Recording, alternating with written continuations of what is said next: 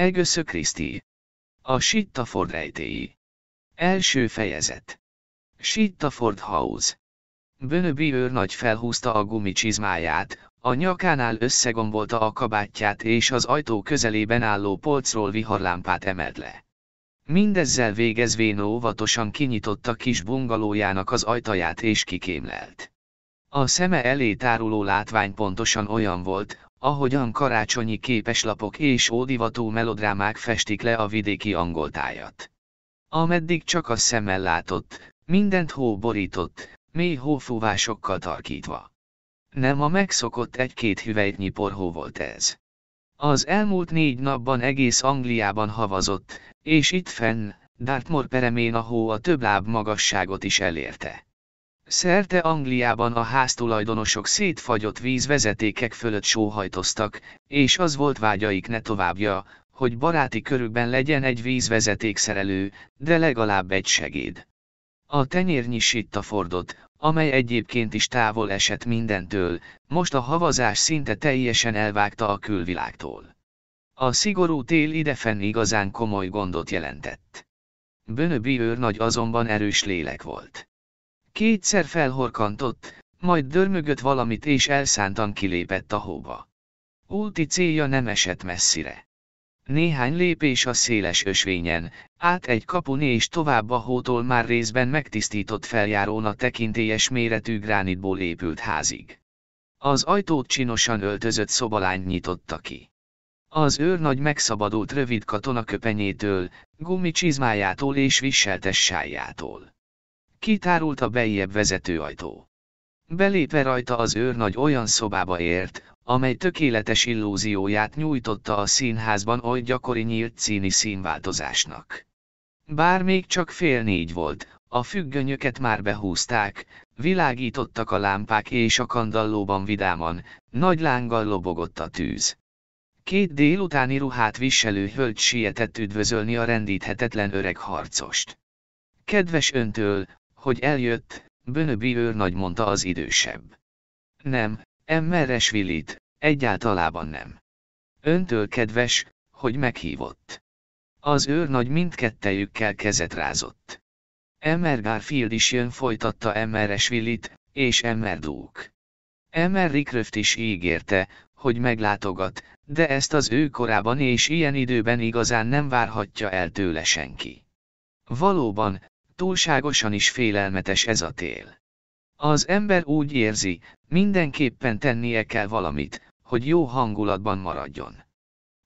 Itt kérlek, tégy újabb hasábot a tűzre. Az őrnagy lovagiasan azonnal átvállalta a feladatot. Engedje meg, Miss Violet. Nagy szakértelemmel helyezte a tűzre a fahasábot és visszatért a karossékéhez. Kevés sikerrel próbálta leplezni, hogy titkolt pillantásokat vett körbe a szobában. Meglepő, hogy két nő mennyire meg tudja változtatni egy szoba jellegét lényegében anélkül, hogy bármi olyat csinálnának, amivel az ember tetten érhetné őket. Sitta Ford House tíz évvel ezelőtt épült. József Trevelyan, a királyi haditengerészet kapitánya építette, amikor visszavonult a szolgálatból. Vagyonos ember volt, és mindig arra vágyott, hogy Dartmoorban telepedjék le. Végül választása Sittafordra, erre a kis falucskára esett. Sittaford a legtöbb hasonló faluval és farmmal ellentétben nem völgyben volt. Pontosan a fensík kiszögelésében, a Sittaford magaslat árnyékában lapult meg. Az őrnagy jókora földarabot vásárolt itt, és kényelmes házat építetett rá. Arra is volt gondja, hogy saját áramfejlesztő telepet létesítsen, így biztosítva a villanyvilágítást és a vezetékes vízellátást. Később, üzleti megfontolásból hat kis bungalót is építetett végig az ösvény mentén, mindegyiket negyed hektárnyi területen. Az elsőt, szinte a kapuja előtt levőt öreg barátjának és cimborájának, John Bönöbi őrnagynak juttatta. A többit szép sorjában eladogatta. Szerencséjére még mindig voltak olyan emberek, akik akár saját jó szántukból, akár valamilyen kényszerűségből távol akartak élni a világtól. Maga a falu három festői, ám düledező házból, egy kovács műhelyből és egy édességboltot és postahivatalt egyesítő üzletecskéből állt. A legközelebbi város, Exhampton, hat mérföldnyire feküdt. Az oda kanyargó út folyamatos lejtőn vezetett, és kétségkívül nélkülözhetetlen volt rajta az a tábla, amely oly ismerős Dartmoor útjain, haladjon a legkisebb sebességfokozattal. Mint már említettük, Trevejan kapitány jómódú ember volt. Ennek ellenére vagy talán éppen ezért az a fajta férfi volt, aki rendkívüli módon szereti a pénzt. Október vége felé történt, hogy levelet kapott egy ingatlan ügynöktől Exhamptonból.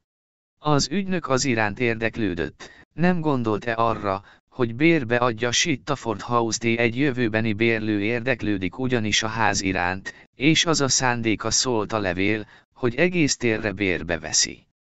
Trevejan kapitány első gondolata az volt, hogy visszautasítja az ajánlatot. A második azonban az, hogy több információra volna szüksége. Kiderült, hogy a kérdéses érdeklődő egy bizonyos MRS Willit, a lányával. Nemrég érkezett haza Dél-Afrikából, és a téli időszakra Dartmoor környékén akar házat bérelni. A fenébe is, ez a nő biztosan őrült fakadt ki a kapitány. Nos, Bönöbi, te mit gondolsz? Bönöbi hasonlóképpen gondolta, és ugyanolyan nyomatékkal adott hangot véleményének, mint a barátja. Akárhogy is folytatta, én azt mondom, ne add ki neki. Hagyd, hadd menjen ez a déliz nő máshová, ha mindenképpen meg akar fagyni. Dél-Afrikából ide megáll az ES. Ez volt az a pillanat, amikor Trevejan kapitány pénzkomplexusa kikövetelte a magáit. Az ember száz évben egyszer kap ajánlatot arra, hogy tél közepén adja bérbe a házát. Trevejan tudni akarta, mennyit ajánl a nő a bérletért. 12 gini hetente ez volt az ajánlat, ami aztán el is döntötte a kérdést. A kapitány lömönt Exhamptonba, bérelt egy kis házat a város szélén heti két gubineaért, és átadta Sittaford House kulcsait Emmeres Villetnek. Természetesen a bérleti díj felét előre kérte. A pénz nem fészkel bolondoknál dünnyögte elégedetten. Bönöbi őrnagy azonban ezen a délutánon, miközben titokban a hölgyet fürkészte, azt gondolta, hogy Emmeres Willit egyáltalán nem úgy fest, mint aki bolond. Magas nő volt, meg lehet kissé egyszerű benyomást keltett, de az arcvonásai sokkal inkább vallottak eszességre, mint egy gyügyűségre. Hajlamosnak látszott a túlöltözködésre és erős gyarmati akcentussal beszélt. Láthatóan tökéletesen elégedett volt a Trevejan kapitánnyal kötött üzlettel. Nyilvánvalóan nagyon jó módú volt és ez ahogyan Bönöbi többször is elmélkedett rajta, az egész ügyet még különösebbé tette. Emmeres Willit egyáltalán nem az a fajta nő volt, akiről azt gondolhatnánk, imádja a magányt. Mint szomszéd, Emmeres Willit zavarba ejtően barátságosnak bizonyult. A meghívást Sittaford House-ba senki sem kerülhette el. Trevejan kapitányt így bíztatta. Kérem, használja úgy a házat, mintha mi ki sem béreltük volna. Az igazat megvalva a kapitány nem nagyon kedvelte a nőket. Járta persze olyan szóbeszéd, hogy a kapitányt fiatal korában nagyon csúnyán faképnél hagyták. Minden esetre szilárdan ellenállt minden meghívásnak. Már két hónap is eltelt azóta, hogy a villettek kibérelték a házat. Az érkezésüket kísérő csodálkozás már alább hagyott. Bönöbi természettől fogva kevés beszédű ember volt.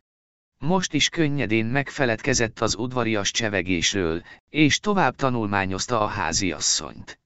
Megpróbálta valamiféle kótyagos fehér népnek elkönyvelni őt, de sehogy sem illett rá ez a minősítés. Így napirendre tért fölötte, és pillantása tovább siklott Vájölit villetre. Meg kell adni, csinos lány csak véznácska szegénykém, de hát manapság mindegyik ilyen. Ugyan mi a jó egy nőben, ha egyáltalán nem látszik nőnek. Az újságok ugyan azt írják, a gömbölydet formák ismét visszatérnek. Hát már éppen itt az ideje. Ezután a kis elmélkedés után az őrnagy meggyőztem magát arról, hogy most már nem lehet tovább halogatni a beszélgetést. Aggódtunk, hogy esetleg nem tud eljönni fordult hozzá Emmeresvilit. Említett valami ilyesmit a múltkor, emlékszik. Így aztán nagyon megörültünk, amikor megtudtuk, hogy itt lesz. Nos, a péntek válaszolt Bönöbi őrnagy az olyan ember modorában, aki tökéletesen biztos abban, hogy értik, amit mond. Emmeres Willit azonban meglehetősen értetlenül nézett rá. Péntek. Minden pénteken meglátogatom Trevejan kapitányt. Kedden pedig ő keres fel engem. Évek óta így csináljuk. Hát persze, most már értem. És oly közel laknak egymáshoz. Kialakult szokás. Mostanában is ragaszkodik hozzá. Úgy értem, Trevejan kapitány leköltözött Ex-Hamptonba. Az ember ne adja fel a szokásait válaszolt az őrnagy. Mindkettőnknek hiányoznának ezek az esték. Ugye ön kedveli a rejtvényeket? Kérdezte most, Violet. Szómozaikok, keresztrejtvények, ilyesmik. Bönöbi bólintott. Az én területem a keresztrejtvény. Trevejan a szórejtvényekért, akrosztikonokért rajong. A múlt hónapban egy keresztrejtvényversenyen három könyvet is nyertem buzgókodott a társalgás érdekében az őrnagy. Na hát, tényleg. Hát ez nagyszerű. És érdekesek azok a könyvek. Nem tudom, még nem olvastam őket. Minden esetre elég unalmasnak látszanak. Hát. A győzelem a fontos, nem igaz? Jegyezte meg Emmeresvillit bizonytalanul. És hogy jut Alex Hamptonba? Kérdezte Violet. Úgy tudom, nincs autója. Lesétálok. Lesétál. Tényleg. De hisz az hat mérföld. Nagyon jó testedzés. Mi az a tizenkét mérföld? Egy férfit az ilyen dolgok tartanak jó erőben. Az pedig nagyszerű dolog. Nem mindennapi. Tizenkét mérföld. Trevejan kapitány és ön bizonyára kiváló atléták, ugye? Valamikor sokat jártunk Svájcba. Télen a téli sportok kedvéért, nyáron pedig a hegymászásért. Trevejan valóságos varázsló a jégen. Persze ma már mindketten öregek vagyunk az ilyesmihez. Úgy tudom, ön a hadsereg teniszbajnokságát is megnyerte, ugye? Kíváncsiskodott Violet. Az őrnagy elpirult, mint egy süldő lány. Ki mondta ezt önnek motyogta zavartan. Trevejan kapitány. Jó-e tarthatná a száját, mondta Bönöbi. Túl sokat beszél. Nos, lássuk, milyen most az idő. Violet megértette, hogy az őrnagyot feszélyezi a téma, ezért követte őt az ablakhoz. Félrehúzták a függönyt, és kikémleltek a sivártájra. Ismét havazni fog jegyezte meg Bönöbi. Azt mondanám, csinos kis hószakadás várható. Milyen izgalmas lelkendezett Violet. Azt hiszem, a hó nagyon romantikus dolog. Nekem különösen, hiszen most látok először havat. A befagyott vízvezetékek nem is olyan romantikusak, te csacska gyermek szólalt meg Violet anyja. Egész életét Dél-Afrikában töltötte, Miss Willit. Kérdezte Bönöbi. A lányból egy pillanatra mintha kiszállt volna az élet. Mesterkéltnek tűnt, ahogyan válaszolt. Igen, most vagyok először távol. Minden szörnyen izgalmas. Izgalmas. Egy ilyen Isten háta mögötti pusztaság tenyérnyi falucskájában csücsülni. Micsoda ötlet. Bönöbi nem tudott eligazodni ezeken az embereken. Kinyílt az ajtó, és a szobalány bejelentette az érkezőket. Emmer Rickröft és Emmer Garfield. Idősödő, szikár férfi lépett a szobába egy kisfiús külsejű, piros posgás fiatalember társaságában. Először az utóbbi szólalt meg. Magammal hoztam, Emmeresvillit.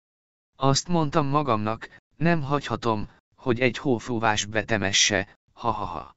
Én mondom, itt minden csodálatos. Azok a családiasan duruzsoló fahasábok. Ahogy említette, fiatal barátom, volt olyan szíves és elkalauzolt engem ide mondta Emmer Röft, és szertartásosan kezet rázott mindenkivel. Hogy van, Vájölit kisasszony. Nagyon télies az idő, attól tartok, túlságosan is télies.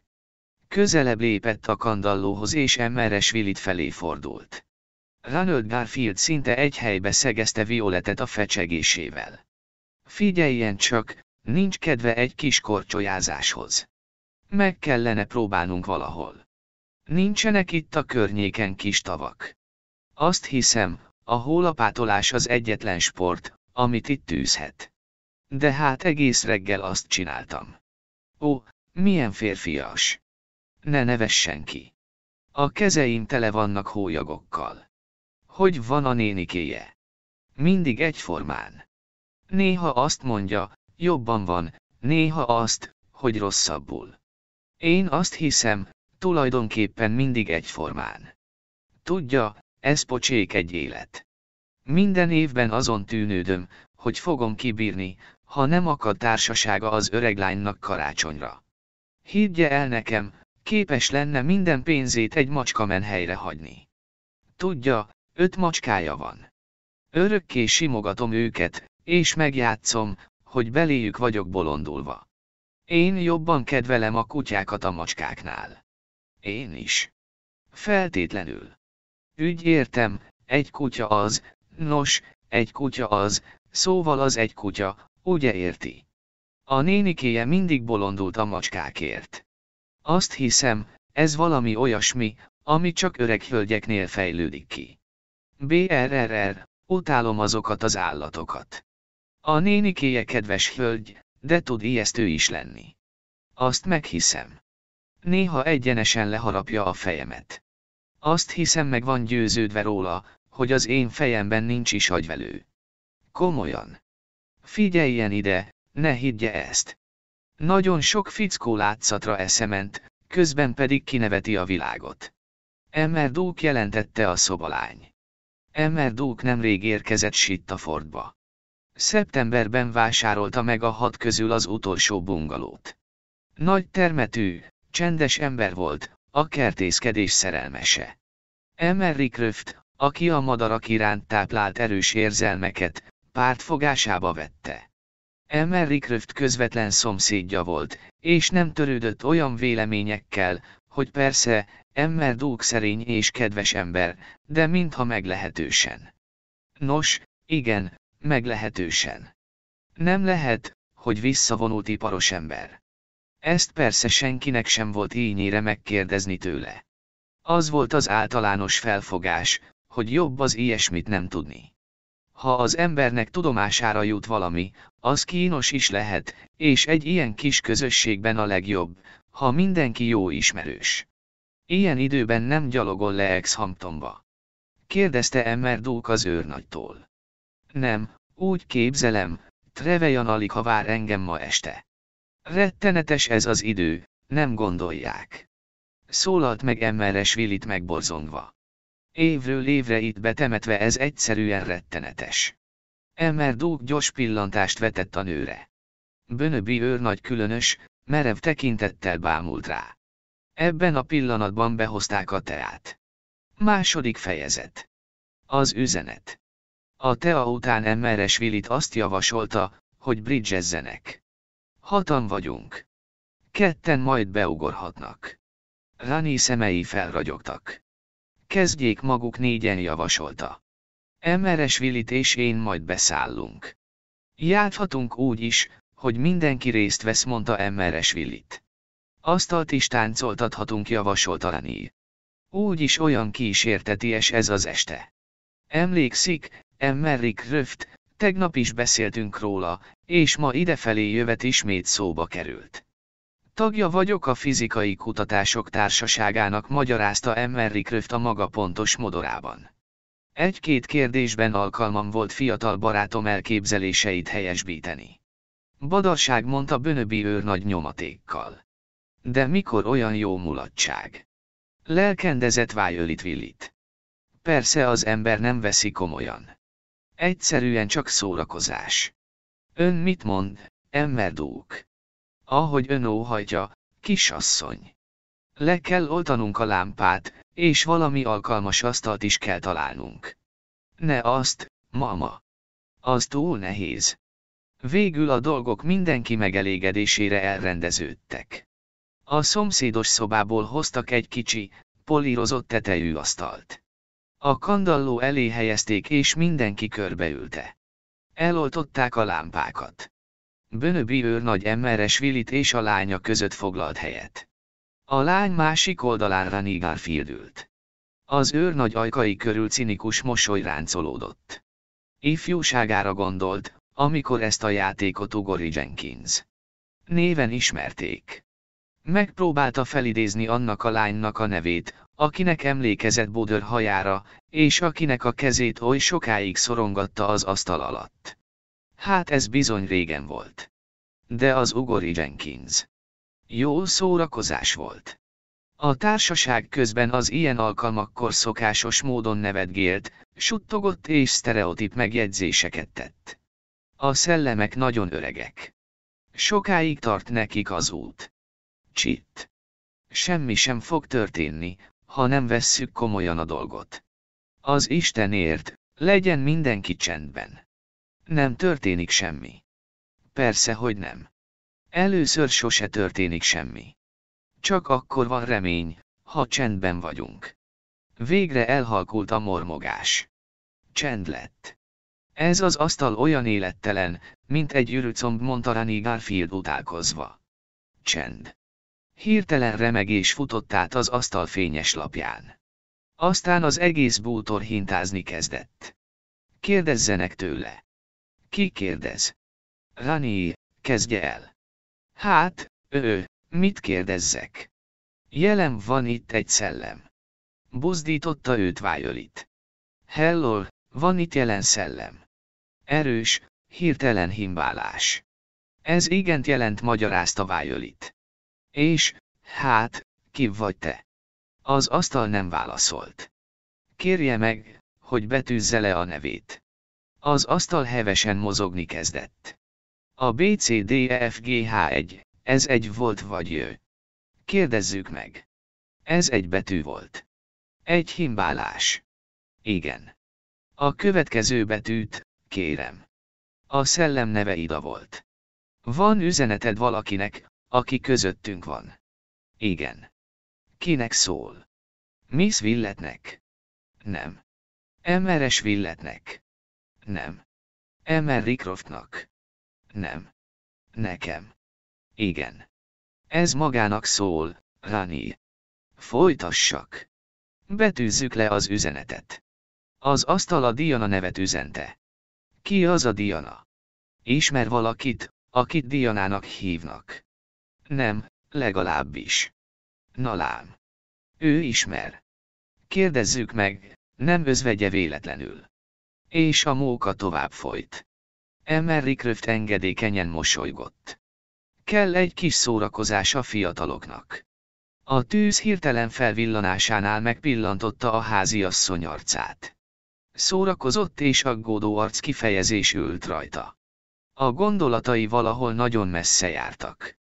Bönöbi nagy a hóra gondolt. Biztos, hogy ma este ismét havazni fog. Nem is emlékezett ilyen kemény térre, amióta csak az eszét tudja. Emerdúg komolyan játszott. De a szellemek, fájdalom, kevés figyelmet szenteltek neki. Úgy látszott, minden üzenet Rani vagy Vájölit számára érkezett. Vájölit azt a hírt kapta, hogy Olaszországba fog utazni, és valaki elkíséri őt. Nem nő lesz az illető. Férfi. A nevelenörd. Még nagyobb nevetés. Az asztal betűzni kezdte a város nevét. Oroszosan hangzó, zagyva betűkeverék semmi köze az olaszhoz. A szokásos vádak nem sokára hangot kaptak. Vájölit mozgatja az asztalt. Nem igaz. Tessék, elvettem a kezem az asztalról, és mégis ugyanúgy mozog. Én a kopogást szeretem. Megkérem a szellemet, hogy inkább kopogjon. Jó hangosan. Kell, hogy kopogjon. Fordult Rani Emery Kröft felé. Kopognia kellene, ugye, uram? A jelenlegi körülmények között alig ha tartom valószínűnek válaszolt szárazon Emery Kröft. Egy ideig csend volt.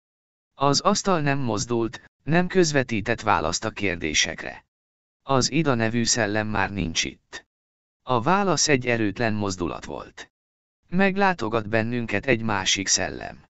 Semmi válasz. Azután az asztal hirtelen megremegett, majd vadul himbálózni kezdett. Hurrá! Te vagy az új szellem. Igen. Van üzeneted valakinek. Igen. Nekem. Nem. Violetnek. Nem. Bönöbi őrnagynak. Igen. Bönöbi őrnagy, ez önnek szól. Szellem, kérlek betűzd. Az asztal lassan billegni kezdett. Trev. Biztos vagy benne, hogy ez öt. Nem lehet. Trevennek nincs értelme. De hogy is nem szólalt meg Emmeres Vilit Trevejan. Trevejan kapitány. Tényleg Trevejan kapitányról van szó. Igen. Üzeneted van Trevejan kapitánynak. Nem. Hát akkor. Az asztal most lágyan, ritmikusan kezdett mozogni. Oly lassú volt a billegés, hogy ez alkalommal könnyű volt kibetűzni az üzenetet, há, utána szünet, azutána, majd lő, o, és té kétszer egymás után. Halott. Valaki meghalt. Az igen vagy nem helyett az asztal ismét billegni kezdett, amíg a T betűhöz nem ért. T. Trevejan kapitány. Igen. Csak nem azt akarod mondani, hogy Trevejan kapitány meghalt. Rövid, erőteljes billenés, igen. Valaki hangosan, kapkodva szedte a levegőt. Az asztal körül érezhető volt a feszültség.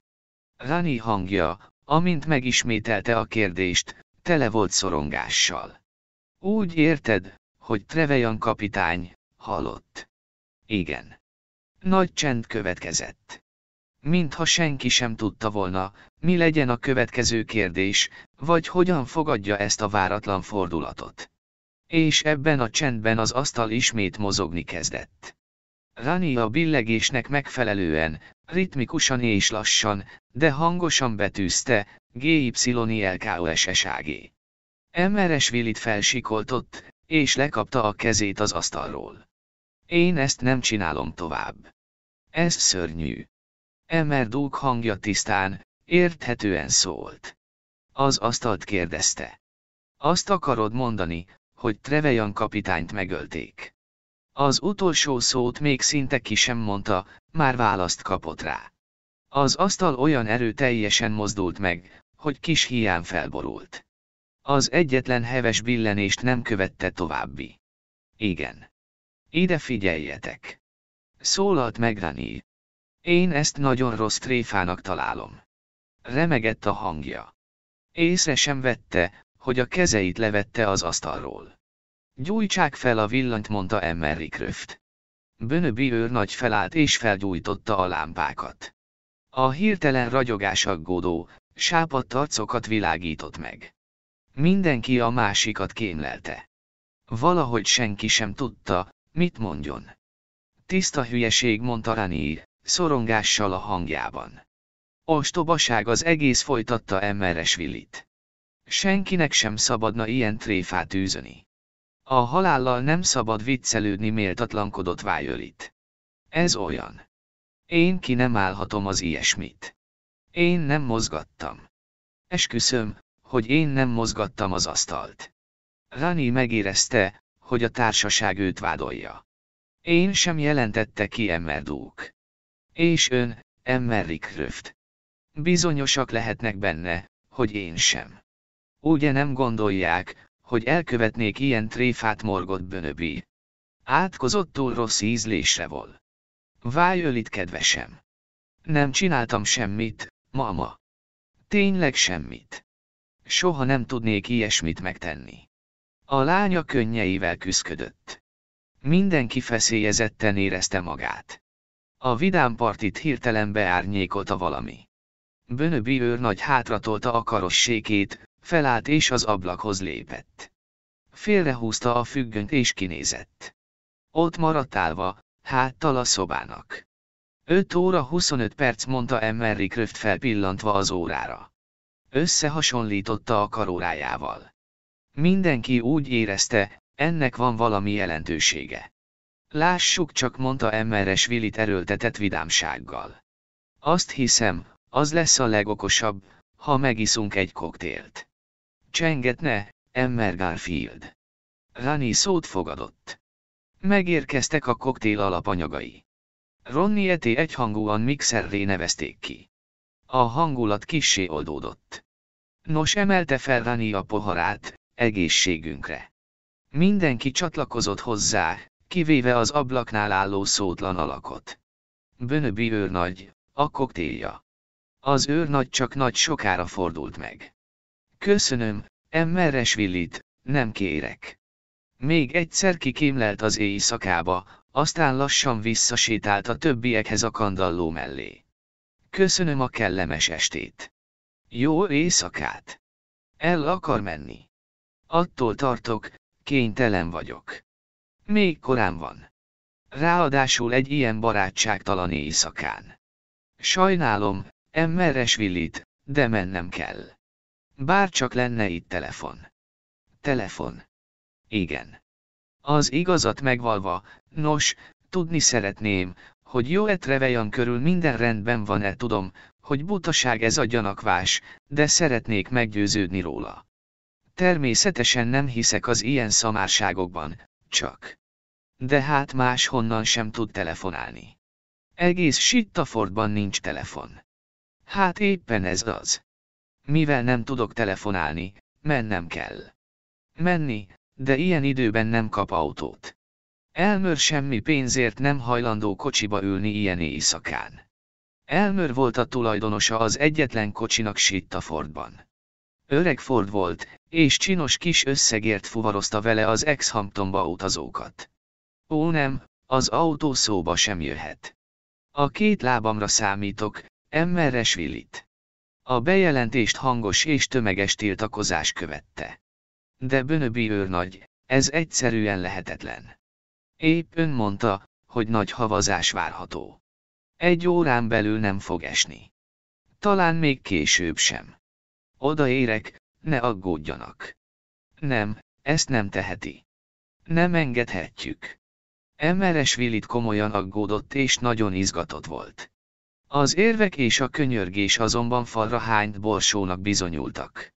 Bönöbi őr nagy csökönyös ember volt. Amit egyszer a fejébe vett, attól az égvilágon senki nem tudta eltéríteni. Elhatározta, hogy elmegy Ex-Hamptonba, és a saját szemével győződik meg arról, hogy öreg barátjával minden rendben van-e ezt vagy fél tucatszor elismételte a társaságnak. Az egybegyűltek végül kénytelenek voltak belátni, hogy elhatározásától semmi és senki nem tántoríthatja el. Az őrnagy minden teketória nélkül magára öltötte a katona köpenyét, meggyújtotta a viharlámpát és már kinn is volt az éjszakában. Hazaugrom egy flaskáért mondta vidáman, aztán torony iránt előre.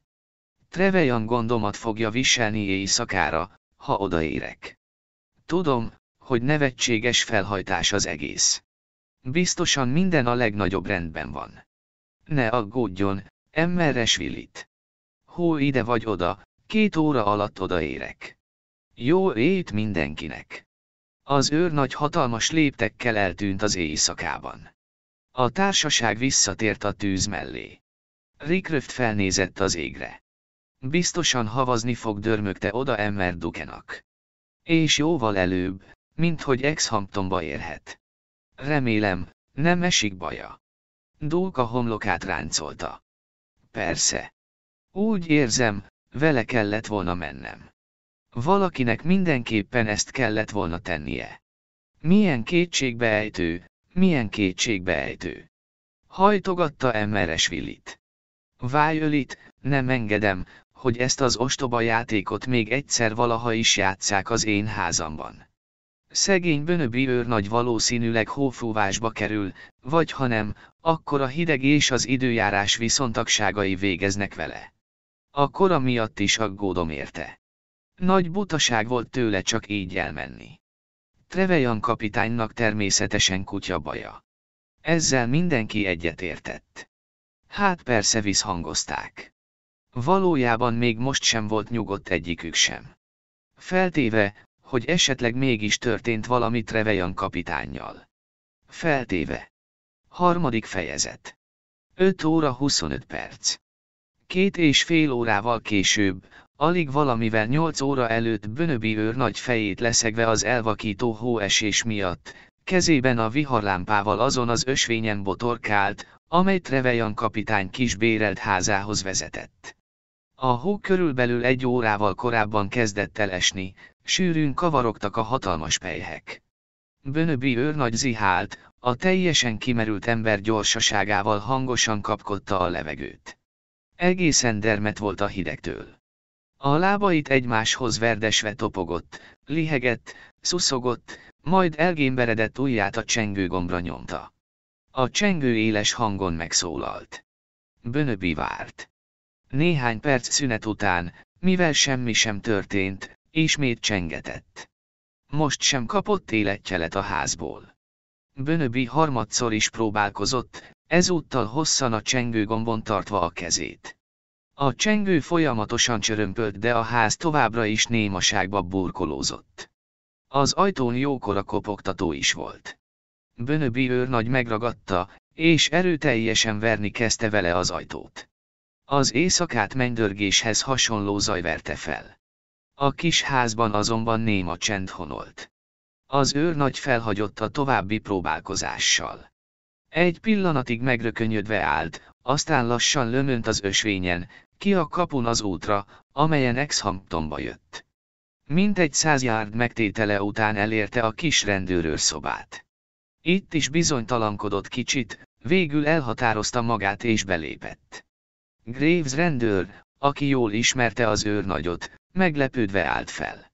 Nos, uram, sose hittem volna, hogy ilyen időben sétára indul.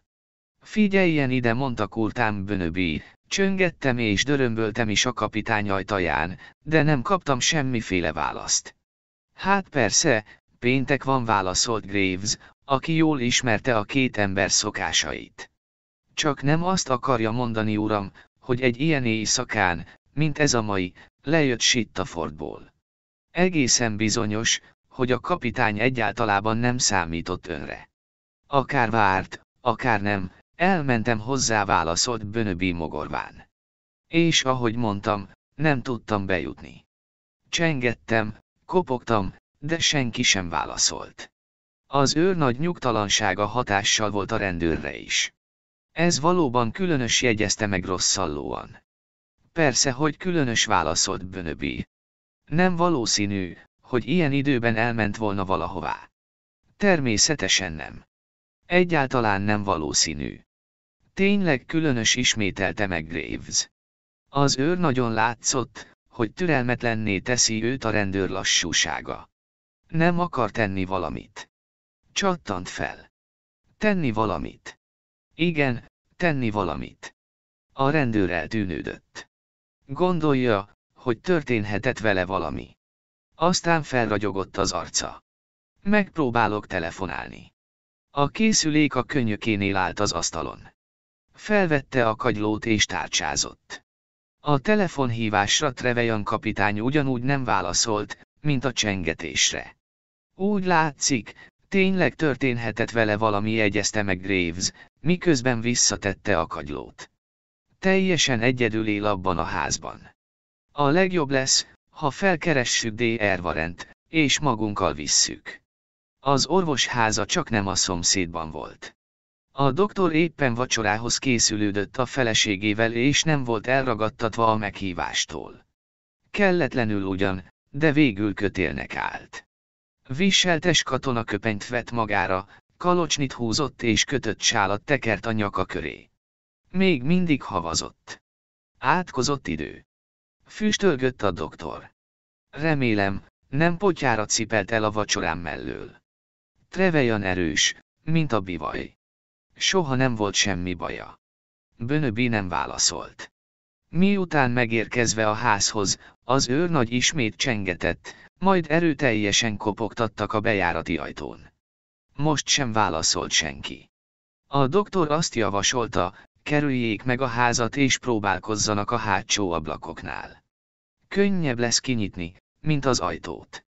Graves is egyet értett ezzel, így hátré mentek. Út közben találtak egy oldalajtót, de az is gondosan be volt zárva. Tovább haladtak a behavazott pázsiton a hátsó ablakok irányába. Warren egyszer csak felkiáltott. Nézzék, a dolgozószoba ablaka, nyitva van. Bármi furcsa, ez a francia ablak tényleg nyitva állt. Az orvos és társai meggyorsították lépteiket. Ilyen éjszakán épeszű ember nem nyit ablakot. A szobában égő lámpa fénye vékony sárga szalakként csurgott ki a hóra. A három férfi egyszerre ért az ablakhoz. Bönöbi mászott be először, a rendőr szorosan a sarkában. Mindketten dermedten álltak meg a szobában. A néhai katonából valami elfolytott kiáltásféle szakadt fel.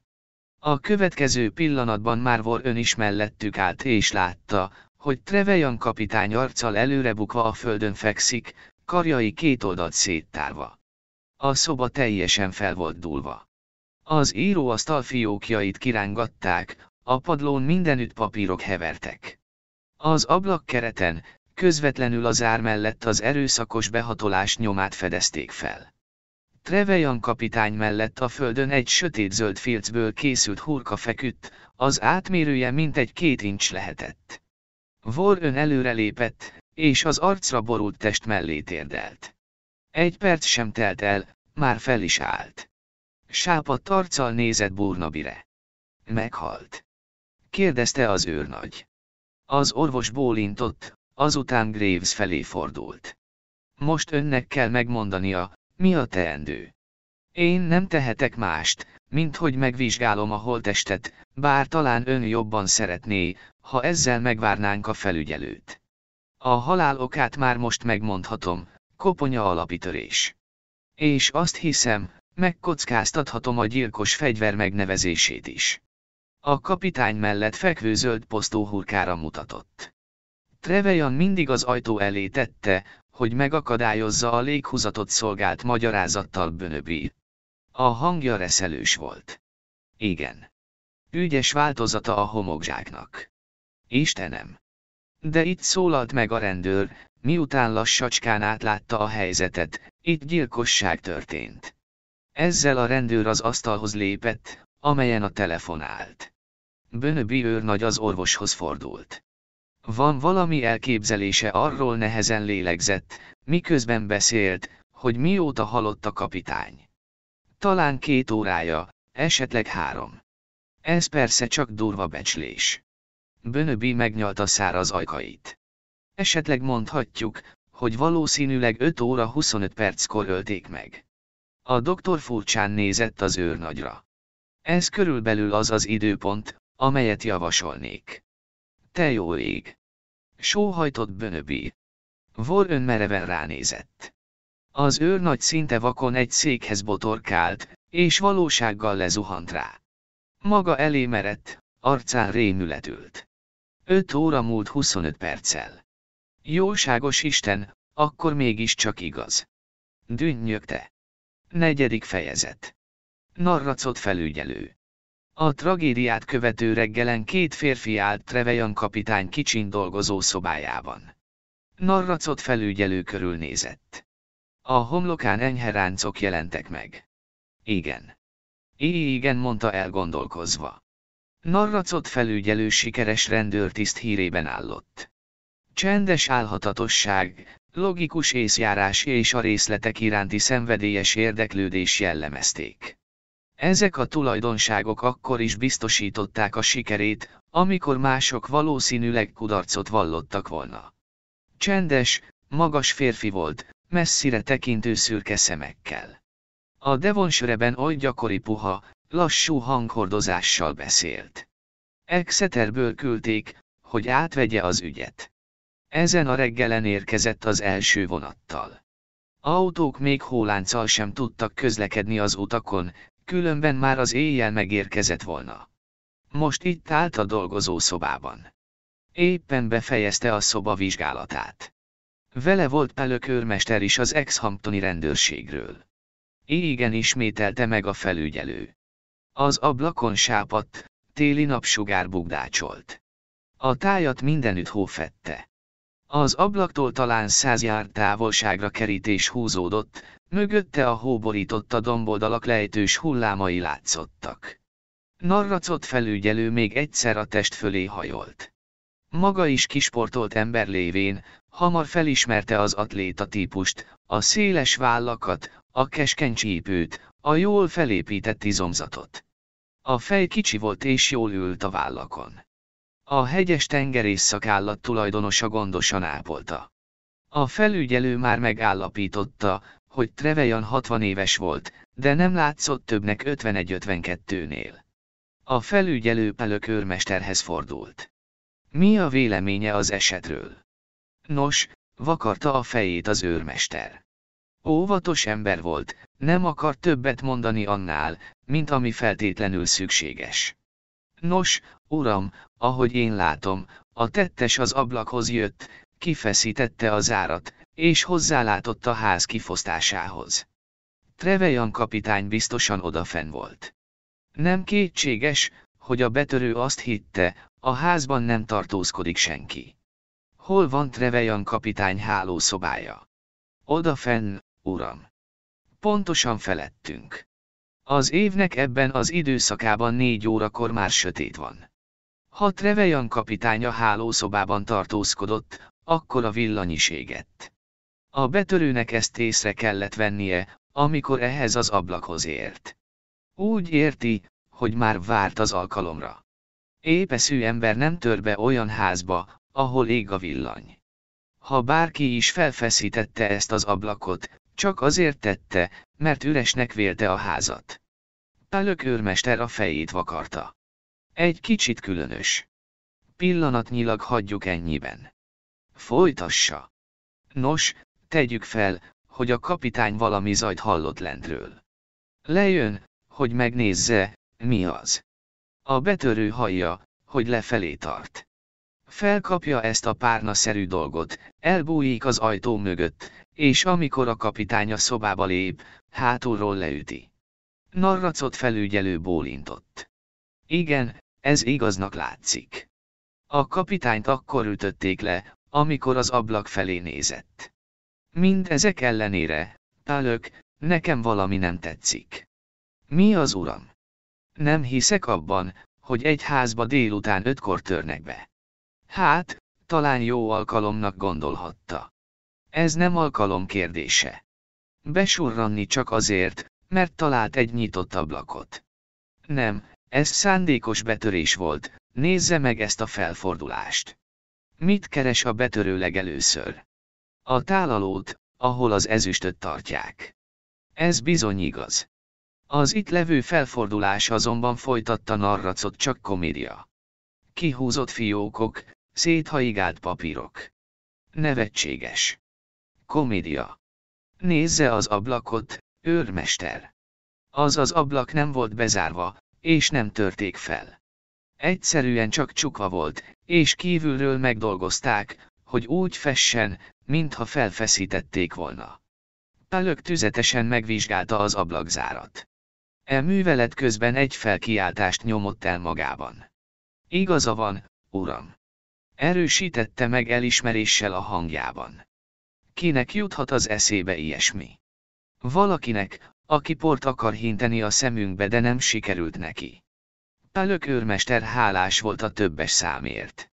Narracot felügyelő ilyen apró trükkökkel kedveltette meg magát a beosztottaival. Akkor nem is betörésről van szó, uram. Úgy gondolja, a tettes nem volt idegen. A felügyelő bólintott. Igen. Csak az a furcsa, hogy a gyilkos mégis ezen az ablakon keresztül érkezett a szobába. Ahogy maga és Graves jelentették, és én magam is láttam, nedves foltok láthatók a kertben, ahol a gyilkos léptei alatt az olvadó hó beroskadt. Ilyen lucskos nyomok csak ebben a szobában találhatók. Graves rendőr bizonyos benne, hogy amikor D.R. Warrennel együtt átjöttek a hallon, semmi ilyesmit nem láttak. Ebbe a szobába érve azonban rögtön feltűnt neki. Ebben az esetben világos, hogy Trevejan kapitánya látogatót az ablakon át engedte be. Következésképpen csak olyas valaki lehetett, akit Trevejan kapitány jól ismert. Őrmester, ön helybeli. Megmondaná nekem, hogy Trevejan az a fajta ember volt-e, aki könnyen szerez ellenségeket. Nem uram, szó sincs róla. Nem volt ellensége. Igaz, hogy szerette a pénzt, és egy kicsit szőrszál hasogató természet volt. Ki nem állhatta például a tunyaságot és az udvariatlanságot. De úgy éljek, uram, ezért inkább tisztelték. Szóval nem voltak ellenségei töprenget narracott. Itt legalábbis nem. Nagyon igaz, nem tudjuk, milyen ellenségeket szerzett tengerészi pályafutása alatt. Bár az én tapasztalatom az őrmester, hogy aki az egyik helyen ellenségeket szerez, az a másik helyen is szert tesz néhányra. Mindazonáltal egyetértek azzal, hogy ne zárjuk ki ezt a lehetőséget sem. Elérkeztünk a következő motivumhoz a leggyakoribb indítóokhoz az bűneseteknél, vagyis a nyereségvágyhoz. Trevejan kapitány gazdag ember volt, úgy tudom. Minden híresztelés szerint nagyon gazdag. De fösvény is. Nem volt könnyű megnyerni őt különféle adakozásokhoz. Persze válaszolt narracott elgondolkodva. Kár, hogy ennyire havazott gondolkodott hangosan az őrmester, de így legalább vannak lábnyomaink és ezek alapján elkezdhetünk nyomozni. Nem tartózkodott senki más a házban. Kérdezte a felügyelő. Nem. Az utóbbi öt évben Trevejan kapitánynak csak egy szolgája volt, egy visszavonult tengerész. Odafenn Sittaford House-ba naponta eljárt egy asszony, de igazában ez az Evans nevű fickó viselte gondját a kapitánynak. Úgy egy hónappal ezelőtt megnősült, gazdája legnagyobb bosszúságára. Azt hiszem, ez volt az egyik oka annak, hogy bérbe adta a házat annak a dél-afrikai nőnek. Nem tudta volna elviselni, hogy egy asszony is lakjon a házban. Evans most itt lakik a feleségével, innen úgy egy saroknyira, és naponta eljött a kapitányhoz, hogy ellássa. Ide rendeltem, hogy kihallgathassa. Azt állítja, hogy tegnap délután fél háromkor hagyta el a házat, mivel a kapitánynak már nem volt rá szüksége. Helyes, beszélni akarok vele. Talán tud nekünk valami hasznosat mondani. Pálök őrmester csodálkozva nézett feljebb valójára. Valami különöset érzett a hanghordozásában. Azt gondolja, kezdett hozzá. Azt gondolom válaszolta a felügyelő határozottan, hogy ez az ügy sokkal bonyolultabb, mint ahogyan első pillanatra látszik. Milyen értelemben, uram? A felügyelő azonban nem akarta magát elkötelezni. Azt mondja, ez az Evans nevű ember itt van. Az ebédlőben várakozik. Rendben van. Most mindjárt beszélni akarok vele. Milyen is az a fickó? Pölök, őrmester erősebb volt tények felsorolásában, mint az érzékletes leírásban. Visszavonult tengerész. Kellemetlen alak lehet verekedés esetén, uram. Iszik. Amennyire én tudom, nem ellensége az italnak. És mit tud a feleségéről? Nem a kapitány esete véletlenül. Ó nem, Trevejan kapitányról feltételezni sem lehetett ilyesmit. Egyáltalán nem olyan ember volt. Inkább nőgyűlölőnek ismerte mindenki. És Evans hűségesen szolgálta a gazdáját. Ez volt az általános benyomás, uram, és azt hiszem, az emberek tudnának róla, ha nem ez az, igazság. Exhampton igazán kis hely. A felügyelő bólintott. Nos, itt nincs több keresnivalónk. Kikérdezem Evanst, és megnézem a ház többi részét, aztán átmegyünk a három koronába, és elbeszélgetünk ezzel a bönöbi őrnaggyal. Az időponttal kapcsolatos megjegyzése különös volt. 5 óra 20, vagy valami ilyesmi. Tudnia kell valamit, amit még nem mondott el, különben hogyan becsülhetné meg ilyen pontosan a büntény idejét. A két férfi az ajtó felé tartott. Különös ez az ügy, mondta pelökőrmester, miközben tekintetével a mindenféle limlommal borított padlót pásztázta. Ez az álbetörés. Ami engem illet, én nem ezt találom igazán különösnek válaszolt narracott, az adott körülmények között valószínűleg ez volt az egyetlen kézen fekvő megoldás. Engem valójában az ablak lep meg. Az ablak, uram. Igen. Miért ment a gyilkos az ablakhoz? Ha feltételezzük, hogy Trevejan jól ismerte az illetőt és gyanútlanul beengedte, akkor miért nem a bejárati ajtón jött be? Egy olyan estén, mint amilyen a tegnapi volt, az útról az ablakhoz kerülni nehéz és kellemetlen dolog lehetett. Gondolja csak meg, mekkora volt a hó. Bizonyosan jó oka lehetett, ha mégis megtette. Talán azért találgatta pelök, mert nem akarta, hogy észrevegyék, amikor az útról letér a ház felé. Nem sok ember lehet, aki tegnap délután láthatta volna az illetőt. Jóformán senki sem dugta ki az orrát abban az ítéletidőben. Nem, kell lennie valami másoknak. Nos, talán idejében fény derül rá. Ötödik fejezet. Evans. Evans az ebédlőben várakozott. Amikor a felügyelő belépett, a férfi tisztelettudóan felállt. Alacsony, zömök ember volt irdatlan hosszú kezekkel. Jellegzetes szokása volt, hogy az ökleit szinte állandóan félig összeszorította. Gondosan borotvált arcában apró, disznószerű szemek ültek, az egész arc mégis valami vidámságot és rátermettséget sugárzott, és ez ellensúlyozta a boldogszerű összképet. Narracot felügyelő elraktározta magában a benyomásait, intelligens, éles eszű és gyakorlatias, de izgatottnak látszik. Maga Evans, ugye? Szólalt meg a felügyelő. Igen, uram. Mi a keresztneve? Robert Henry. És mit tud az ügyjel kapcsolatban? Az égvilágon semmit, uram. Az igazság az, hogy nagyon felzaklatott a dolog. Elgondolni, hogy a kapitányt meggyilkolták. Mikor látta utoljára a gazdáját? Két órakor, uram, annyi volt az idő. Leszettem az ebéd terítékét, és elkészítettem az asztalt a vacsorához. A kapitány azt mondta, nem kell visszajönnöm. És mi volt a mindennapi gyakorlat? Általában 7 óra körül vissza szoktam jönni egy-két órára. De ez nem mindig történt így, a kapitány néha azt mondta, nincs szüksége rám. Ezek szerint tegnap sem érte meglepetés, amikor a gazdája azt mondta, hogy ne jöjjön vissza. Nem, uram. Már tegnap előtt este sem jöttem vissza, olyan rossz idő volt.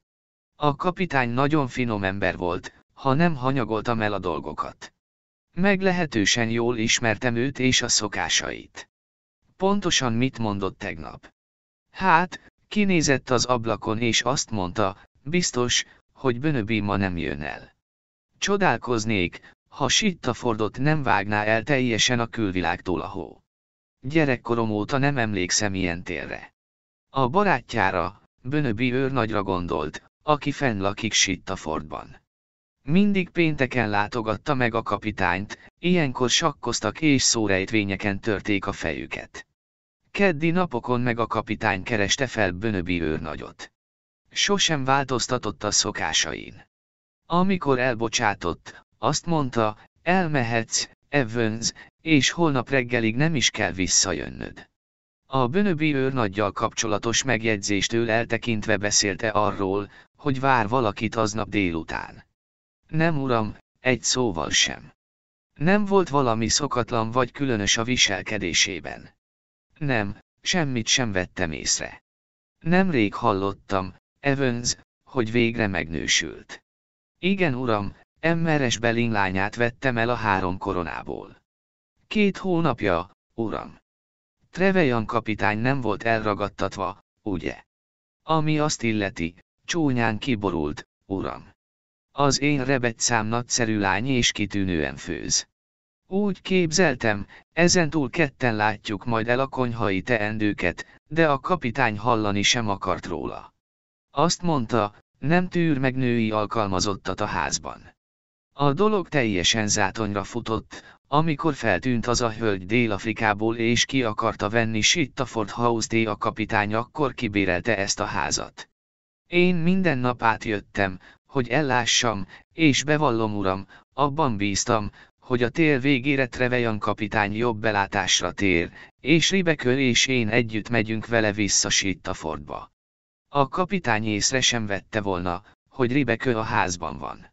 Úgy rendeztük volna, hogy a feleségem általában a konyhában tartózkodik és még arra is ügyel, hogy a lépcsőn se találkozzanak. Van valami elképzelése arról, mi az oka annak, hogy Trevejan kapitány ki nem állhatta a nőket. Fogalmam sincs, uram. Azt hiszem, egyszerűen szokás. Sok hasonló úriemberrel találkoztam már Ha érdekli a véleményem, szerintem ez nem más, mint szégyenlősség. Fiatal korukban néhány ifjú hölgy csúnyán lekezeli őket, és így a kiábrándultság könnyen nőgyűlöletté válik. Trevejan kapitány nem volt házas. Nem, uram. És mit tud a rokonságáról? Azt hiszem, él egy leánytestvére Exeterben, hallottam, hogy emlegetett egy vagy több unokatestvért is. Egyikük sem látogatta meg soha. Nem uram. Azt hiszem, haragban volt az Exeterben élő lány testvérével. Tudja a nevét. Azt hiszem, Gardner, de nem vagyok biztos benne. Nem tudja a címét. Sajnos nem, uram.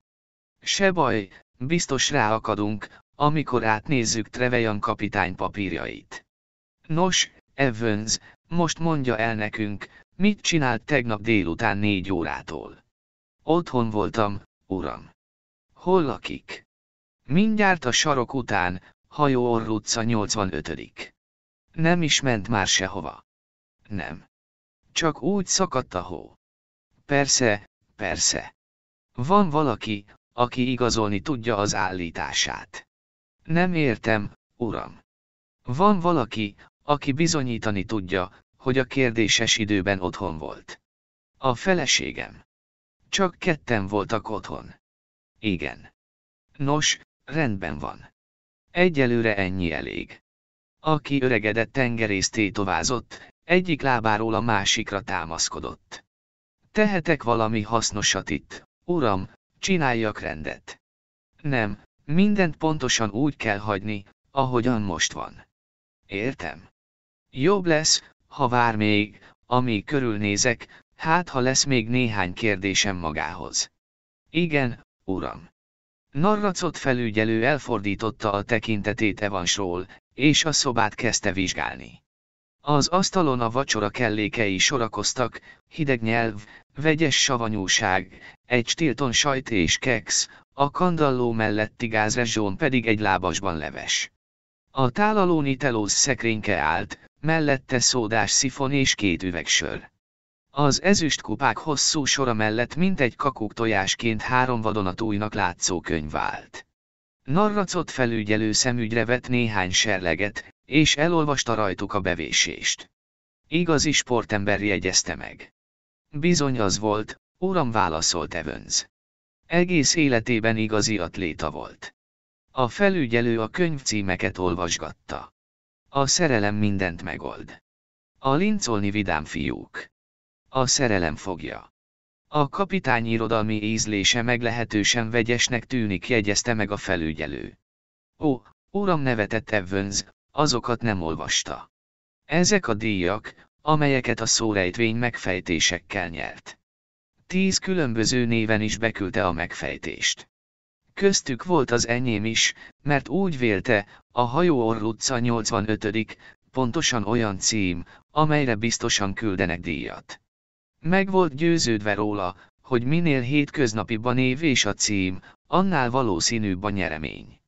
Igaza lett, kaptam is díjat, de nem 2000 fontot, hanem ezt a három új regényt. Az a véleményem, hogy olyan könyveket küldtek, amelyekért senki nem adna pénzt a könyvesboltban. Narracott elmosolyodott, aztán ismét arra kérte Evanst, hogy várjon, és tovább vizsgálódott a szobában. Az egyik sarokban hatalmas szekrény állt. A majdnem szobányi méretű bútor festői összevisszaságban adott helyet két pár sílécnek, egy pár evezőnek a szerelékekkel, tíz vagy tizenkét vízilóagyarnak, horgászbotoknak és felszereléseknek, ideértve egy légykészletet, egy golfzsáknak, egy teniszütőnek, egy kitömött és tartóban foglalt elefántlábnak és egy tigrisbőrnek. Nyilvánvaló volt, hogy amikor a kapitány bútorozva kiadta Sittaford House D. legféltettebb tárgyait, amelyeknek nem volt szabad női szemek elé kerülni ők, magával hozta. Szokatlan ötlet, hogy mindezt magával hozta jegyezte meg a felügyelő. A házat csak néhány hónapra adta ki, ugye? Így van, uram. Ezeket a holmikat biztosan el lehetett volna zárni Sittaford House-ban is. A kihallgatás során Evans most másodszor vigyorodott el. Ez lett volna a legegyszerűbb értett egyet Evans. Nem mintha túl sok ilyesféle szekrény lenne odafönn. A kapitány az építéssel együtt rendezte be a házat, a szekrények értékét azonban csak a nők tudják megbecsülni. Mégis az lett volna észszerű, ha fenn maradnak. Mindezt ide fuvarozni nem volt gyerekjáték, uram. De hát a kapitány nem tudta elviselni még a gondolatát sem annak, hogy valaki kotorásszon a holmiai között. Bezárhatsz, ahogy akarsz, szokta mondogatni, egy nő mindig meg fogja találni a módját, hogy bejusson oda, ahová akar. Ilyen a természetük. Kíváncsiak. Az volt a véleménye, hogy az a legjobb, ha az ember nem zárja el a fontos dolgokat, ha azt akarja, hogy békén hagyják őket. Az igazi megoldás persze az, ha magunkkal visszük, akkor nyugodtak lehetünk, hogy biztonságban vannak. Így hát magunkkal hoztuk őket, és mondhatom jócskán megizzasztott a dolog. Azon kívül, drága is volt a fuvar. De a kapitány úgy szerette ezeket a holmikat, mintha csak a gyerekei lettek volna. Evans kifogyott a szuszból. Narracot felügyelő eltűnődve bólogatott. Volt még egy másik téma is, amelyről szeretett volna információt kapni, és úgy látszott, a pillanat kedvező, hiszen a dolog szinte magától merült fel. Ez a emmeres Willit mondta mint egy mellékesen régi barátja vagy ismerőse a kapitánynak. Nem, uram, teljesen idegen volt neki. Biztos ebben. Kérdezte a felügyelő élesen. Nos, az éles hang kicsit meghökkentette az öreg tengerészt nos, a kapitány sosem említette, igen, biztos, hogy nem ismerte. Azért kérdezem magyarázta a felügyelő, mert házbérletre ez az évszak meglehetősen szokatlan. Másrésztről az is igaz, hogyha Emmeres Willit korábbról ismerte volna a kapitányt, írhatott volna közvetlenül neki a ház ügyében. Evans a fejét ingatta. Az ügynökség írt Williamson, mégpedig azt írta, hogy egy hölgytől kaptak megkeresést. Narracot felügyelő összevonta a szemöldökét. Sitta Ford House bérbeadását minden körülmények között furcsállotta. Trevejan kapitány és Emmeres Willit ugyebár találkoztak. Hát persze. Eljött megnézni a házat, és a kapitány körbevezette őt. Bizonyos abban, hogy az előtt nem találkoztak. Meglehetősen, uram. Mit gondol, ő, a felügyelő némi szünetet tartott, hogy sikerüljön a kérdést természetesnek hangzóan feltenni, jól kijöttek egymással. Barátságosak voltak egymáshoz. Evans ajkai körül halvány mosoly jelent meg. A hölgy az volt. Ahogy mondani szokták, egészen oda volt érte. Dicsérte a házat, és azt kérdezte, a kapitány tervezte otrombán hízelgett, ahogy mondani szokták. És a kapitány. A mosoly szélesebb lett. Az ilyen ömlengő hölgynek nem sok esélye volt arra, hogy a kapitánynál megtörje a jeget. A kapitány udvarias volt, semmi több. A meghívást pedig elhárította. A meghívást. Igen. Emeres Willit azt mondta, tekintse a kapitány bármikor úgy, mint a saját házát, és ugorjon be, amikor csak kedve tartja. Így mondta, ugorjon be. Az ember nem ugrik be valahová, ahonnan hat mérföldre lakik. Úgy tűnt, hogy Emmeres Willit erőlteti a kapitánnyal való találkozást. Narracott eltűnődött. Lehetséges, hogy ez az oka a ház bérbevételének. Csak előjáték volt ahhoz, hogy megismerkedjék a kapitánnyal. Lehet, hogy ez áll a dolgok hátterében. Talán nem is gondolt rá a hölgy, hogy Trevelyan olyan messzire költözik, mint Exhampton. Úgy számíthatott, hogy csak az egyik bungalóba költözik, talán Bönöbi őrnagyét osztják meg egymással. Evans válaszával nem lehetett sokra menni. Willit nagyon vendégszerető. Minden nap meghív valakit ebédre vagy vacsorára. Narracot bólintott. Itt már többet nem tudhat meg. Elhatározta azonban, hogy kihallgatja Willettet, amilyen gyorsan csak lehet. A hölgy viharos érkezése figyelmet érdemel. Jöjjön, Pallök, felmegyünk az emeletre mondta. Evans az ebédlőben maradt, ők ketten pedig felmentek a lépcsőn. Gondolja, hogy ártatlan. Kérdezte az őrmester halkan és a fejével a csukott ebédlőajtó felé intett. Úgy tűnik mondta a felügyelő, de az ember soha nem tudhatja. Akármi lehet ez a fickó, de nem bolond. Nem, intelligens a. Meggyőzően hangzik a története folytatta a felügyelő. Világos és egyenes. Mégis, sosem lehet tudni. Ezzel az óvatos és gyanakvó gondolkodására oly jellemző kijelentéssel hozzálátott az első emeleti szobák átvizsgálásához. Az emeleten három szoba és egy fürdőszoba volt. Két hálószoba üres volt, és láthatóan hetek óta ki sem nyitotta senki az ajtajukat. Trevejan hálószobáját tökéletes rendben találták. Narracot felügyelő körbejárt és sorra kinyitotta a fiókokat és a szekrényeket. Minden a helyén volt. Olyan ember szobája volt ez, aki szinte mániákusan rendszerető és pedáns.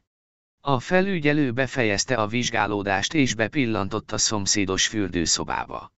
Itt is mindent a legnagyobb rendben talált. Még egy utolsó pillantást küldött a gondosan megvetett ágyra, tetején az odakészített, ketté hajtott pizsamával. Aztán megrázta a fejét. Itt nincs semmi. Úgy látszik, minden tökéletesen rendben van. Trevejan kapitány iratai a dolgozószoba asztalában vannak. Nézze át őket, pálök. Azt üzenem Evansonnek, hogy hazamehet. Lehet, hogy később majd beugrom hozzá. Értem, uram. A holtestet elvihetik. Erről jut eszembe, beszélnem kell Varennel. Közel, lakik ugye? Igen, uram. A három korona oldalán vagy a másikon. A másikon, uram. Akkor a három koronával kezdem. Folyassa, őrmester. Pálök az ebédlőbe indult, hogy elbocsássa Evanst. A felügyelő kilépett a bejárati ajtón és a három korona irányába vette sietős lépteit. Hatodik fejezet. A három koronában. Narracot felügyelő csak akkor szándékozta meglátogatni Bönöbi őrnagyot, miután befejezte hosszúra nyúlt beszélgetését Emmeres Bellinggel. Emmeres Belling, a három korona tulajdonosa kövér és izgatott természetű nő személy volt. Bőbeszédűségével szemben mindenki tehetetlen volt. Nem volt más menekülés, csak türelmesen kivárni, amíg a beszédáradat elapad. Soha sem volt még ilyen éjszaka ért valahára mondandója végére. És senki sem gondolta még álmában sem, hogy mi történik azzal egy a kedves, szegény úriemberrel. Azok a mocskos csavargók. Ki nem állhatom azokat a mocskos csavargókat. Bárkit kinyírnak. A kapitánynak még egy kutyája sem volt, hogy vigyázzon rá. Ezek a csavargók ki nem állhatják a kutyákat, ki nem állhatják. Hát igen, az ember azt sem tudja, mi történik tőle egy kőhajításnyira. Igen, Emmer narracot folytatta a felügyelő kérdésére válaszolva Bönöbi őrnagy éppen reggelizik. A reggeliző helyiségben megtalálja őt. Milyen éjszakája lehetett pizsama meg mi egyéb nélkül, képzelheti. Mivel özvegyasszony vagyok, semmit sem tudtam kölcsönözni neki. Azt mondta, nem tesz semmit. Nagyon ideges és feldúlt volt, ami persze nem csoda, ha az ember legjobb barátját meggyilkolják. Mind a ketten nagyon kedves úri emberek, bár a kapitányról az a hír járta, hogy igen fösvény természetű. Bizony, bizony, én mindig azt gondoltam, veszélyes odafönn Sittafordban, mindentől mérföldekre élni, és tessék, a kapitányt itt gyilkolják meg Exhamptonban. Ebben az életben folyton az történik, amire nem számít az ember, nem de ember narracott. A felügyelő azt válaszolta, hogy kétségtelenül így van. Aztán még hozzátette. Kik voltak a vendégei tegnap, Emmeres Beling. Volt köztük idegen. Lássuk csak. Itt van Emmer Morsby és Emmer Jones kereskedő emberek mind a ketten, aztán egy fiatal úriember Londonból. Más senki. Ilyenkor télen ez teljesen megszokott. Ebben az évszakban nagyon csendes itt minden. Ó, volt még egy másik fiatalember is, az utolsó vonattal érkezett.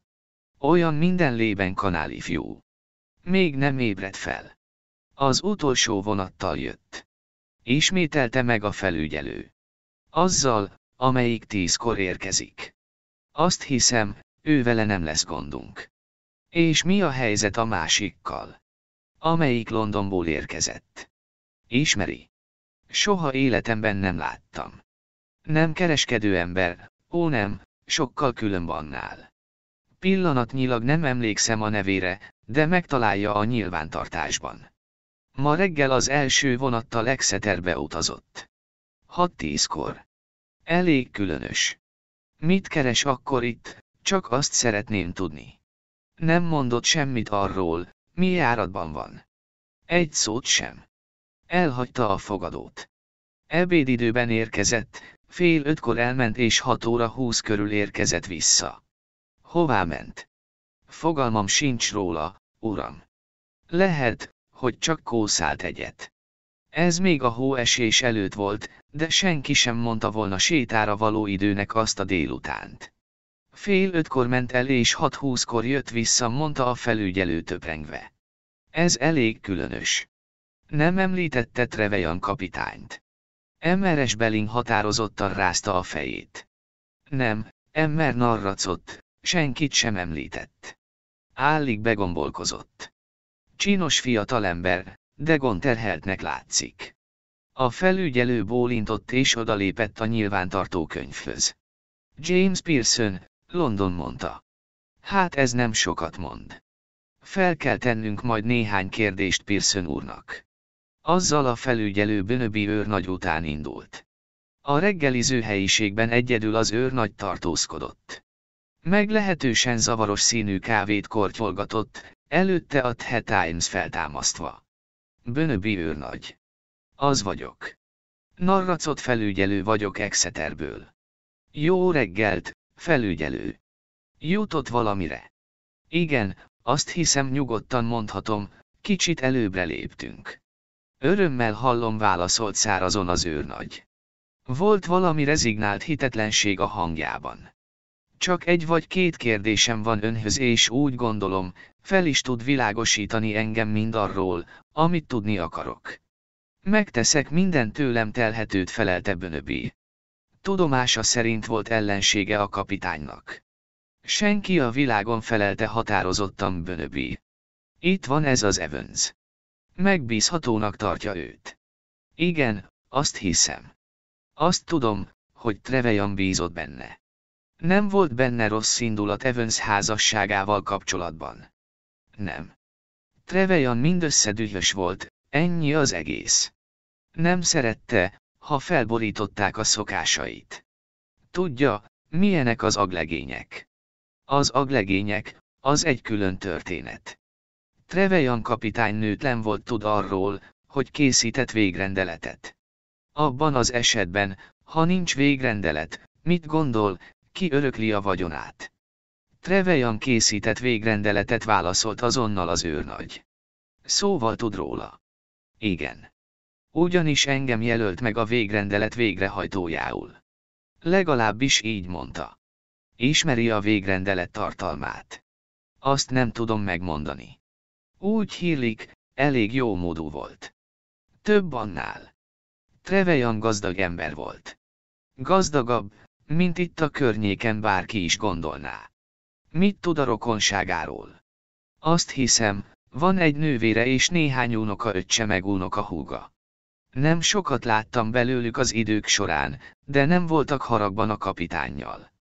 Tudja, hogy hol helyezte letétbe a végrendeletet. A Walters és Kirkwood cégnél. Ügyvédek itt Texhamptonban. Ők szövegezték meg az okiratot. Nos, Emmer Bönöbi, mivel ön a végrendelet végrehajtója, szeretném, ha most felkeresné velem ezt az irodát. Mielőbb tudni akarom, mit tartalmaz ez a végrendelet. Bönöbi meglepetten felnézett. Mit jelentsen ez? Mi köze az ügyhöz a végrendeletnek?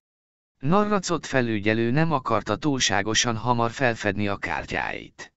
Az ügy nem annyira diadalmenet, mint ahogy gondoltuk válaszolta. Erről jut szembe, volna még egy kérdésem. Jól tudom, hogy megkérdezte D.R. Varent, hogy a halál 5 óra 25 perckor állt ebe. Igen válaszolt az őr nagy nyersen.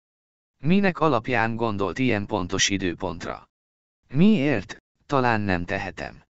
Nos, biztosan valami megragadta a figyelmét, és ezért véli ezt az időpontot valóságosnak.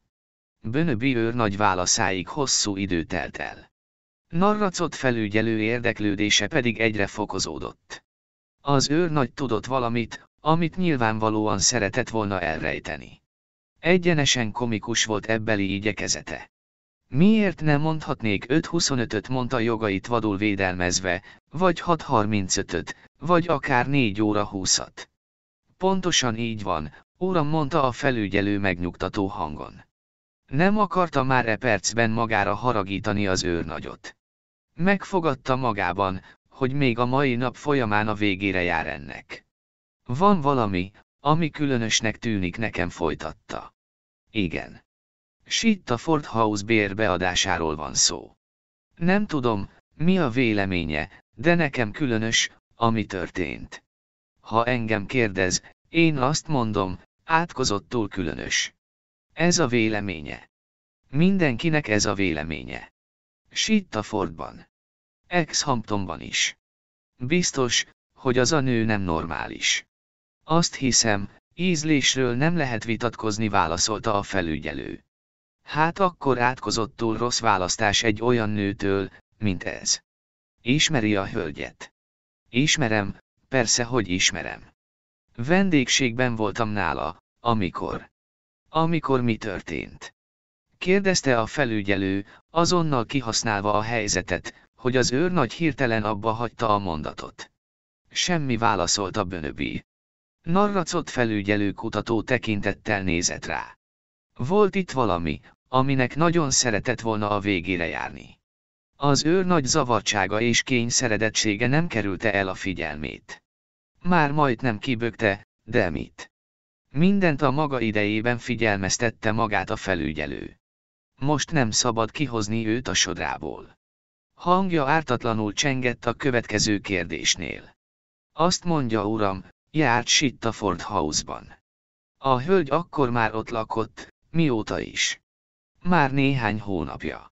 Az őr nagy igyekezett elterelni a figyelmet iménti meggondolatlan szavairól. A szándék bőbeszédűbbé tette a szokásosnál. Özvegyasszony a lányával. Úgy van. Mondott valamit arról, hogy miért választotta ezt a helyet. Hát az őr nagy habozva vakargatta az orrát sokat beszél, az a fajta nő. Nagyvilági szépség, az a típus. De, itt megakadt. Narracot felügyelő a segítségére sietett. Nem találta természetesnek. Hát, valami ilyesmi. Divatos típus, drágán öltözik, agyon cicomázza magát. A lánya csinos, elegáns. Az lenne a normális, ha a Ritzben vagy a Tlaridgeben szállnának meg vagy valami hasonló elegáns szállodában. Tudja, milyenre gondolok? Narracot bólogatott. Nem önmagukat adják, ugye? Kérdezte. Nem gondolja, hogy, nos, hogy talán rejtőzködnek valamiért.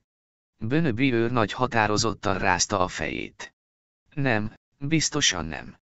Nagyon vendégszeretők, talán túlságosan is nagy társadalmi életet élnek. Úgy értem, egy olyan kis helységben, mint Sittaford, nem lehet meggondolatlanul, lépten nyomon meghívásokat osztogatni. Nagyon kellemetlen, amikor a meghívottak csőstől zuhannak az ember nyakába.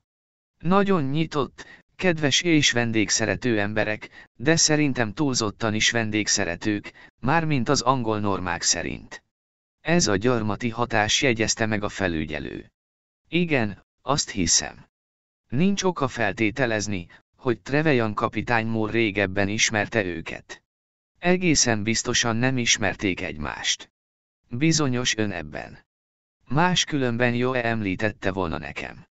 Arra nem gondolt, hogy ide költözésük célja az is lehetett, hogy megismerkedjenek a kapitánnyal.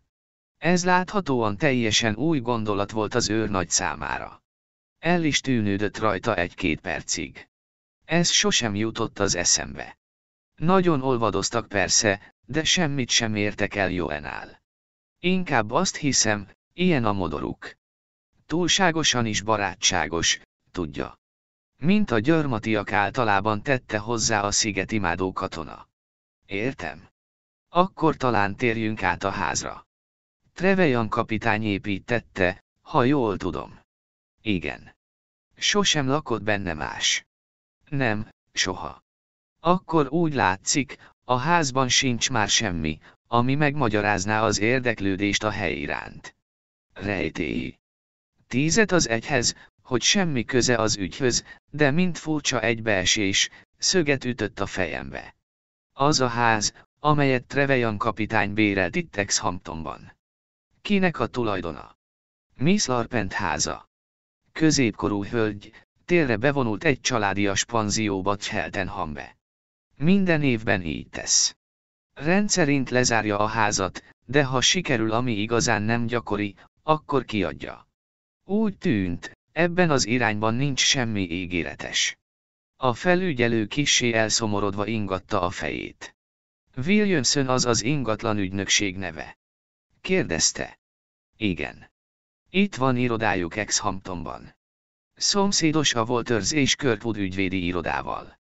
Akkor, ha nincs ellenére, benézünk oda, ha végeztünk az ügyvédeknél. Az nem fog menni. Kirkwood soha nincs az irodájában tíz óra előtt. Tudja milyenek az ügyvédek.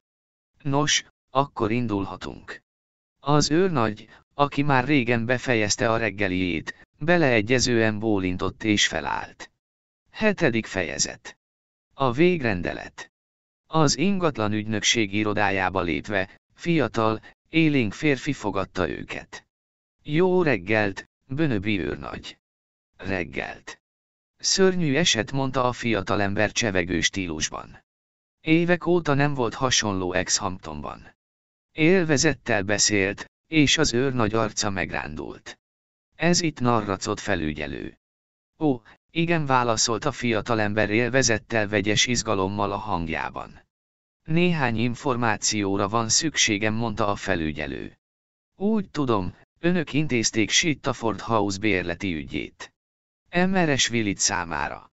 Igen, így van. Mondja el, kérem, részletesen, hogyan jött létre a bérlet. A hölgy személyesen érdeklődött vagy levélben. Levélben, nézzük csak kihúzott egy fiókot és kinyitott egy dossziét. Igen, a Carlton Hotelből írt, Londonból. Név szerint Sittaford House után érdeklődött. Nem, csak annyit közölt, hogy térre akar házat bérelni és a háznak Dartmoorban kell lennie. Azt is kikötötte, hogy a házban legalább nyolc hálószoba legyen. Az, hogy közelessen városhoz vagy vasútállomáshoz, nem volt feltétel.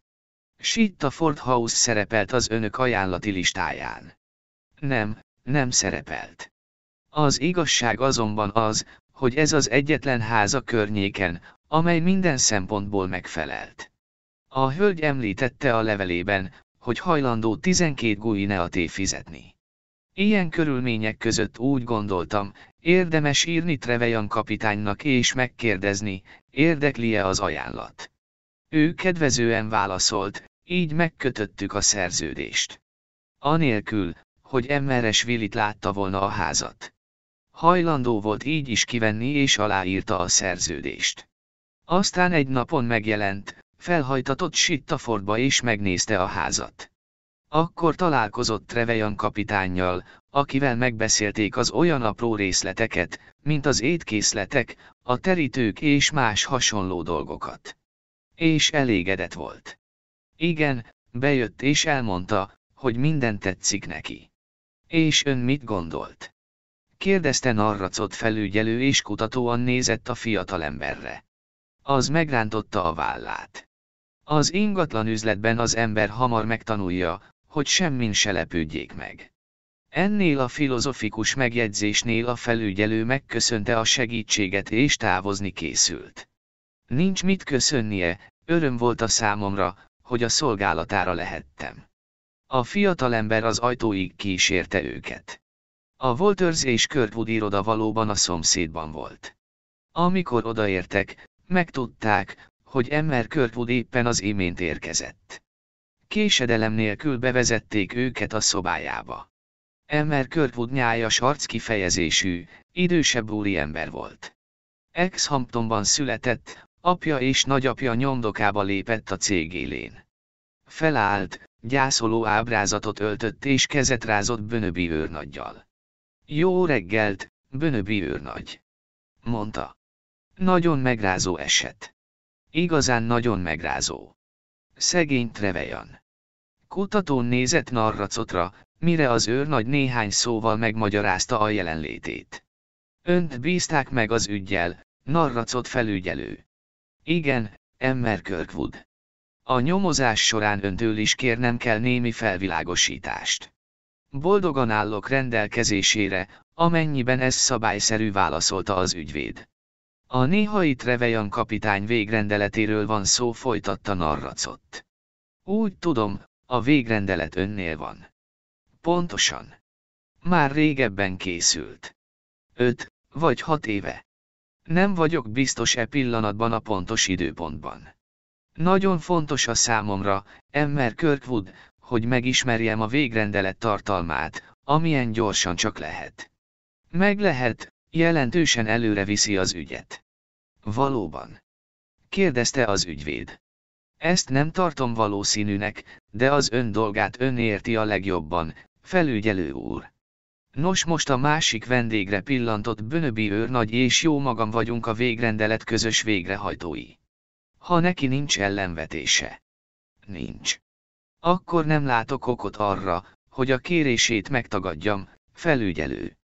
Felvette az asztalán álló telefont és néhány szót váltott valakivel. Két-három perc múlva egy hivatalnok lépett a szobába és lepecsételt borítékot helyezett az ügyvéd elé. Miután a tisztviselő elhagyta a szobát. Emmer Kirkwood felvette a borítékot, egy papírkés segítségével felnyitotta és kihúzott belőle egy hatalmas és fontosnak látszó dokumentumot. Megköszörülte a torkát és olvasni kezdett. Én Joseph Arthur Trevejan, Sittaford House lakója Sittafordban, Devon megyében, kijelentem, hogy az alábbiak utolsó akaratom szerinti végrendeletemet tartalmazzák. E végrendeletet 1926. augusztus 13. napján készítettem. Első kijelölöm John Edward Burnabit, lakik Sittafordban, egyes bungaló és Frederick Kirkwoodot, lakik Exhamptonban, hogy legyenek vagyonkezelőim, és ennek a végrendeletnek a végrehajtói. Második Robert Henry Evansonnak, aki hosszan és hűségesen szolgált engem, száz, azaz egy száz fontot hagyok örökösödési illeték mentesen kizárólag az ő javára, feltéve, hogy halálom idején a szolgálatomban van és nem áll felmondás alatt, akár írásban, akár szóban kapta azt. Harmadik a már említett John Edward Bönöbi barátomra, barátságunk, érzelmeim és iránta való megbecsülésem jelképeként, összes sportrófeámat hagyom, beleértve a gancsgyűjteményemet és nagyvad prémieimet csak úgy, mint a kupákat és a díjakat, amelyeket bármilyen sportban szereztem, továbbá minden egyéb vadászsákmányomat, amely a birtokomban van. Negyedik minden ingó és ingatlan vagyonomat, ha ez a végrendelet vagy annak záradéka másként nem rendelkezik, a vagyonkezelőkre hagyom, azzal a megbízással, hogy adják el és hajtsák be az értük járó összeget.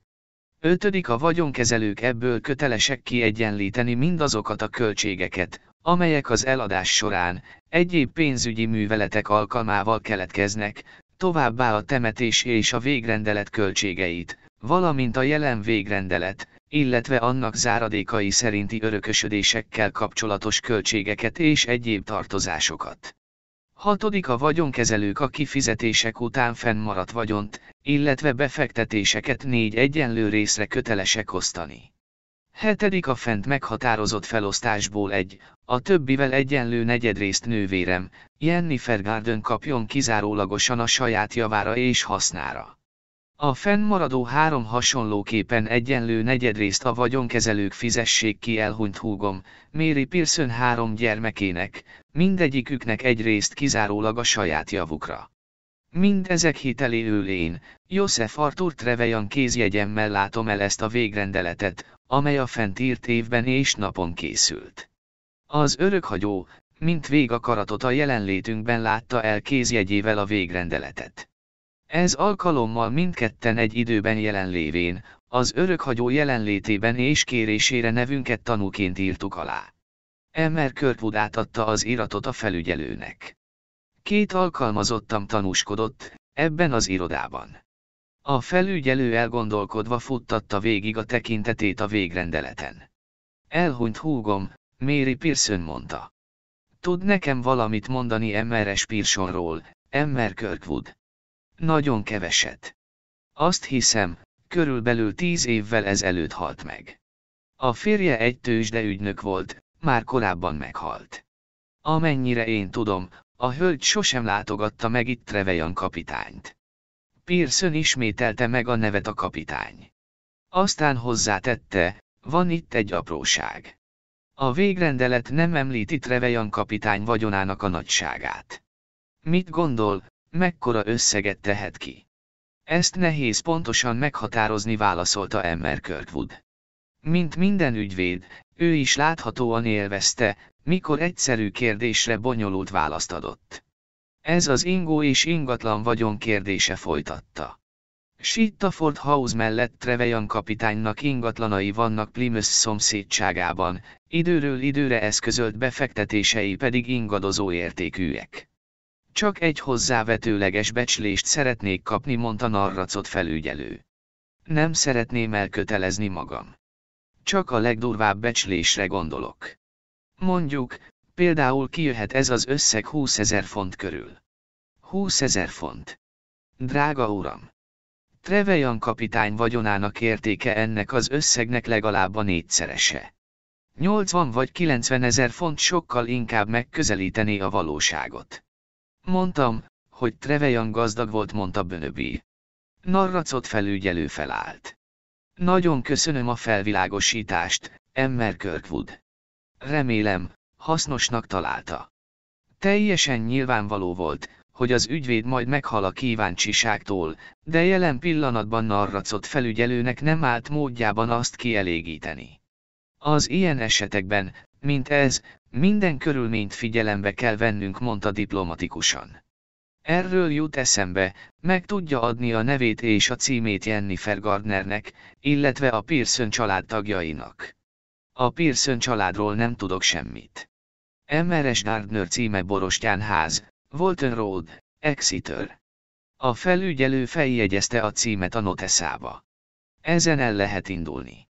Nem tudja, hány gyermeke van a néhai Emmeres Pearsonnak. Úgy képzelem, három.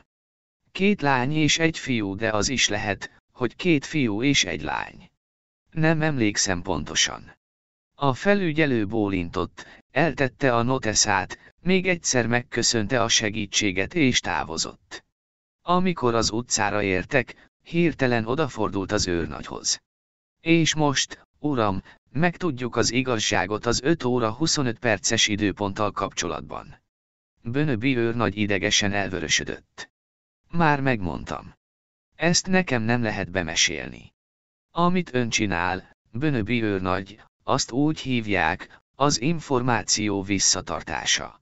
Bizonyos, hogy volt valami oka, hogy ezt az időpontot említette D.R. Warrennek. Azt hiszem, van is elképzelésem arról, hogy mi ez az oké.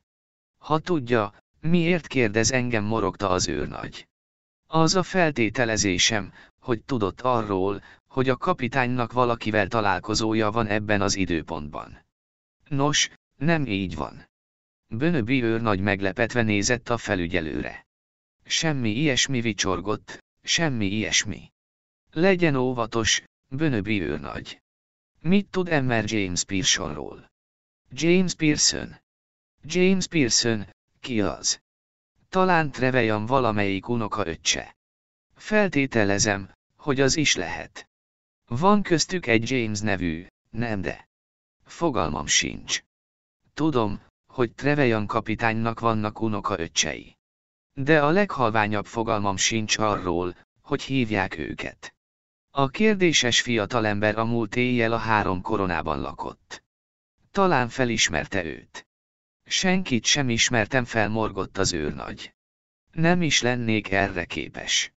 Soha életemben nem láttam ugyanis Trevejan unoka öccseit. De arról tudott, hogy Trevejan kapitány tegnap délutánra várta egyik unoka öccsét. Nem tudtam róla most már valósággal kiabált az őrnagy. Az utcán néhány ember csodálkozva utánuk fordult. A fenébe, miért nem hiszi el az igazságot? Nem tudok semmiféle találkozóról. Attól, amit én tudok róluk, Trevejan unoka öccsei Timbuktuban is lehettek. Narracot felügyelő egy kicsit visszakozott. Az őr nagy elszánt tagadása elhitette vele, hogy nem akarják átejteni. Akkor mit jelent az 5 óra 25? Hát, azt hiszem, a legjobb, ha elmondom köhécselt az őr nagy zavartan. De higgye el, az egész egy átkozott marhaság. Egyszerűen badarság. Hogy is hihet értelmes ember ilyen őrültségben? Narracot felügyelő egyre inkább meglepődött, Bönöbi őrnagy pedig úgy látszott, egyre jobban szégyelli magát és percről percre zavartabb. Tudja, hogy van ez, felügyelő. Az ilyen dolgokhoz az embernek csatlakoznia kell, nehogy megsértse a háziasszonyt. Persze sohasem képzeltem volna, hogy lehet benne valami. Miben, Bönöbi őrnagy? Az asztaltáncoltatásban. Az asztaltáncoltatásban. Narracot sok mindent várt, csak ezt nem. Az őr nagy akadozva és állandóan bizonygatva, hogy nem hisz az ilyesmiben, elmesélte, mi történt előző nap délután. Elmondta az üzenetet is, amely előrevetítette a tényleges eseményeket. Úgy érti, Bönöbi őrnagy, hogy az asztal kibetűzte Trevejan nevét és arról tájékoztatta önt, hogy a kapitány halott, és megölték. Az őrnagy megtörölte a homlokát. Igen, ez történt. Persze, hogy nem hittem benne. Úgy látszott, szégyelli magát. Csak hogy péntek volt, és végül arra gondoltam, el kell mennem és meg kell bizonyosodnom, hogy minden rendben van-e. A felügyelő maga elé képzelte a hat mérföldes gyaloglás nehézségeit, az egymásba torlódó hófúvásokat, a készülődő hóvihárt. Rájött, hogy bármennyire tagadja is, Bönöbi őr nagyot mélyen érintette a szellem üzenete. Átgondolta a dolgot. Különös, nagyon különös eset. Olyasmi, amit az ember képtelen kielégítően megmagyarázni. Meg lehet, mégiscsak van valami ebben a szellemügyben. Minden esetre ez volt az első hiteles eset, amelyben összeakadt vele. Nem kétséges, rendkívül különös történet. Amennyire azonban pillanatnyilag meg tudta ítélni, bár magyarázatot adott Bönöbi őr nagy viselkedésére, gyakorlatilag nem lendítette előre az ügyet. Az ő munkaterülete a fizikai, nem a lélektani világ. Az a dolga, hogy nyomára jusson a gyilkosnak. Ehhez azonban nincs szüksége útmutatásra a szellemvilágból.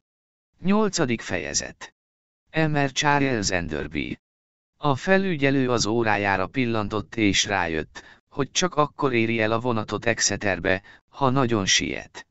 Minél hamarabb szeretett volna beszélni a néhai kapitány nővérével és a család többi tagjának címét is tőle remélte megkapni. Így röviden elbúcsúzott Bönöbi őrnagytól és az állomásra rohant.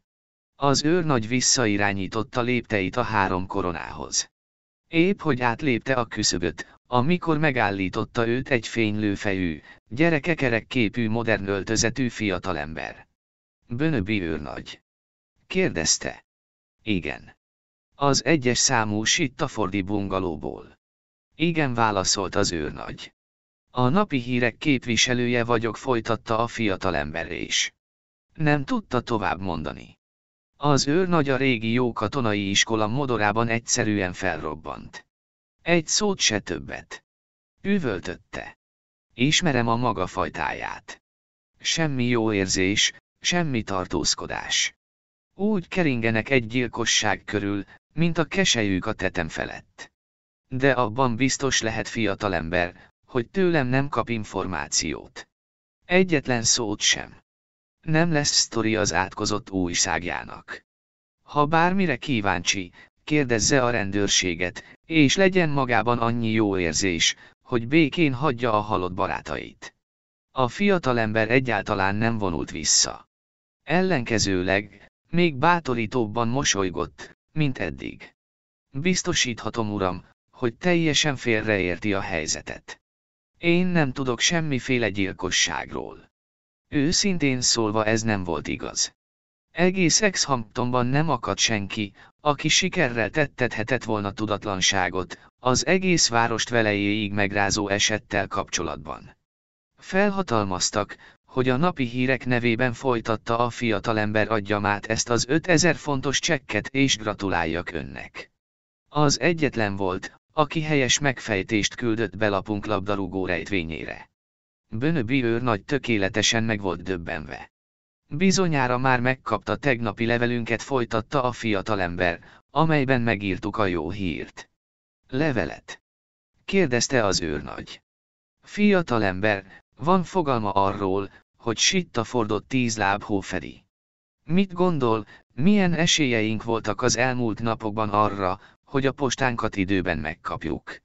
De a nevét, mint nyertest csak látta a mai napi hírekben. Nem válaszolt az őrnagy, ma reggel nem láttam a lapot. Persze, értem. Ez nagyon szomorú eset. Úgy tudom, a meggyilkolt az ön egyik barátja volt. A legjobb barátom felelte Bönöbi. Ez bizony baj fordította el diszkréten a fiatalember a tekintetét. A zsebéből kicsi, ketté hajtott májva színű papírt húzott elő és egy fejbólintás kíséretében átadta Bönöbi őrnagynak. Fogadja a napi hírek jó kívánságait. Bönöbi őrnagy átvette a csekket és az adott körülmények között az egyetlen lehetséges módon válaszolt. Nem minő valamit, emmer, ö. Enderby, Charles Enderby a nevem. Tegnap este érkeztem magyarázta.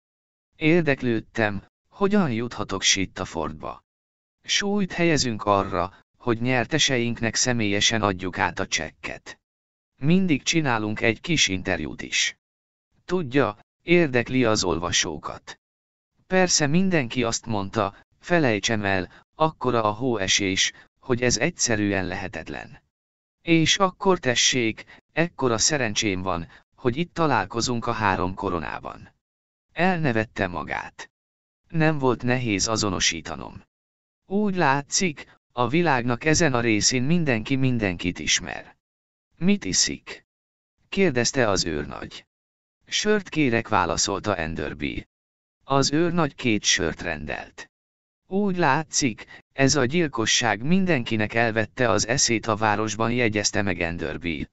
Akárhogy is, elég titokzatos eset. Az őrnagy morgott valamit. Az az igazság, hogy benne volt a páncban. Az újságírók iránti érzelmei mit sem változtak, de az az ember, aki az imént adott át neki egy 5000 fontos csekket, mégiscsak más. Az ember nem mondhatja neki csak úgy egyszerűen, hogy menjen a pokolba. Voltak ellenségei. Kérdezte a fiatalember. Nem felelte az őrnagy. Úgy hallom, a rendőrség nem hiszi, hogy rablás történt. Ezt honnan veszi? Kérdezte az őrnagy. Emmer Renderby azonban nem fette fel információs forrását. Úgy hallottam uram, hogy éppen ön fedezte fel a holtestet folytatta. Igen. Biztosan szörnyű megrázkódtatás volt. A beszélgetés tovább folytatódott. Bönöbi őrnagy még mindig el volt számva, hogy nem ad fel világosítást, de nem vehette fel a versenyt Emmer Renderby talpra esett cégével.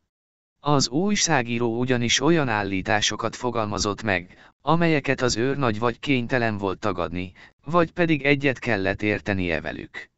Így fokról fokra elmondta mindazt, amit a fiatalember tudni akart. Emmer Renderby modora oly kellemes volt, hogy az őrnagynak egyáltalán nem támadt rossz érzése, és a végén azon kapta magát, hogy kezdi megkedvelni az őszinte fiatalembert. Emmer Renderby végül felállt és megjegyezte, hogy át kell mennie a postára. Ha volna kedves, uram, adjon egy elismervényt a csekről. Az őrnagy átment az íróasztalhoz, megírta az elismervényt és átadta. Kitűnő mondta a fiatalember és a zsebébe csúsztatta a papírt. Gondolom, már ma visszamegy Londonba jegyezte meg Bönöbi. Ó, nem. Akarok még néhány képet csinálni Fordban, tudja. A bungalójáról meg arról, ahogy a disznókat eteti vagy kapálgatja a pitpangot, vagy valami hasonlóan jellegzetes dolgot művel.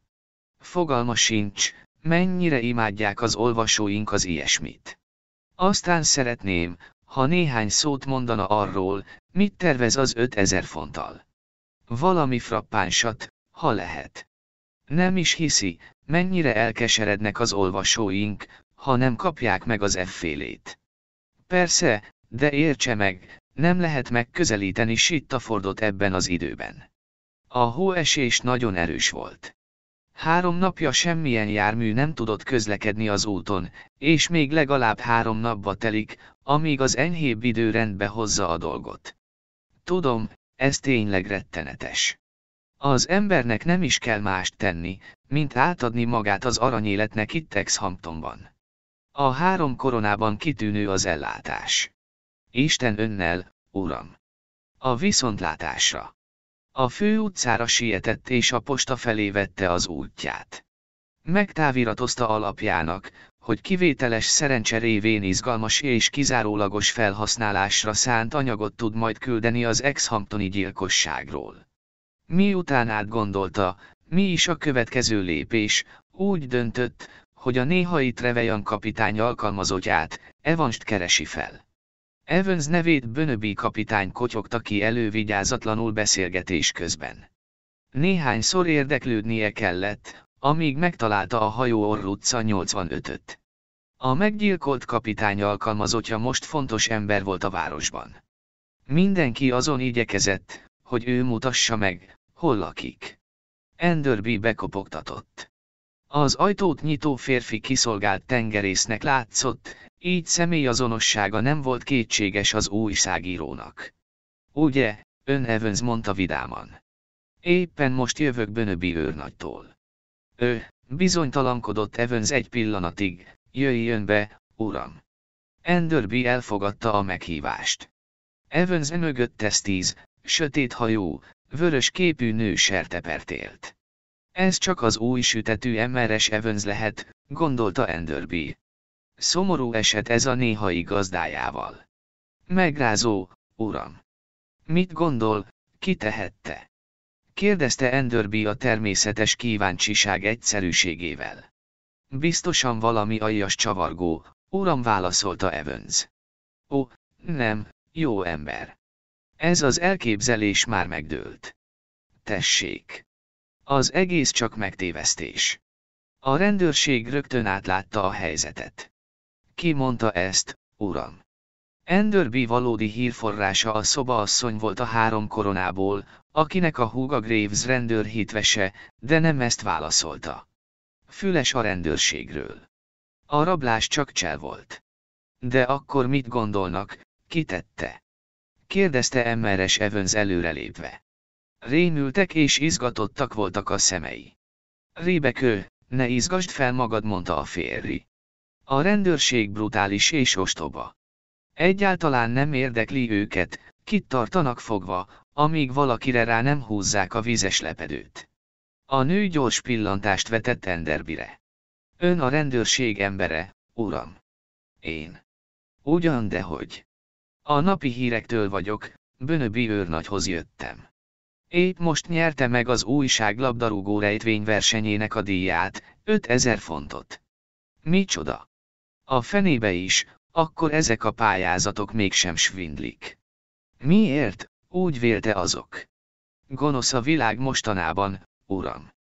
Evans egy kicsit zavarban volt. Érezte, hogy kifakadása tapintatlan volt. Úgy hallottam, sok trükk van körülöttük.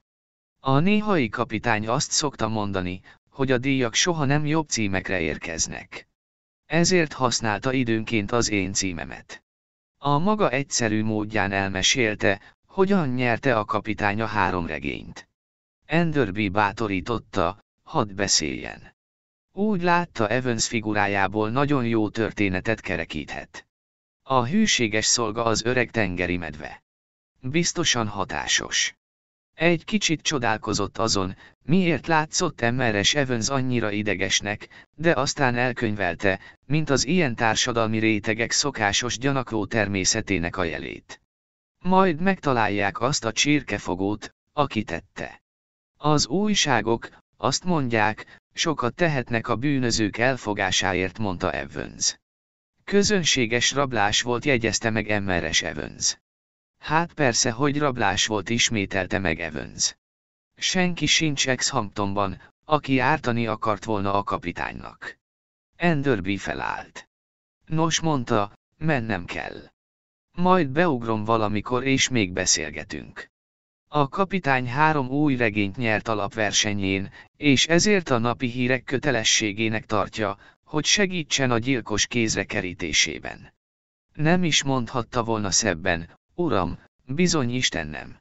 Enderby kellemes napot kívánt a házaspárnak és távozott. Kíváncsi vagyok, ki tette el láb alól a pasast morfondírozott magában. Nem hiszem, hogy Evans barátunk volt.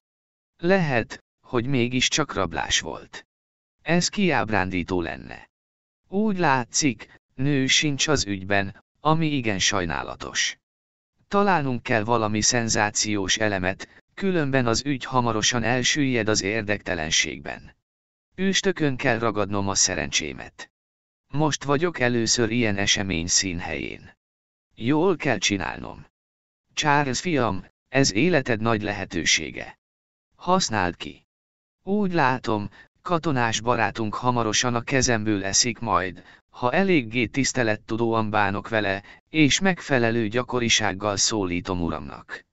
Lehet, hogy részt vett az indiai szipolylázadás leverésében. De nem, ahhoz nem elég öreg. A búrháború, ez az. A búrháborúról kell kérdezni és teljesen megszelídül. Ekképpen tűnődve a dolgok állásán Emmer Enderby visszaügyelgett a három koronába. 9. fejezet A Borostyánház Ex-Hamptonból Exeterbe az útvonaton csak fél órát tart. 12 óra előtt 5 perccel narracot felügyelő már a Borostyánház ajtaján csengetett. Az épület meglehetősen rossz állapotban volt, festésre különösen nagy szükség mutatkozott. A kert gazos, ápolatlan, a kapu ferdén lóg a sarokvasakon. Ezeket aztán nem veti fel a pénz gondoltam magában narracot felügyelő. Nyilván le vannak égve. A felügyelő elfogulatlan ember volt, de eddigi vizsgálódásai kevéssé valószínűsítették, hogy a kapitányt egyik ellensége ölte volna meg. Más részről, mint kiderült, van négy ember, akik jelentős összeghez jutottak az öregember halálával. Ennek a négy embernek az indítékait gondosan, egyenként meg kell vizsgálni. A hotel nyilvántartása is ígéretes, bár a Pearson igencsak gyakori név. Narracot felügyelő gondosan ügyelt rá, hogy ne jusson semmilyen következtetésre idő előtt. Meg akarta tartani nyitottságát, közben a leggyorsabban tisztázza az előzményeket. Lompos szolgálólány nyitott ajtót. Jó napot! Üdvözölte Narracot. Emeres Gardnert keresem. A bátyja, Trevejan kapitány halálával kapcsolatosan. Szándékosan nem mutatta meg az igazolványát a nőnek.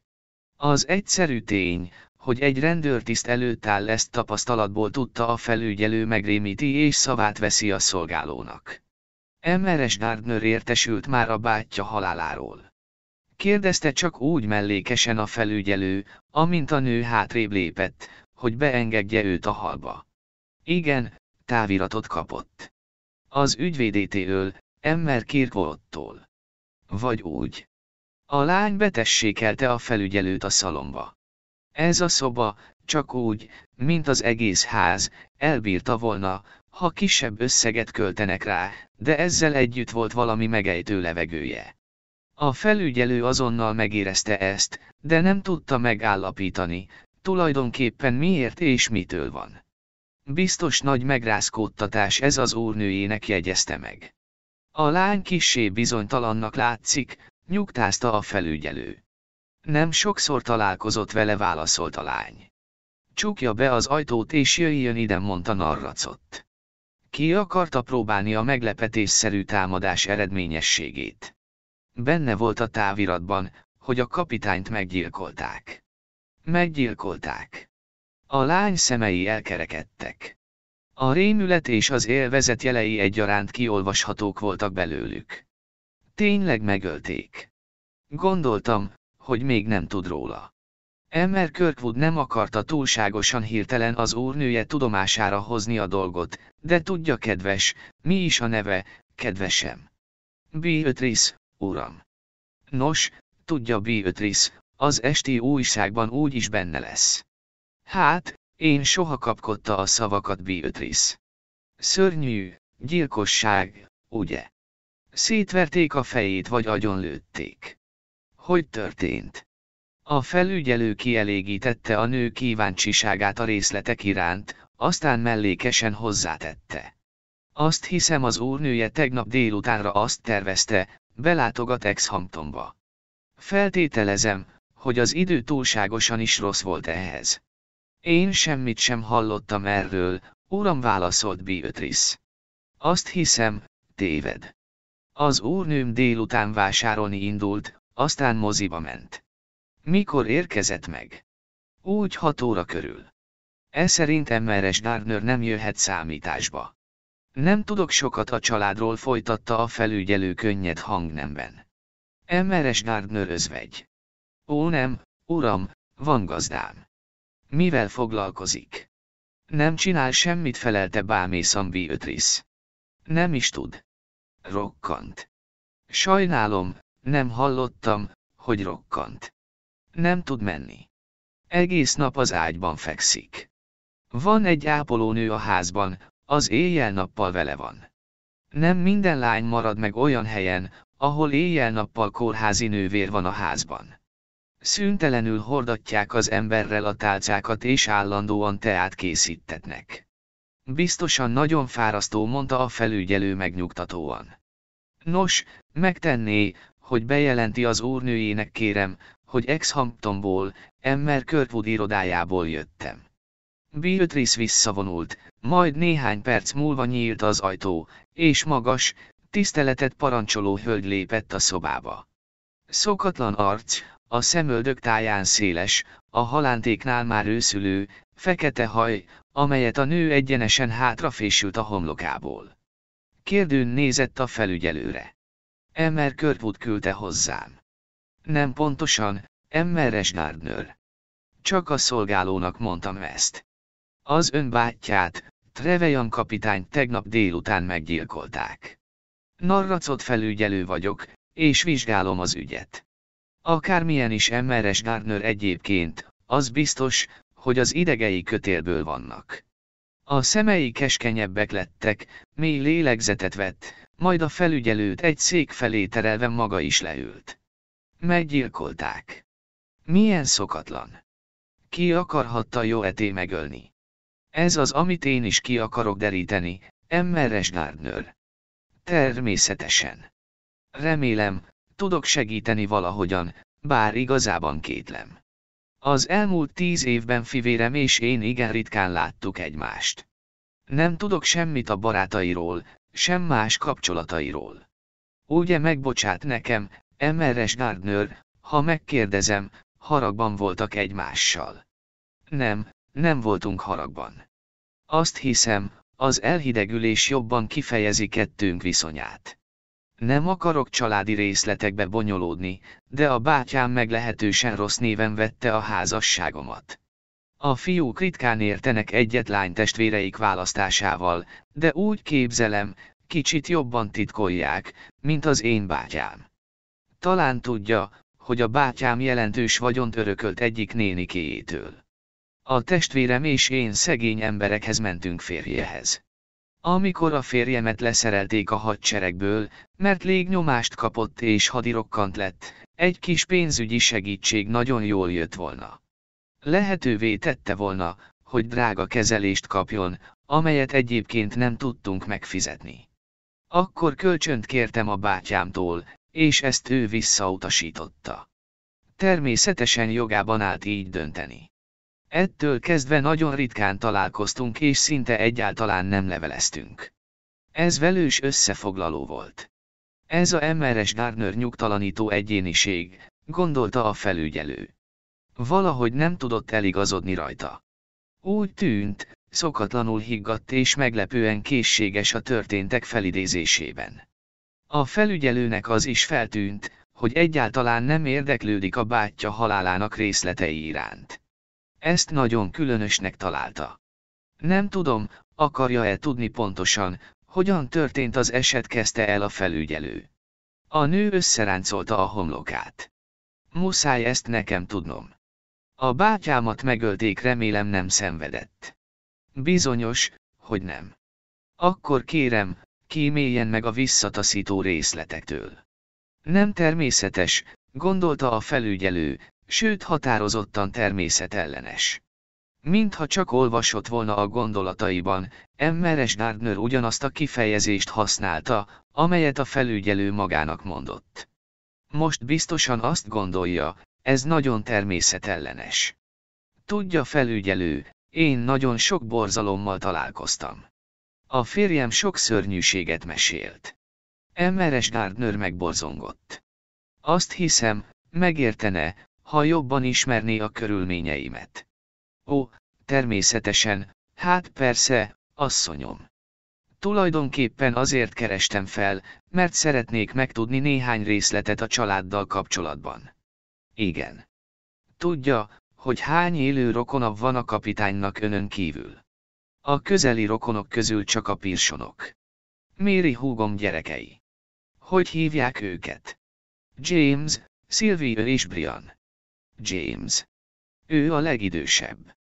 Egy biztosítási irodában dolgozik. Mennyi idős? 28. Nős. Nem, de van mennyasszonya.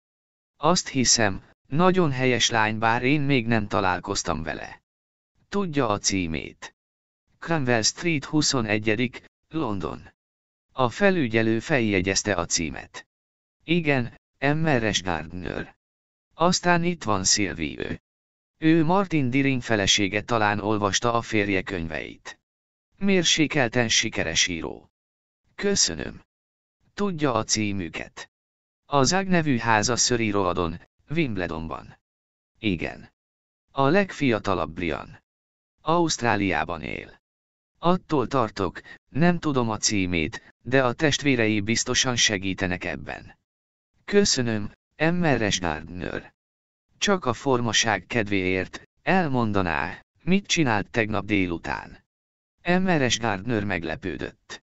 Lássuk csak. Vásároltam egy-két dolgot. Igen. Aztán moziba mentem. Hat óra körül jöttem haza és vacsoráig ledöltem, mert a mozitól megfájdult a fejem. Köszönöm, Emmeres Gardner. Van még valami? Nem, azt hiszem nincs több kérdésem. Megkeresem az unokahúgát és az unoka öccsét. Nem tudom, Emmer Kirkwood értesítette-e már arról, hogy Trevelyan kapitány vagyonát ön és a három ifjú Pearson örökölte. Emmeres Gardner arcát lassú hullámban öntötte el a pír. Ó, de csodálatos mondta csendesen. Oly nehéz volt, olyan rettenetesen nehéz, örökké fukarkodni, spórolni és vágyakozni. A lépcső felől siránkozó férfi hang hallatszott. Jennifer, Jennifer, szükségem van rád.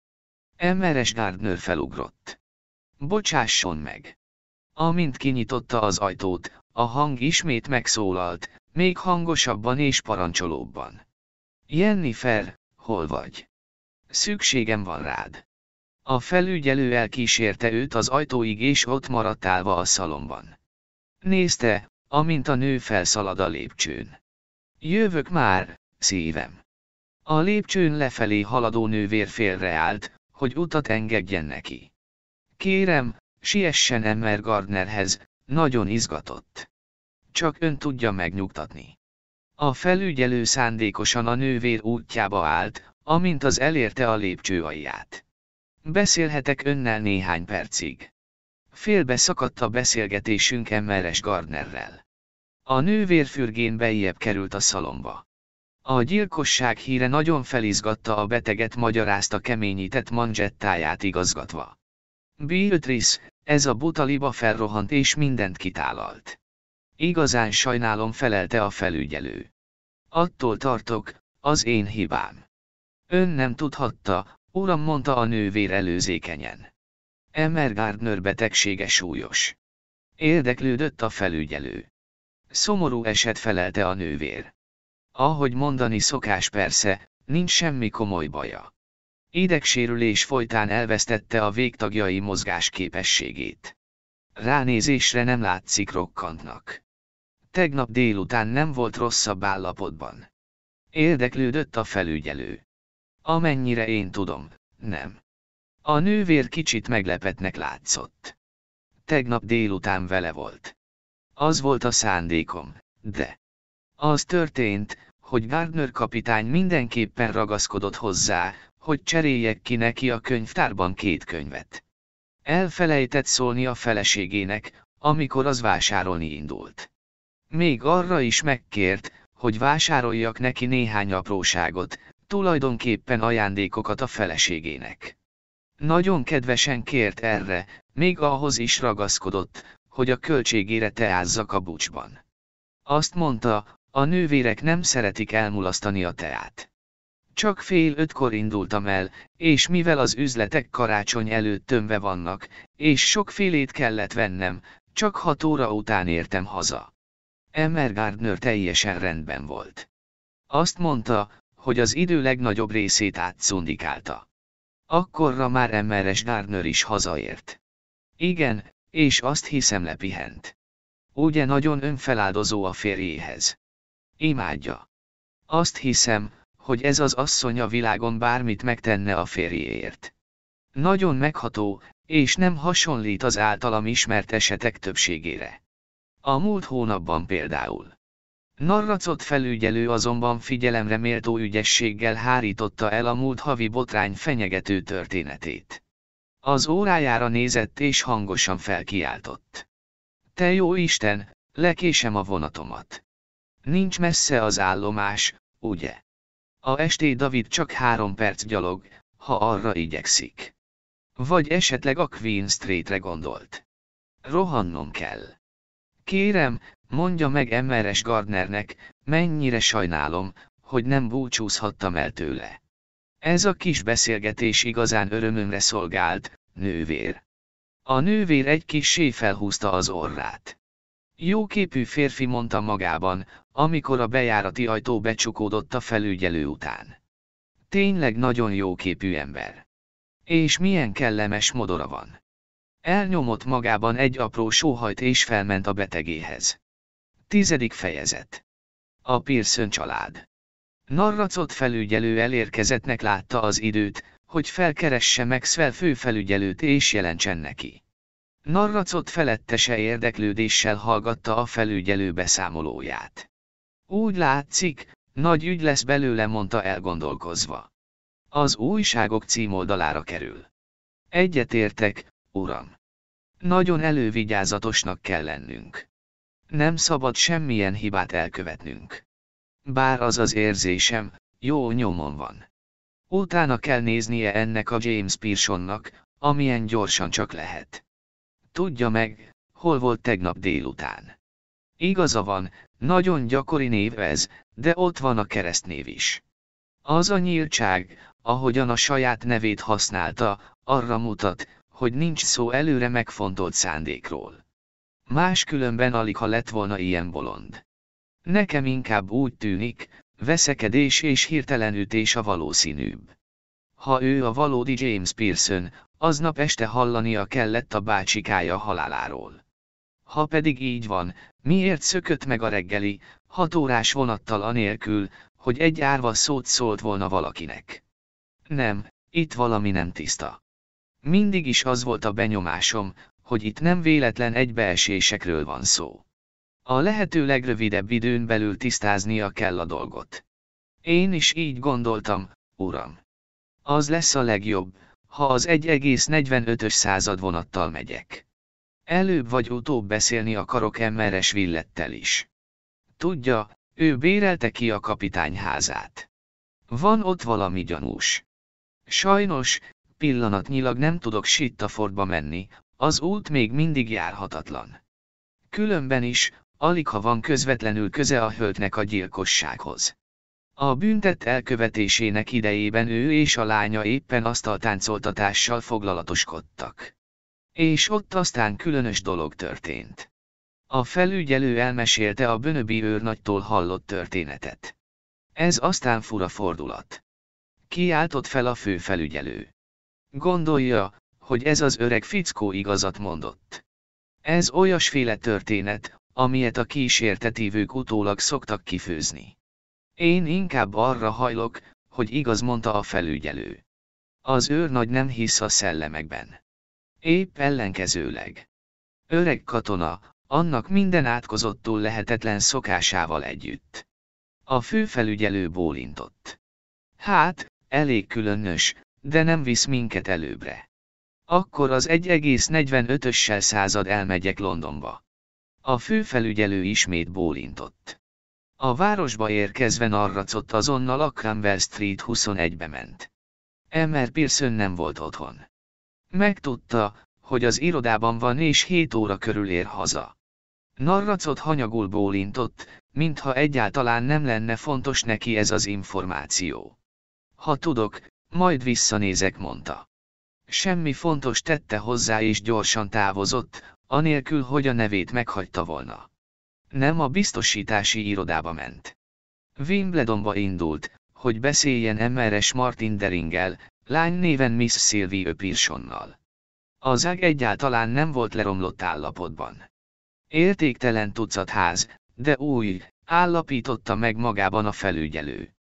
MRS Diring, otthon volt. Lila ruhába öltözött, meglehetősen szemtelen kinézetű lány vezette be a felügyelőt az agyon zsúfolt szalomba.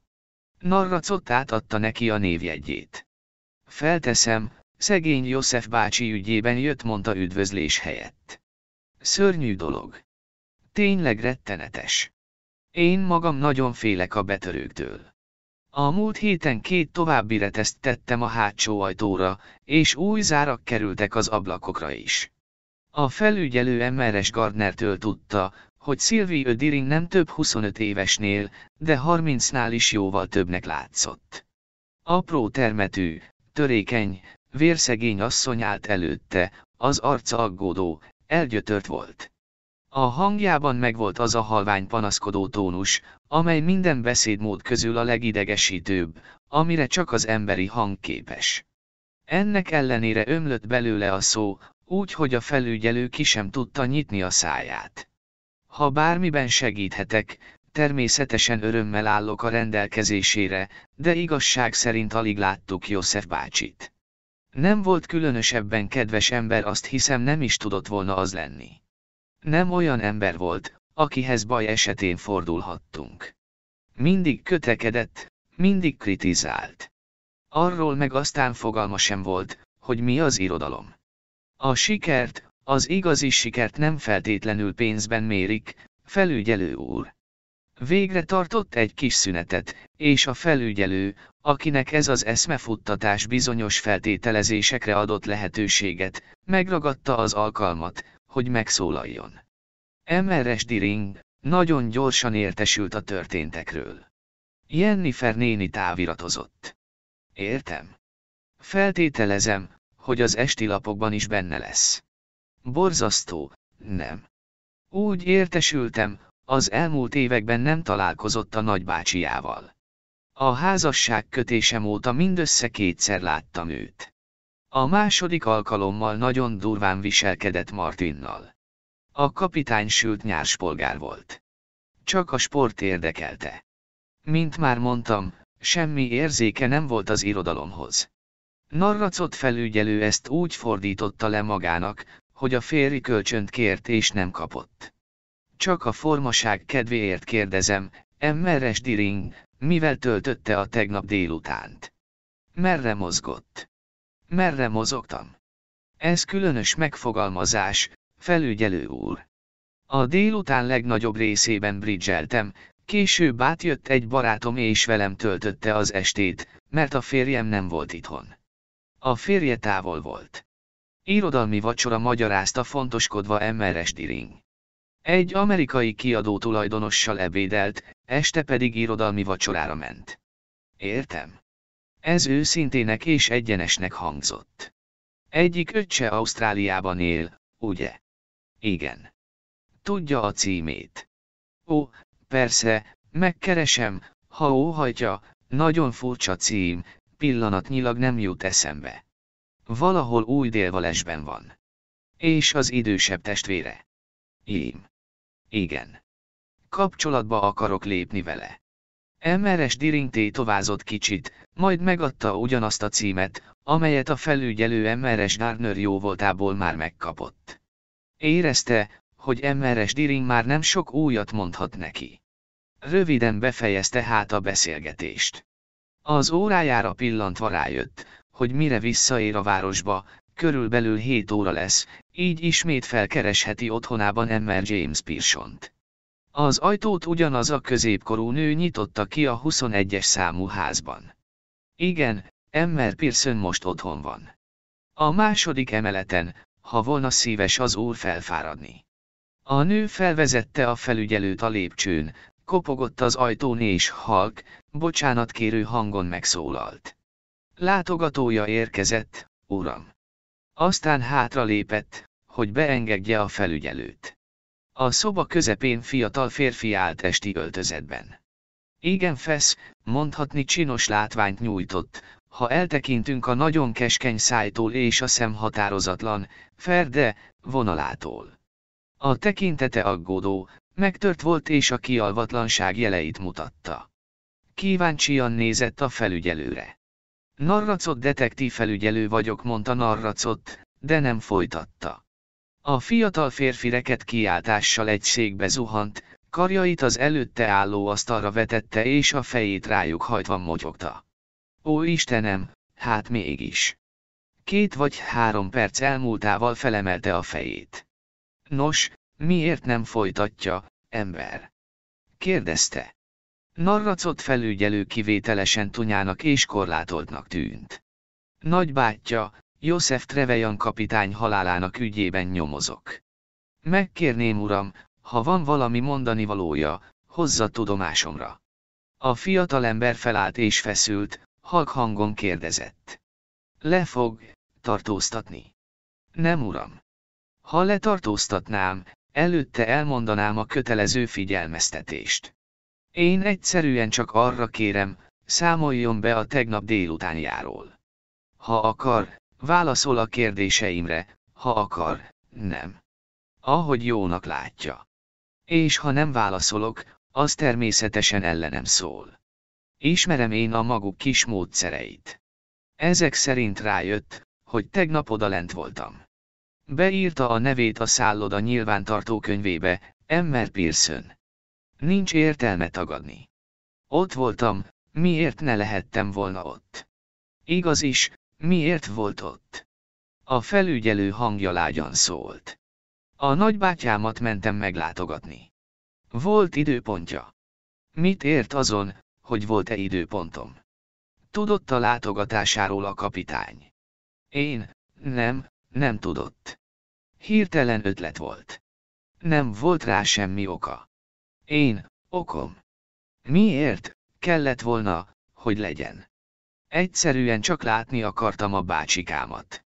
Igaza van, uram. No és látta őt. Hosszú, nagyon hosszú szünet következett. A fiatalember arca teljes tanácstalanságot árult el. A felügyelő egy kicsit meg is sajnálta. Hát nem látja ez a fiú, hogy a szemmel látható tanácstalansága legalább annyit nyom alatban, mint egy beismerés. Végül én Pearson nagy lélegzetet vett. Én, azt hiszem, jobb ha könnyítek a lelki ismeretemen. Igen, láttam őt. Az állomáson megkérdeztem, hogyan juthatok Sittafordba. Azt mondták, hogy lehetetlen. Egyetlen jármű sem közlekedett. Erre mondtam, hogy sürgős az ügy. Sürgős. Mormogott a felügyelő. Nagyon szerettem volna látni a bácsikámat. Úgy tűnik, uram. A portás csak tovább rázta a fejét, és azt hajtogatta, hogy lehetetlen. Amikor megemlítettem a bácsikám nevét, felderült az arca. Elmondta, hogy a nagybátyám éppen Exhamptonban van, és pontosan leírta azt is, hogyan találom meg a házat, amelyet bérel. Ez mikor volt, uram? Azt hiszem egy óra körül. Elmentem a három koronába, kivettem egy szobát és ettem valamit ebédre. Azután, azután elmentem a bácsikámhoz. Rögtön ezután. Nem, nem rögtön.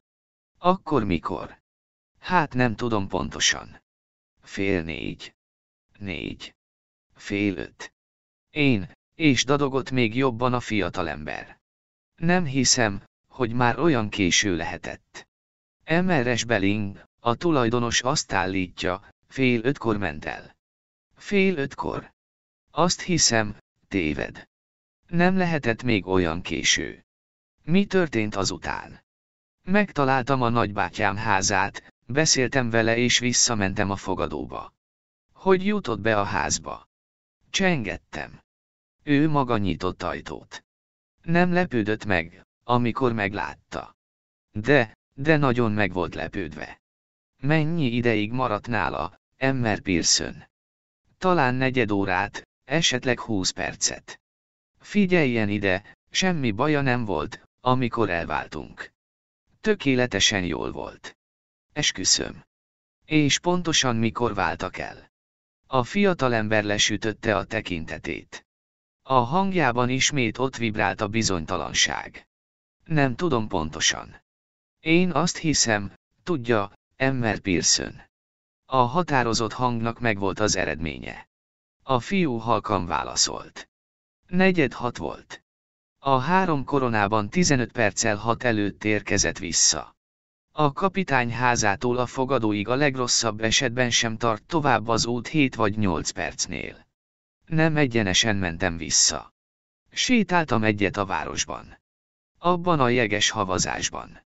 Akkor éppen nem havazott. Csak később kezdett elesni. Értem. És miről beszélgettek a nagybácsiával?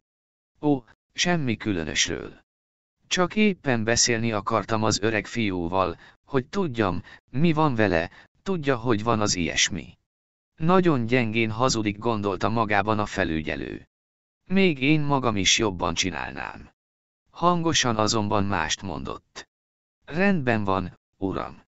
Akkor most arra válaszoljon, miért rohant el Exhamptonból a nagybátyja halálhírére úgy, hogy senkinek sem fette fel a vele való rokonságát. Meg voltam rémülve ez őszintén hangzott. Hallottam, hogy körülbelül akkor ölték meg, amikor én eljöttem tőle. Ez bárkinek elég lenne ahhoz, hogy beijedjen, nem igaz? Szedtem a sátorfámat és leléptem az első vonattal. Mondhatom nagy bolondság, hogy ezt csináltam. Tudja milyen az, amikor valaki pánikba esik. Hasonló körülmények között bárki pánikba esett volna. Ez minden, amit mondani akart. Igen, igen, természetesen. Akkor, uram, gondolom nem lesz ellenvetése, ha arra kérem, jöjjön velem. Jegyzőkönyvbe vesszük, amit elmondott, és felolvasás után aláírja. Ez minden. Lehetséges, Emmer Pearson, hogy a vizsgálat befejeztéig őrizetbe kell vennem önt. Te jó Isten, hát senki sem tud segíteni rajtam. E pillanatban kinyílt az ajtó, és egy fiatal nő lépett a szobába. Ahogy Narracot felügyelő megállapította, kivételes fiatal hölgyről volt szó. Nem volt átütően szép teremtés, de az arca érdekes volt és megragadó. Az ilyen arcot elég az embernek egyszer látni, és soha többé nem felejti el. A józani esz, a gyakorlatiasság, a legyőzhetetlen határozottság levegője vette körül, és valami szíveket összetörő varázs. Óim! Kiáltotta. Mi történt? Mindennek vége, Emily mondta a fiatalember. Azt hiszik, én öltem meg a bácsikámat. Ki gondolja ezt? kérdezte Emily. A fiatalember egy mozdulattal a vendégre mutatott. Ez narracot felügyelő mondta, majd gyászos arccal folytatta. Miss Emily Trefus is. Emily kutató őszbarna szemekkel tanulmányozta a felügyelőt. Jím szólalt meg végül rettenetesen nagy szamár. De nem gyilkol embereket. A felügyelő nem szólt semmit. Felteszem fordult a lányimhez, hogy ijesztően meggondolatlan dolgokat mondtál. Ha gondosabban olvasnád az újságot, mint ahogy szoktad ím, akkor tudnád, hogy egy rendőr jelenlétében egy szót sem szabad szólni anélkül, hogy meledülne egy dörzsölt ügyvéd, aki minden szóba bele tud kapaszkodni. Mi történt? Letartóztatja őt, felügyelő. Narracot felügyelő érthetően és világosan elmagyarázta, mit csinál. Emily, csak nem hiszed, hogy én tettem. Ugye soha nem hiszed, ugye soha. Kiáltotta a fiatal férfi. Nem, kedvesem, soha mondta Emily szeretettel. Aztán halk, elgondolkodó hangon hozzátette. Nincs benned elég kurázsi. Úgy érzem, az egész világon nincs egyetlen barátom sem mormogtaim. De van mondta Emily. Én itt vagyok neked. Fel a fejjel, Jím, nézd a bal kezem gyűrű száján vibráló gyémántokat. Előtted áll a hűséges jegyesed. Menj csak el a felügyelővel, és bíz rám mindent. Jim Pearson felállt, még mindig kábult volt. A felöltője egy széken hevert, magára vette. Narracot felügyelő a kezébe adta a szomszédos kontódon fekvő kalapot.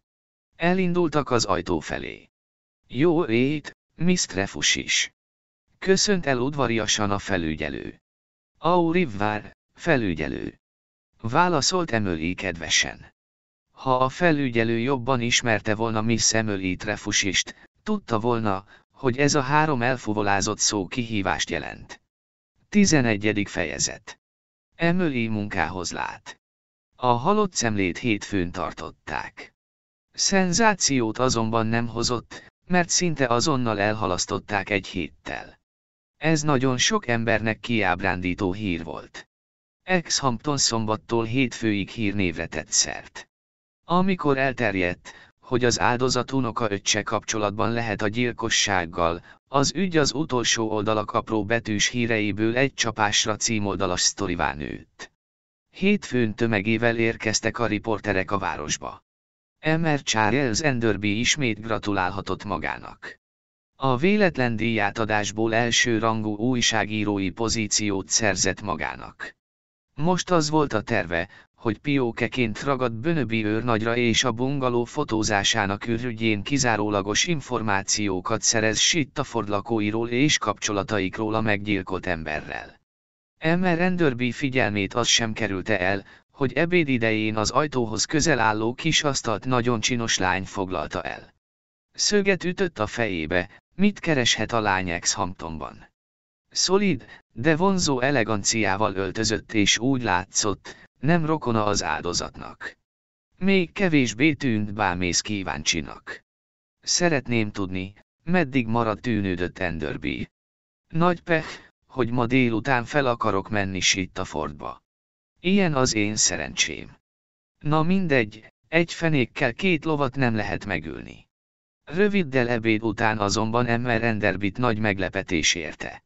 Éppen a három korona lépcsőjén áldogált és az olvadó havat bámulta, élvezte a bágyat téli napsugarat, amikor arra lett figyelmes, hogy egy nagyon kedves hang szólítja meg. Bocsásson meg, kérem, megmondaná nekem, milyen látnivalók vannak itt Texhamptonban. Charles Enderby nem az az ember volt, aki nem csap le egy ilyen alkalomra. Van egy kastély válaszolta. Nem kivételes látnivaló, de ez van. Ha megengedi, megmutatom az oda vezető utat. Ez rettentő kedves lenne magától felelt a lány. Ha biztos, hogy nem nagyon elfoglalt. Charles Enderby azonnal biztosította a lányt, hogy a világon semmi dolga. Együtt indultak útnak. Ön Emmer Enderby, ha jól tudom, mondta a lány. Igen. Honnan tudja? Emmeres Belling volt a segítségemre. Értem. Az én nevem Emily Trefus is. Emmer Enderby, azt szeretném, ha segítene nekem. Segítsek önnek. Hát persze, természetesen, de. Tudja, én én Pearson mennyasszonya vagyok. Enderby szemei előtt páratlan újságírói keri körvonalai rajzolódtak ki. A rendőrség le akarja tartóztatni émet. Tudom, hogy azt akarják. Emer Enderby, én tudom, hogy én nem követte el azt, amivel gyanúsítják. Azért vagyok itt, hogy bebizonyítsam az ártatlanságát. De szükségem van valakire, aki segít nekem. Férfi nélkül az ember nehezen boldogul. A férfiak annyi mindent tudnak és olyan sokféle módon tudnak információhoz jutni. Egy nő lehetőségei olyan korlátozottak. Nos, úgy gondolom, igen, ez igaz mondta ön elégülten Emmer Enderby. Ma reggel végignéztem az ide sereglett újságírókat. Oly sokan vannak közöttük a buta, korlátolt arckifejezésű bunkók, ön volt az egyetlen okos, rátermett az egész társaságban. Rögtön ki is szúrtam önt. Azt hiszem, túloz mondta Enderby még nagyobb önelégültséggel. Tulajdonképpen egyfajta együttműködést ajánlok folytatta Emily Trefus is. Ez mindkettőnk számára előnyös lehet. Van néhány dolog, amelynek a végére akarok járni, ki akarom deríteni az igazat. Ebben ön, mint újságíró sokat segíthet. Itt Emily szünetet tartott. Emmer Enderby tulajdonképpen saját kopóként kívánta felhasználni. Oda menjen, ahová ő mondja, azokat a kérdéseket tegye fel, amelyeket ő akar feltenni, általában legyen a rabszolgája. Tudatában volt annak, hogy a javaslatait úgy kell megfogalmazni, hogy azok haszonnal kecsegtetők és egyben elfogadhatók legyenek a számára. A lényeg persze az, hogy ő legyen a főnök. Az világos, hogy körültekintően kell taktikáznia. Azt akarom érezni, mondta a lány, hogy támaszkodhatok magára. Nagyon kellemes hangja volt, lágyan csengő és csábos. Ahogy ezt a mondatot kiejtette, Emmer Enderby szíve körül olyan érzés támadt, hogy ez a szeretetreméltó szegény lánya végsőkig támaszkodhat rá. Együtt érzek magával, mondta Emmer Enderby és odaedással szorította meg Emily kezét. Csak tudja, folytatta Charles újságírói énje, én nem rendelkezem szabadon az időmmel. Úgy értem oda kell mennem, ahová küldenek és ehhez hasonlók. Igen, gondoltam erre. Ezzel függ össze az én szerepem is. Az ön számára én igazi nagyfogás, vagyok, nem igaz? Nincs más dolga, mint hogy minden nap készít velem egy interjút. Azt mondathat velem, amit csak az olvasói akarnak. Jim Pearson mennyasszonya. A lány szenvedélyesen hisz vőlegénye ártatlanságában. A menyasszony beszámol vőlegénye gyermekkori emlékeiről. Nem tudok ugyan semmit a gyerekkoráról, de az nem számít. Azt hiszem, ön lenyűgöző. Ön csak ugyan bámulatos. Továbbá ütötte a vasat Emily, amíg meleg kapcsolatban állok Kim rokonságával. Nem jelent gondot, hogy a barátomként megismertessem magát velük. Igen valószínű, hogy illi módon azok az ajtók is megnyílnak ön előtt, amelyeket egyébként az orrára csaptak volna. Csak ne tapasztaltam volna ezt annyiszor mondta Emmer Enderby átérezve néhány múltbeli goromba elutasítást. Hatalmas távlatok nyíltak előtte. Ebben az ügyben egyik szerencse éri a másik után. Először a díjátadás, most pedig ez. Megegyeztünk, mondta lelkesen. Rendben válaszolt Emily. Egyszerre élénk, üzletszerű lett a modora. Mi az első lépés? Ma délután felmegyek Sittafordba. Elmesélte a szerencsés körülményeket, amelyek oly jótékonyan befolyásolták kapcsolatát Bönöbi őrnaggyal.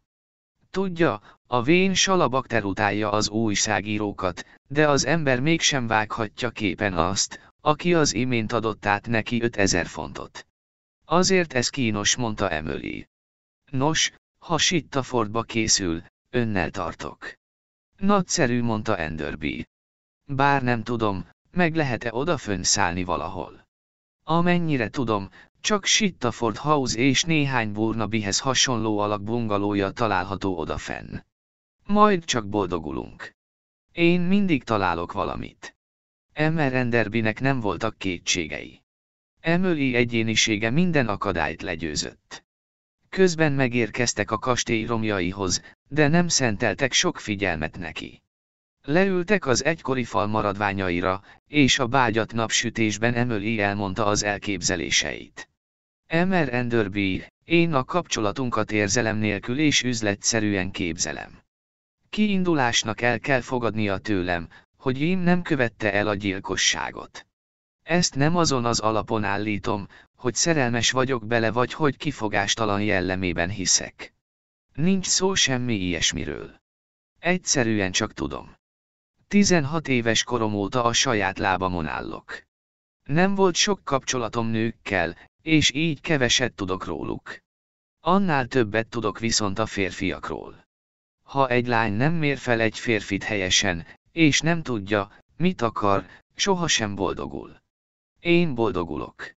Manöken vagyok a Luciásnél, és mondhatom magának, oda bekerülni tényleg fegyvertény. Nos, ahogy már említettem, meglehetősen pontosan tudom megítélni a férfiakat. Jím sok tekintetben gyenge jellem. Nem is tudom folytatta, egy pillanatra elfelejtve az erős férfiakhoz vonzódó nő szerepét, nem ezért szeretem-e annyira. Azért az érzésért, hogy vezethetem, hogy faraghatok belőle valakit. Sok dolog van, köztük bűntények is, amelyekről el tudom képzelni, hogy megteszi őket, ha rákényszerül, de a gyilkosság nem tartozik ezek közé. Jím egyszerűen képtelen arra, hogy felkapjon egy homokkal kitömött hurkapárnát és egy öregembert hátulról nyakszírten vágjon vele. Csak ijesztgetné, és rossz helyen találná el. Jím tulajdonképpen szelí teremtmény. Még egy darázs megölésétől is írtózik. Anélkül, hogy kárt tenne benne, mindig megpróbálja az ablakon kívülre terelni őket. Persze rendszerint összecsípik. De nincs sok értelme, hogy ezt tovább folytassam. Hitelt kell adnia a szavaimnak, és úgy kell kezdenie a munkát, hogy így mártatlanságában nem kételkedik. Gondolja, hogy valaki szándékosan a nyakába akarja varni a gyilkosságot. Kérdezte Enderby a legjobb újságírói modorában. Azt nem hiszem. Senki sem tudott arról, hogy én meglátogatta a bácsikáját. Persze nem lehetünk biztosak benne, de én inkább arra tippelek, hogy szerencsétlen véletlenek összjátékáról van szó. Meg kell találnunk azt a valakit, akinek volt indíték a Trevejan kapitány megölésére. A rendőrség biztos abban, hogy ez nem külsős, munka volt, ahogy ők nevezik. Vagyis nem betörésről van szó. A felfeszített ablak csak megtévesztésre szolgált. A rendőrség közölte önnel mindezt. Gyakorlatilag felelte Emily. Mit jelent az, hogy gyakorlatilag? A szobalány mesélte nekem, akinek a nővére Graves rendőr felesége. Természetesen mindenről tud, ami a rendőrségen történik. Nos, rendben van, nem külsős, munka volt. Rokon vagy ismerős tette. Pontosan mondta Emily. A rendőrség, vagyis narracot felügyelő azt kezdte vizsgálni, kinek származik haszna Trevejan kapitány halálából. Jím most annyira kiszúrja a szemüket, hogy nem fárasztják magukat túlságosan további vizsgálattal. Ez a mi feladatunk lesz. Micsoda szenzáció lenne, ha mi ketten felfedeznénk az igazi gyilkost. Úgy emlegetnének, mint a napi hírek bűnügyi szakértőjét. De hát ez túl szép ahhoz, hogy igaz legyen. Az ilyesmi csak könyvekben esik meg. Velem megtörténik, mondta Emily. Maga egyszerűen fantasztikus. Emily kis jegyzetfüzetet vett elő. Jegyezzük fel a dolgokat rendszerbe foglalva. Jim és testvérei, valamint Jennifer néni egyformán részesednek a vagyomból. Szilvi ő, testvére a légynek sem ártana, de a férjéért nem tenném tűzbe a kezem. Pontosan az, akit mocskos alaknak szoktam nevezni. Tudja, az az undorító művészkedő fajta, telenő ügyekkel. Nagyon valószínű, hogy nincs egy vasa sem. A pénz, amelyhez jutnának, természetesen Szilviát illeti, de ez neki nem lenne akadály. Hamarosan megszerezné tőle. Igen kellemetlen személy, mondta Emma Renderby. Ó, igen. Ráadásul jóképű és rámenős. A nők a sarokban a szexről beszélgetnek vele. Az igazi férfiak utálják. Nos, akkor ő az első számú gyanúsított, mondta Emma Renderby, és ő is szorgalmasan írogatott a noteszába.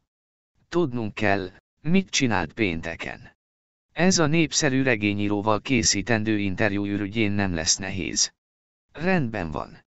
Kitűnő, mondta Emily. Aztán itt van Brian, ímöccse. Úgy tudják, Ausztráliában van, de persze nagyon könnyen visszajöhetett. Az emberek néha minden bejelentés nélkül tesznek ilyet. Táviratozhatnánk neki. Fogunk. Az az érzésem, Jennifer néni gyanul felül áll annak alapján, amit hallottam róla, kitűnő asszony lehet. Igazi jellem. Persze az is igaz, hogy nagyon közel van a tethelyhez, itt Exeterben. Elméletileg átjöhetett volna megnézni a bátyját, az mondhatott volna neki valami kellemetlent a férjével kapcsolatban, akit Jennifer valósággal bálványoz. És Jennifer néni is elveszíthette volna az önuralmát, felkaphatta volna azt a homokzsákot és leüthette volna vele Trevejan kapitányt. Tényleg azt hiszi? Kérdezte kétkedően Emma Renderby. Nem, tulajdonképpen nem. De az ember sosem tudhatja biztosan. Azután itt van a házi szolga. Csak száz font az örökség ráeső része, ez nem komoly indíték. De mégis, nem tudhatjuk. A felesége Emmeres Belling unoka húga. Ismeri Emmeres Bellinget, a három korona tulajdonosát. Ha visszamegyek, a vállaim fogom kisírni magam. Anyáskodó és romantikus léleknek látszik. Azt hiszem, rettentően fog sajnálni, ha megtudja, hogy én börtönbe kerülhet. Talán valami hasznosat is elkotyog. És persze ott van Sittaford House. Tudja, hogy mit találok különösnek? Nem. Mit? Ezeket a villettéket. Akik kivették a házat tél közepén. Ez nagyon szokatlan dolog. Igen, valóban ritkaság számba megy értett egyet Emmer Renderby. Lehet, hogy lapul valami a dolog mélyén, talán Trevejan kapitány korábbi életéből. Az a szeánsz is elég furcsa tette hozzá. Azon gondolkozom, hogy megírom alapnak. Véleményeket kérhetnénk róla Sir Oliver Lodgetől, Sir Arthur Conan Doyle-től, néhány színésznőtől és az utca emberétől. Milyen szeánszról beszél? Emma Renderby élvezettel számolt be az esetről. A gyilkossággal összefüggő eseményekről mindig hallott valamit. Igaz, ami igaz, kissé különös fejezte be. Úgy értem, az ember elgondolkozik rajta. Lehet, hogy van valami az ilyesmiben. Ez az első alkalom életemben, hogy találkozom efféle esettel. Emily megborzongott. Utálom a természet fölötti dolgokat mondta. És akkor maga egyszer csak azzal áll elő, hogy mégiscsak lehet valami az egészben. Milyen hát borzongató. A szellemidézés sosem látszik túlzottan gyakorlatiasnak. Ha az öreg fiú a túlvilágról szólt és bejelentette, hogy halott, miért nem mondta meg azt is, ki ölte meg őt? Olyan egyszerű lett volna. Úgy érzem, Sittafordban találunk valamit, ami nyomra vezet, mondta Emily eltűnődve. Igen. Azt hiszem, gondosan kell odafenn körülnéznünk. Autót béreltem és fél órán belül indulok. Jobban teszi, ha velem jön. Megyek felelte Emily. És Bönöbi őrnaggyal mi lesz? Ő gyalogolni akart, mondta Enderby. A halott szemle után azonnal elindult. Ha engem kérdez, az a benyomásom, hogy az odavezető úton nélkülözni akarta a társaságomat. Senki sem szeretne ebben a latyakban odáig talpalni. Biztos, hogy az autó fel tud már menni. Ó, igen. Egy autó ma már átvágta magát odáig. Hát akkor mondta Emily és felállt itt az ideje, hogy visszamenjünk a három koronába. Összeszedek néhány holmit és bemutatok egy rövid sírási rohamot Emmeres Beling vállán.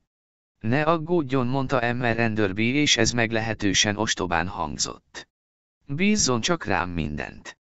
Pontosan ez az, amit tenni szándékozok válaszolt Emily. És pontosan ez volt, amit nem szándékozott tenni. Olyan megnyugtató, ha van valaki, akiben tökéletesen megbízhatunk. Emily Trefus is minden kétséget kizáróan felkészült fiatal nő volt.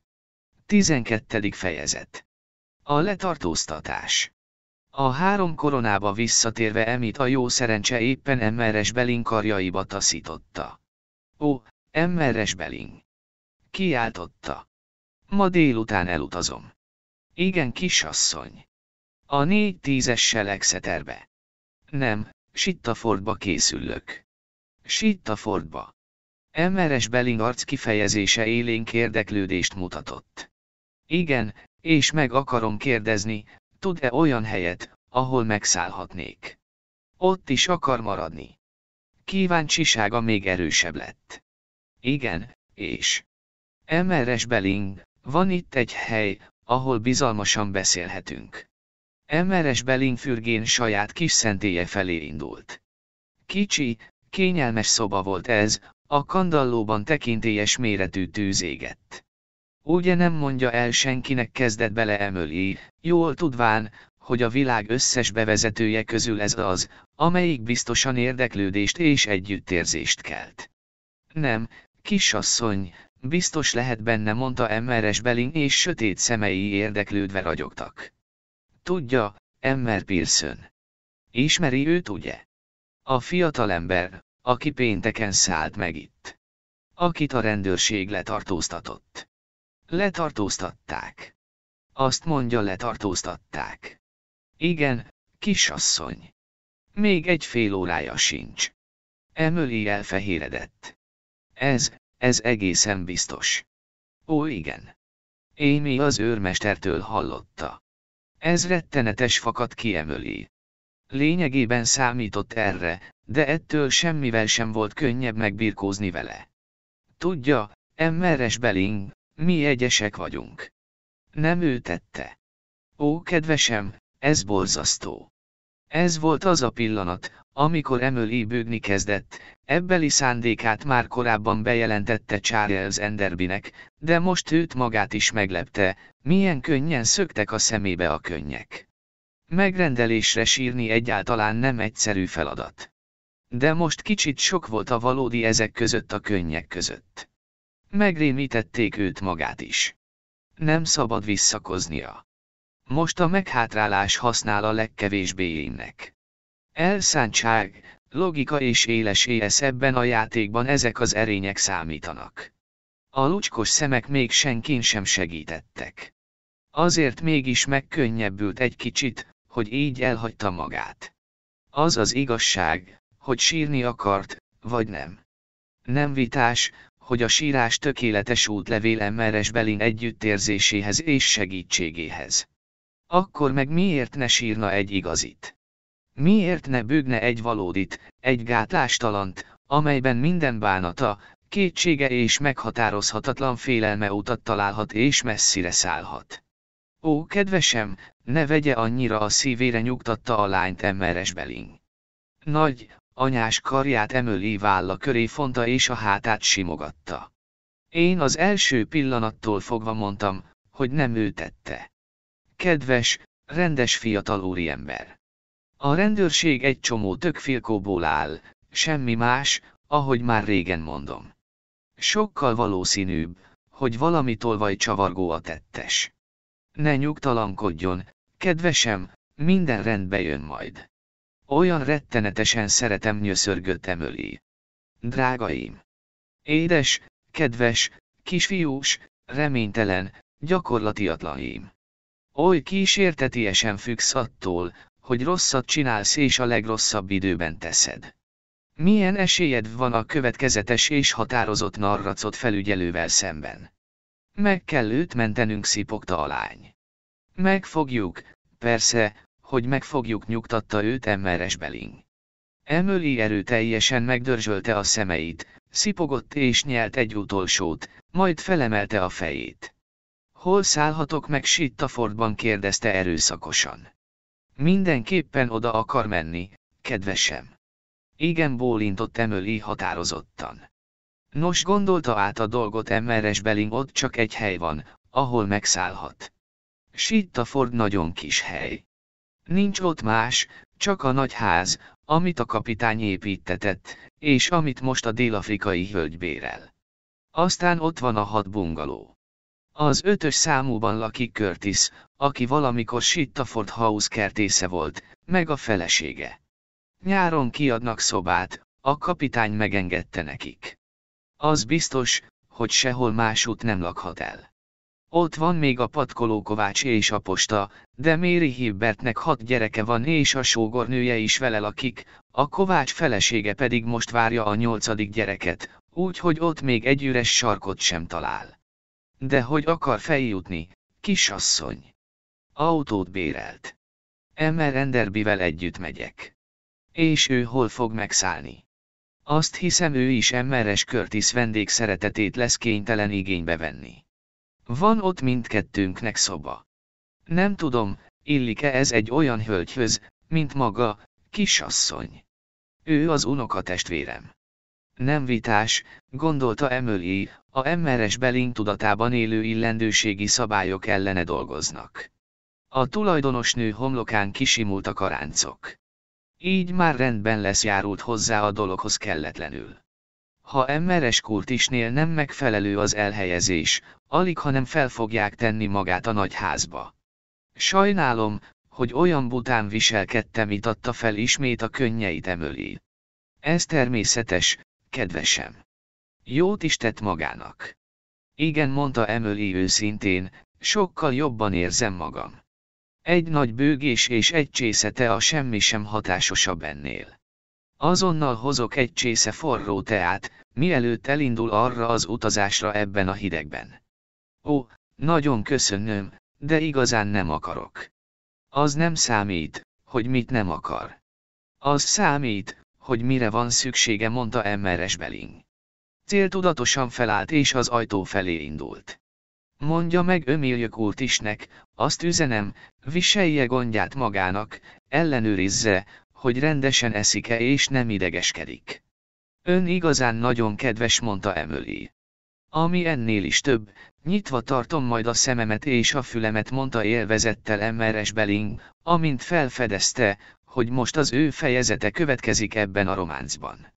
Rengeteg kis apróság van ám, ami sosem jut a rendőrség tudomására. Mindent továbbítok önnek, kisasszony, amit csak hallok. Megtenné. Meg én. Ne aggódjon, kedvesem, szempillantás alatt kihúzzuk a bajból az ön fiatal emberét. Csomagolnom kell állt fel Emily. Felküldöm a teáját, mondta Emmeres Beling. Emily felment a szobájába, összeszedett néhány holmit és a táskájába tette. Hideg vízzel megmosta a szemeit és nem volt szűkkeblű, amikor a púderre került a sor. Egész elviselhetővé tedd magad jegyezte meg a tükör előtt. Feltett még egy kis púdert és egy leheletnyi rúst. Elképesztő, mennyivel jobban érzem magam. Ez megérte a dagatképet. Csengetett. A szobalány, Graves rendőr szimpatikus sógornője, szinte azonnal ott termett. Emily egy fontot nyomott a kezébe és arra kérte, azonnal továbbítson neki mindent, amit csak a rendőrségi körökben hall. A szobalány ezt készségesen meg is ígérte. Emeres Kurtisnél lesz Sittafordban. Megteszek mindent, kisasszony. Mindannyian a kisasszonynal érzünk, jobban, mint gondolná. Mindig azt mondogatom magamnak, képzeld csak Fredet és magadat a helyükbe.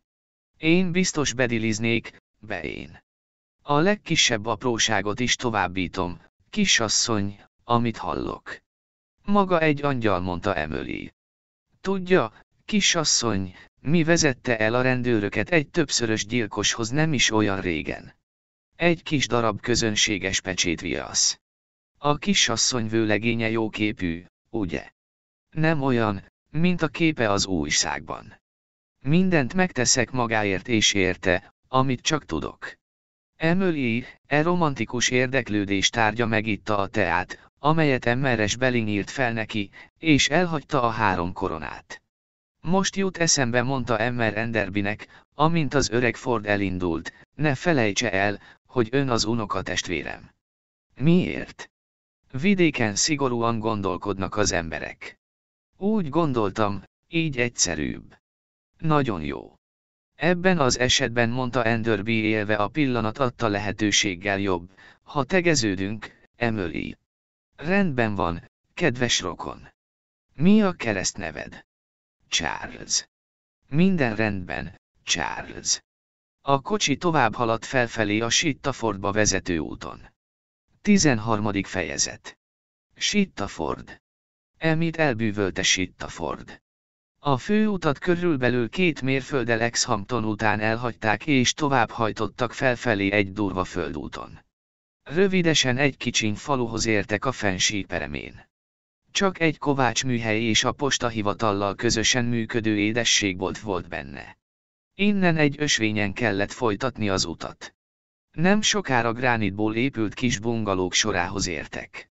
A másodiknál a kocsi megállt, és a sofőr bejelentette, hogy az Emmeres Curtis háza. Emmeres Curtis kicsi, vékony termetű, őszhajó asszony volt. Könnyű volt felismerni, hogy energikus és zsémbes természetű nő. Éhesen várta a híreket, mert a gyilkosságról Sittaford csak aznap reggel értesült. Hát persze, hogy el tudom szállásolni magát, kisasszony, meg az unokatestvérét is, ha tud várni addig, amíg eltüntetek néhány ócska holmit. Ugye nem bánják, ha együtt étkeznek velünk. Ki hitte volna? Megölik Trevejan kapitányt. Halott szemle meg minden. Péntek óta el voltunk vágva a világtól és ma reggel, amikor meghallottam a híreket, egyszerűen tátva maradt a szám. Azt mondtam Kurtisnek, hogy a kapitány halála fényes bizonyítéka annak, hogy manapság milyen őrült a világ.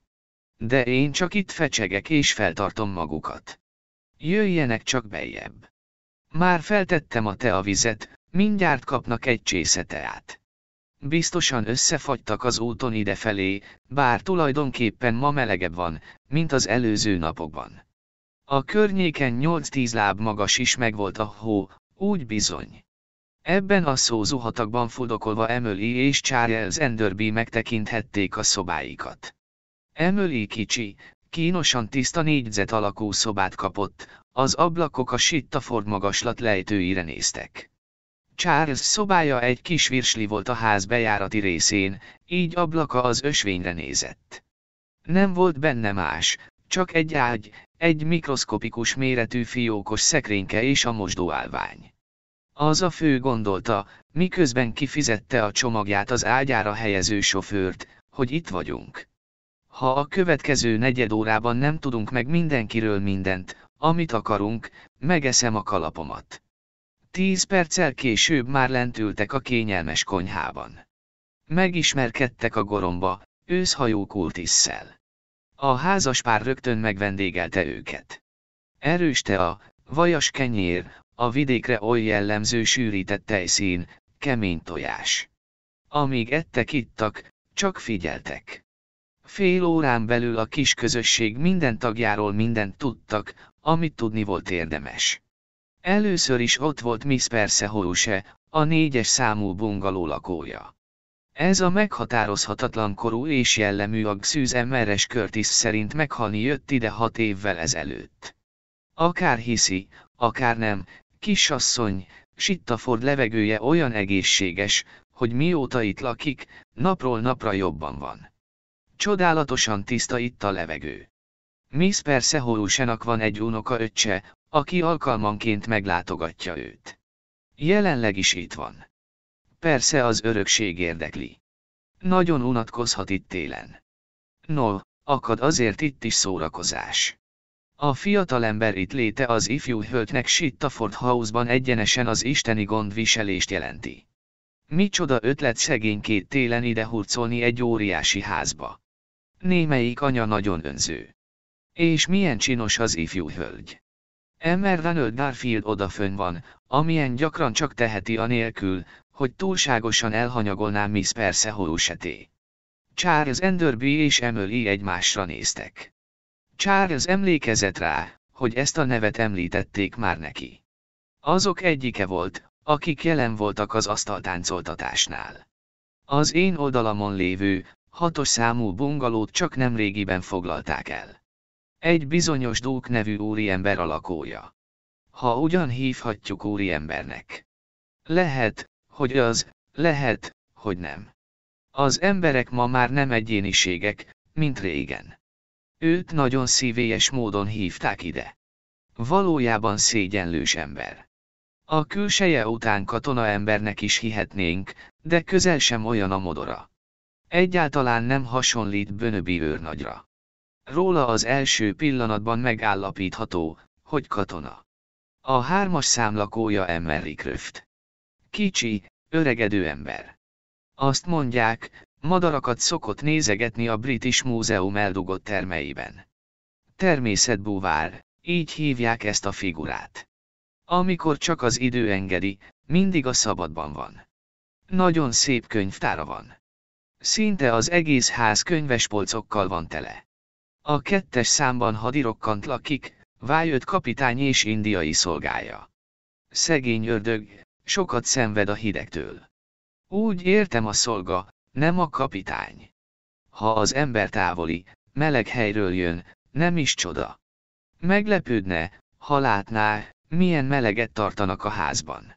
Olyan, mintha csak egy sütőbe sétálna be az ember. Az egyes szám bönöbi őrnagyé.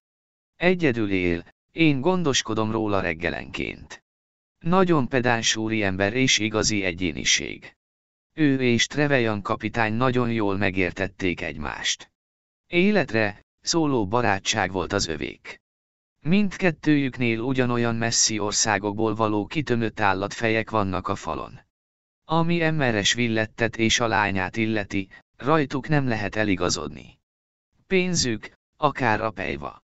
Amos Parker, akinél vásárolnak Exhamptonban, azt mondja, a rendeléseik meghaladják a heti 8-9 fontot. El sem tudják képzelni, mennyi tojás vándorol abba a házba. Exeterből hoztak szobalányokat, de azok nem érzik jól magukat és el akarnak menni. Én nem is hibáztatom őket. Emeres Willit kétszer egy héten, a saját kocsiján küldi őket Exeterbe. Ezzel meg a finom élettel együtt elegük van. Ha engem kérdeznek, csak azt mondhatom, nagyon különös, ha egy ilyen csinos hölgy eltemeti magát vidéken. Hát igen. No, azt hiszem jobb, ha leszedem a teásedényeket. Nagyot sóhajtott, és ezt tette Charles és Emily is. Olyan könnyen jutottak oly sok értesüléshez, hogy úgy érezték, valósággal elárasztja őket. Charles megkockáztatott egy kérdést. Bönöbi őrnagy visszajött már.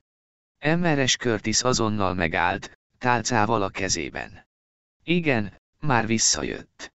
Mint ahogy mindig, most is gyalog érkezett körülbelül fél órával az előtt, hogy maguk megjöttek. Rá is kiáltottam, hogy csak nem végig gyalog jöttek Hamptonból. Mire azt felelte, miért ne?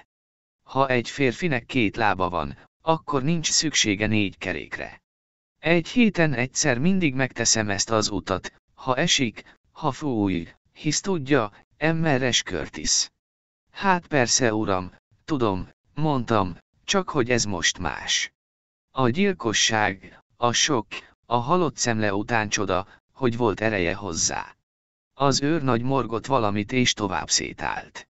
Elég rosszul néz ki. Az is kész csoda, hogy kibírta a péntek estét. Az ő korában erre büszke lehet. Így gyalogosan nekivágni, és ebből három mérföldet hóviharban. Mondhatnak, amit akarnak, a mai fiatalurak a nyomába sem jöhetnek az öregeknek. Ez a Ranald Garfield úr biztosan nem lett volna képes rá. Nekem az a véleményem, de az a véleménye Emmeres Hibbertnek a postán és Emmer Poluntnak, a Kovácsnak is, hogy Emmer Garfieldnek nem lett volna szabad Bönöbi őrnagyot egyedül elengedni. Vele kellett volna mennie. Ha Bönöbi őrnagy eltűnt volna a hóviharban, mindenki Emmer Garfieldet hibáztatta volna. Ez az igazság. Győzelem ittasan eltűnt a mosogató konyha felé a teáscsészék csörömpölése közepette. Emmer Curtis gondosan áthelyezte viharvert pipáját a szája jobb sarkából a szája bal sarkába. Az asszonyok sokat beszélnek. Tartott egy kis szünetet, aztán folytatta. És legalább a fele esetben fogalmuk sincs, miről. Emily és Charles csendben fogadták a bejelentést. Látva, hogy nem várható további megjegyzés, Charles egyetértően dörmögte. Ez nagyon igaz. Aha mondta Emmer Curtis és kellemes, szemlélődő csöndbe merült. Charles felállt. Azt hiszem, átmegyek az öreg Burnabihoz és megmondom neki, hogy a fotózás holnap reggel lesz. Én is veled tartok, mondta Emily. Tudni szeretném, mit gondol valójában émről és általában mit gondol a bűntényről. Van valami gumicipőd. Csupa latyak minden. Vettem hócipőket ex-hamptonban. Milyen gyakorlatias lány vagy te. Mindenre gondolsz. Sajnos felelte Emily ez nem jelent nagy segítséget, ha ki kell deríteni, ki követte el a gyilkosságot. Nagyobb segítség annak, aki el akar követni egy gyilkosságot tette hozzá eltűnődve. Engem ne ölj meg. Mondta Enderby. Együtt indultak el. Emmeres Curtis azon nyomban visszajött. Benéznek az őrnagyhoz, mondta Emmer Curtis. Vagy úgy mondta Emmeres Curtis. Na, mint gondolsz? Szerelmesek vagy nem? Úgy tartják, sok baj származhat abból, ha unokatestvérek összeházasodnak. Süketném a megfélkegyelmű gyerekek meg más borzalmak. A fiú oda van a lányért, ez látszik. Ami a lányt illeti, hát az agyafúr teremtés, mint szeröbölinde nagynéném. Az ujja köré tekeri a férfiakat. Kíváncsi vagyok, mit akar itt? Tudod, mit gondolok én, Curtis? Emmer Curtis morgott egyet. Az a fiatalember, akit a rendőrség fogva tart a gyilkosság gyanújával, az a kisasszony szíve választja. A lány csak azért jött ide fel, hogy körül szaglásszon, mit talál itt.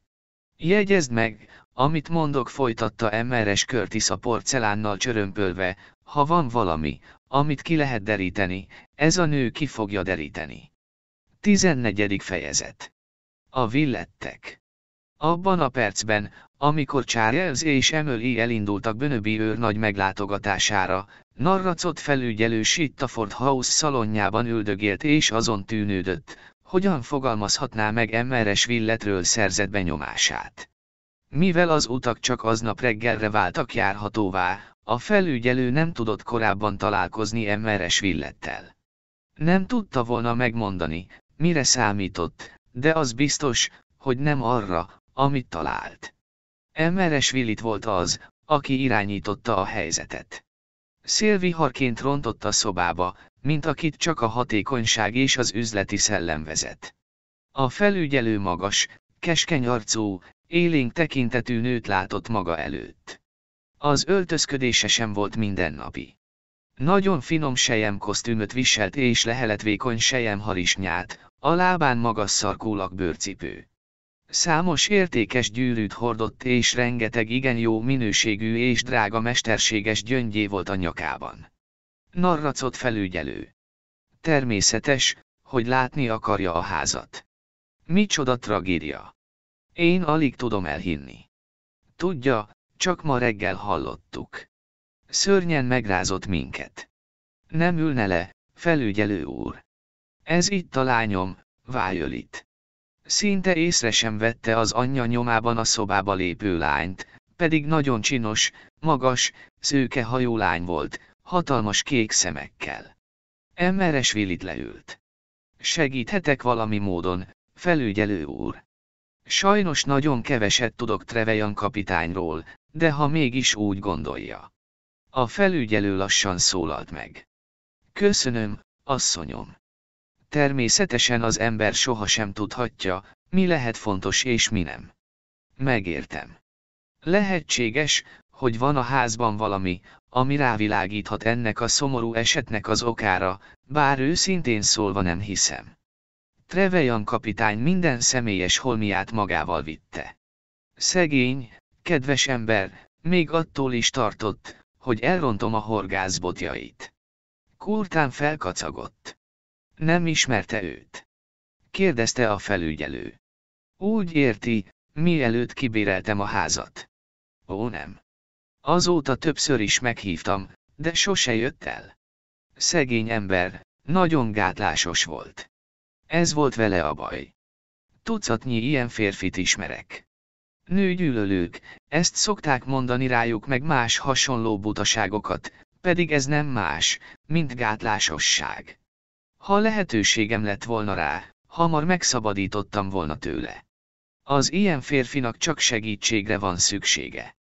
Narracot felügyelő kezdte megérteni Trevejan kapitány védekező magatartását a bérlőivel szemben. Mindketten kérleltük folytatta Emmeres Willit. Ugye, Violet? Ó, igen, mama. A szíve mélyén egyszerű tengerész volt mondta Emmeres Willit. Minden asszony szereti a tengerészeket, narracot felügyelő. A felügyelőnek az volt az érzése, hogy eddig a pontig a beszélgetést teljes egészében Emmeres Willit irányította. Meg volt győződve róla, hogy Emmeres Willit kivételesen okos nő. Meg lehet, olyan ártatlan, mint ami ennek látszik. De az is lehet, hogy nem. A kérdés, amelyre választ szeretnék kapni, a következő. Igen, felügyelő. Mint bizonyára tudja, a holtestet Bönöbi őrnagy fedezte fel. Az őrnagyot egy, a házban történt különös eset késztette arra, hogy lemenjen a barátját meglátogatni.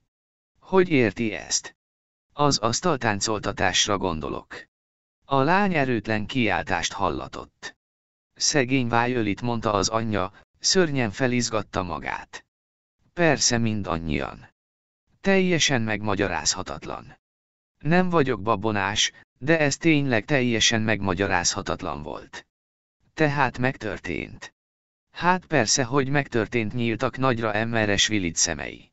Abban a pillanatban azt hittem, csak tréfa nagyon kellemetlen és rossz ízlésre valló tréfa. Az ifjú Ranald Garfieldra gyanakodtam. Nem, mama, biztos, hogy nem tett ilyet. Azt mondom, Violet, amit akkor gondoltam. Mi más juthatott volna az eszembe, mint hogy tréfa az egész. Különös volt, mondta a felügyelő lassan. Nagyon felizgatta magát, emmeres Willit. Nem csak én, mindenki, felügyelő. Egészen addig az egész csak könnyű szívű bolondozás volt. Tudja, milyen dolog ez? Jó mulatság egy hosszú téli estén.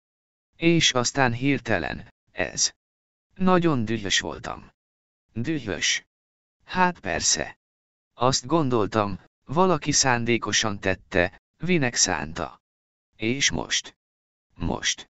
Emeres Willit szimpadiasan széttárta a kezeit. Nem tudom, mit gondoljak. Ez, hátborzongató. És ön, Miss Willit. Én. A lány megpróbálta elkezdeni. Én, én nem is tudom. Sosem fogom elfelejteni. Ezzel álmodom. Soha nem merek ezek után asztaltáncoltatásban részt venni. Emmer Rickröft úgy véli, valódi volt mondta Emmeres Willit. Minden ilyesmiben hisz. Én magam is egyre inkább arra hajlok, hogy higgyek benne. Milyen más magyarázat lehet a történtekre, ha nem az, hogy valódi üzenetet hallottunk a túlvilágról. A felügyelő a fejét rázta. Az asztaltáncoltatás vörös posztó volt a számára. Következő kérdése teljesen szokványosan hangzott. Nem találja az ornak itt télen, emmeres Vilit. Egyáltalán nem. Olyan nagy változás ez nekünk. Tudja mi Dél-Afrikából jöttünk. A hangja élénk és hétköznapi volt. Igazán. Hol éltek Dél-Afrikában? A jó reménység foknál. Violet most van először Angliában. Egészen megbabonázta őt ez az ország. Nagyon romantikusnak találja így behavazva. Ez a ház pedig igazán kényelmes. Mi az oka annak, hogy a világnak ebbe a sarkába jöttek? A felügyelő hangjában érezhető volt a kíváncsiság. Rengeteg könyvet olvastunk Devonshire megyéről és különösen Dartmoor vidékéről. Mindig is látni akartam ezt a tájat. Miért döntött Exhampton mellett? Ez a kisváros kevéssé ismert. Nos, mint mondtam, sok könyvet olvastunk, és a hajón volt egy fiú, aki sokat mesélt Exhamptonról és borzasztóan lelkes volt. Hogy hívják? Idevalósi volt valahová. Mi is volt a neve? Cullen, azt hiszem. De nem, inkább Smide. Milyen buta is vagyok. Tényleg nem emlékszem. Tudja, felügyelő, milyenek a fedélzeti ismerettségek. Az ember megismerkedik egy csomó másikkal, elhatározza, hogy meglátogatja őket, aztán leszáll a hajóról és egy hét múlva a nevükre sem emlékszik. Emmeres Willit nagyot nevetett. Pedig olyan kedves fiú volt. Nem egy Adonis a vöröses hajával, de a mosolya lefegyverző volt. És ennyi elég volt ahhoz, hogy itt vegyen ki házat. Kérdezte a felügyelő mosolyogva. Igen. Nem látszik őrültségnek. Ügyes, nagyon ügyes, gondolta narracott. Kezdett rájönni Emmeres Vilit módszerére. Azonnal ellentámadásba lendül. Tehát írt az ügynökségnek és érdeklődött egy ház után. Igen. Az ügynökség pedig Sittafordot ajánlotta. Pontosan olyannak látszott, mint amilyet kerestem. Nem az én ízlésem ebben az évszakban nevetett a felügyelő. Mondhatom, a miénk sem ez lenne, ha Angliában élnénk riposztozott Emmeres Willit. A felügyelő felállt. Honnan tudta, hogy Exhamptonban működik olyan ügynökség, amelyiknek írhat? Kérdezte. Ezt nem lehetett könnyű kideríteni. Szünet következett, az első szünet a beszélgetésben. A felügyelő úgy látta, Emmeres Willit szemében felvillant a bosszúság, vagy tán inkább a haragfénye. Valami olyasmit kérdezhetett, amire Emmeres Willit nem találta ki előre a választ. Az asszony a lányához fordult. Hogyan szereztük azt a címet, Violet? Én nem emlékszem. A lány tekintete megváltozott, félelem költözött a szemeibe. Ó, hát persze. Mondta gyorsan Emmeres Willit. A Delfridges. A Delfridges információs iroda. Nagyszerűek. Ha tudni akarok valamit, mindig hozzájuk megyek. Most is tőlük kértem a környék legjobb ügynökségének a címét, és ők megadták. Gyors is, gondolta a felügyelő, nagyon gyors. De nem eléggé. Most elkaptam, asszonyom. Narracot hozzálátott a ház rutin ellenőrzéséhez. Semmit sem talált. Nem voltak papírok, sem lezárt szekrények vagy fiókok. Emmeres Willit mindenhová követte és szóval tartotta. A felügyelő udvariasan megköszönte a segítséget. Távozni készült. Egy pillanatra észrevétlenül megfigyelhette Violet. Arcát. Nem lehetett eltéveszteni az arc kifejezését. Amit a felügyelő látott, az félelem volt. Abban a pillanatban a lány úgy érezte, nem figyelik. Emmeres Willit még mindig beszélt. Tudja, felügyelő, egy komoly gondunk azért van. Belső probléma. Az alkalmazottak ki nem állják a vidéki körülményeket. Az enyémek egy ideje kivétel nélkül azzal fenyegetnek, hogy kilépnek. A gyilkosságról szóló hírek pedig végleg kiborították őket. Nem tudom, mit tegyek. Talán férfi alkalmazottak után kellene néznem. A háztartási alkalmazottakat közvetítő iroda Exeterben ezt tanácsolja. A felügyelő gépiesen válaszolgatott. Egyáltalán nem figyelt beszédáradatra. Az foglalta el a gondolatait, amit a lány arcán látott. Emeres Willit okos, de nem eléggé. Tovább tűnődött. Ha a Willit családnak semmi köze a gyilkossághoz, mitől fél Vájölit? Úgy döntött, kilövi az utolsó töltényt is. A lába már a bejárati ajtó küszöbén volt, amikor hirtelen visszafordult. Most jut eszembe, ugye ismeri az ifjú Pirsont. Legalább egy másodpercig néma csend következett. Aztán Emmeres Willit szólalt meg. Pearson. Nem hiszem. Nem tudta folytatni. Furcsa sóhaj hangzott a háta mögül, majd zuhanás hangját lehetett hallani. A felügyelő egy mozdulattal ismét belül volt a szobában. Miss Willit elájult. Szegény gyermek kiáltott Emmeres Willit. Ez a sok feszültség és megrázkódtatás. Az a szörnyű szellemidézés és a gyilkosságról beszélő asztal. Nem elég erős szegénykém. Köszönöm, felügyelő úr, tegye csak a pamlagra. Kérem, csengessen a személyzetnek. Azt hiszem, másban már nem segíthet. Nagyon köszönöm, igazán. A felügyelő összeszorított ajakkal lépdelt a felhajtón. Tudott arról, hogy Jim Pearson annak a nagyon vonzó lánynak a vőlegénye, akit még Londonban ismert meg. Akkor miért ájult el Violet Willy Tim nevének említésekor? Mi az összefüggés Jim Pearson és a villettek között? A kert kapu előtt határozatlanul megállt, majd kis jegyzett füzetet vett elő a zsebéből. Ebben a hat bungaló lakóinak névsora szerepelt, minden név mellett egy-egy rövid megjegyzés. Narracott tömpe ujja a hatos számú mellett állt meg. Igen, mondta magában, az lesz a legjobb, ha ő következik. Fürgén lesietett az ösvényen és határozottan kopogott a hatos számú lakás ajtaján. Ebben a bungalóban Emmerdók lakott. 15. fejezet. Látogatás Bönöbi őrnagynál. Az őrnagy ajtajához vezető ösvényen Emmer Enderby ment elől. Az ajtóhoz érve vidáman kopogtatott. Az szinte azonnal kitárult, és a küszöbön megjelent Bönöbi őrnagy. Ön az. Jegyezte meg kevés lelkesedéssel a hangjában. Úgy látszott, ebben a modorban akarja folytatni is a társalgást, amikor észrevette Emilt. Nyomban megváltozott az arca. Ez itt Miss Trefus is jelentette be Charles olyan hangon, ahogy a Jolly Jokert szokás az asztalra tenni. Nagyon szeretett volna találkozni önnel. Bejöhetek? Kérdezte Emily a legcsábosabb mosoly kíséretében. Ó, hát persze, természetesen. Az őr nagy a nappaliba hátrált, székeket húzigált és asztalokat tologatott zavarában. Emily, szokásához híven, egyenesen a tárgyra tért. Tudja, őrnagy, én ím jegyese vagyok, ím pirsoné, hisz tudja.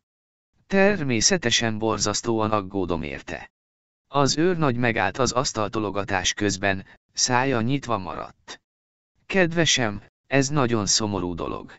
Édes hölgyem, sokkal jobban sajnálom, mint ahogy el tudom mondani.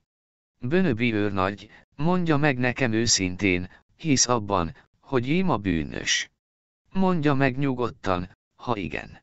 Nem tudom elviselni, ha hazudnak nekem.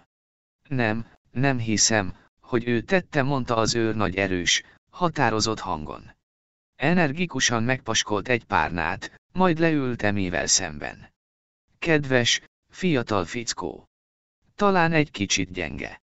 Ne vegye sértésnek, de az a fajta fiatalember, aki könnyen tér rossz irányba, ha megtalálja a kísértés. De gyilkolás, az ki van zárva. Higgye el, tudom, Mit beszélek? Az idők során sok ember volt a kezem alatt. Manapság divatos dolog a nyugdíjas katonatisztekből bohócot csinálni, de egy-két dologban érdemes ránk hallgatni, Miss Trefus is. Ez így van, mondta Emily. Igazán nagyon hálás vagyok, hogy megmondja a véleményét. Kérnek viskájt szódával. Azt hiszem nincs semmi más. Nem, Köszönöm, Bönöbi őrnagy. Akkor csak szódát. Nem, köszönöm válaszolta Emily. Kellene csinálnom egy teát mondta az őrnagy reménytelen vágyakozással. Már teáztunk mondta Charles. Emeres kurt is néltette hozzá. Bönöbi őrnagy, mit gondol, ki tehette? Van valami elképzelése? Nincs. Csapjon belém a menkő, ha van. Természetesnek találtam, hogy valami csavargó tört be, de a rendőrség most azt mondja, hogy nem így van. Hát, az ő dolguk, ők tudják. Azt mondják, nem tört be senki, hát én is így vélekedem, nem volt betörés. Ugyanakkor nem tudom felfogni, Miss Trefus is, mert Trevejan kapitánynak egyszerűen nem volt ellensége. Őrnagy, ha mégis ismerős tette volna, ön biztosan tudná, ki lehetett. Igen, azt hiszem, többet tudok Trevejanról, mint a legtöbb rokona. Tud valami olyat, ami bármi módon segíthet nekünk? Kérdezte Emily. Az őr nagy rövid bajuszát rángatta. Tudom, mire gondol. Csak úgy, mint a könyvekben, kell lennie valami apróságnak, amire én visszaemlékszem, és az lesz a rejtély kulcsa. Nagyon sajnálom, nincs semmi ilyesmi. Trevejan teljesen hétköznapi életet élt. Nagyon kevés levelet kapott, és még kevesebbet írt. Nem voltak nőügyei, ezt biztosan tudom. Nem értem, Miss Trefus is. Mindhárman csendben voltak egy ideig. És mi a helyzet a szolgájával? Sok éve vele volt. Teljesen megbízható. Nagyon későn nősült, mondta Charles. Tökéletesen becsületes, jóra való lányt vett el. Őr nagy, bocsássa meg, hogy ilyen nyíltan teszem fel a kérdést, mondta Emily, de nem lehetséges, hogy túlságosan könnyen ilyet meg a kapitánnyal kapcsolatban. Az őrnagy ismét olyan zavartan dörzsölgette az orrát, ahogy azt mindig tette, amikor csak az asztaltáncoltatás került szóba. Hát, nincs értelme tagadni, ez történt. Tudtam, hogy az egész dolog szamárság, és mégis. Úgy érezte, hogy mégsem teljesen ostobaság, mondta Emily. Az őr nagy bólintott. Ez az, amin csodálkozom, mondta Emily. A két férfi ránézett. Nem tudom pontosan úgy elmondani, ahogy szeretném mentegetőzött Emily. A következőt gondolom, azt állítja, őrnagy, hogy nem hisz a szellemidézésben. És mégis, a szörnyű idő és annak ellenére, hogy látta az egész dolog képtelenségét, annyira nyugtalan lett, hogy minden körülmény ellenére úgy érezte, mennie kell, hogy a saját szemével győződjön meg, jól van-e Trevejan kapitány. Nos, nem gondolja, hogy ennek azért kellett így történnie, mert volt valami furcsa a levegőben. Úgy értem folytatta elkeseredetten, mivel az őr nagy arcán jelét sem látta az egyetértésnek, hogy más fejében is hasonló gondolatok járhattak. És így vagy úgy, de megérezte azokat. Hát, nem is tudom, mondta az őrnagy. Megint ordörzsölés következett. Persze tette hozzá reménykedve a nők komolyan veszik az ilyesmit. Nők. Mondta Emily. Igen mormogta halkan magának azt hiszem, ez lényeges. Gyorsan Bönöbi őrnagyhoz fordult. Milyenek ezek a villettek? Nos, tudja kutatott az emlékezetében az őrnagy, mert nem volt erős oldala az emberek pontos leírása, tulajdonképpen nagyon kellemes emberek. Nagyon segítőkészek meg minden. Miért béreltek egy ilyen házat ebben az évszakban? El sem tudom képzelni. Más is így van vele. Nem gondolja, hogy ez furcsa. Erősködött Emily. Hát persze, hogy különös. Akárhogy is, ízlések és pofonok nem egyformák. A felügyelő is ezt mondta. De hát ez képtelenség. Az emberek nem oké nélkül cselekszenek. Nem tudom, Miss Trefus is mondta az őr nagy óvatosan. Egy részük valóban nem szeszéből csinál valamit. De vannak olyanok is. Sóhajtott egy nagyot és a fejét csóválta. Biztos abban, hogy az előtt nem találkoztak Trevejan kapitánnyal. Az őrnagy elidőzött a gondolatnál. Trevejan biztosan mondott volna valamit neki. Nem, a kapitányt ugyanúgy meglepte Emmeresvillit, mint bárki mást. Tehát a kapitány is furcsának találta. Persze, az imént mondtam, hogy mindenki csodálkozott rajta. Milyen volt Emmeresvillit viszonya a kapitányhoz? Próbálta kerülni a társaságát. Az őr nagy halkan felcsuklott. Kerülni. A világért sem. Halálra nyaggatta minden alkalommal, hogy látogassa meg őt. Vagy úgy mondta Emily jelentőség teljesen. Akkor megkockáztathatjuk azt a feltevést, hogy Emmeres Willit azért bérelte ki a kapitány házát, hogy megismerkedhessék vele. Hát mondta az őrnagy, láthatóan igyekezve, hogy teljesen felfogja a gondolatot, azt hiszem, ez elképzelhető. Bár elég költséges módja az ismerkedésnek. Nem tudom válaszolta Emily. Trevejan kapitány nem az az ember volt, akivel másként olyan könnyű lett volna megismerkedni. Hát ez igaz értett egyet a néhai Trevejan kapitány jó barátja. Kíváncsi vagyok, mondta Emily.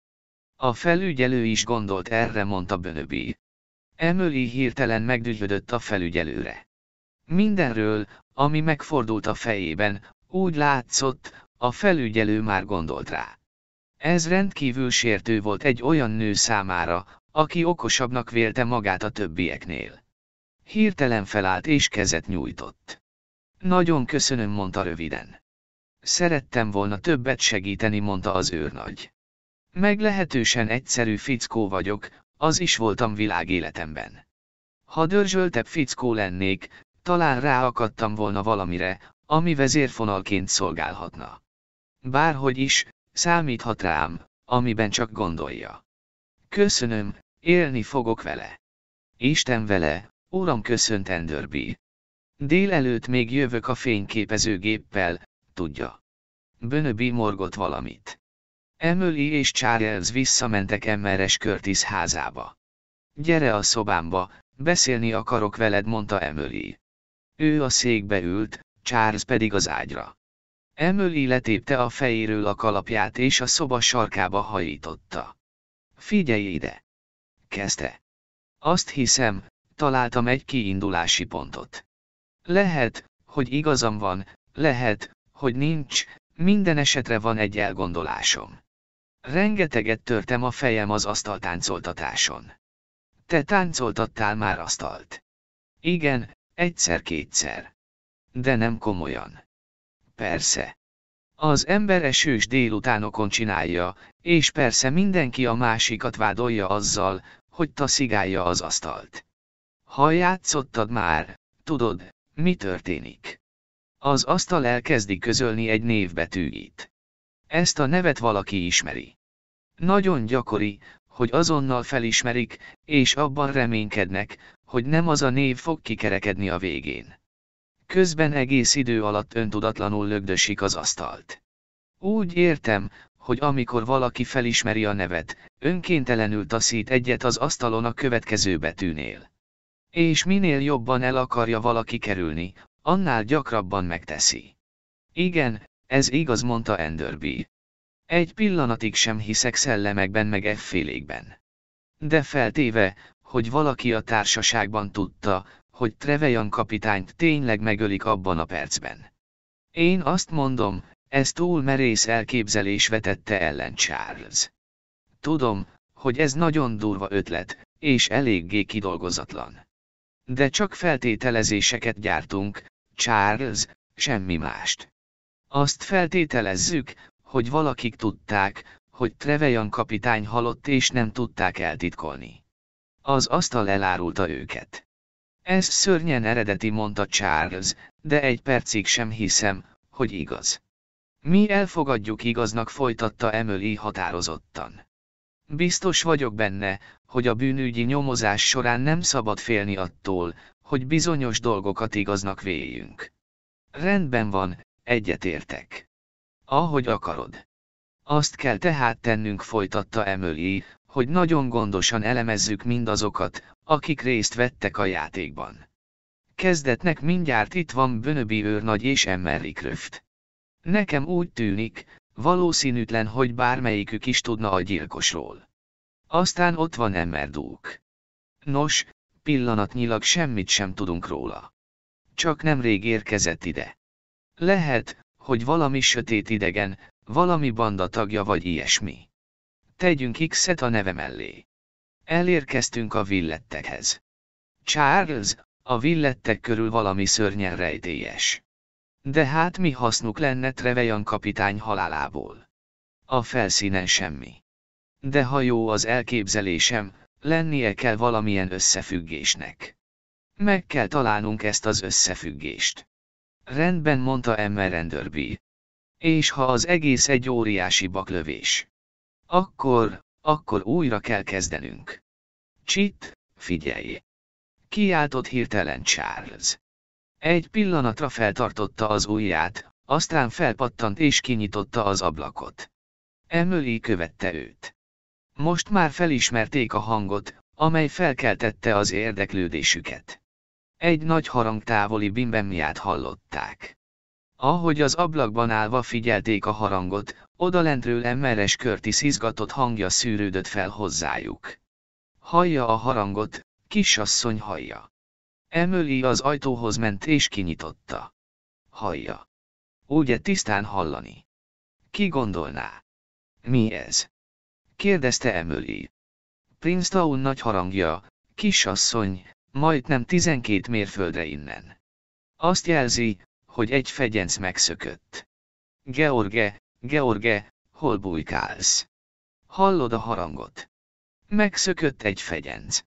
Ahogy áthaladt a konyhán, az asszony hangja fokozatosan elhalt. Charles becsukta az ajtót és megint leült az ágyra. Milyen kár, hogy mindig rosszkor történnek a dolgok szólalt meg kiábrándultan. Ha ez a fegyenc pénteken szökött volna meg, már is lenne gyilkosunk, akit komolyan számításba vehetnénk. A további szimatolás fölösleges. A kiéhezett, kétségbe esett bűnöző betör. Trevejan megvédelmezi az angol otthont az én házam az én váram. Az elkeseredett bűnöző pedig zutty. Hát nem egyszerű. Lehetett volna így is sóhajtotta Emily. Ehelyett a fickó három nappal később szökik. Ez így annyira stílustalan. Charles szomorúan ingatta a fejét. 16. fejezet. Emery Kröft. Emily másnap korán ébredt. Mivel érzékeny ifjú hölgy volt, pontosan tudta, hogy Emmer Renderby közreműködésére csak a reggel jóval előre haladottabb szakaszában számíthat. Így aztán, mivel nyugtalannak érezte magát és nem tudott tovább ágyban maradni, frissítő sétára indult azon az ösvényen, amelyen tegnap érkeztek, de ezúttal az ellenkező irányba vette lépteit. Jobb kézről elhagyta Sittaford House kapuját. Itt az ösvény élesen jobbra fordult és meredeken kapaszkodott fel a dombra. A dombötetőn, ahol elérte a fensíkot, már csak egy füves csapás volt, majd végleg elenyészett. Szép reggel volt. A levegő hideg és éles, a látvány pedig gyönyörű. Emily felkapaszkodott a Sittaford csúcs legtetejére. Ez egy fantasztikus formájú keskeny, hegyes csúcsban végződő szürke sziklaszírt volt. Innen fentről az egész végtelen fensíkot belátta. Amíg csak ellátott, sehol egy ház, sehol egy út. Közvetlenül alatta, a csúcs másik oldalán gránit sziklák és görgetek kövek tengere. Néhány percig gyönyörködött a látványban, majd észak felé fordult, ahonnan jött. Alatta, a dombhoz simulva ott feküdt Sittaford, látta Sittaford House nagy, négyszögletes szürke foltját, mögötte a kis tintapacáknak látszó házakat.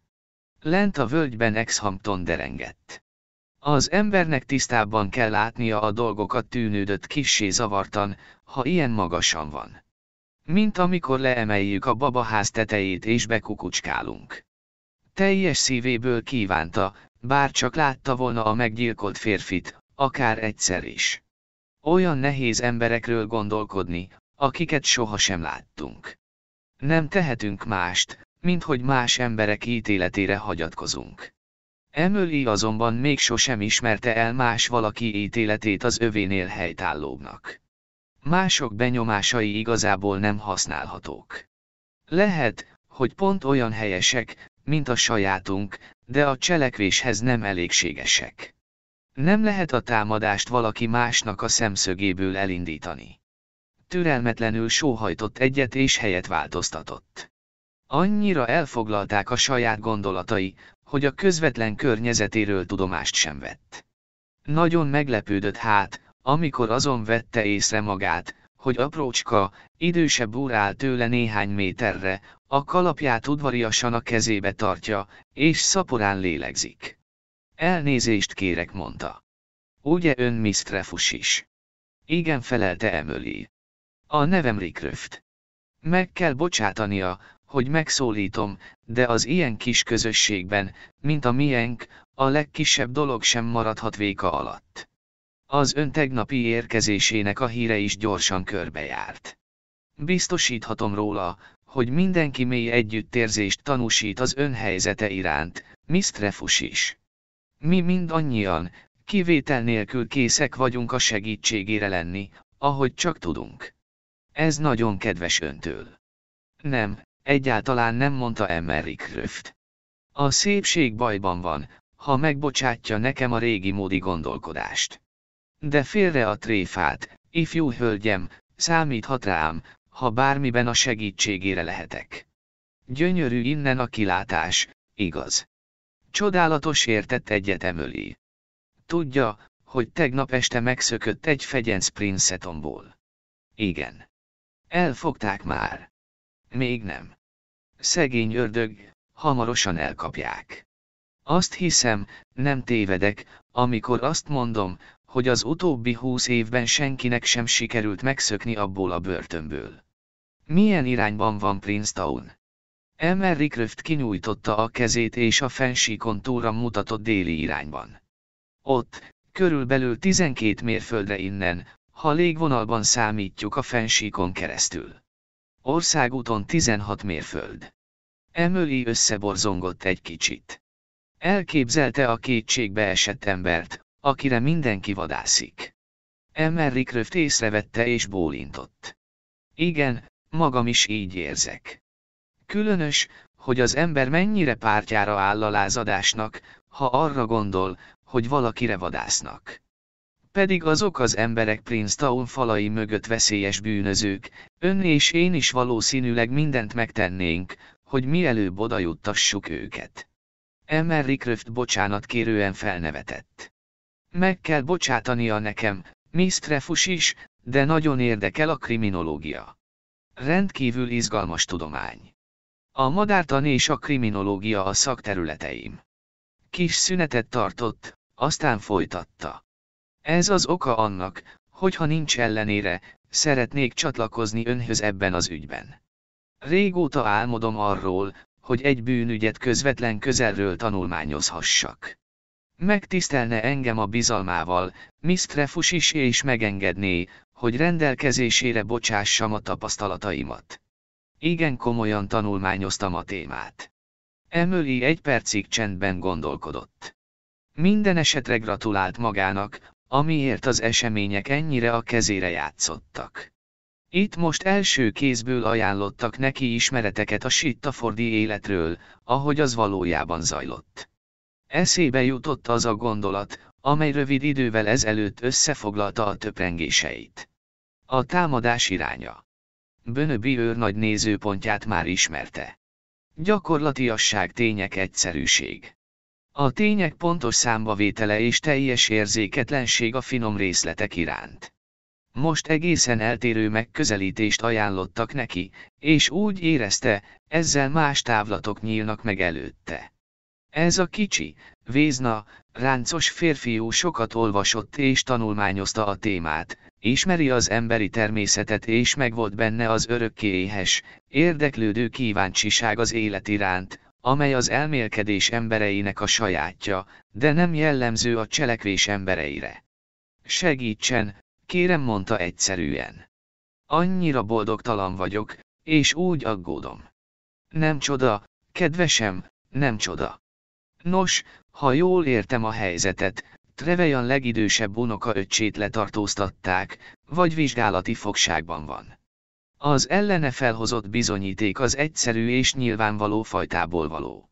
Én természetesen nem vagyok elfogult.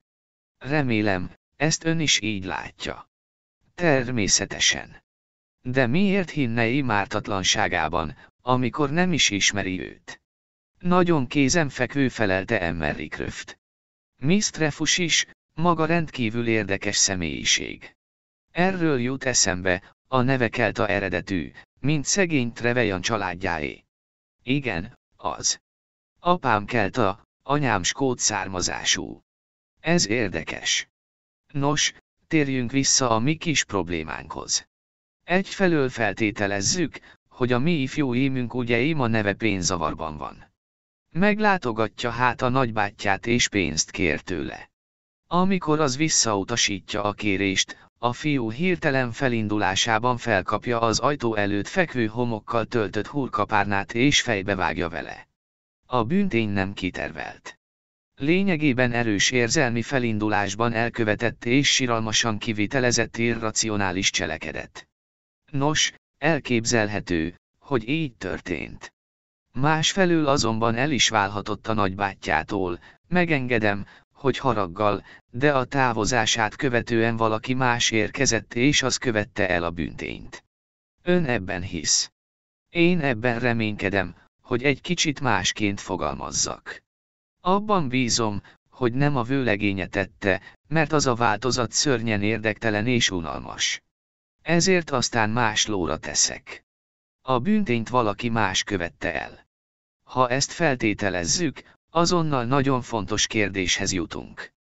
Tudott ez a valaki arról a veszekedésről, amely csak épp az imént zajlott le. Valójában ez a vita váltotta ki a gyilkosságot. Érti, mire gondolok? Valaki már egy ideje azon töri a fejét, hogy eltegye láb alól Trevejan kapitányt. Most megragadja a kínálkozó alkalmat, mert tudja, hogy a gyanú az ifjú Imre terelődik.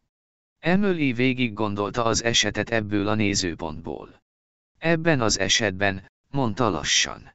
Ebben az esetben vette át a szót élénken a gyilkos csak olyan személy lehet, aki közeli kapcsolatban állt Trevejan kapitánnyal. Az a logikus, hogy ex-hamptoni lakos. Minden valószínűség szerint a házban kellett lennie, vagy már a veszekedés alatt, vagy közvetlenül utána. Mivel nem a bíróság előtt vagyunk, szabadon játhatunk a nevekkel. Evans, a szolga neve például olyan személyt jelöl, aki megfelel a feltételeinknek. Nagyon könnyen jelen lehetett a házban, hallhatta a vitát és kihasználta az alkalmat. A következő kérdés az, volt-e valami haszna Evansonnak gazdája halálából? Úgy tudom, kapott valami kis örökséget mondta Emily. Ez lehet, hogy elégséges indíték, lehet, hogy nem. Ki kell derítenünk, nem pénz szükében volt-e nem hagyhatjuk ki Emmeres Evans személyét sem ha jól tudom, van egy nemrégiben keltezett Emmeres Evans. Ha foglalkozott volna kriminológiával, Miss Trefus is, meglepődne, milyen különös eredménnyel járhat a közeli rokonok körbeházasodása, elsősorban vidéken. Broadmoorban például legalább négy fiatal nő van, látszatra nagyon kellemesek, akiknek a természetével az a bíbi van, hogy az emberi élet nagyon keveset vagy semmit sem jelent nekik. Biztos, hogy emmeres evanst nem hagyhatjuk ki a számításból. Mit gondol az asztaltáncoltatásról, Emmerik Kröft? Na, hát ez különös. Nagyon, nagyon furcsa. Bevallom, Mistrefus is, ez nagy hatással van rám. Mint már hallhatta, én hiszek a pszichikus jelenségekben. Bizonyos mértékig elfogadom a szellemidézést is. Már összeállítottam egy beszámolót és elküldtem a Lélektani Tudományok Társaságának. Az eset hiteles és nagyon izgalmas. Öt ember van együtt és senkinek sem lehet a leghalványabb gyanúja sem arról, hogy Trevejan kapitányt meggyilkolták. Nem gondolja. Emily hirtelen abba hagyta a kérdést. Nem volt könnyű a saját elképzelését elmondani Emery Croftnak, hiszen ő abból indult ki, hogy az öt résztvevő közül egy már tudott a gyilkosságról. Emmer Rickröft pedig az egyik résztvevő az ötből. Nem mintha egy percig is azt gondolta volna, hogy Emmer Rickroftnak bármi köze is lehet a tragédiához. Valahogy mégis úgy érezte, nem lenne igazán okos ezt most kifejteni. Körmön fontabb módon folytatta hát a mondatot. Nagyon érdekel minden, amit mondott, Emmer Rickröft.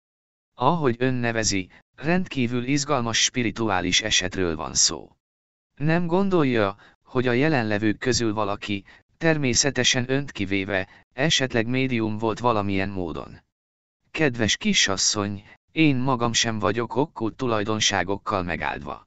Nincsenek ilyen képességeim, nem rendelkezem ilyen erővel. Egyszerűen csak komolyan érdeklődő megfigyelő vagyok. Mi a véleménye Emmer Garfieldről? Kedves fickó mondta Emmer Rickröft, de semmi különös. Azt hiszem, vagyonos. Szegény, mint a templom egere. Remélem, így mondják helyesen. Azért jött ide, hogy a nénikéje körül sürgölődjön, mert hogy úgy mondjam, vannak bizonyos reményei vele kapcsolatban. Miss Persehorú se éles eszű asszony és szerintem tudja, mit ér ez a figyelmes érdeklődés. De mivel sajátosan kaján humora van, megtáncoltatja a fiút. Szeretnék találkozni vele, mondta Emily. Igen, feltétlenül találkozniuk kell. Nem vitás, hogy Miss Persehorú se is örülne a találkozásnak. A kíváncsiság, kedves Miss Trefus is, a kíváncsiság. Meséljen valamit a Vilit családról. Vonzóak, nagyon is. Persze, hisz a birodalom távoli sarkában éltek és a vendégszerető modort megtartották. De nincs igazi méltóság bennük, ha érti mire gondolok. Egy kicsit pazarló a vendégszeretetük. De Miss Violet nagyon megnyerő lány. Vidám helyre jöttek télire, igaz? Igen, ez rém furcsa. Bár végül is van benne logika. Mi ebben az országban örökké a napsütés, az állandó meleg és a hullámzó pálmafák után ácsingózunk. Az emberek Ausztráliában vagy Dél-Afrikában pedig oda vannak egy sok hóval és jéggel beköszöntő, igazi régi módi karácsonyért. Kíváncsi vagyok, melyikük mondta neki ezt dünnyögte magában Emily. Emmer Rickroftnak azt válaszolta, hogy ezért a régi módi karácsonyért még nem kell eltemetkezni a világ végén. A napnál is világosabb volt, hogy Emmer Rickroft nem talált semmi gyanúsat a villettek téli üdülőhelyének megválasztásában. Emily úgy találta, ez nem is olyan különös, tekintetbe véve, hogy az illető ornitológus és kriminológus. Sittaford az ő számára ideális lakóhely és el sem tudja képzelni, hogy valaki másnak kellemetlen. Lassan leereszkedtek a domboldalon és rátértek az ösvényre. Abban a házban kilakik? Kérdezte hirtelen Emily. Vájött kapitány. Hadirokkant, és nem kedveli az embereket. Barátja Trevejan kapitánynak. Nem voltak meghitt barátok. Trevejan hébe-hóba meglátogatta. Az igazság az, hogy Vájött nem bátorította a látogatókat. Goromba ember. Emily nem válaszolt. Azon tűnődött, hogyan lehetne belőle látogató Vájött kapitánynál. Nem állt szándékában kihagyni egyetlen lehetséges nézőpont megismerését sem. Hirtelen eszébe jutott a szeánsznak az a résztvevője, akiről még egy szó sem esett. És mi a helyzet Emmer Dukekal? kérdezte élénken. Mi van vele? Ő kicsoda? Nos mondta Emmer Rickröft vontatottan, ezt nem tudja senki. Hát ez érdekes. Az igazság az, hogy Dúg körül nincs semmi különleges. Tökéletesen hétköznapi személyiség. Azt hiszem, az egyetlen rejtély körülötte a társadalmi hovatartozása. Egyszerű, jóra való fickó. Emily nem szólt semmit. Ez itt az én házam, mondta Emmer Rickröft, amikor odaértek. Remélem, megtisztel azzal, hogy meglátogat és körülnéz nálam. Szívesen válaszolta a lány.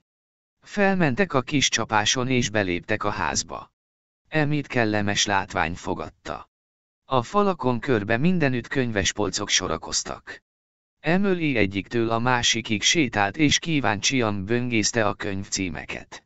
A könyvek egy része okkult jelenségeket tárgyalt, odább modern detektívregények sorakoztak. Legnagyobb részük azonban kriminológiai szakmunka volt, és nem hiányoztak a világ híres pereit tárgyaló kötetek sem. Madárt annal csak a könyvek viszonylag kis hányada foglalkozott. Minden csodálatos dicsérte Emery Kröft otthonát Emily.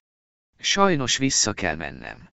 Az az érzésem, Emmer Enderby már felébredt és rám vár. Meg aztán nem is reggeliztem még. 9.30-at mondtunk Emmeres Kurtisnek, és most látom, hogy már 10 óra van. Rettenetesen el fogok késni és ez csak azért van, mert ön oly lebilincselő és segítőkész. Amit csak meg tudok tenni mormogta Emery Kröft, miközben Emily boszorkányos pillantást vetett rá. Számíthat rám. Összeesküvők vagyunk. Emily kezet nyújtott a kisembernek és melegen megszorította a kezét. Annyira jó leső érzés mondta, és megint azt a fordulatot használta, amely rövid élete során már oly sokszor bizonyult hatásosnak, hogy van valaki, akire az ember bátran támaszkodhat. 17. fejezet Persze se kisasszony. Emir Charles mellett hatalmas adag sonkás tojás is várta. Emeres Curtis a szökött fegyenc miatt még mindig izgatott volt. Már két éve, hogy az utolsó megszökött újságolta, és csak három nap múltán fogták el, valahol Moreton Hampstead közelében. Gondolja, hogy erre felé jöhet. Kérdezte Charles.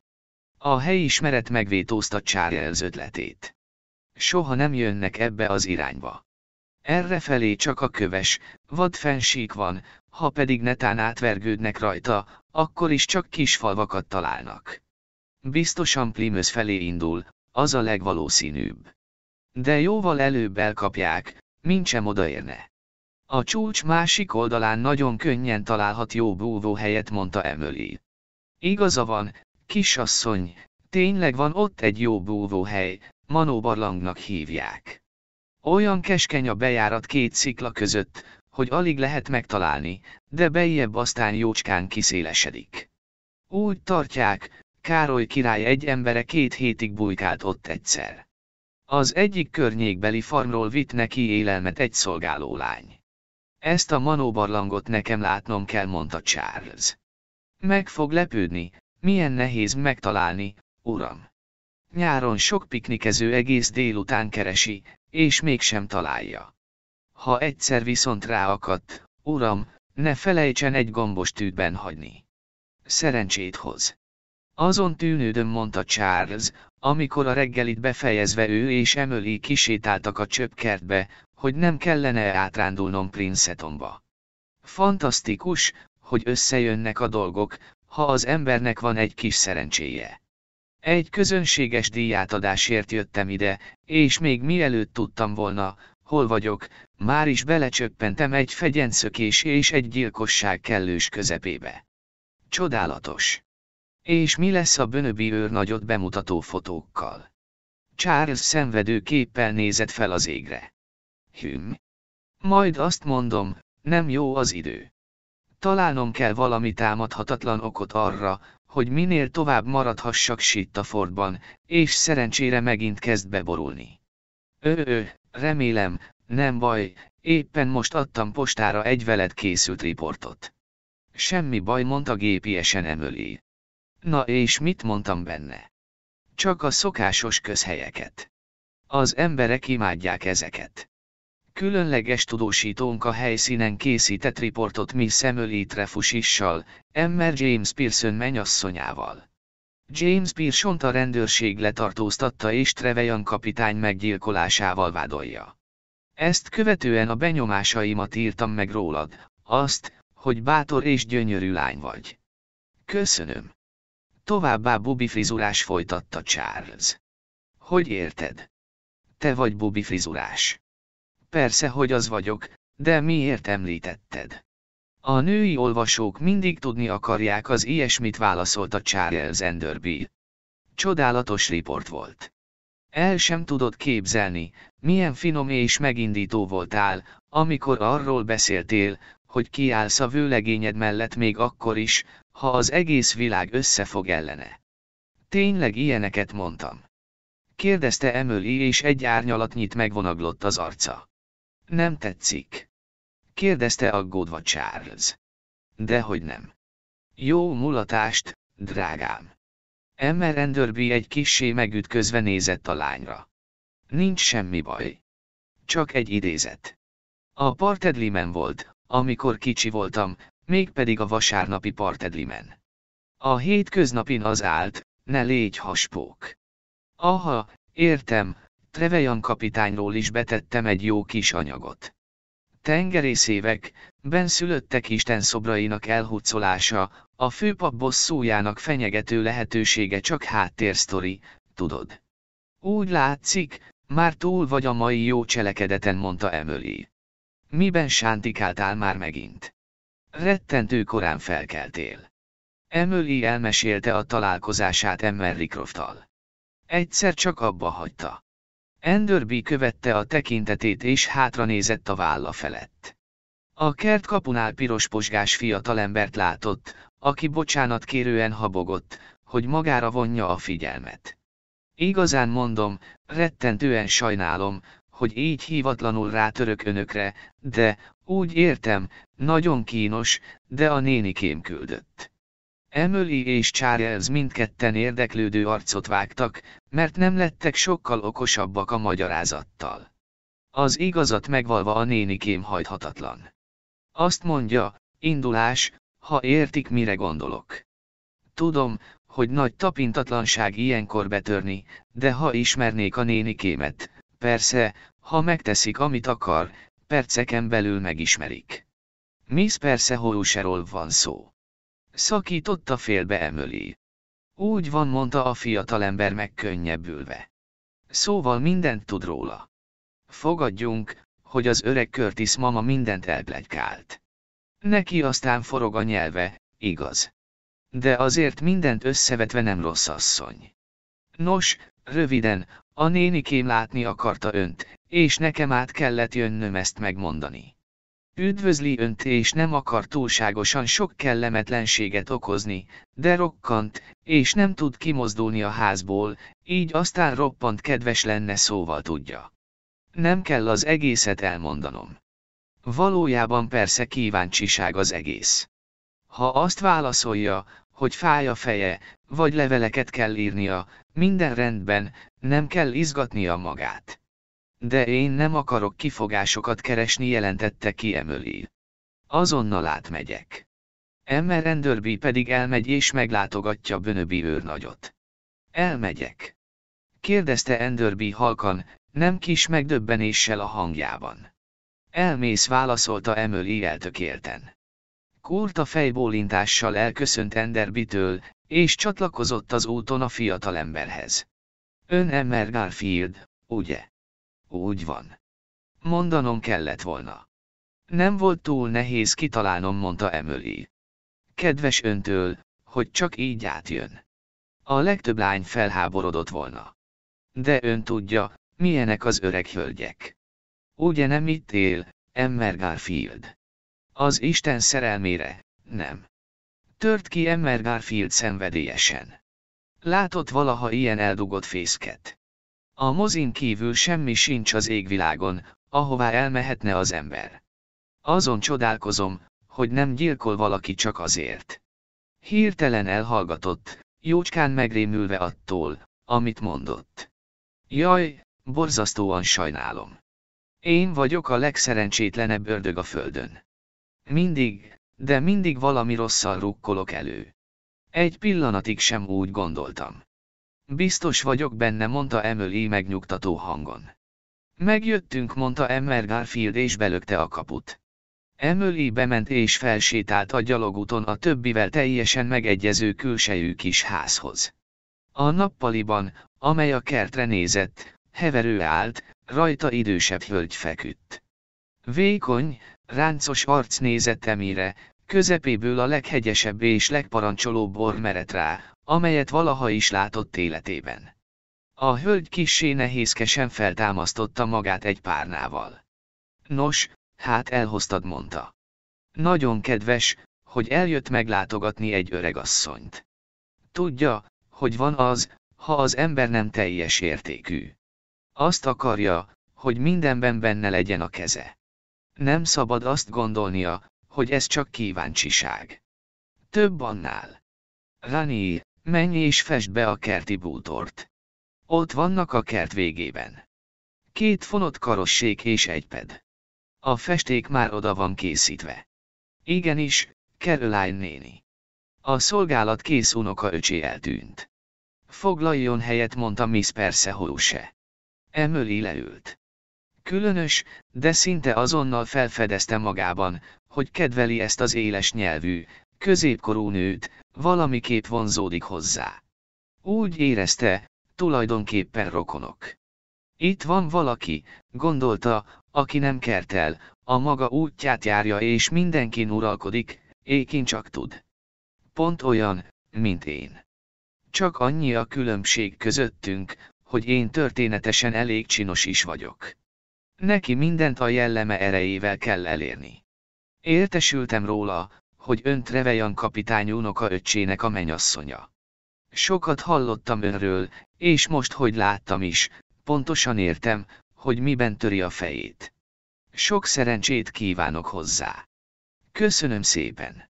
Utálom az érzelgős nőket. Azokat szeretem, akik nem tétlenkednek és megteszik, amit kell. Miss Persehoru se éles tekintetet vetett Emire. Gondolom, sajnál engem.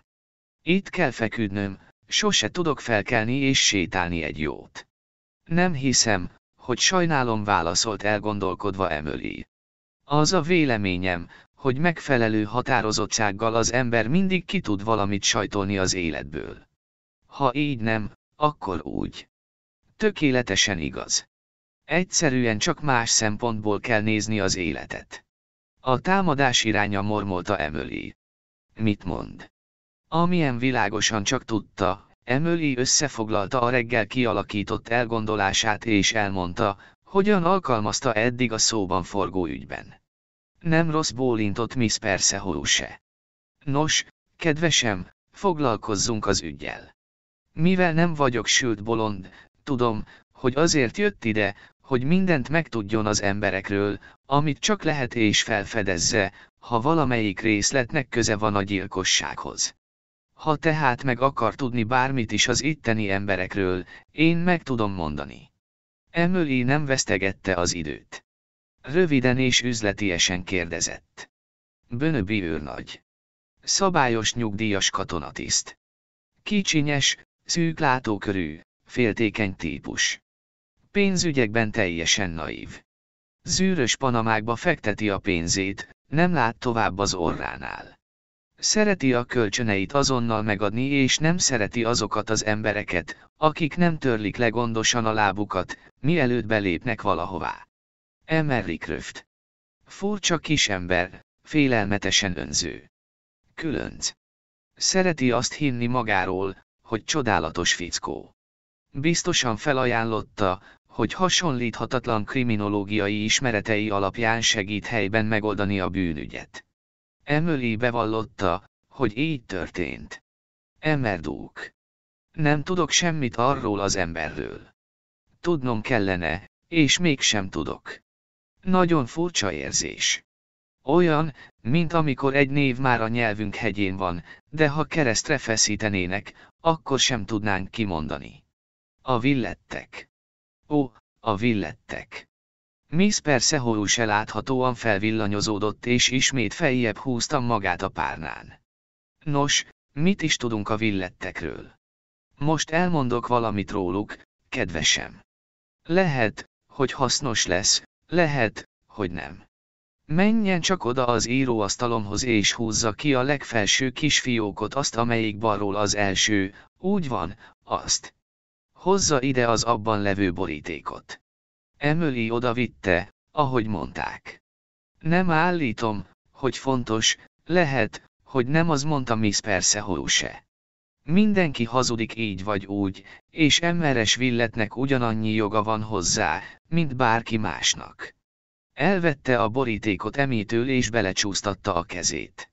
Mindent elmondok.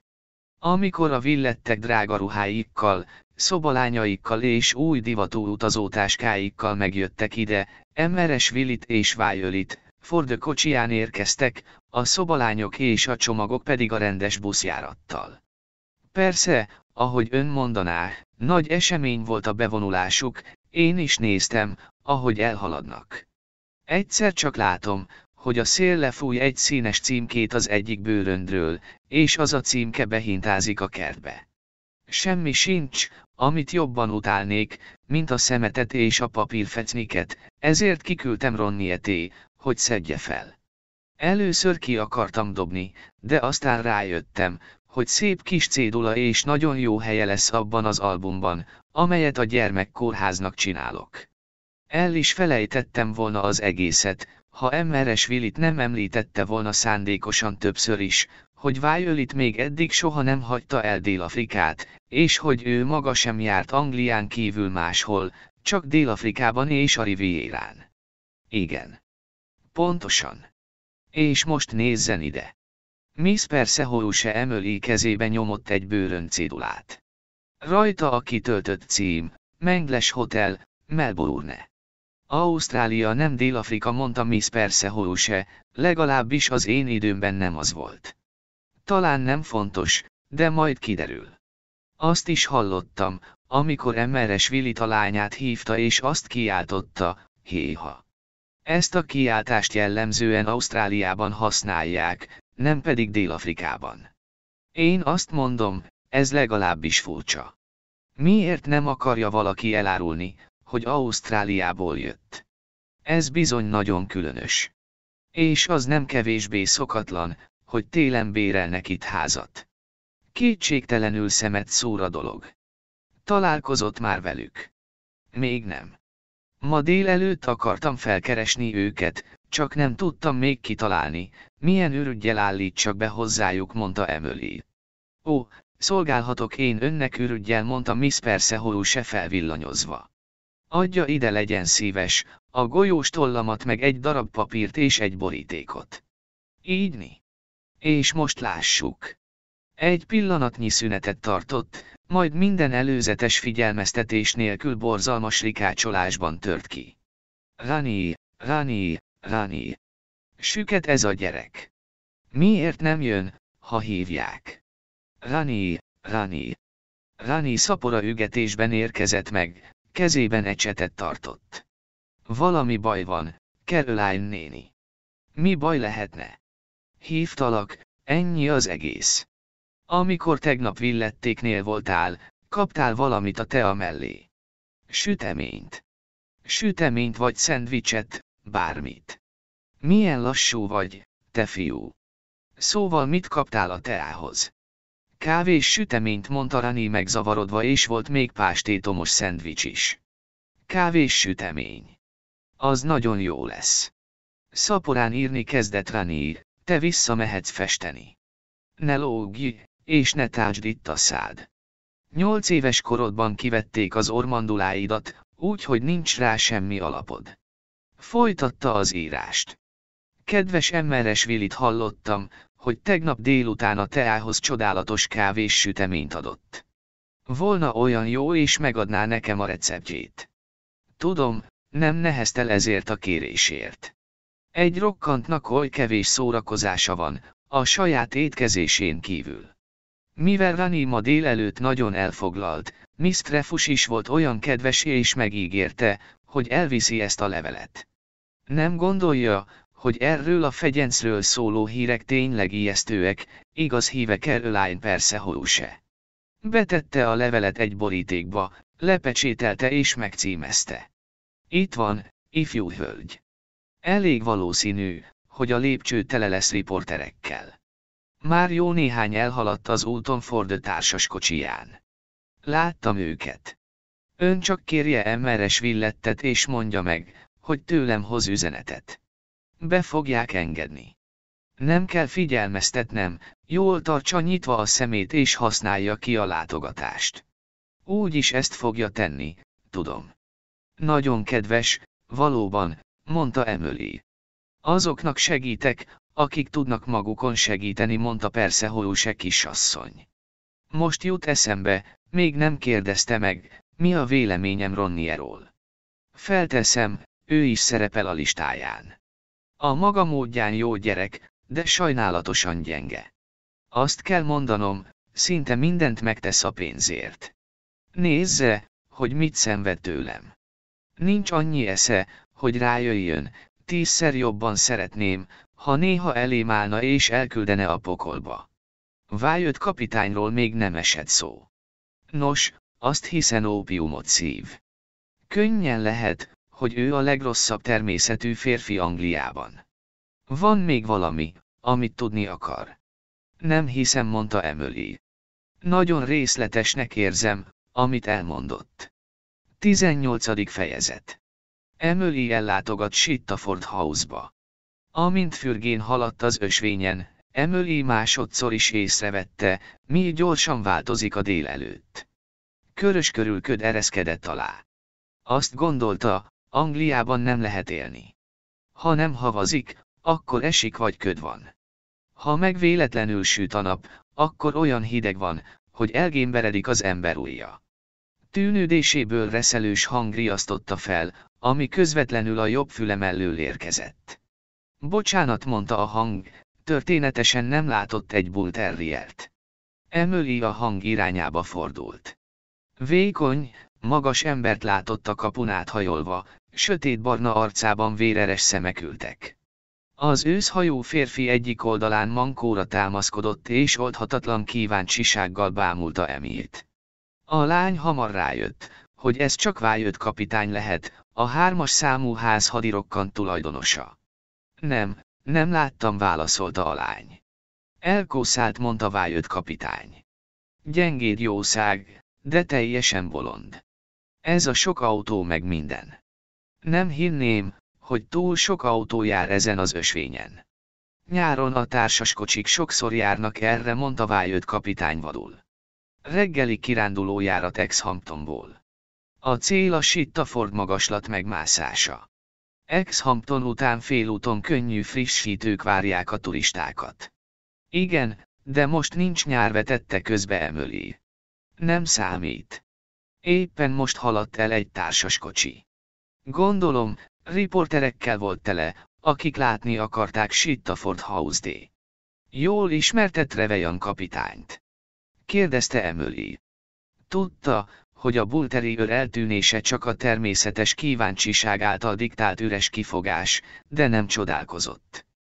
Tisztában volt vele, hogy jelenleg ő áll a figyelem középpontjában Sittafordban, abban pedig nincs semmi különös, hogy vájött kapitány, csak úgy, mint bárki más, szerette volna közelről látni őt. Nem ismertem jól. Ő adta el nekem ezt a házat. Igen, mondta Emily bátorítóan. Fösvény, az volt a kapitány folytatta vájött. Az volt a megállapodás, hogy a vevő kívánsága szerint kell befejezni a házat. Ezután csak azért, mert az ablakszárnyakat barnára festettem és citromsárgával keretezték őket, a költségek felét ki akarta velem fizettetni. Azzal érvelt, hogy a megállapodás egységesen egy színre vonatkozott. Úgy látom, nem kedvelte őt különösebben. Folyton vitatkoztunk valamin. De én mindig mindenkivel vitatkozom. Egy ilyen helyen meg kell tanítani az embereket arra, hogy békén hagyjanak. Itt állandóan kopog valaki az ajtón, már benn is van, és egyfolytában fecseg. Nem bánom én a társaságot, ha van hozzá hangulatom, de az én hangulatom kell hozzá, nem az övék. Nem tudtam elviselni, hogy Trevejan a maga hűbérúri modorában akkor esett be hozzám, amikor csak kedve tartotta. Most már az egész társaságból senki sem mer közelíteni hozzám fejezte be büszkén vájött. Csak ugyan. Mondta Emily. Az a legjobb, ha az emberben szülött szolgát tart folytatta a kapitány. Azok még értik a parancsot. Abdul. Ordított egyet hirtelen. Magas indiai került elő a házból, a fején hatalmas turbánt viselt. Figyelmesen várt. Jöjjön, be, hadd kínáljam meg valamivel. És nézze meg az én kis otthonomat is. Sajnálom, de sietnem kell. Ó nem, ne menjen még. Tényleg nem maradhatok. Találkozóm van. Manapság senki sem tudja, hogyan kell élni filozofált vájött kapitány. Vonatok után rohannak, találkozókat beszélnek meg, mindent időre csinálnak tiszta bolondok háza. Én azt mondom, kelj fel a nappal, akkor egyél, amikor éhes vagy, sose légy rabja dátumoknak és időpontoknak. Ha hallgatnának rám, megtanítanám az embereket az élet élvezetére. Emily arra gondolt, hogy ennek a sajátos életvitelnek az eredményei nem túl biztatóak. Még sosem látott vájött kapitánynál jobban lerobbant emberi roncsot. Mivel úgy érezte, vájött kíváncsiságát már épp eléggé kielégítette, még egyszer hivatkozott a találkozóra és folytatta útját. Sitta Ford House ajtaja erős tölgyfából készült. A csengőhúzó remekbe szabott, a drótfonata ragyog, a rézlevél szekrény fényesre szidolozott. Emily megérezte, hogy mindenből kényelem és méltóság árad. Csínosan, de hagyományosan öltözött szobalány nyitott neki ajtót. Emily azonnal tudta, hogy az újságíró horda már járt itt. A szobalány ugyanis elutasító hangon közölte vele, hogy Emmeres Willit ma délelőtt már senkit sem fogad. Miss Perseholú se üzenetét hoztam, mondta Emily. Ez egy csapásra megváltoztatta a helyzetet. A szobalány arca határozatlanná vált, majd a lány megváltoztatta álláspontját. Jöjjön be, kérem. Emily olyan helységbe lépett, amelyet az ingatlan ügynökök gazdagon berendezett hall, elnevezéssel szoktak leírni. Innen tovább jutott egy tágas szalomba. Itt barátságosan égett a tűz, a szoba pedig tele volt nőkre jellemző tárgyakkal néhány üvegtulipán, egy szépen kimunkált varródoboz, egy leánykalap és egy nagyon hosszú lábú Pierrot baba hevertek szerteszét. Emének feltűnt, hogy egyetlen fénykép sincs a szobában. Miután mindent szemügyre vett, a kandallóhoz lépett és a kezeit kezdte melengetni. Ekkor nyílt az ajtó és egy hozzá hasonló korú lány lépett be rajta. Nagyon csinos volt, jól és drágán öltözött. Emének az volt az érzése, még sosem találkozott nála aggódóbb, idegesebb teremtéssel. A felszínen ez persze nem látszott. Miss Willit hősiesen eljátszotta, hogy teljesen kiegyensúlyozott. Jó reggelt! Lépett közelebb és a kezét nyújtotta. Sajnálom, hogy anyám nem jött le, de ma ágyban tölti a délelőttöt. Elnézést, azt hiszem nem a legalkalmasabb időben jöttem. Nem, egyáltalán nem. A szakács már írja a receptjét annak a süteménynek. Boldogok vagyunk, hogy átadhatjuk persze Holuse kisasszonynak. Nála lakik. Emily belső mosolyjal nyugtázta, hogy ez az egyetlen ház Sittafordban, ahol nem tudják róla, hogy kicsoda és miért van itt. Sittaford House-ban az alkalmazottak és az alkalmazók két külön világban élnek. Lehet, hogy az előbbiek tudtak róla, az utóbbiak azonban biztosan nem. Nem egészen. Emeres Curtis házában lakom. Az a bungaló nagyon szűk, és vele lakik az unoka öccse, Rani is, igaz. Nem hiszem, hogy sok felesleges hely lehet nála. Rendkívüli nő, nem találja. Eredeti jellem, mindig ezt gondolom róla, de valójában meglehetősen félek tőle. Erőszakos, igaz? Kérdezte Emily vidáman. Nagyon nagy a kísértés, hogy erőszakosan éljünk, különösen, ha az emberek nem mernek szembeszállni velünk. Miss Willit nagyot sóhajtott. Bár csak szembe tudnék szállni az emberekkel. Ma is szörnyű reggelünk volt, a riporterek halálra nyaggattak. Persze, értem mondta Emily. Ez tulajdonképpen Trevejan kapitány háza, ugye? Azé az emberé, akit Exhamptonban megöltek. Emily azt próbálta kideríteni, mitől ilyen ideges ez a lány. Ingerült volt és valami nyomasztotta, mégpedig komolyan. Emily szándékosan említette neki Trevejan kapitány nevét ilyen nyersen. A lány azonban semmi jelét nem mutatta annak, hogy a név hatott rá. Emily abban bízott, később majd lesz valami, ami elárulja. Igen. Szörnyű eset válaszolt Miss Willit. Kérem, mondjon el valamit nekem. De csak akkor, ha nem kellemetlen erről beszélnie. Nem, dehogy. Nem kellemetlen. Miért lenne az? Valami nagyon nincs rendben ezzel a lányjal, gondolta Emily. Alig tudja, mit beszél. Mi lehet az oka, hogy ma reggel ennyire begyulladt? Az asztaltáncoltatásra gondolok folytatta Emily.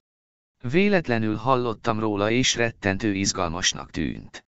Úgy értem, hát borzongatónak találtam. Magában arra gondolt, hogy az izgalommal vegyes lányos félelem Miss Willit esetében is hatásos lesz. Az az este borzalmas volt. Sosem fogom elfelejteni. Persze mindannyian azt gondoltuk, valaki tréfát űző velünk, csak nagyon ocsmány tréfát. Igen. Sosem felejtem el, amikor meggyújtottuk a villanyt. Mindenki olyan furcsának tűnt. Csak Emmer Dúk és Emmer Bönöbi nem. Mindkét férfi a közönyös fajtából való, nem szeretik elárulni, ha valami hatással van rájuk. Bönöbi őrnagy inkább izgatottnak látszott. Azt hiszem, valójában jobban hit az üzenetben, mint bárki más. Én azt hittem, Emmer Rikröft szívrohamot vagy valami hasonlót kap, olyan állapotban volt. Pedig hozzá kellett volna szoknia az ilyesmihez, hiszen örökké az okkult jelenségeket tanulmányozza. Ami Ronnieté illeti tudja, Rani Garfield ő úgy festett, mint aki kísértetet lát. Hát akkor tulajdonképpen látott egyet. Még anya is szörnyen fel volt dúlva, sosem láttam ilyennek.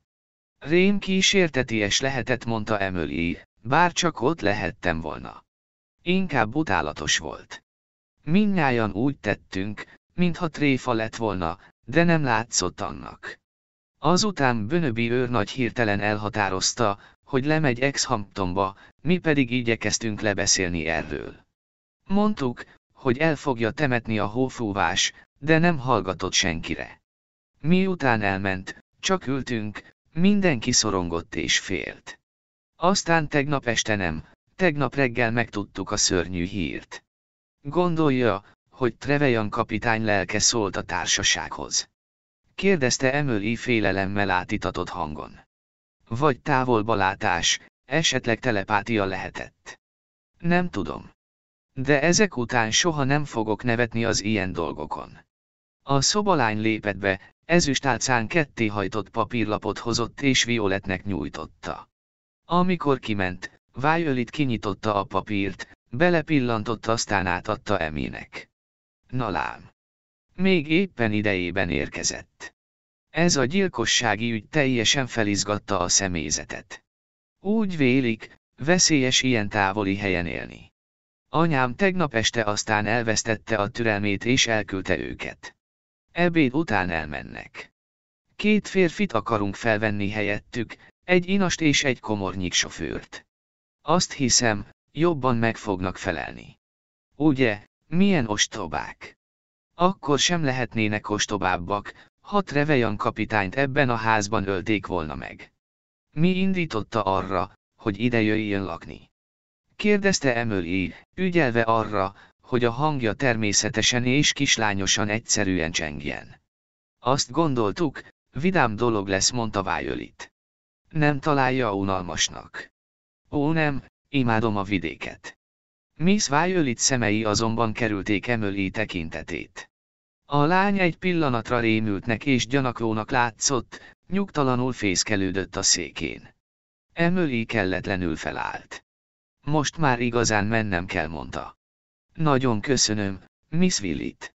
Remélem, az édesanyja már jobban van. Ó, nincs komoly baj.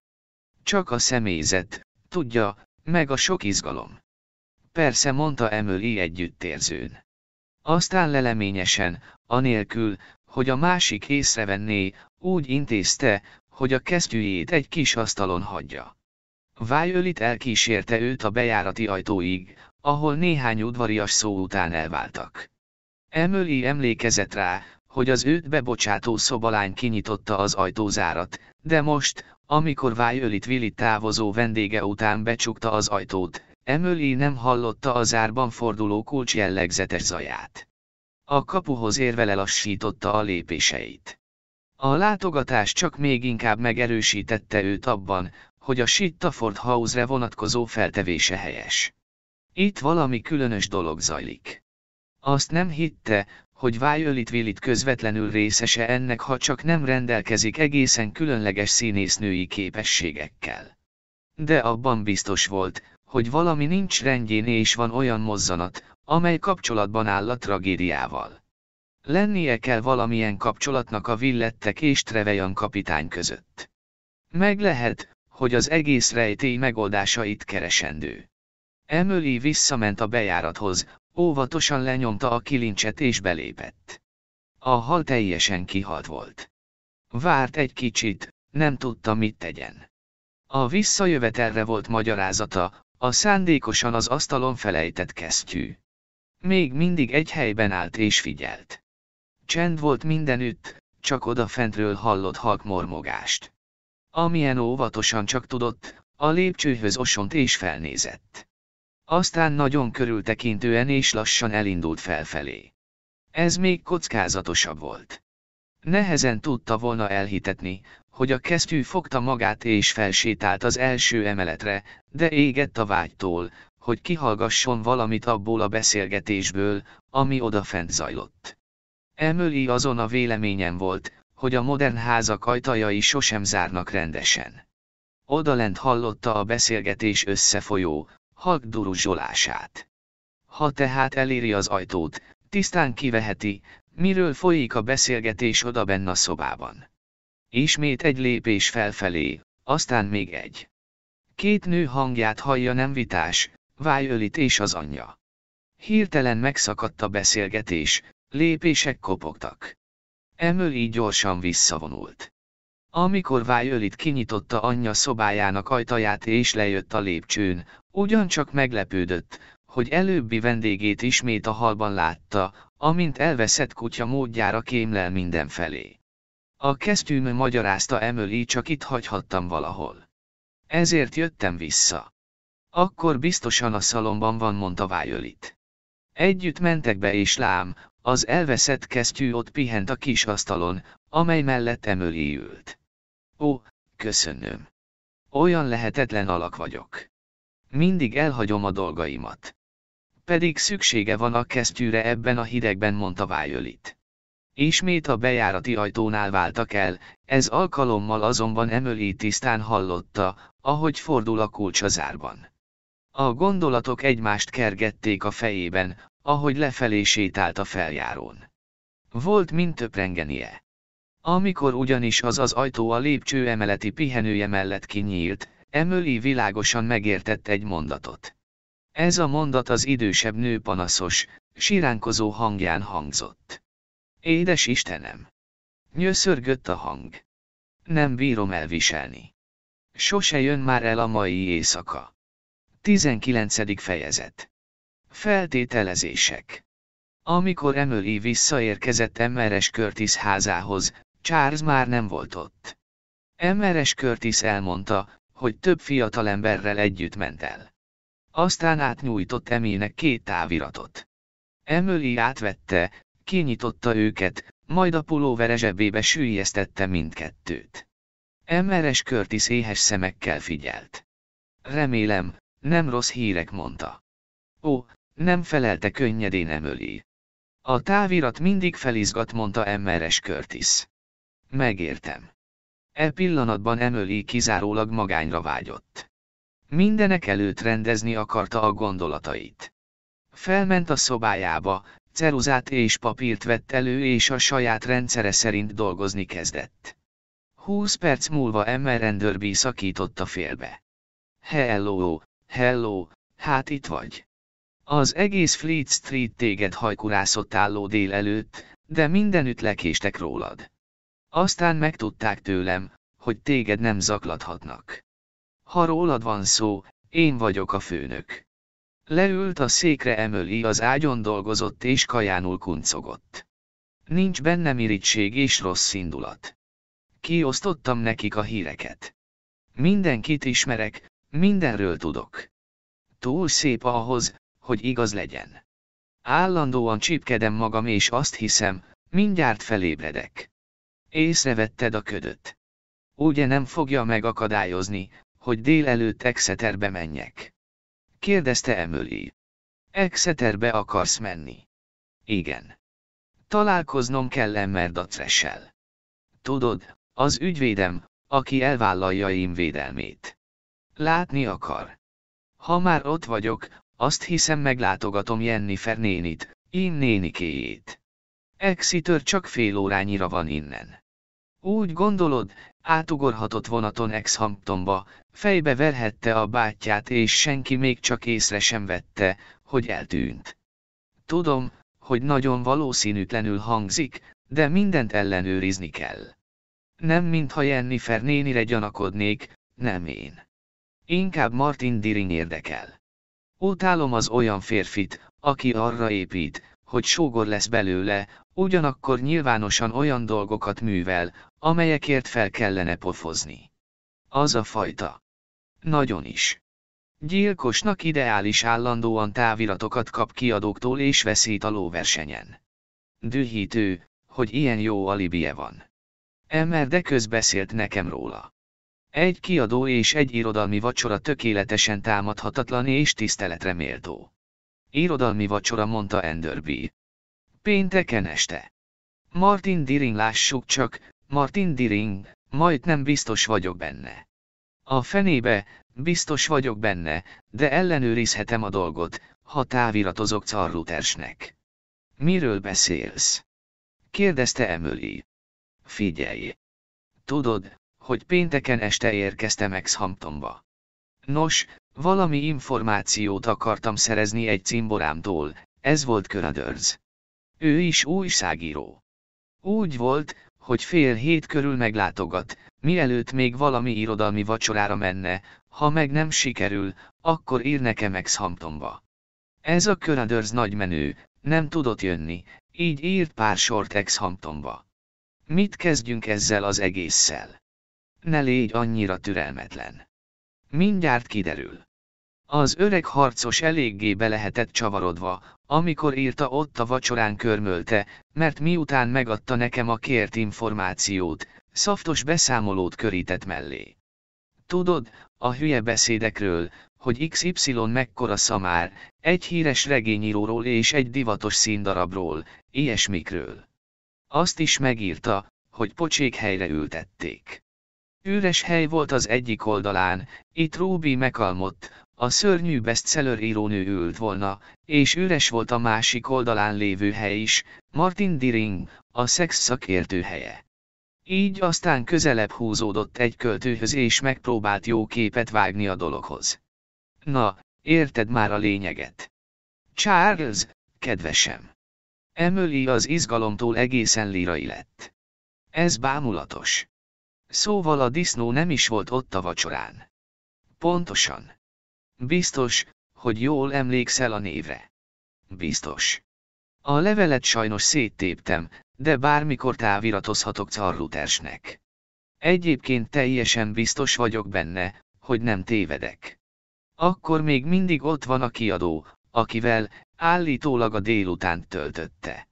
Hajlok arra, hogy ez egy amerikai kiadó lehetett, éppen visszatérőben Amerikába, és így már jóval gyanúsabb az ügy.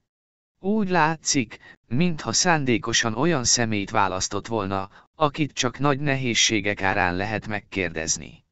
Tényleg azt hiszed, hogy rábukkantunk? kérdezte Enderby. Hát, úgy tűnik.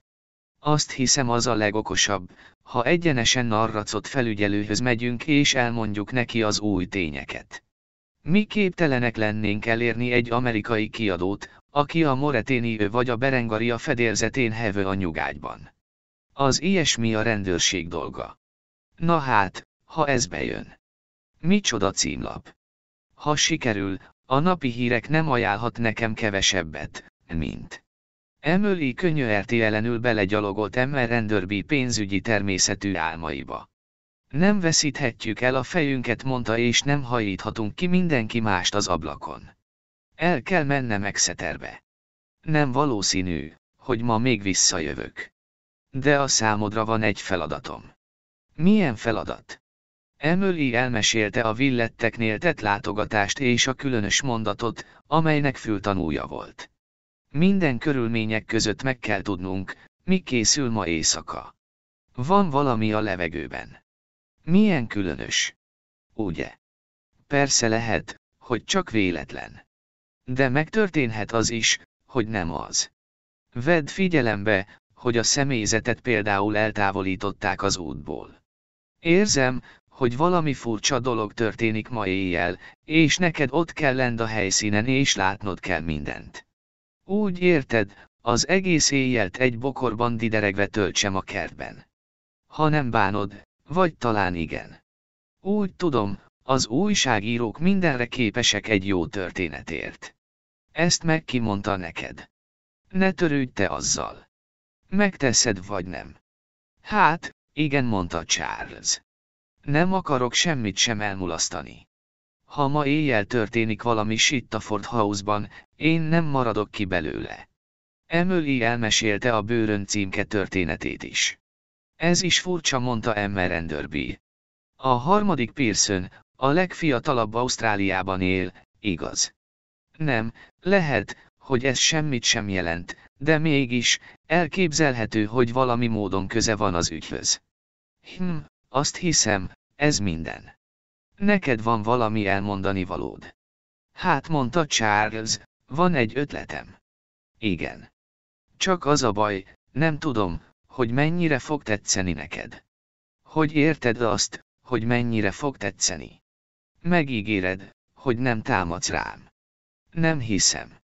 Remélem, mindent meg tudok hallgatni csendben és figyelmesen. Nos, remélem, nem tartod tolakodásnak vagy illetéktelenségnek, de nem gondolod, hogy a fiúdnak csak a színtiszta igazság lehet a bírája. Úgy érted, hogy mégis ő követte el a gyilkosságot. Szíved joga, hogy ezt gondold. Én megmondtam az elején, hogy ez a természetes nézőpont, de azt is mondtam, hogy a mi munkánk alapja az a feltételezés, hogy nem ő tette. Nem is azt gondolom sietett közbevágni Enderby. Veled együtt hiszem, hogy nem ő tette el láb alól az öreg fiút. Csak arra gondolok, milyen messze lehet az ő története attól, ami tényleg történt. A fiú azt állítja, hogy Ódönönt, beszélt az öreggel, majd éppen és egészségesen hagyta ott. Igen. Nos, csak úgy felötlött bennem, nem gondolod, hogy úgy is történhetett, hogy Oldemönt és már halottan találta az öreget. Arra gondolok, hogy beijedt, megrémült és nem merte elmondani. Charles eléggé bizonytalanul adta elő az ötletét és megkönnyebbülten látta, hogy Emily nem készül lerohanni őt. Ellenkezőleg, töprengő arckifejezés és szemöldök felhúzás jelezte, hogy a lány komolyan veszi a hallottakat. Nos, nem akarok színlelni. Tényleg lehetséges, hogy így volt. Eddig nem gondoltam rá. Tudom, hogy Jim senkit sem tud megölni, de lehet, hogy elvesztette a fejét és kitalált valami buta hazugságot, később pedig már ragaszkodnia kellett hozzá. Igen, ez könnyen elképzelhető. Csak az a baj, hogy nem mehetsz oda és nem kérdezheted meg tőle. Biztosan nem hagynának vele egyedül. Elküldhetem hozzá Emmer de közt mondta Emily. Az ügyvéddel, gondolom találkozhat egyedül. Jimben az a legrosszabb, hogy csökönyös. Ha egyszer kimondott valamit, a végtelenségig ragaszkodik hozzá. Ez az én ötletem és kitartok mellettem, mondta Enderby megértően. Igen. Örülök, hogy megemlítetted ezt a lehetőséget, Charles, én nem gondoltam rá. Eddig olyas valakit kerestünk, aki Jim távozása után érkezett. De ha már előtte ott járt. Elgondolkodva szünetet tartott. Két gyökeresen eltérő feltételezés született. Az egyiket Emery Kröft alakította ki, ebben a Imi és a nagybátyja közötti veszekedésnek döntő szerepe volt. A másik elképzelés egyáltalán nem vesz tudomást Imről. Emily úgy látta, most legelőször az orvossal kell beszélnie, aki megvizsgálta a holtestet. Ha lehetséges volna, hogy Trevejan kapitányt tegyük fel már négy órakor megölték, egészen másként állnának a dolgok az alibiket illetően. A másik fontos teendő, hogy Emmerde közt rávegye, győzze meg az ügyfelét arról, hogy az a teljes igazságot mondja el neki. Emily felállt az ágyról. Most az a legfontosabb, hogy kitaláld, hogyan menjek Ex-Hamptonba. A Kovács műhely tulajdonosának van valami kocsia. Kérlek, menj és állapodj meg vele. Ebéd után azonnal indulni szeretnék. Három óra tízkor van vonat Exeterbe. Így még elég időm van a doktor meglátogatására. Hány óra van? Fél egy mondta Emmer rendőrbi az órájára nézve. Akkor mindketten megyünk és elintézzük az autót mondta Emily. Van még valami, amit el kell intéznem, mielőtt elindulok. Micsoda? Be akarok nézni Emmer Dukehoz. Ő az egyetlen ember Sittafordban, akivel még nem találkoztam. Pedig ő volt az egyik résztvevője az asztaltáncoltatásnak. A háza pont útba esik. Emmer Duke háza a sor végén állt. Emily és Charles kinyitották a kertkaput és felsétáltak az ösvényen. Ekkor valami meglepő történt. Kinyílt az ajtó és kilépett rajta egy férfi. Ez a férfi narracot felügyelő volt. A felügyelő is meglepődött, Emily zavarba jött. Hirtelen feladta eredeti tervét. De örülök, hogy találkozunk, felügyelő úr. Van egy-két apróság, amiről szeretnék szót váltani önnel, ha lehet. Örömmel, Miss Trefus is. A felügyelő előhúzta az óráját. Attól tartok, sietnie kell. Vár rám a kocsi. Mindjárt vissza kell mennem Ex-Hamptonba. Micsoda váratlan szerencse. Felelte Emily. Elvinne magával, felügyelő úr. A felügyelő elég szemtelenül azt mondta, nagy örömére szolgálna. Charles, elszaladhatnál a táskámért. Már becsomagoltam. Charles azonnal elindult. Nagy meglepetés itt találkozni önnel, Miss Trefus is mondta narracot felügyelő. Én úgy köszöntem el, Aurivár emlékeztette őt Emöli. Akkor észre sem vettem. Sokáig a színemet se látta, felügyelő úr mondta Emöli szemtelenül. Tudja, narracot felügyelő úr, elkövetett egy hibát. Én nem az, akit önkeres. Valóban. És ami ennél is több, azt hiszem a szíve mélyén egyetért velem. Ezt miből gondolja, Miss Trefus is? Mit keresett Emmer Duke házában élvezte a bosszút Emöli? Narracot zavartnak látszott, Emöli pedig késedelem nélkül folytatta. Bizonytalan a dolgában, felügyelő úr, úgy bizony. Azt hitte, megtalálta az emberét, de most már nem olyan biztos ebben és újabb vizsgálatokat kezd.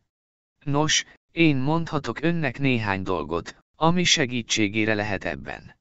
Elmondom az Exhamptonba vezető úton. Az útról lépések hallatszottak, megjelent Rani Garfield. Bűnös lógós benyomását keltette, lihegett.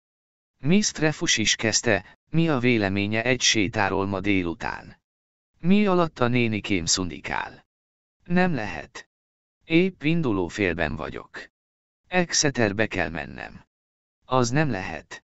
Örökre. Ó, dehogy. Holnap ismét itt leszek. Az jó lesz.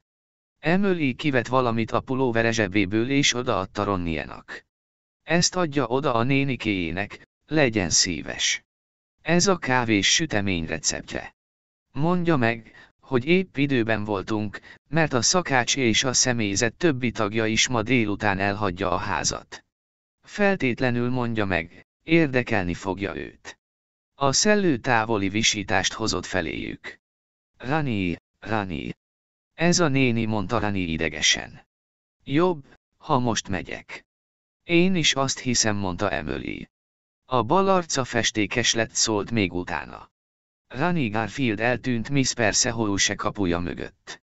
Megjött Charles a táskámmal fordult Emily a felügyelőhöz. Jöjjön, Emmer narracott. A kocsiban mindent elmondok. 20. fejezet. Látogatás Jennifer néninél. Emily fél háromkor hívta fel D.R. Varent. Az orvos azonnal megkedvelte a vonzó és határozott lányt. Nyers és lényegre törő kérdései tetszettek neki. Igen, Miss Trefus is, pontosan értem, mire gondol. Tudnia kell, hogy az általános, regényekből származó hiedelem ellenére a halál pontos idejét rendkívül nehéz megállapítani. Én nyolc órakor láttam a holtestet. Azt határozottan állítom, hogy Trevejan kapitány akkor már legalább két órája halott volt. Hogy ennél mennyivel korábban ölhették meg, azt nagyon nehéz megmondani. Ha azt akarja kérdezni tőlem, hogy lehetséges-e, hogy négykor ölték meg, azt mondanám elképzelhető, bár az a véleményem, hogy ennél azért később történt. Másfelől az is tény, hogy ennél sokkal korábban semmiképp sem történhetett. Négy és fél órában lehet megvonni a legszélső határt. Köszönöm, ez minden, amit tudni akartam. Emily elérte a három óra tíz perces vonatot, majd egyenesen a szállodába hajtatott, ahol D.R. de közlakott. Beszélgetésük érzelemmentes és üzleties volt. Emmer de köz kiskora óta ismerte Emilt, nagykorúságától kezdve pedig az ügyeit is intézte. Rossz hírekre kell felkészülnie, Emily mondta az ügyvéd. A dolgok rosszabbul állnak Kim Pearson körül, mint képzeltük. Rosszabbul. Igen. Nem kerülgetem a forrókását. Olyan tények kerültek napvilágra, amelyek elkerülhetetlenül kedvezőtlen színben tüntetik fel őt. Ezek azok a tények, amelyek a rendőrséget arra indították, hogy ímet vádolják a bűntény elkövetésével. Nem képviselném helyesen az érdekeit, ha ezeket elhallgatnám. Kérem, mondjon el mindent. Emily hangja tökéletesen nyugodt, összeszedett volt. Bármilyen nagy is volt a belső megrázkódtatás, amelyet érezhetett, nem állt szándékában kimutatni az érzelmeit. Jim Pearsonnak nem érzelmekre, hanem észre van szüksége. Semmi szín alatt nem szabad elveszíteni a fejét. Kétségtelen tény, hogy sürgősen pénzre volt szüksége. Nem kívánok most a helyzet etikai elemzésébe bonyolódni. Pearson alkalmanként pénzt vett kölcsön, hogy finoman fejezzem ki magam a cégtől, ahol dolgozik, mondjuk úgy, anélkül, hogy azok tudtak volna róla. Imádott részvényekkel spekulálni. Korábban egy alkalommal, miután tudta, hogy bizonyos osztalékokat egy héten belül a számlájára fognak utalni, megelőlegezte ezt az összeget magának a cég pénzéből. Bizonyos részvényeket vásárolt belőle, amelyekről elég biztosan tudta, hogy fel fognak menni. A művelet sikerült, Pearson visszatette a cég pénzét és semmi kétsége nem volt az ügy becsületességét illetően. Egy héttel ezelőtt megismételte az akciót. Ez alkalommal azonban előre nem látott probléma merült fel. A cég könyveit ugyan rendszeresen, előre meghatározott időpontokban ellenőrizték, ez alkalommal azonban ilyen vagy olyan okból előre hozták a dátumot. Pearson nagyon kellemetlen dölemő elé nézett. Tisztában volt tette következményeivel és képtelen volt előteremteni a szükséges összeget. Mindenhol próbálkozott, sikertelenül. Utolsó kísérletként lerohant Devonshire-be, hogy elmondja a nagybátyjának és meggyőzze, segítsen rajta. Ezt Trevejan kapitány kereken visszautasította. Nos, kedves Emily, alig ha tudjuk megakadályozni, hogy mindez napvilágra kerüljön. A rendőrség már mindezt feltárta. És ugye látja, milyen sürgős és komoly indíték van itt a büntet elkövetésére. Abban a percben, ahogy Trevejan kapitány halott, Pearson könnyen megkaphatja a szükséges összeget Emmer Kirkwoodtól előlegként, így megóvja magát a botránytól és a valószínű vádemeléstől. Ó, a hülye mondta Emily reménytelenül. Meglehetősen mondta Emmer de közszárazon. Azt hiszem, egyetlen esélyünk az, ha bizonyítani tudjuk, hogy Jim nem tudott a nagybátyja végrendeletének tartalmáról. Csend volt, amíg Emily átgondolta az ügyet. Aztán halkan megszólalt. Attól félek, az lehetetlen. Mind a hárman tudtak róla, Sylvie, Jim és Brian. Gyakran beszélgettek, nevetgéltek, tréfálkoztak a gazdag devonsörei nagybácsi rovására. Kedvesem, milyen szerencsétlen dolog. Emerde köz, ugye nem tartja őt bűnösnek. Elég különös, de nem felelte az ügyvéd. Bizonyos értelemben Ian Pearson nagyon könnyen kiismerhető fiatalember.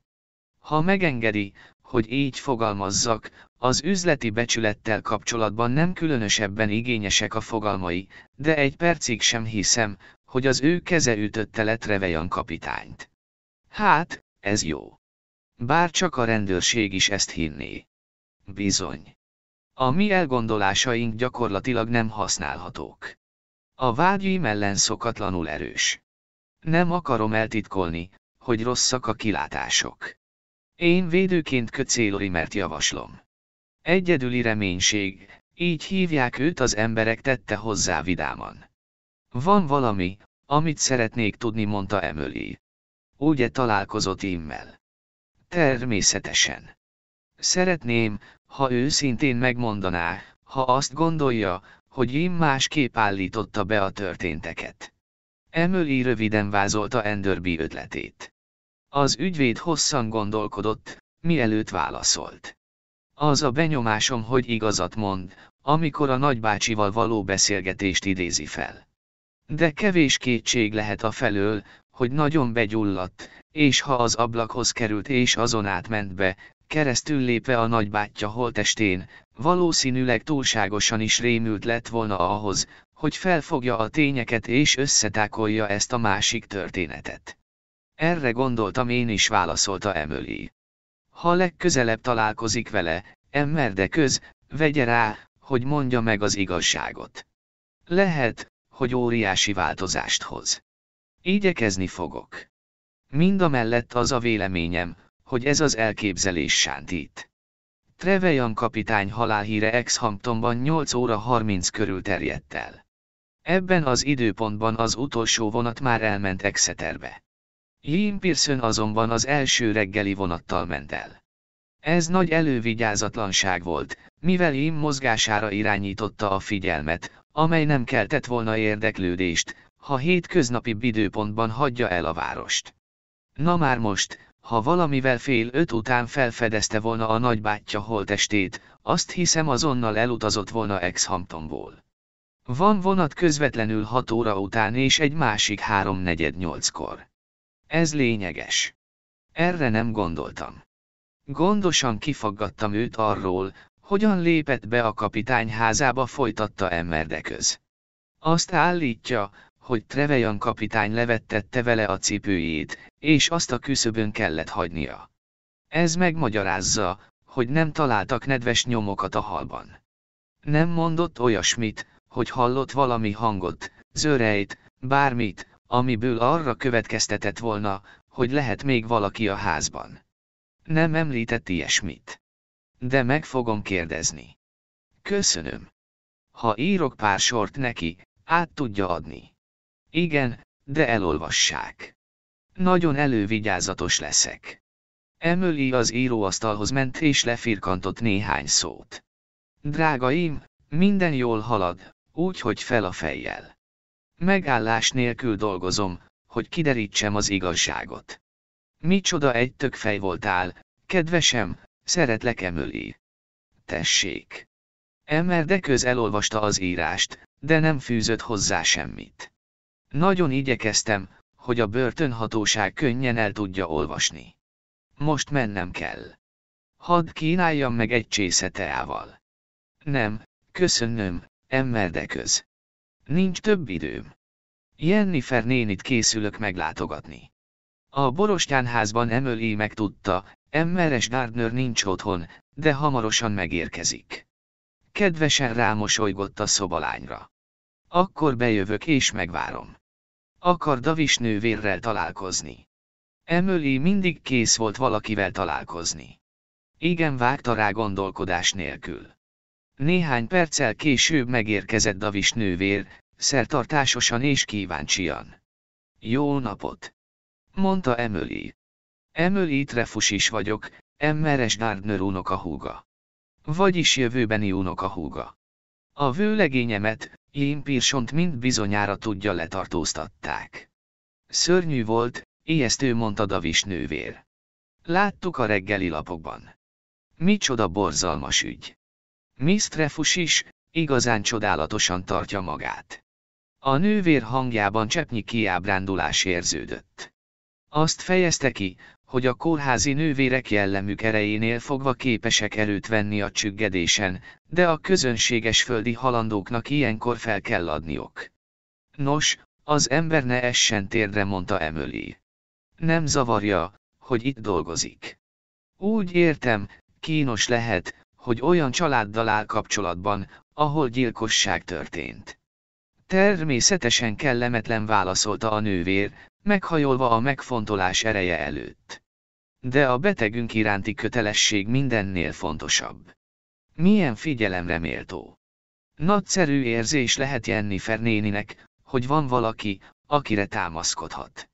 Ó, maga túl jó hozzám szenvelgett a nővér. Persze ezt megelőzően voltak különös tapasztalataim.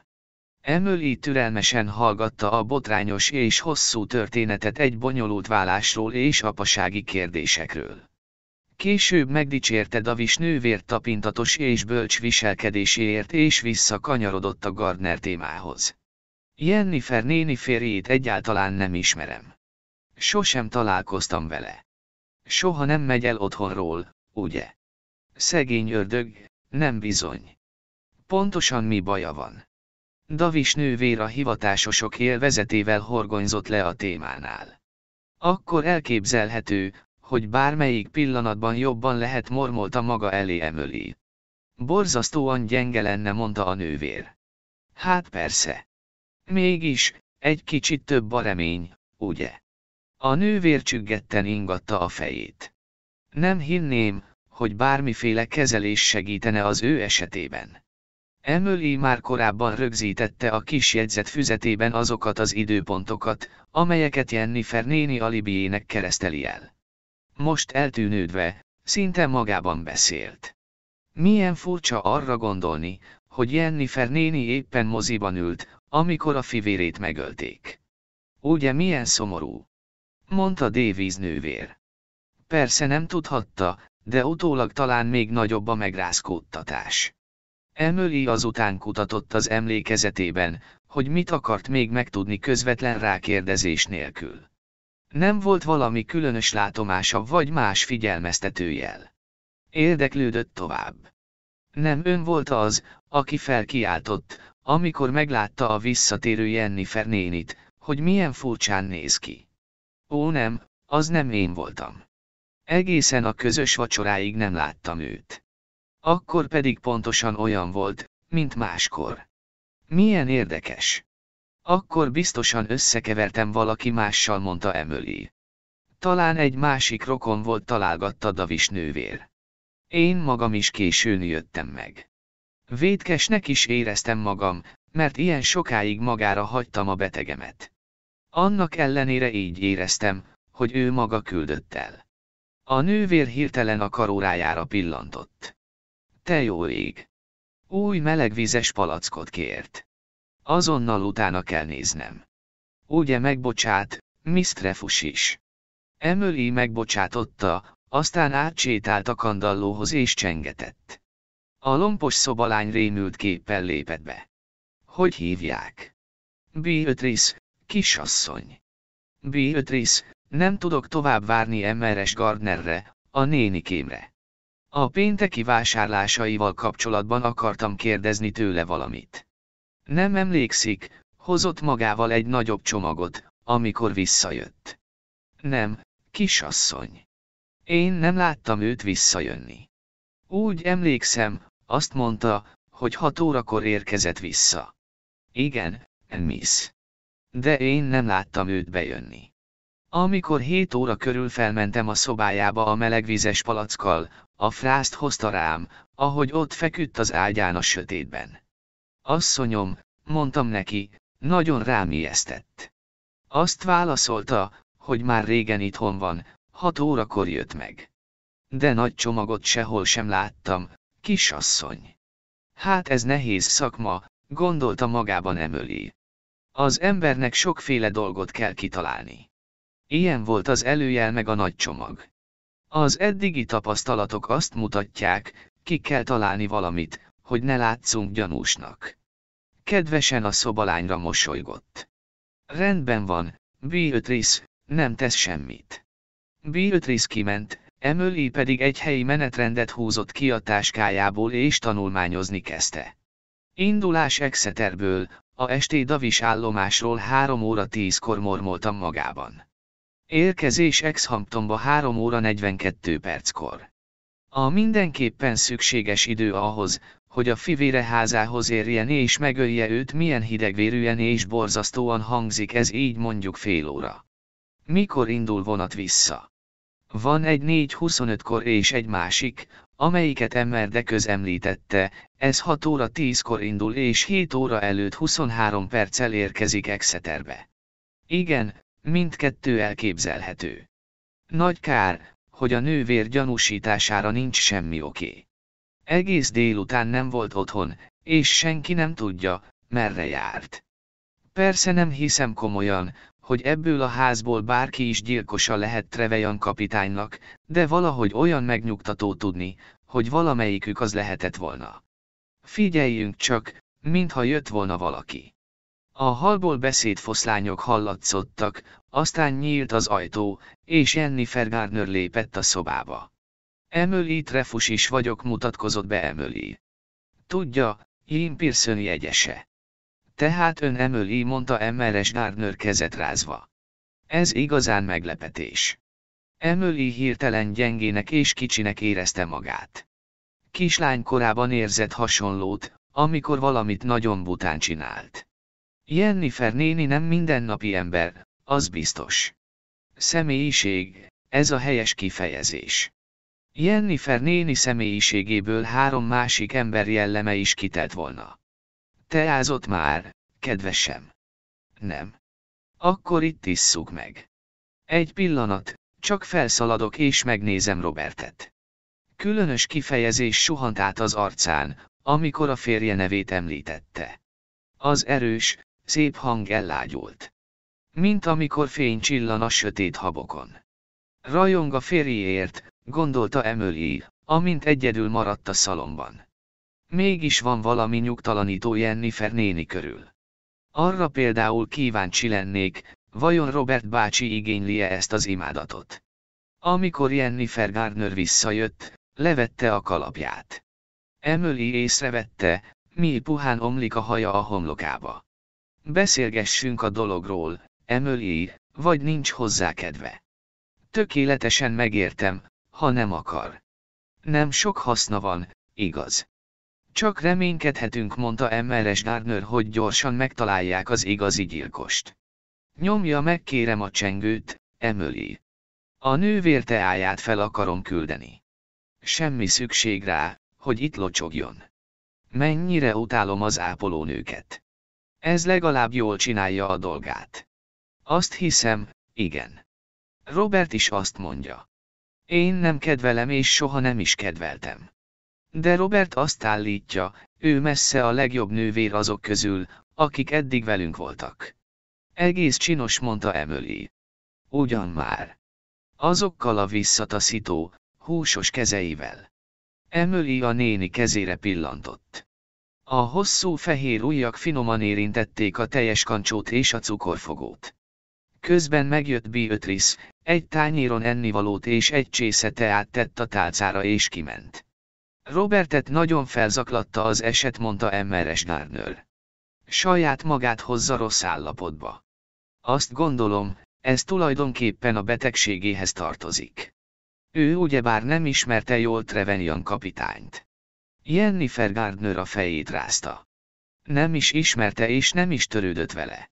Ha őszinte akarok lenni, én magam sem érzek különösebben nagy fájdalmat a fivérem halálam miatt. Szörnyen kabzsi ember volt, Emily. Tudta, milyen küzdelmes az életünk. A szegénység.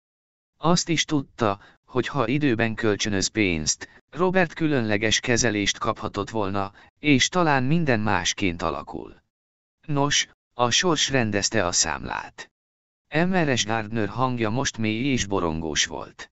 Emének az járt a fejében, hogy Jennifer Gardner nagyon különös asszony. Gyönyörű és rettenetes, mintha csak egy görög tragédiából lépett volna elő. De talán még most sem késő folytatta Emeres Gardner. Írtam ma az ügyvédeknek ex-Hamptonba. Megkérdeztem, kaphatok-e valami előleget az örökségből. Az említett kezelés bizonyos tekintetben, ahogy mondani szokták, kuruzslás, de igen sok esetben eredményes.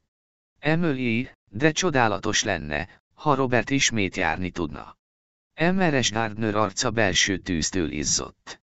Emily viszont fáradt volt. Nagyon hosszú napja volt, alig evett valamit és az elfolytott érzések elfárasztották. Szemei előtt a szoba elúszott a távolba, aztán visszatért. Jól érzi magát, kedves. Nincs semmi baj, suttogta Emily. Saját maga is meglepődött, amint a bosszúság és a megaláztatás könnyeket csalt a szemébe. Emeres Gardner nem próbálta vigasztalni őt, és ezért Emily nagyon hálás volt. Csak ült csendben Emily mellett és várta, hogy alább hagyjanak a könnyek. Szegény gyermek. Nagyon szerencsétlen dolog, hogy Jim Pearson nem kerülhette el a letartóztatást. Úgy szeretném. Valamit tenni kellene. Beszélt halkan, tűnődve Emilhez. 21. fejezet. Beszélgetések. Charles Enderby saját képességeire hagyatkozva sem csökkentette az erőfeszítéseit. Azért, hogy megismerje a Sittafordi életet, csak Emmeres Kurtishöz kellett fordulnia, ami körülbelül olyasmi volt, mint kinyitni a tűzcsapot. Kissé kábán figyelte az anekdoták, emlékek, szóbeszédek, feltételezések és apró részletek áradatát és megpróbálta elválasztani az ocsút a tiszta búzától. Ha új nevet említett, az áradat rögtön más irányba fordult. Mindent megtudott Vájött kapitányról. Értesült a trópusi lázról, a kapitány durvaságáról, veszekedéseiről a szomszédaival, esetenkénti meglepő kedvességéről, amelyet rendszerint csinos fiatal hölgyek számára tartogatott. Megismerte a kapitány indiai szolgájának életét, Vájött lehetetlen étkezési időpontjait és azt is, miből áll gondosan összeállított diétája. Hallott Emery Kröft könyvtáráról, hajnövesztőiről, a rend és a pontosság iránti tiszteletéről, arról a rendkívüli kíváncsiságról, amelyel más emberek dolgát kutatja, arról, hogy nemrégiben eladott néhány ódivatú holmit, a madarak iránti megmagyarázhatatlan szerelméről és arról az elterjedt nézetről, hogy Emmeres Willit kivetette rá a hálóját. Emmeres Curtis azt is elmondta Charlesnak, hogy milyen rettenetes nyelve van Miss Persehorusenak, hogyan félemlíti meg az unoka öcsét és a plegykák szerint ugyanez az unoka öcsé milyen vidám életet él Londonban. Ismét hallott Bönöbi őrnagy és Trevejan kapitány barátságáról, a régi szép időkről és a sakk iránti szenvedélyükről. A tudomására jutott minden, amit a villettekről tudni lehetett, beleértve a közhitet, hogy Miss Willit kacérkodik Rani Garfieldel, de valójában nem komoly a szándéka. Emeres Curtis célzott rá, hogy a lány gyakran tesz titokzatos sétákat a fensíkon, és látták, hogy ilyenkor egy fiatalember kísérgeti. Feltételezése szerint kétségtelenül ez az oka annak, hogy erre az elhagyatott helyre jöttek. Emeres Willit el akarta távolítani a lányt egy időre, hogy túl legyen a kapcsolaton. És tessék! Persze a lányok sokkal ügyesebbek, mint ahogy azt a hölgyek valaha is álmodnák. Emer Dukerol Charles keveset hallott. Csak rövid ideje van itt és minden energiáját a kertészet örömeire fordította. Fél négy körül Emmer Enderby feje már erősen zúgott Emmeres Curtis szózó hatagától, úgy elhatározta, kószál egyet. Az volt a terve, hogy kissé szorosabbra fűzi az ismerettséget Miss Persehoruse unoka öccsével. Az óvatos felderítés Miss Persehoruse szomszédságában eredménytelennek bizonyult. A vak szerencse folytán azonban, amikor szomorúan elkullogott Sittaford House kapuja alól, beleszaladt ebbe a fiatalemberbe. Charles le sem tagadhatta, hogy ultilaput kötöttek a talpára. Hello. Köszönt Charles. Ugye az Trevelyan kapitány háza? Igen, az övé. Akartam egy felvételt csinálni róla ma reggel. Az újságomnak, tudja tette hozzá. De az időjárás teljesen alkalmatlan a fényképezésre. Rani jó indulatúan elfogadta ezt a magyarázatot és nem jegyezte meg, hogyha csak ragyogó napsütésben lehetne fényképezni, az újságokban nagyon kevés fénykép jelenne meg. Nagyon érdekes lehet a munkája, mondta Rani. Kutya élet válaszolt Charles ragaszkodva a hagyományhoz, hogy az ember sose lelkesedjen a saját munkájáért. Visszanézett Sittaford House-ra. Úgy képzelem, barátságtalan hely lehet. Mióta a villettek beköltöztek, se szeri, se száma a változásoknak. Tavaly ilyenkor is itt voltam, de most mintha nem is ugyanaz a hely lenne. Tulajdonképpen nem tudom, mivel érték el ezt a változást, hiszen csak egy kissé átrendezték a bútorokat, párnákat tettek mindenhová, ilyesmik. Nekem isteni gondviselés, hogy itt vannak. Úgy látom, nem túlságosan vidám itt az élet. Vidám. Ha két hétig itt kellene élnem, belepusztulnék. Egyszerűen nem tudom felfogni azokat a dolgokat, amelyekkel a nénikém az élethez próbál ragaszkodni. Ugye nem látta még a macskáit. Ma reggel meg kellett kefélnem az egyiknek a bundáját és nézze, hogy összekarmolt az a szörnyeteg. Kinyújtotta a kezét, hogy Charles nézze meg. Elég csúf. Az bizony. Mondja csak, nem szimatol valami után. Ha így van, segíthetek magának. Én lehetnék a maga kis vacsonja, Emmer Sherlock Holmes. Van valami shit a Ford House-ban, ami nyomra vezethet. Kérdezte Charles mint egy mellékesen. Arra gondolok, hagyott-e ott valamit Trevelyan kapitánya holmiából. Nem hiszem. A nénikém azt mondja, tokkal vonóval elköltözött. Elvitte az elefántlábikókat, el az ízletes vízilótalpacskákat meg az összes sportfegyvert és egyéb nyalánkságokat. Szinte úgy látszik, mintha nem is akart volna visszatérni. Ez érdekes gondolat. De nem arra gondol, hogy esetleg öngyilkos lett, ugye? Az, aki pontosan nyakszírten tudja vágni magát egy homokzsákkal, egyenesen artista lehetne az öngyilkosok között szellemeskedett Charles. Igen, gondoltam, hogy ennek az ötletnek nem sok értelme van. Viszont lehet, hogy valami előjelet kapott derült fel Rani arca. Figyeljen, például nyomában voltak az ellenségei. Ő megtudta, fogta magát és eltűnt, a kellemetlenséget pedig a villettekre hagyta. A villettek önmagukban is furcsa szerzetek, mondta Charles. Igen, én sem értem őket. Képtelen ötlet, hogy az ember ilyen vidéken lehorgonyozzon. Úgy látszik, Vájölit nem bánja. Sőt, azt állítja, szereti. Nem tudom, mi a baj velem ma. Azt hiszem a személyzet az oka, bár nem értem, mit tudnak a nők annyit aggódni az alkalmazottak miatt. Ha begerjednek, egyszerűen ki kell őket tenni. Pontosan ezt tették, nem? Kérdezte Charles. Igen, tudom. De őrült izgalomban vannak miatta. Az anya fekszik és hisztérikusan sikoltozik, a lány pedig harapós, mint a vadmacska. Épp az előbb dobott ki. Járt már náluk a rendőrség, ugye? Rani elcsodálkozott. A rendőrség. Nem, miért járt volna? Hát csak gondoltam. Láttam ma reggel narracot felügyelőt Sittafordban. Rani egy csattanással elejtette a botját. Lehajolt érte. Mit mondott, ki volt ma reggel Sittafordban? Narracot felügyelő. Igen. Ő foglalkozik a Trevejan ügyjel. Úgy van. És mit csinált Sittafordban? Hol látta őt? Azt hiszem, csak szaglászott mondta Charles, hogy úgy mondjam, fel akarja térképezni Trevejan múltját. Úgy gondolja, ez minden. Az az érzésem.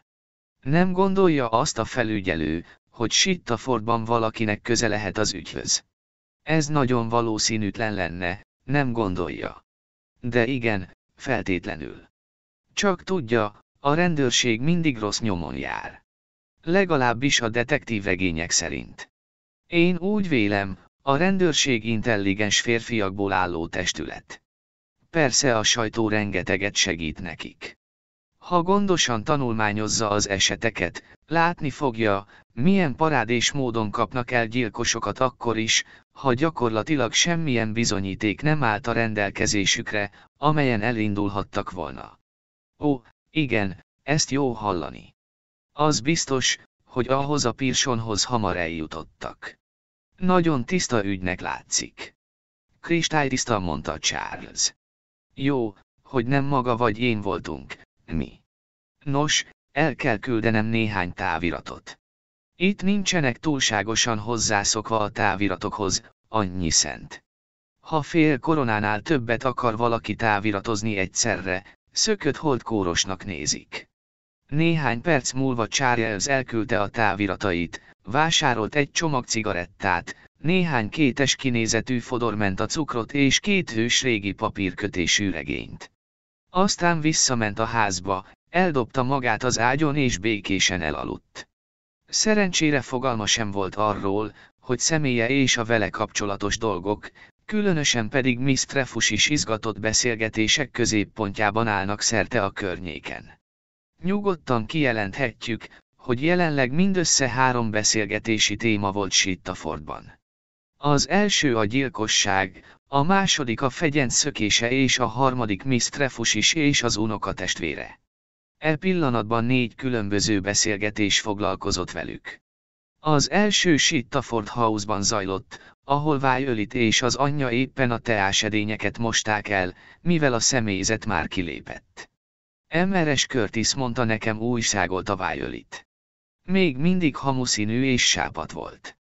Ahogy az a nő beszél, az szinte kóros. Tudom. Úgy látszik, a lány valami rokonával együtt jelentít meg. Nekem ma reggel azt mondta, Emmeres kultisnél lakik, de azt hittem ez azért van, mert Miss Perseholú se nem tudott helyet adni neki. És most minden jel arra vol, hogy ma reggelig még csak nem is látta Perseholú se kisasszonyt. Nagyon nem kedvelem azt a nőt, mondta Emmeres Willit. Emmeres kultist. Nem, Miss Perseholú seté ez a nő veszélyes. Csak az élteti, mit tudhat meg másokról. Ide küldeni ezt a lányt egy kávés sütemény receptjéért. Szívesen küldtem volna neki mérgezett süteményt. Ez örökre véget vetett volna a kíváncsiskodásának. Azt hiszem nekem tudnom kellett volna kezdte Violet, de az anyja félbeszakította. Honnan tudhattad volna? És különben is, mit árthat nekünk? Mit gondolsz, miért jött? Nem hiszem, hogy bármi határozott elképzelése lett volna. Csak szimatolt. Emeres Curtis biztos abban, hogy a lány tényleg Jim Pearson menyasszonya. Emmer Rickroftnak is ugyanezt mondta. Emeres Curtis azt mondja, ő az első perctől kezdve erre gyanakszik. Nos, szerintem az egészen természetes dolog. A lány minden különösebb cél nélkül próbál találni valamit, ami segíthet. Anya, te nem láttad azt a lányt. Ez semmit sem csinál cél nélkül. Szerettem volna találkozni vele, mondta Emmeres Willit, de tudod, hogy ma reggel kafatokban lógtak az idegeim. Azt hiszem, ez a tegnapi rendőrfelügyelői kihallgatás utóhatása. Anya, te utolérhetetlen voltál. Bár csak ne lettem volna olyan sült bolond, hogy elájulok. Úgy szégyellem magam, hogy elárultam a gyengeségemet. De te tökéletesen higgadt maradtál. Ami azt illeti, eléggé edzésben vagyok válaszolt Emmeres Vilit kemény, száraz hangon. Ha mindazon keresztül mentél volna, amin én. De remélem, ilyenben sosem lesz részed. Hiszem és bízom benne, hogy nyugodt és boldog élet áll előtted, kislányom. Violet a fejével nemet intett. Nem tudom, félek.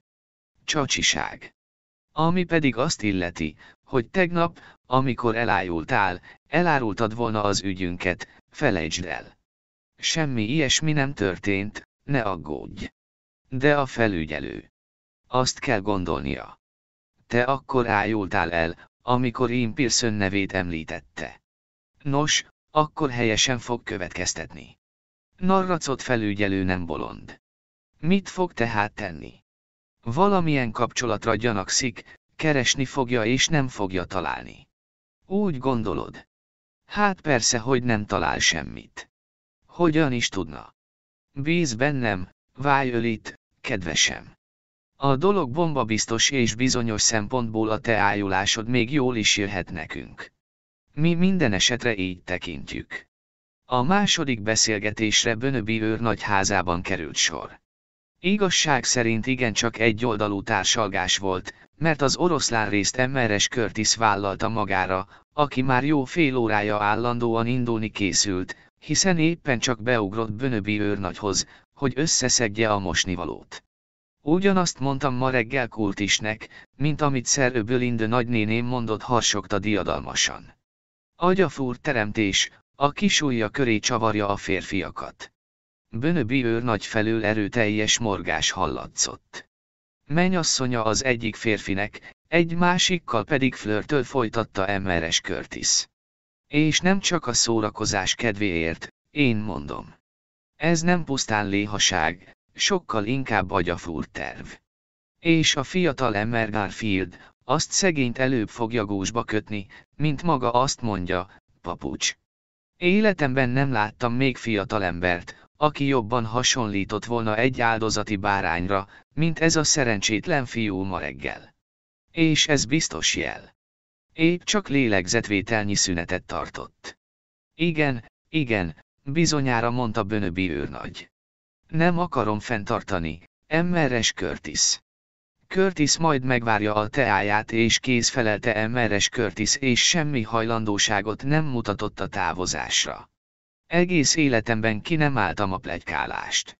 Azt mondom, foglalkozzon mindenki a saját dolgával. Ha már a munkánál tartunk, mit szólna egy jó kis nagy takarításhoz? Nem. Mondta Bönöbi erélyesen. Több mint egy hónapja, hogy nem csináltam. Akkor sem. Szeretem, ha minden a kezem ügyében van.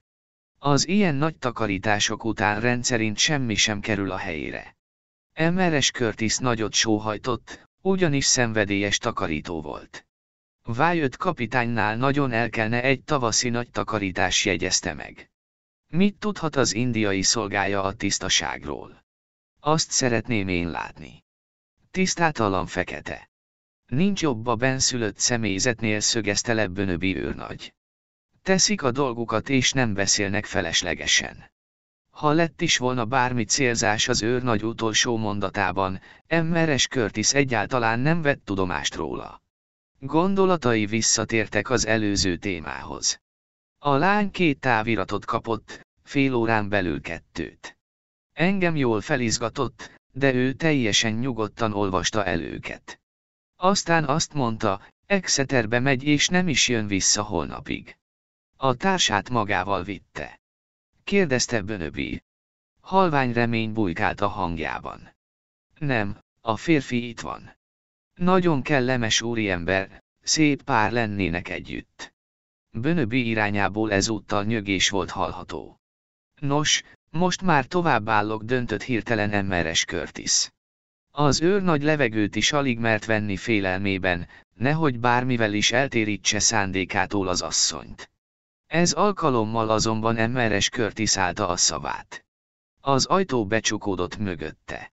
Az őr nagy megkönnyebbült sóhajjal húzta elő a pipáját és egy prospektust kezdett tanulmányozni. Az ismertetőben egy bizonyos bánya várható eredményeit olyan égbe kiáltó optimizmussal fogalmazták meg, hogy bárki gyanút fogott volna, nem egy özvegyember, vagy egy visszavonult katona. 12% mormogta az őrnagy, ez nagyon jól hangzik. A szomszédban vájött kapitány ellentmondást nem tűrő kijelentést tette Merricroftnak. Az ilyen fickók, mint maga, semmit sem tudnak a világról. Maga sosem élt. Sosem küzdködött. Merricroft nem válaszolt. Az ember alig tudott úgy beszélgetni vájött kapitánnyal, hogy ne pörköljön oda neki valamit. Ezért aztán az volt a legokosabb, ha nem válaszolt neki. A kapitány áthajolt tolószéke oldalán. Hová tűnt az a boszorkány? Átkozottul csinos. A kapitánynál a gondolattársítás természetes dolog volt. Annál kevésbé volt az ember Ricroftnak, aki megbotránkozva nézett a kapitányra. Mit csinál itt? Tudni akarom, mit csinál? Követelte vájött kapitány. Abdul. Sahib. Hol van buli? Megint elcsavargott.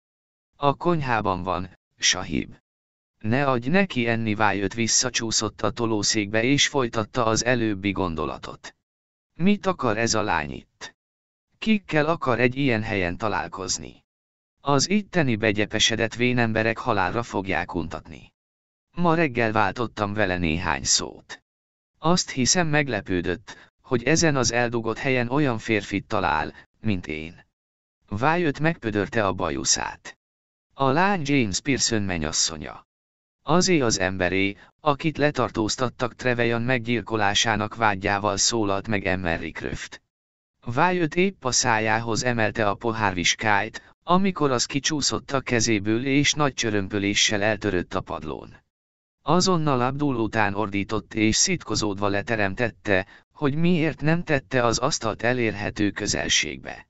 Aztán visszatért a beszélgetéshez. Szóval ez a misztrefus is. Túl jó annak a vizes nyolcasnak. Egy ilyen lánynak igazi férfira van szüksége. Az ifjú Pearson nagyon jó képű vetette közbe Emery Kröft. Jó képű, jó képű. Az a lány nem egy parókatartóra vágyik.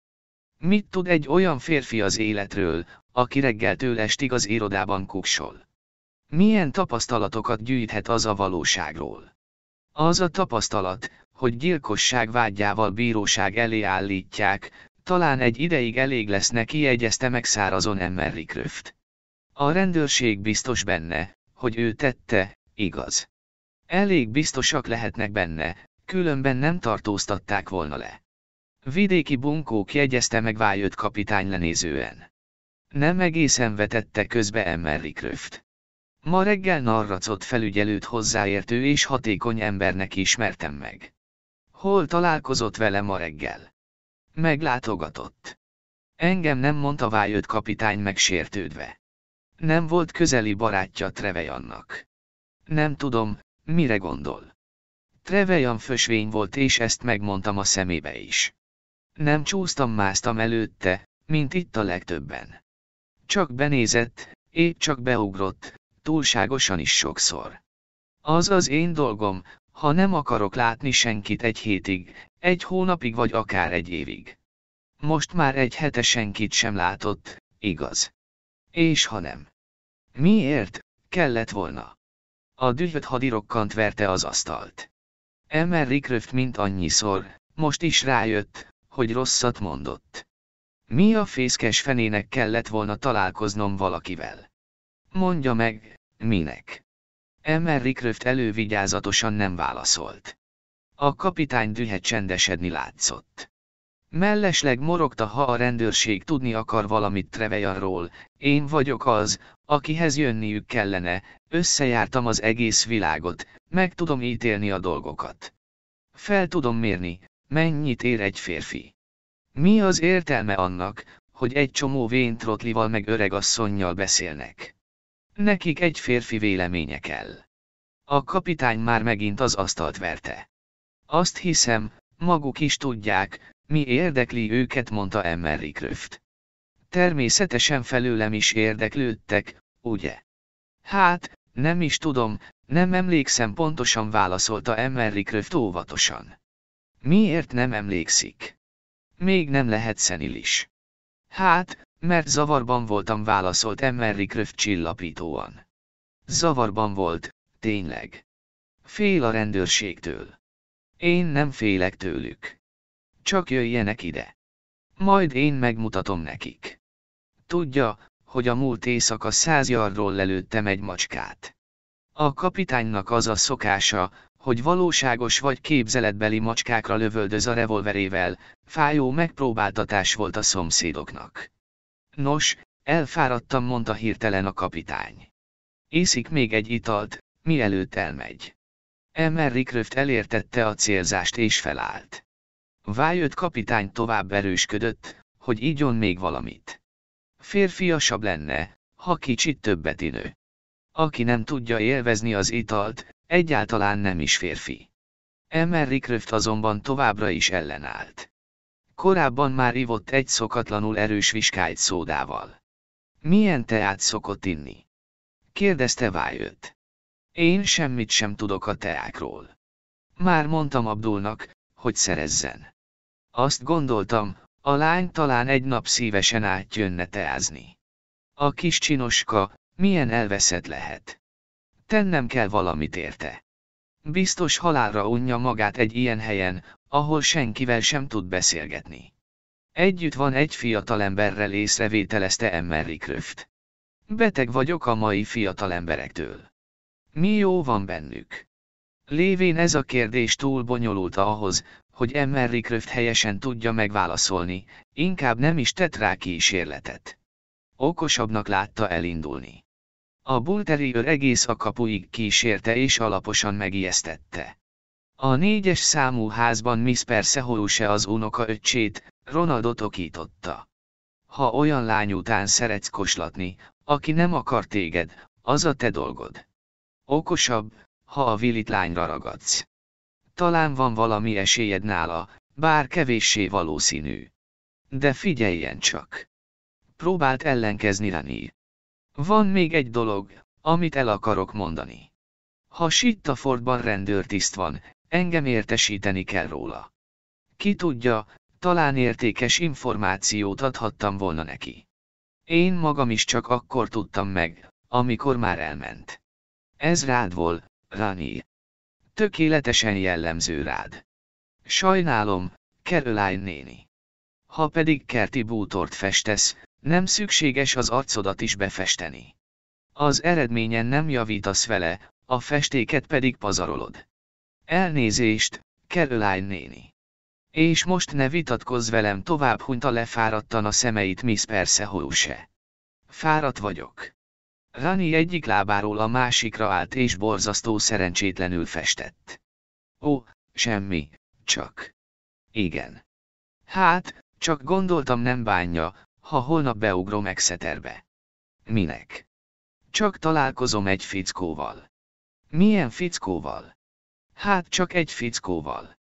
Ha egy fiatalember úgy dönt, hogy hazudik, akkor jól kell hazudnia. De, tényleg, szóval. Ne mentegetőz. Akkor, rendben van.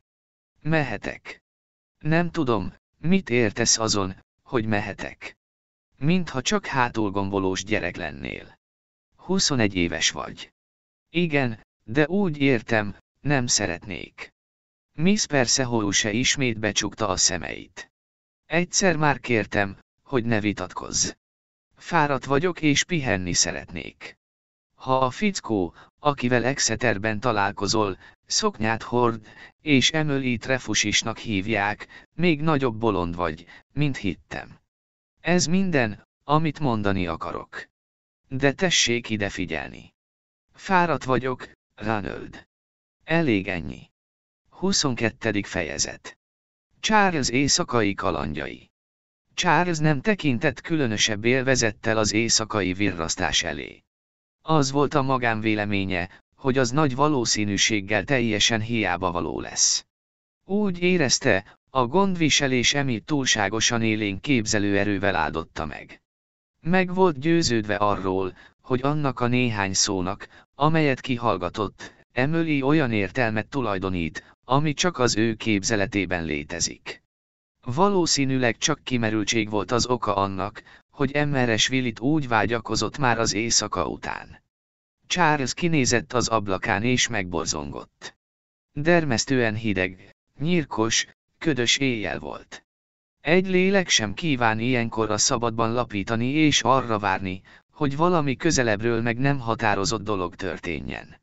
Mégsem merte megengedni magának, hogy engedve a kísértésnek, a kényelmes szobában maradjon. Visszaidézte Emily dallamos hangját, amint azt mondja neki, csodálatos dolog, ha van valaki, akire támaszkodhatunk. Ez a lány rád támaszkodik, Charles, és nem szabad benned csalódnia. Hogyan? Cserben hagyja ezt a szép és támasz nélküli lányt. Soha. Miközben magára húzta az összes tartalék alsó neműjét, továbbá felvett még két pulóvert és a tetejébe a kabátját, az járt a fejében, hogy pokolian kényelmetlenné válnának a dolgok emivel, ha hazatérve azt tapasztalná, hogy Charles Enderby nem tartotta be az ígéretet. Biztos, hogy nagyon kellemetlen lenne, amit mondana. Nem, ezt nem kockáztathatja meg. Ami meg a nem tudom micsoda bekövetkeztét illeti. Mikor és hol kellene történni valaminek? Nem lehet ott mindenhol egyszerre. Valószínű, ha történik valami egyáltalán, akkor Sittaford House falain belül történik majd, és ő sose tud meg róla semmit. Mint a féle nő dörmögte magában, eltáncol Exeterbe, nekem meg itt hagyja a piszkos munkát. De megint eszébe jutott Emily puha hangja, ahogy rábízza magát, és Charles elszégyelte magát. Befejezte az öltözködést, majd észrevétlenül kilopakodott a házból. Az éjszaka minden várakozásánál hidegebb és kellemetlenebb volt. Vajon tudja Emily, mennyi megpróbáltatásban van része miatta? Charles reménykedett ebben. A keze puhán a zsebéhez vándorolt és lágyan megcirógatta az ott lapuló üveget. Egy ilyen éjszakán ez a legjobb barát mormogta. Óvatosan behatolt Sittaford House kertjébe. A villettek nem tartottak kutyát, nem kellett attól tartania, hogy az fellármázza a házat. A kertészházban fényt látott, jelezve, hogy lakják. A nagy ház azonban majdnem teljesen sötétbe burkolózott, csak egy első emeleti ablakban látott világosságot. Charles arra gondolt, hogy a két nő egyedül van otthon. Ez egy kicsit hátborzongató volt. Aztán azon járt az esze, hogy Emily jól értette azt a kihallgatott mondatot, hát már sosem jön el a mai éjszaka. Mit jelenthet ez? Még az is megfordult a fejében, hogy nem titokban akarnak-e elköltözni. Akármi történjék is, a kis Charles itt van és látja. Tisztes távolságból megkerülte a házat. Az éjszaka ködös lévén, nem kellett tartania a felfedeztetéstől. Ameddig ebben az időben ellátott, minden a szokásosnak tűnt. Körültekintően megvizsgálta a gazdasági épületeket és látta, hogy zárva vannak. Ahogy múltak az órák, egyre erősebben kívánta, hogy történjék már valami. Óvatosan kortyolt egyet az üvegből. Soha életemben nem éreztem ilyen hideget, mondta halkan maga elé. Szegény apa, hogy bírtad ezt a világháborúban. Ennél semmi sem lehetett rosszabb. Megnézte az óráját. Meglepődve látta, hogy még csak húsz perc múlva éjfél. Megesküdött volna, hogy már hajnalodik. Hirtelen váratlan zajra lett figyelmes. Valaki nagyon óvatosan egy zárat nyitott. A zaj a ház felől jött. Charles hangtalanul rohanni kezdett bokortól bokorig. Hamarosan beigazolódott, hogy jól hallott, a ház kis oldalajtaja lassan kinyílt. A küszöbön álló árnyalak aggódva kémlelt ki az éjszakába. Emeres vagy Miss Willit mondta magában Charles. Talán inkább a kisvájölit. Az árnyalak várt egy-két percig, aztán kilépett az ösvényre, hangtalanul becsukta az ajtót maga mögött és elindult a házzal ellenkező irányba. Az ösvény, amelyen haladt, a ház mögé kanyarodott, keresztezett egy fákkal beültetett területet és kivezetett a nyílt fensíkra. Eközben oly közel haladt el a bokrok mellett, ahol Charles rejtőzködött, hogy Enderby fel is tudta ismerni az előtte elhaladó nőt. Jól tippelt, az alakvájölit Willit volt. Hosszú sötét kabátot, a fején svájci sapkát viselt. Charles követni kezdte, amilyen halkan csak képes volt rá. Attól nem tartott, hogy meglátják, inkább attól félt, hogy zajt csap. Nagyon szerette volna elkerülni, hogy a lány észrevegye.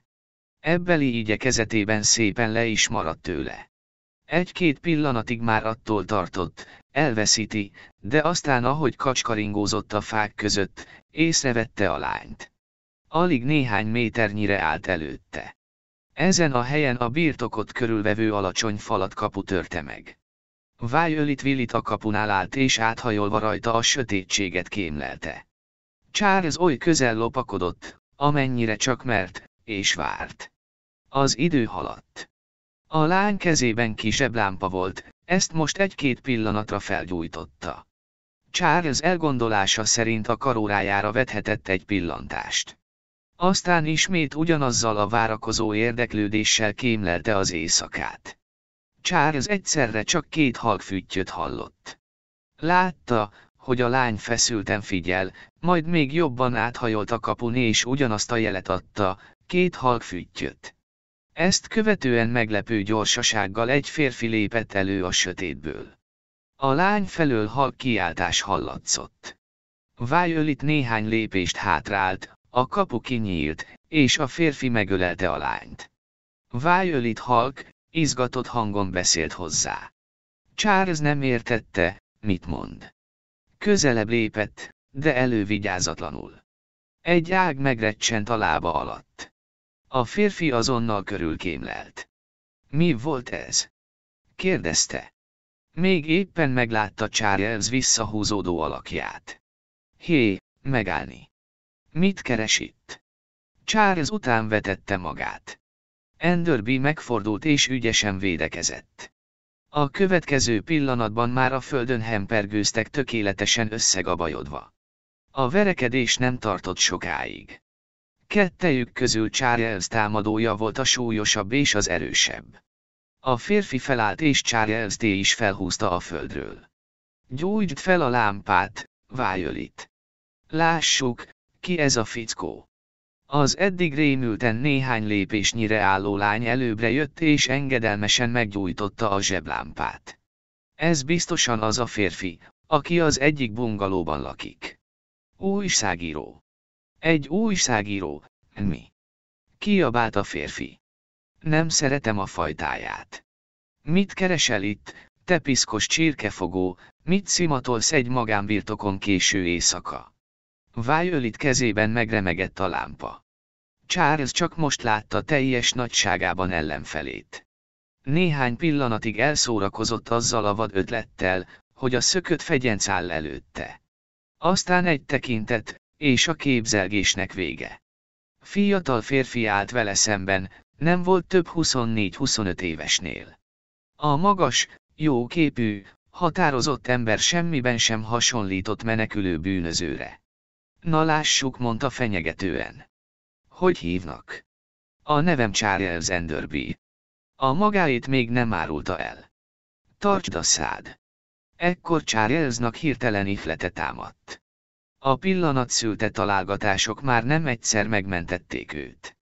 Merész ötlet volt, de bízott benne, hogy nem lő mellé. Azt hiszem mondta csendesen, magam is ki tudom találni. Mi? A férfi meghökkent.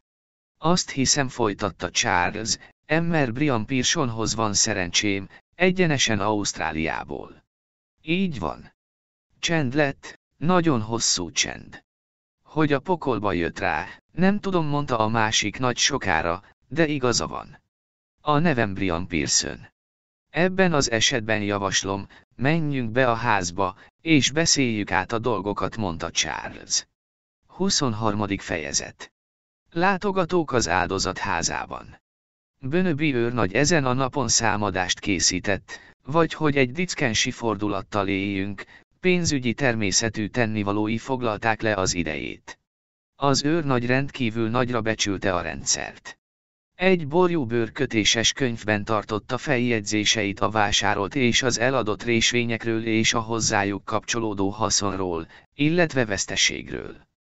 Többnyire persze veszteségről, mert az őrnagy hasonlóan a legtöbb visszavonult katonatiszthez sokkal jobban lázba jött a magas osztalékot ígérő papíroktól, mint a szerényebb százalékot nagyobb biztonsággal párosítóktól. Ezek az olajkutak ígéretesnek látszottak dünnyögte.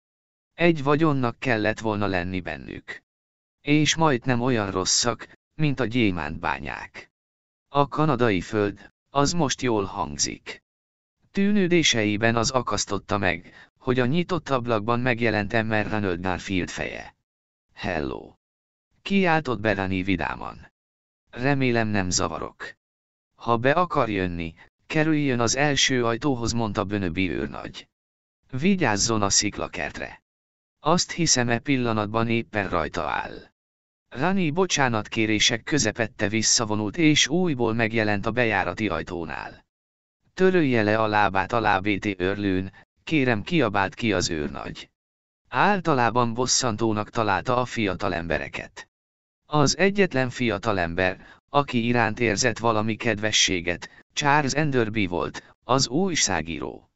Kedves fickó mondta magában az őrnagy. És nagyon érdekelte, amit a Bull háborúról meséltem neki.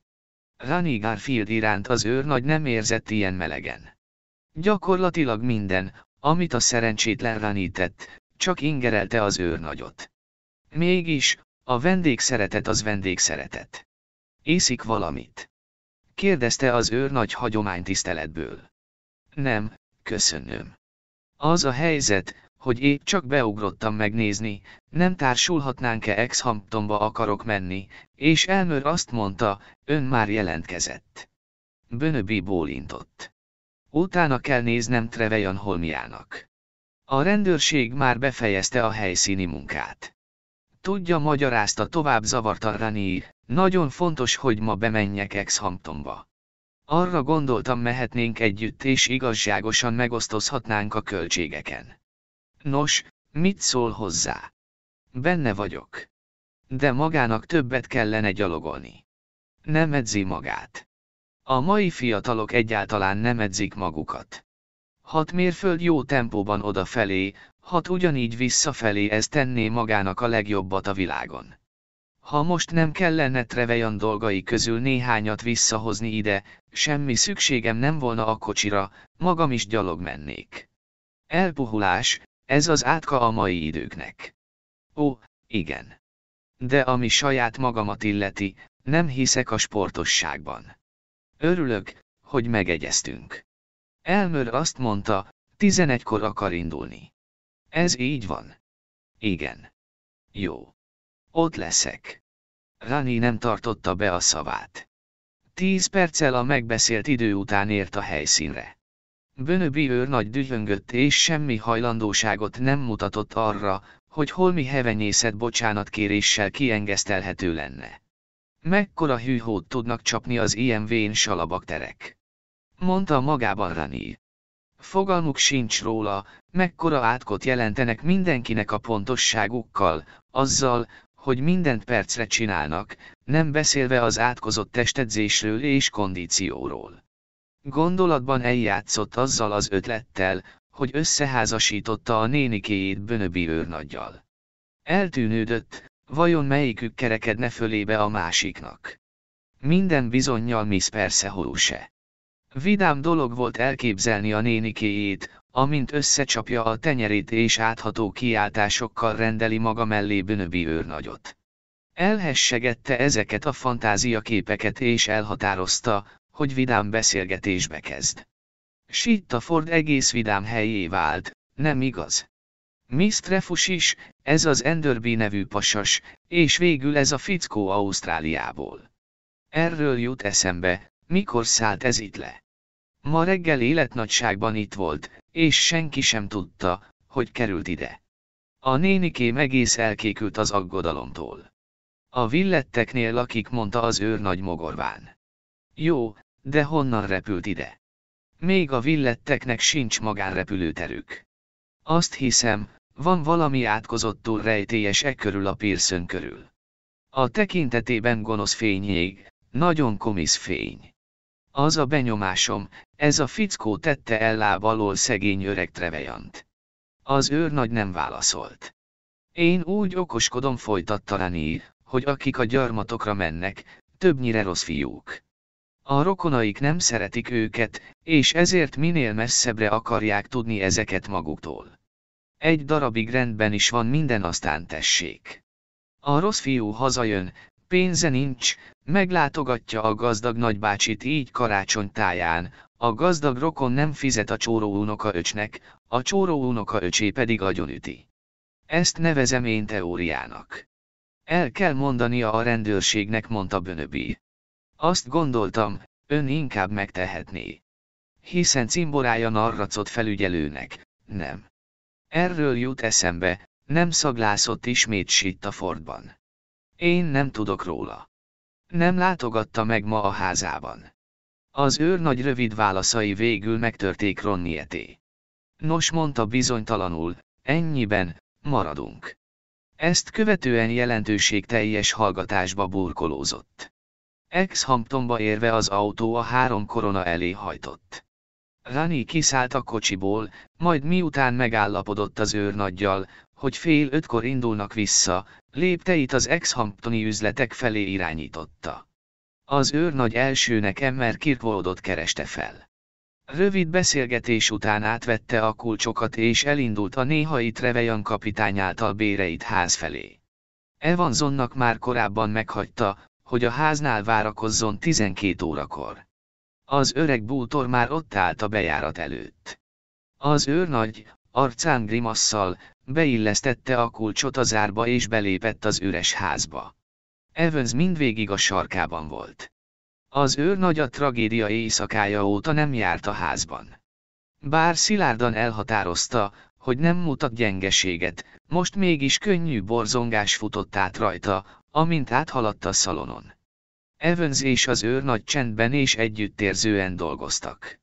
Ha valamelyikük rövid megjegyzést tett, a másik tökéletesen értette és átérezte azt. Ez nem éppen kellemes munka, de el kell végezni jegyezte meg Bönöbi őrnagy.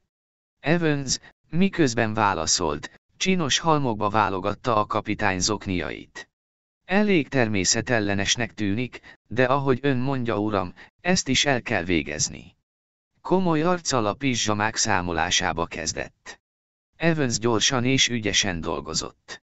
Mindent katonásan külön válogatott, osztályozott és takaros halmokba rakta. Egy órakor visszamentek a három koronába, hogy dél lévén, egyenek valamit. Amikor visszatértek a házba, az őr nagy hirtelen megragadta Evans karját, amint az becsukta az ajtót maga mögött. CSSSS. Hallja a lépéseket a feje fölött. Ez, ez jó-e hálószobájából hallatszik. Jó ég, uram. Tényleg. Egy pillanatra mindkettőjüket babonás félelem kerítette hatalmába. Az őr nagy hamar leküzdötte a bénító érzést, dühös indulattal előre tört a lépcsőhöz és vérfagyasztó hangon elkiáltottam magát. Ki van odafent? Az őr nagy legnagyobb meglepetésére és bosszúságára, de valljuk be, némi megkönnyebbülésére is, Rani Garfield jelent meg a lépcső tetején. Nagyon zavartnak és ilyetnek látszott. Hello! mondta. Már vártam önt. Mi az, hogy már várt? Meg akartam mondani, hogy nem végzek fél ötre. Úgy alakult, hogy Exeterbe kell mennem. Szereznem kell egy kocsit itt Exhamptonban. Hogy jutott be a házba? kérdezte az őrnagy. Nyitva volt az ajtó. Természetesen, azt hittem, hogy itt van. Az őrnagy Evans felé fordult. Nem zárta be az ajtót, amikor elmentünk. Nem uram, nem volt kulcsom.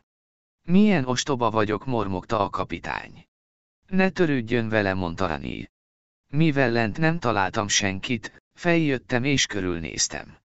Természetesen nincs jelentősége, mondta Kurtán az őrnagy csak megijesztett, ennyi az egész. Nos, mondta Rani fölényesen, akkor én most lelépek. Vízlát.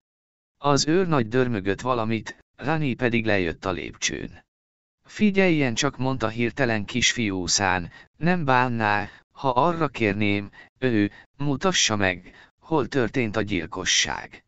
Az őr nagy a hüvelykújjával a szalon irányába bökött. Benézhetnék. Ha akar dörmögte az őrnagy. Rani kinyitotta az ajtót és bement. Csak néhány percig volt oda benne és már jött is vissza. Az őrnagy közben felment az emeletre, de Evans még a halban volt. Egy éber boldog levegőjét árasztotta, ahogy kicsi, mélyen ülő szemeivel Ronnieté figyelte. Az egész ember csupa rossz indulatú fürkészés volt. Tudja fordult hozzá Rani, mindig azt hittem, az ember nem tudja kimosni a vérfoltokat. Azt hittem, akármennyit mossák, mindig visszajön. De persze az öreg fiút homokzsákkal ütötték le, igaz. Milyen ostoba vagyok. Ilyen volt, mint ezek, ugye? Lehajolt és felvett egy hosszú párnát az egyik ajtó mellől. Elgondolkodva méregette a súlyát, majd egyensúlyozni kezdett vele. Csinos kis játékszer, igaz. Néhányszor megpörgette a homokzsákot a levegőben. Evans néma maradt. Hát folytatta Rani, érezve, hogy a csend nem éppen elismerő, jobb, ha most már elmegyek. Attól tartok, egy kicsit elefánt voltam a porcelánboltban. A fejével felfelé bökött, az emelet irányába. Elfelejtettem, hogy cimborák voltak. Elválaszthatatlanok, igaz. Na, most már tényleg megyek. Sajnálom, ha rosszat mondtam. Rani átsétált a hallon és kilépett az ajtón. Evans egészen addig mozdulatlanul állt a halban, amíg meg nem hallotta a távozó Emmer Garfield után becsukódó kapu hangját. Csak akkor ment fel a lépcsőn és csatlakozott Bönöbi őrnagyhoz. Minden szó nélkül ott folytatta, ahol abba hagyta. Egyenesen átvágott a szobán és letérdelt a cipős szekrény elé. Fél háromra befejezték a munkát. Egy bőrönd ruhát és fehér neműt Evans kapott, egy másikat gondosan összesziasztak, hogy majd a tengerészárvák otthonába küldik. A számlákat és egyéb papírokat aktatáskába gyűjtötték, Evans pedig utasítást kapott, hogy keressen helyi szállítmányozót a különböző trófeák elszállítására. Ezeknek Bönöbi őrnagy nem tudott helyet szorítani a bungalójában. Mivel Trevejan kapitány a házat bútorozva bérelte, más intéznivaló nem is akadt. Amikor mindennel készen voltak, Evans idegesen megköszörülte a torkát néhányszor és megszólalt. Bocsánat, uram, de én most állást keresek, ellátnám egy ember körül az összes teendőket, ahogyan Trevejan kapitánynál tettem. Ó igen, persze. Mondja meg nyugodtan bárkinek, hogy hozzám fordulhat ajánlólevélért. Minden rendben lesz. Elnézést uram, de nem erre gondoltam. Ribekör és én meghánytuk vetettük a dolgot és azt gondoltuk, szóval kipróbálna minket. De hát én, én gondoskodom magamról. Az az öreg hogy is hívják naponta átjön, kitakarít és főz egy-két ételt. Ez minden, amit én ajánlhatok. Valójában nem a pénz számít, uram válaszolt gyorsan Evans. Tudja uram, én nagyon szerettem a kapitányt, és ha most önnek ugyanúgy szolgálhatok, ahogyan neki tettem, nos, akkor majd nem olyan lenne, mint régen, ha érti uram, mire gondolok. Az őrnagy megköszörülte a torkát és elfordította a tekintetét. Ez nagyon tisztességes magától, szavamra. Majd, majd gondolkodom rajta. Az őrnagy oly gyorsan menekült, hogy szinte rohant lefelé az úton. Evans, arcán megtérő mosolyjal nézett utána. Ő és a kapitány, mint két tojás dünnyögte. Aztán töprengő kifejezés jelent meg az arcán. Vajon hová tűnhettek? Mormogta. Ez furcsa egy kicsit. Meg kell kérdeznem Rebecáté, mit gondol? 24. fejezet. Narracot felügyelő fejtegetései. Nem vagyok teljesen nyugodt, uram jegyezte meg Narracot felügyelő. A rendőrfőnök kérdőn nézett rá. Nem, már közel sem vagyok annyira nyugodt, mint voltam erősítette meg Narracot felügyelő. Azt hiszi, nem az igazi bűnöst kaptuk el. Nem vagyok elégedett. Az elején minden egy irányba mutatott, de most, valahogy más a helyzet. A Pearson elleni bizonyítékok nem változtak. Igen, de azóta újabb tények kerültek napvilágra, uram. Itt van mindjárt a másik Pearson, Brian. Úgy éreztük nem kell tovább vizsgálódnunk, és így elfogadtam azt az állítást, hogy Brian Ausztráliában van. Most kiderül, hogy egész idő alatt Angliában volt. Valószínű, hogy két hónappal ezelőtt tért vissza és nyilvánvalóan ugyanazon a hajón jött, amelyikkel a villettek is utaztak. Nagyon úgy látszik, hogy a hajón belehabarodott Miss Villetbe. Bárhogy is van, az biztos, hogy valamilyen okból családja egyetlen tagját sem értesítette a visszajöveteléről. Sem a bátyja, sem a nővére nem tudott arról, hogy Angliában van. A múlt hét csütörtökén elhagyta londoni szállodáját, az Ormsby Hotel Tarussels Kareen és a Paddington pályaudvarra hajtatott. Semmiféle felvilágosítást nem hajlandó adni arról, hol volt és mit csinált ettől az időponttól kezdve egészen keddéi szakáig, amikor Enderby belebotlott. Figyelmeztette az ilyen magatartás súlyos következményeire. Azt válaszolta, hogy nem csinált semmit. Semmi köze sincs a gyilkossághoz és a mi dolgunk, hogy bebizonyítsuk, ha mégis volna köze hozzá. Hogy a kérdéses napokon hogyan osztotta be az idejét, az az ő magánügye, nem tartozik a rendőrségre. Határozottan megtagadta, hogy elmondja, hol volt és mit csinált. Ez rendkívül különös, mondta a rendőrfőnök. Igen, uram, rendhagyó eset. Tudja, semmi értelme elrugaszkodni a tényektől, de ez a fickó sokkal inkább hasonlít az elképzelhető tettesre. Van valami összeegyeztethetetlen abban, hogy James Pearson felkap egy homokzsákot és fejbevör vele egy öregembert. Ugyanez, hogy úgy mondjam mindennapos eset lehet Brian Pearson számára. Vérmes típus, olyan akinek könnyen jár el a keze. És azt se felejtsük el, hogy ugyanolyan része van az örökségből, mint a másik fiúnak. Igen.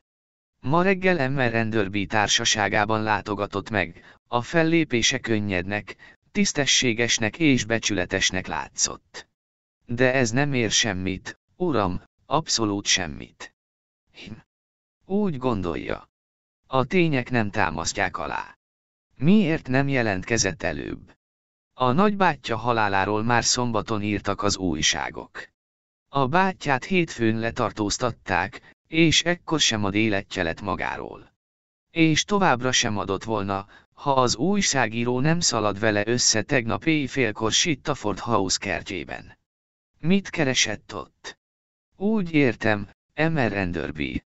Tudja milyenek az újságírók mondta narracott, mindig szaglásznak valami után. Titokzatosak. Igen gyakran egyszerűen gusztustalanok. Bár megvan a maguk haszna mondta a rendőrfőnök. Azt hiszem, az ifjú hölgy vette rá őt a dologra mondta narracott. Milyen ifjú hölgy? Mi szemölít refus is. Hogyan került a dologba? Fennjárt Sittafordban és körülnézett. Olyan nő, akit kemény jellemnek szoktak nevezni. Nem sok olyasmi van, ami elkerüli a figyelmét. Brian Pearson hogyan számolt be a történtekről? Azt mondta, az ifjú hölgy, vagyis Violet miatt ment Sittaford House-ba. A lány azért jött ki csak késő éjjel a találkozóra, amikor már mindenki aludt, mert nem akarta, hogy az anyja tudomást szerezzen róla. Ez az ő változatuk. Narracot felügyelő hangja tisztán elárulta, hogy egy szót sem hisz az egészből. Én úgy látom uram, hogyha Enderby nem szaladt bele, soha nem fette volna fel az itt létét. Visszament volna Ausztráliába és onnan követelte volna az örökségét. A rendőrfőnök ajkán halvány mosoly suhant át. Hogy elátkozhatta ezeket a dögszagú, tolakodó újságírókat dünnyögte maga elé. Van más is, ami napvilágra került folytatta a felügyelő. Ugye emlékszik, három Pearson gyerek van. Sylvie Pearson Martin Deringnek, a regényírónak a felesége. Deering azt vallotta, hogy a kérdéses napon egy amerikai kiadóval ebédelt és vele töltötte a délutánt, este pedig egy irodalmi vacsorán vett részt. Elég valószínűnek látszik azonban, hogy egyáltalán nem volt ott a vacsorán. Ezt kiállítja. Ezt is Enderby. Azt hiszem találkoznom kell ezzel az Enderbivel szögezte le a rendőrfőnök. Úgy tűnik, ő az egyik legmozgékonyabb ember ennek a nyomozásnak a során. Nem lehet vitás, a napi hírek stábja ragyogó fiatalemberekkel van tele. Persze lehetséges, hogy ez nagyon keveset vagy éppenséggel semmit sem jelent folytatta narracott. Trevejan kapitányt bizonyosan hat óra előtt ölték meg, így tehát nincs jelentősége annak, hogy Diring hol töltötte az estéjét. Akkor viszont miért hazudik szándékosan? Nem tetszik ez nekem, uram. Igaz értett egyet a rendőrfelügyelő, ez szükségtelennek látszik. Egy apróság az egész mesét hamissá teheti. Tudom, hogy túl merész a feltételezés, de elvileg Diring a 12-10-es vonattal elhagyhatta a Paddington állomást és kis idővel öt után megérkezhetett Exhamptonba. Megölhette az idős embert, elérhette a 6 óra 10 perces vonatot és éjfél előtt ismét otthon lehetett. Akárhogy is, ezt érdemes ellenőrizni, uram. Meg kell vizsgálnunk a pénzügyi helyzetét, tudnunk kell nincs -e reménytelenül leégve. Minden pénzt, amit a felesége örökölt, biztosan megkaparintott, úgy hogy csak a nőt kell megkérdeznünk, hogy megtudjuk, amit akarunk. Azt is teljes bizonyossággal kell tudnunk, ha a délutáni alibi nem állja meg a helyét. Az egész ügy nagyon különös, mondta a rendőr felügyelő, de még mindig azt hiszem, hogy a Pearson ellen szóló tények nagyon sokat mondóak. Megértem, ha másképp látja a dolgot, hiszen olyan érzése lehet, hogy ártatlan embert tartóztattunk le. Rendben vannak a bizonyítékok, a körülmények összevágnak, minden tökéletes. Bármelyik bíróság vádat emelne ezek alapján. Mégis úgy van, ahogy mondja nem hiszem, hogy ő a gyilkos. A menyasszonya is sokat tesz azért, hogy ezt bebizonyítsa. Mistrefus is, igen. Igazi egyéniség, nem lehet senkivel összetéveszteni. Nagyszerű fiatal hölgy. Eltökélte, hogy kiszabadítja a fiút. Megszerezte magának ezt az újságírót, Enderbit és most teljes erejéből megdolgoztatja. Túlságosan is jó ez a lány James Pearsonnak. Persze jóképű fickó, de erkölcs és jellem dolgában nem sok jutott neki. Ha uralkodó típusú fiatal nő, akkor pont ezt szereti jegyezte meg a rendőrfelügyelő. Hát igen, az ízlést nem lehet megmagyarázni. Ha egyet ért uram, én utána nézek Diring alibiének. Helyes, ne késlekedjék egy percet se. Mi a helyzet a végrendelet negyedik szereplőjével? Ugye van egy negyedik is. Igen, a húga. Nála minden rendben van. Már kihallgattam. Bizonyos, hogy öt órakor otthon volt, uram. Folytatom a Dering ügyet. Öt órával később Narracot felügyelő már Diring házában volt. Ez alkalommal Emmer Diring otthon volt. A szobalány először azt mondta, nem zavarhatja, mert ír.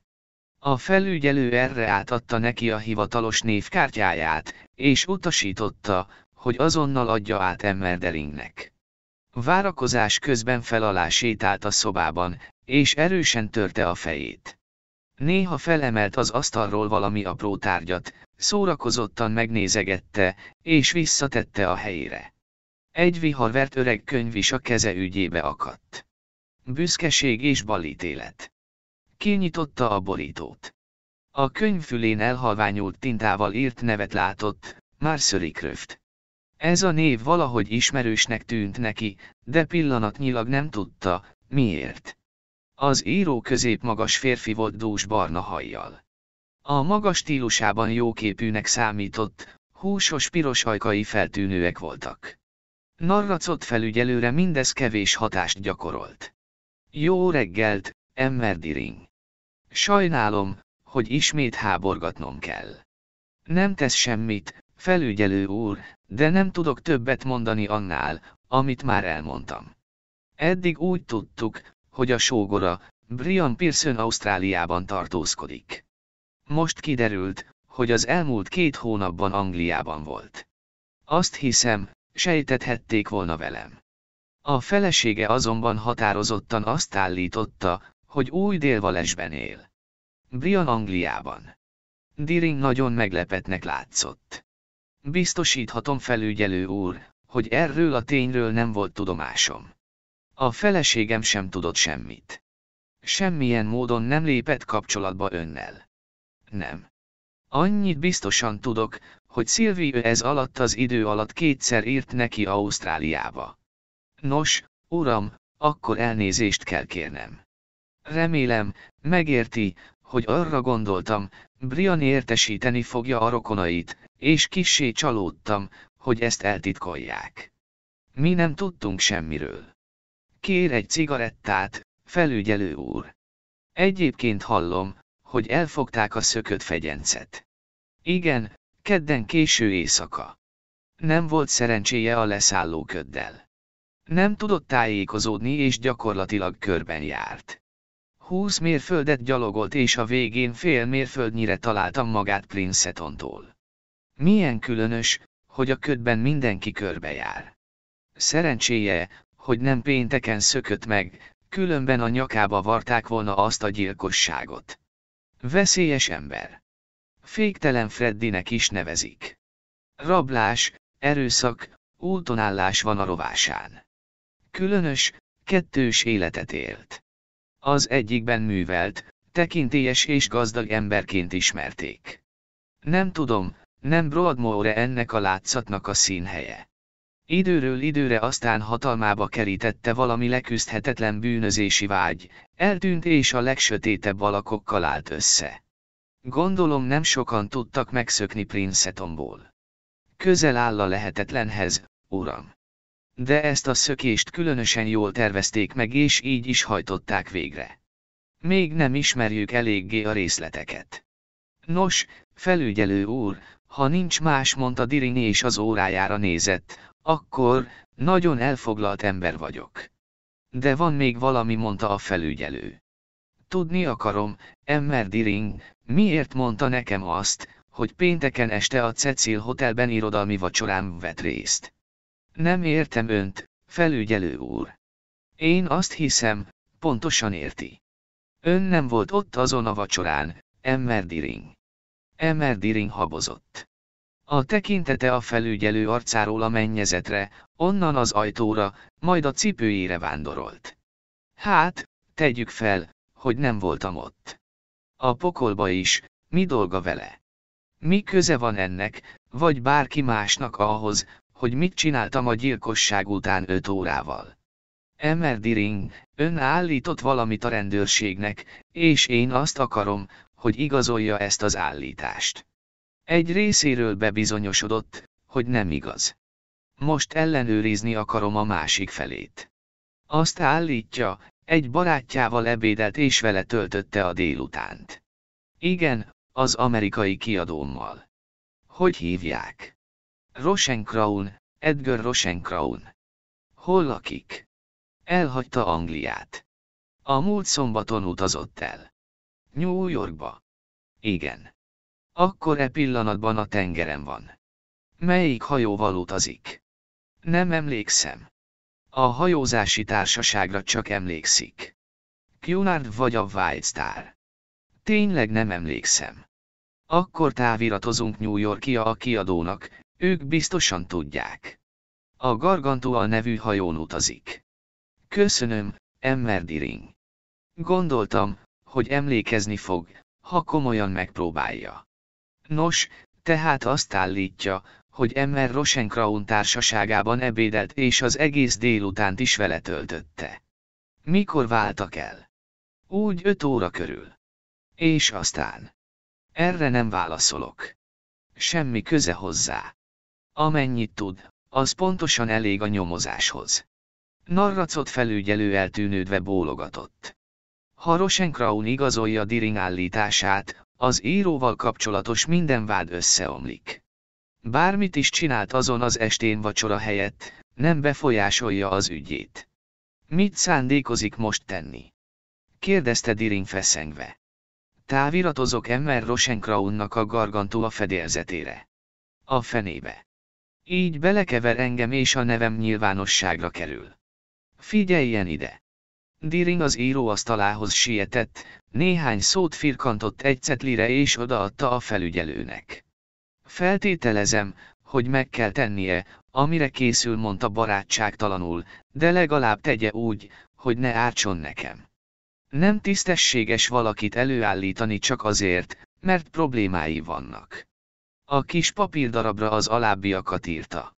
S.S. Rosenkraun, a gargantua fedélzetén. Kérem, igazolja azt, hogy 14-én, pénteken önnel ebédeltem, és délután 5 órakor váltunk el Martin Diring. Küldesse a választ egyenesen a címére, én nem bánom. De ne a Scotland Yard vagy a rendőrség kapja meg. Fogalma sincs, milyenek az amerikaiak. Ha a nevem a legkisebb mértékben is összefüggésbe kerül egy rendőrségi ügyjel, a megbeszélt szerződés már is füstbe ment. Kezelje magánügyként, felügyelő úr. Nincs ellenvetésem, Emmer Diring. Csak az igazságot akarom tudni. A táviratot választ fizetve küldöm el és a magánlakcímemet adom meg Exeterben. Köszönöm, ön rendes ember. Nem olyan könnyű az írásból megélni, felügyelő úr. Meglátja, a válasz engem fog igazolni. A vacsorát illetően tényleg hazudtam, de az a helyzet, hogy a feleségemnek azt mondtam, hogy ott vagyok és azt gondoltam, ehhez a változathoz kell ragaszkodnom. Máskülönben sok kellemetlenségnek tettem volna ki magam. Ha Emmer Rosenkraun megerősíti az állítását, nincs mitől félnie, Emmer Diring. Kellemetlen ember gondolta a felügyelő elhagyva a házat.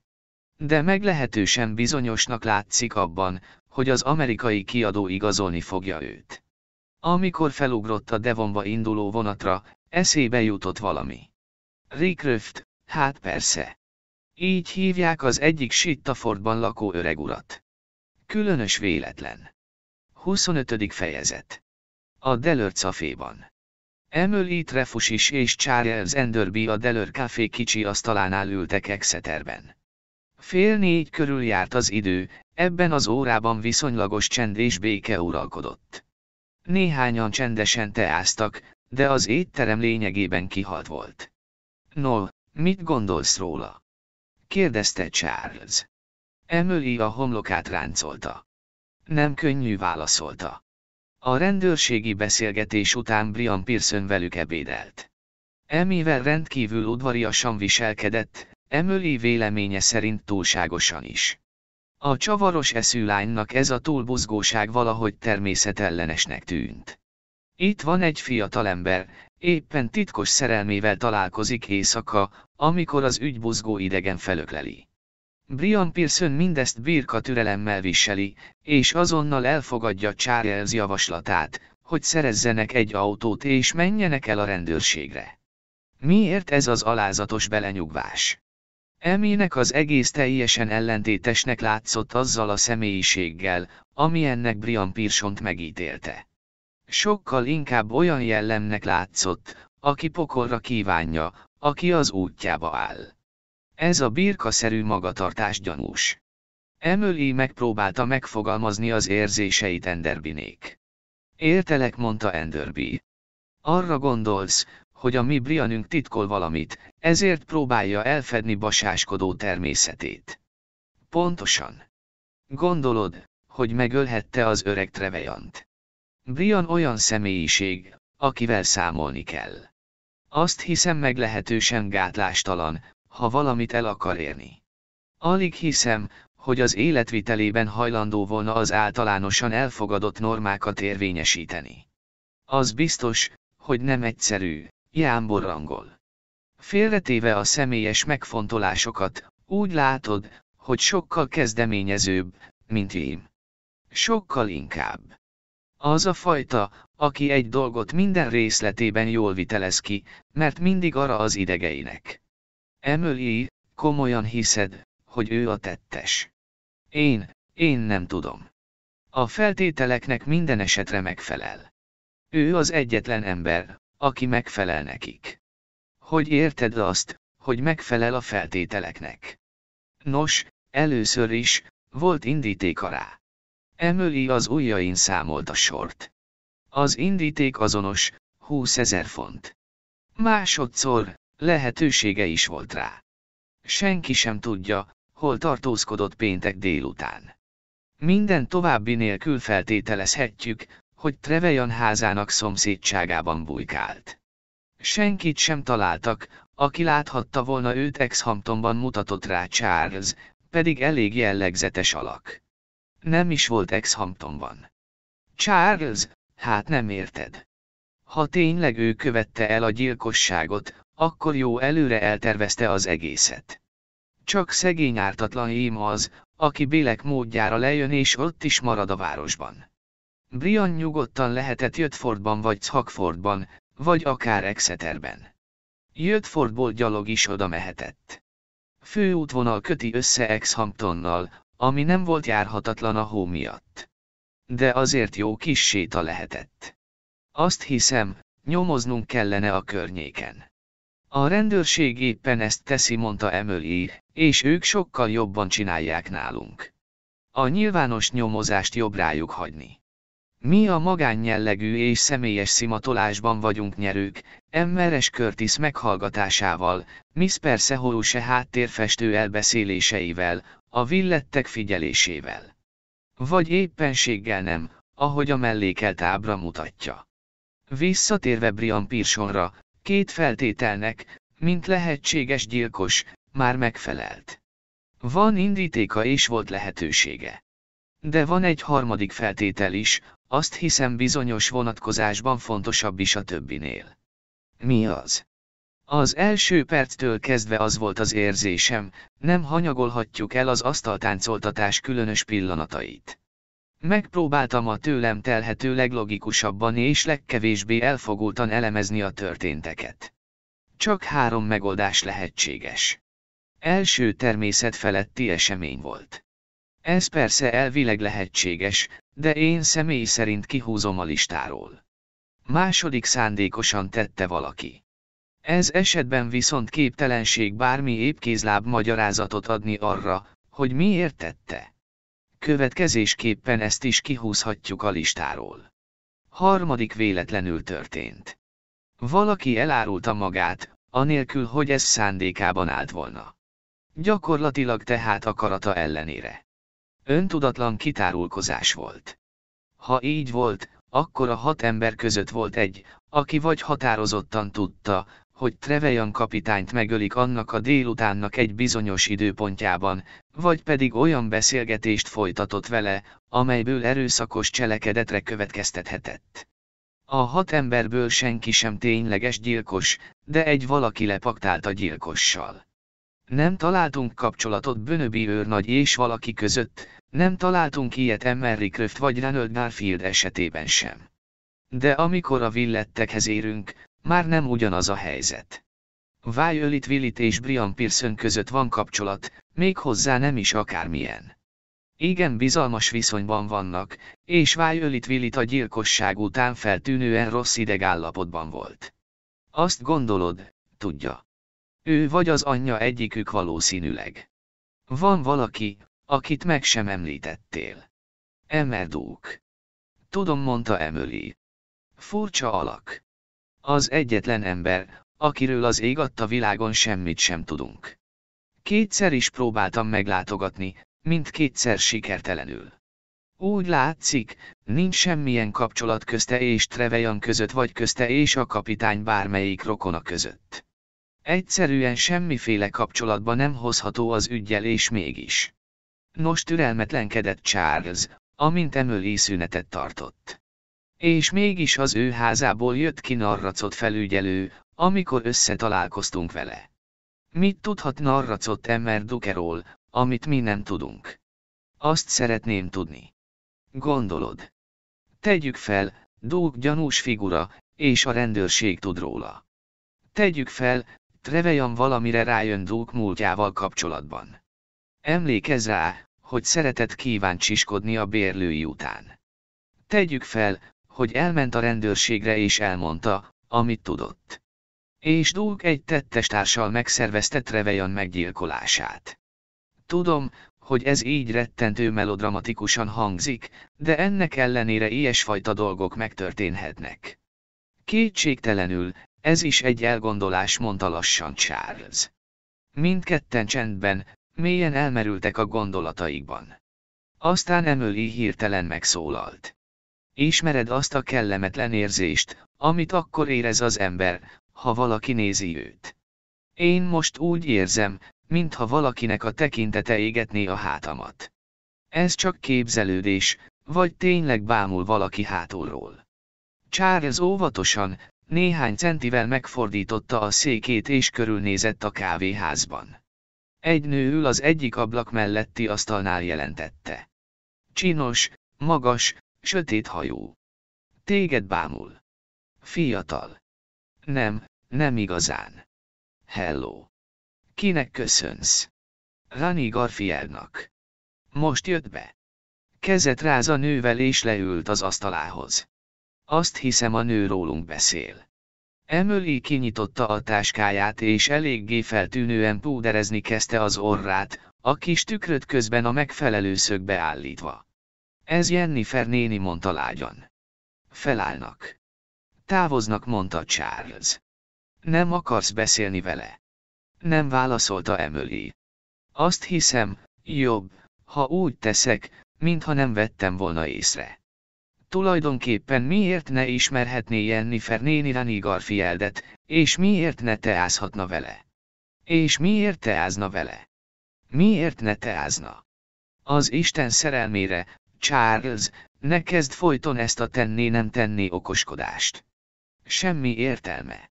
A tény az, hogy leszögeztük, mi szerint a szeánszon résztvevők közül senki sincs kapcsolatban a családdal. Erre nem telik el öt perc, és meglátjuk Rani Garfieldet, amint Trevejan kapitány húgával teázik.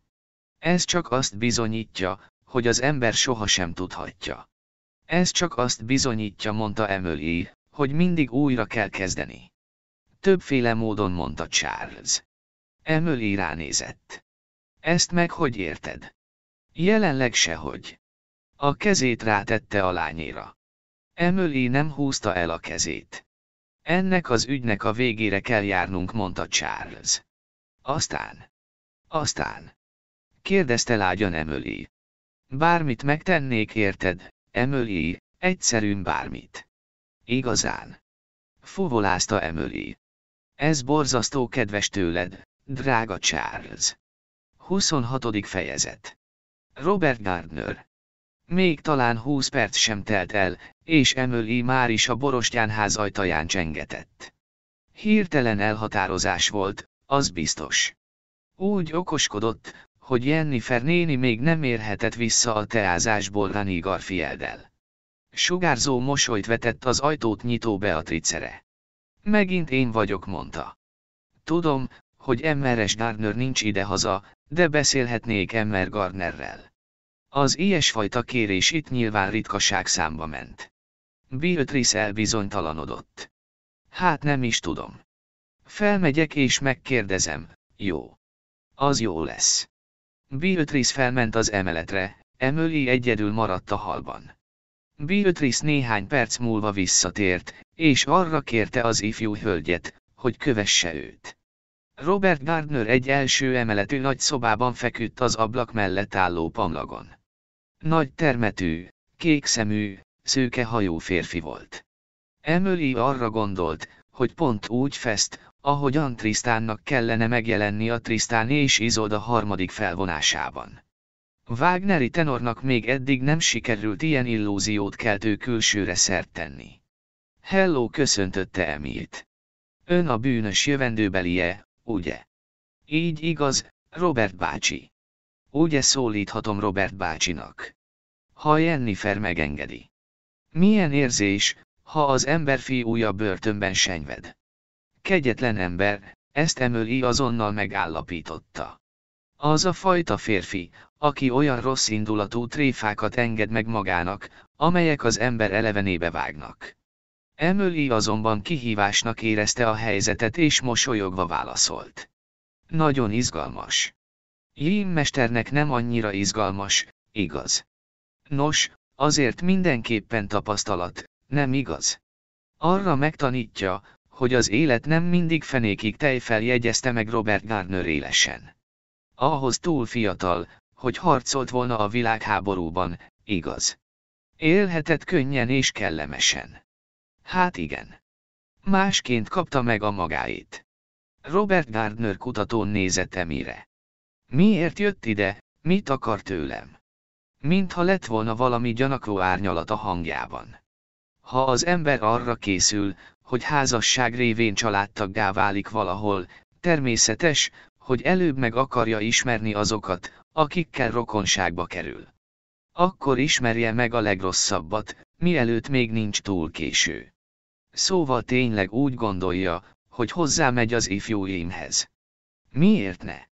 Annak ellenére, hogy gyilkossággal vádolják. Annak ellenére. Még senkivel sem találkoztam, aki kevésbé lehangolt lenne magánál. Bárki azt gondolná, jól érzi magát a bőrében. Így is van. Rém izgalmas dolog egy gyilkos után vadászni. Micsoda? Azt mondtam, rém izgalmas dolog egy gyilkos után vadászni. Robert Gardner emére bámult, aztán hátradőlt a párnáira. Fáradt vagyok, mondta idegesen. Nem tudok többet beszélni. Nővér, hol van a nővér? Nővér, fáradt vagyok. Davis nővér a hívásra gyorsan besietett a szomszéd szobából. Emmer Gardner nagyon könnyen kifárad. Ha nem bánja, Miss is, talán jobb lenne, ha most távozna. Emily felállt és vidáman bólintott. Isten vele, Robert bácsi. Egy napon talán visszajövök. Aurivvár. Mondta Emily. Már a bejárati ajtónál volt, amikor hirtelen megállt. Ó, ben felejtettem a kesztyűmet. Már is hozom, kisasszony. Nem, magam megyek érte, mondta Emily és már szaladt is felfelé a lépcsőn. Kopogás nélkül nyitott be a szobába. Ó, kérem, bocsássanak meg. Igazán sajnálom. A kesztyűnő. Kihívóan felvette a kesztyűket és édes mosolyt vetve a szobában egymás kezét fogva ülő két emberre, leviharzott a lépcsőn és elhagyta a házat. Ez a kesztyű elhagyási jelenet igazán pompás. Mondta magának Emily. Már a második alkalom, amikor bejött. Szegény Jenny Fernéni, vajon tud róla? Valószínűleg nem. Rohannom kell vagy megvárakoztatom Charles-t. Enderby Elmer Fordjában ült a megbeszélt helyen. Szerencsével jártál. Kérdezte, miközben a kocsiban levő pléddel betakarta a lányt. Bizonyos értelemben igen, de nem vagyok biztos benne. Enderby kérdőn nézett rá. Nem mondta Emily a tekintetre válaszolva, most nem akarok beszélni róla. Tudod, meg lehet, hogy semmi jelentősége, és akkor nem lenne becsületes. Enderby nagyot sóhajtott. Ez kegyetlenség állapította meg.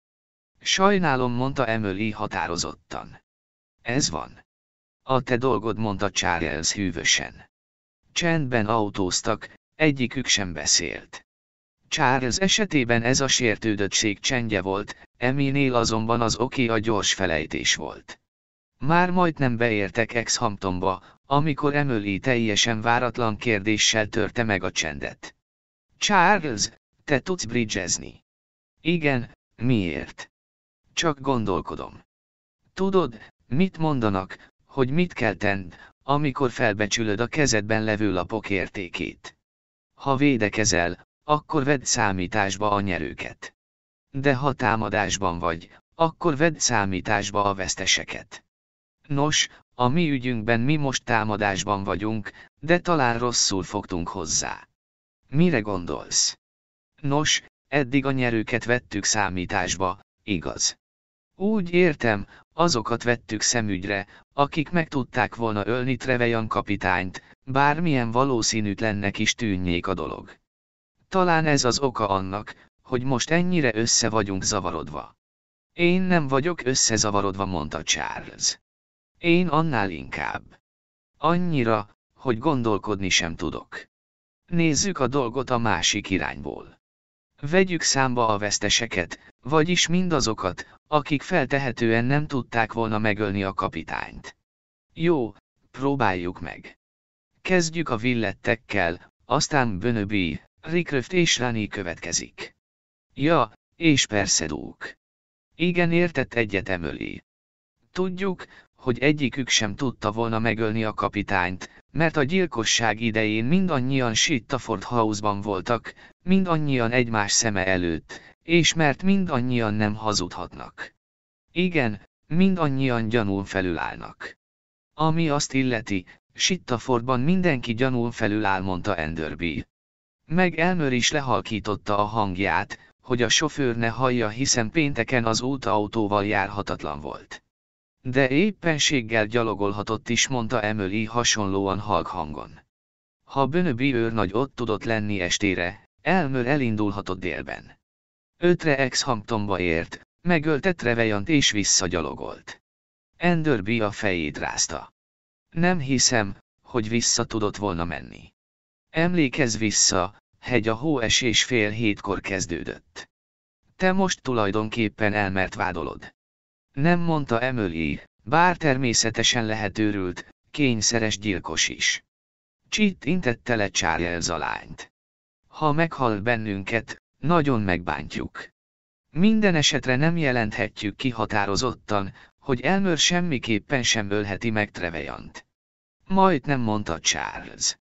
Ugyanis nem gyalogolhatott Exhamptonba és vissza anélkül, hogy egész Sittaford ne tudott volna róla, és ne találta volna különösnek a sétát. Hát az biztos, hogy itt mindenki tud mindenről. Pontosan így van. Ezért mondom, hogy Sittafordban mindenki gyanún felül áll azok, akik nem voltak villettéknél Miss Persehouse és Vájött kapitány rokkantak. Nem tudnak hóekeként haladni a hóviharban. A kedves öreg Curtis és Emmeres Curtis, ha bármelyikük tette volna, ex-Hamptonban kellett tölteniük a hétvégét, és csal akkor jöhettek volna vissza, ha minden elcsendesedik. Emily nevetett. Senki sem hiányozhat a hétvégén Sittafordból anélkül, hogy észre ne vegyék. Curtis a nagy csöndről venni észre, ha Emmeres Curtis hiányozna. Hát persze. Abdul a mi emberünk. Pont, mint egy regényben. Abdul valójában tiszti szolga. Trevejan kapitány egy zendülés során a tengerbe hajítatja legkedvesebb fivérét valami ilyesmi. Nem hiszem hűtötte le Emily fantáziáját Enderby, hogy ez a boldogtalan, szomorú tekintetű indiai bárkit is megölhetne. Most jut eszembe folytatta hirtelen Charles. Mi? Hát a Kovács felesége. Aki a nyolcadik gyerekét várja. A vakmerő asszony állapota ellenére gyalog megteszi az utat Expamptonba és agyoncsapja Trévejant a homokzsákkal. De miért, könyörgöm? Természetesen azért, mert az előző hét apja a Kovács, de a nyolcadik gyerek Trevejan kapitánytól van. Charles mondta Emily, ne légy ízléstelen. Arról nem beszélve folytatta, hogy a Kovács a tettes, nem a felesége. Milyen életszagú eset. Gondold csak el, hogyan forgatja az az izmos barna kar a levegőben a homokzsákot. A felesége észre se veszi, hogy nincs otthon a férje, annyi a tennivaló a hét puja körül. Még arra sem lenne ideje, hogy egy férfit észrevegyen maga körül. Ez már a teljes elhűlés, Emily mondta Charles. Majd hogy nem hagyta helyben Emily. A vesztesek számbavétele nem volt túl sikeres. És veled mi a helyzet? Velem. Hol voltál, amikor a gyilkosság történt? Milyen eredeti? Sose jutott eszembe. Természetesen Londonban voltam. De nem hinném, hogy bizonyítani is tudom. Egyedül voltam a lakásomban. Na, látod csapott le rá Charles. Indíték meg minden. A vőlegényed 20 ezer fontot örökölhet. Mit akarsz még? Charles, okos vagy.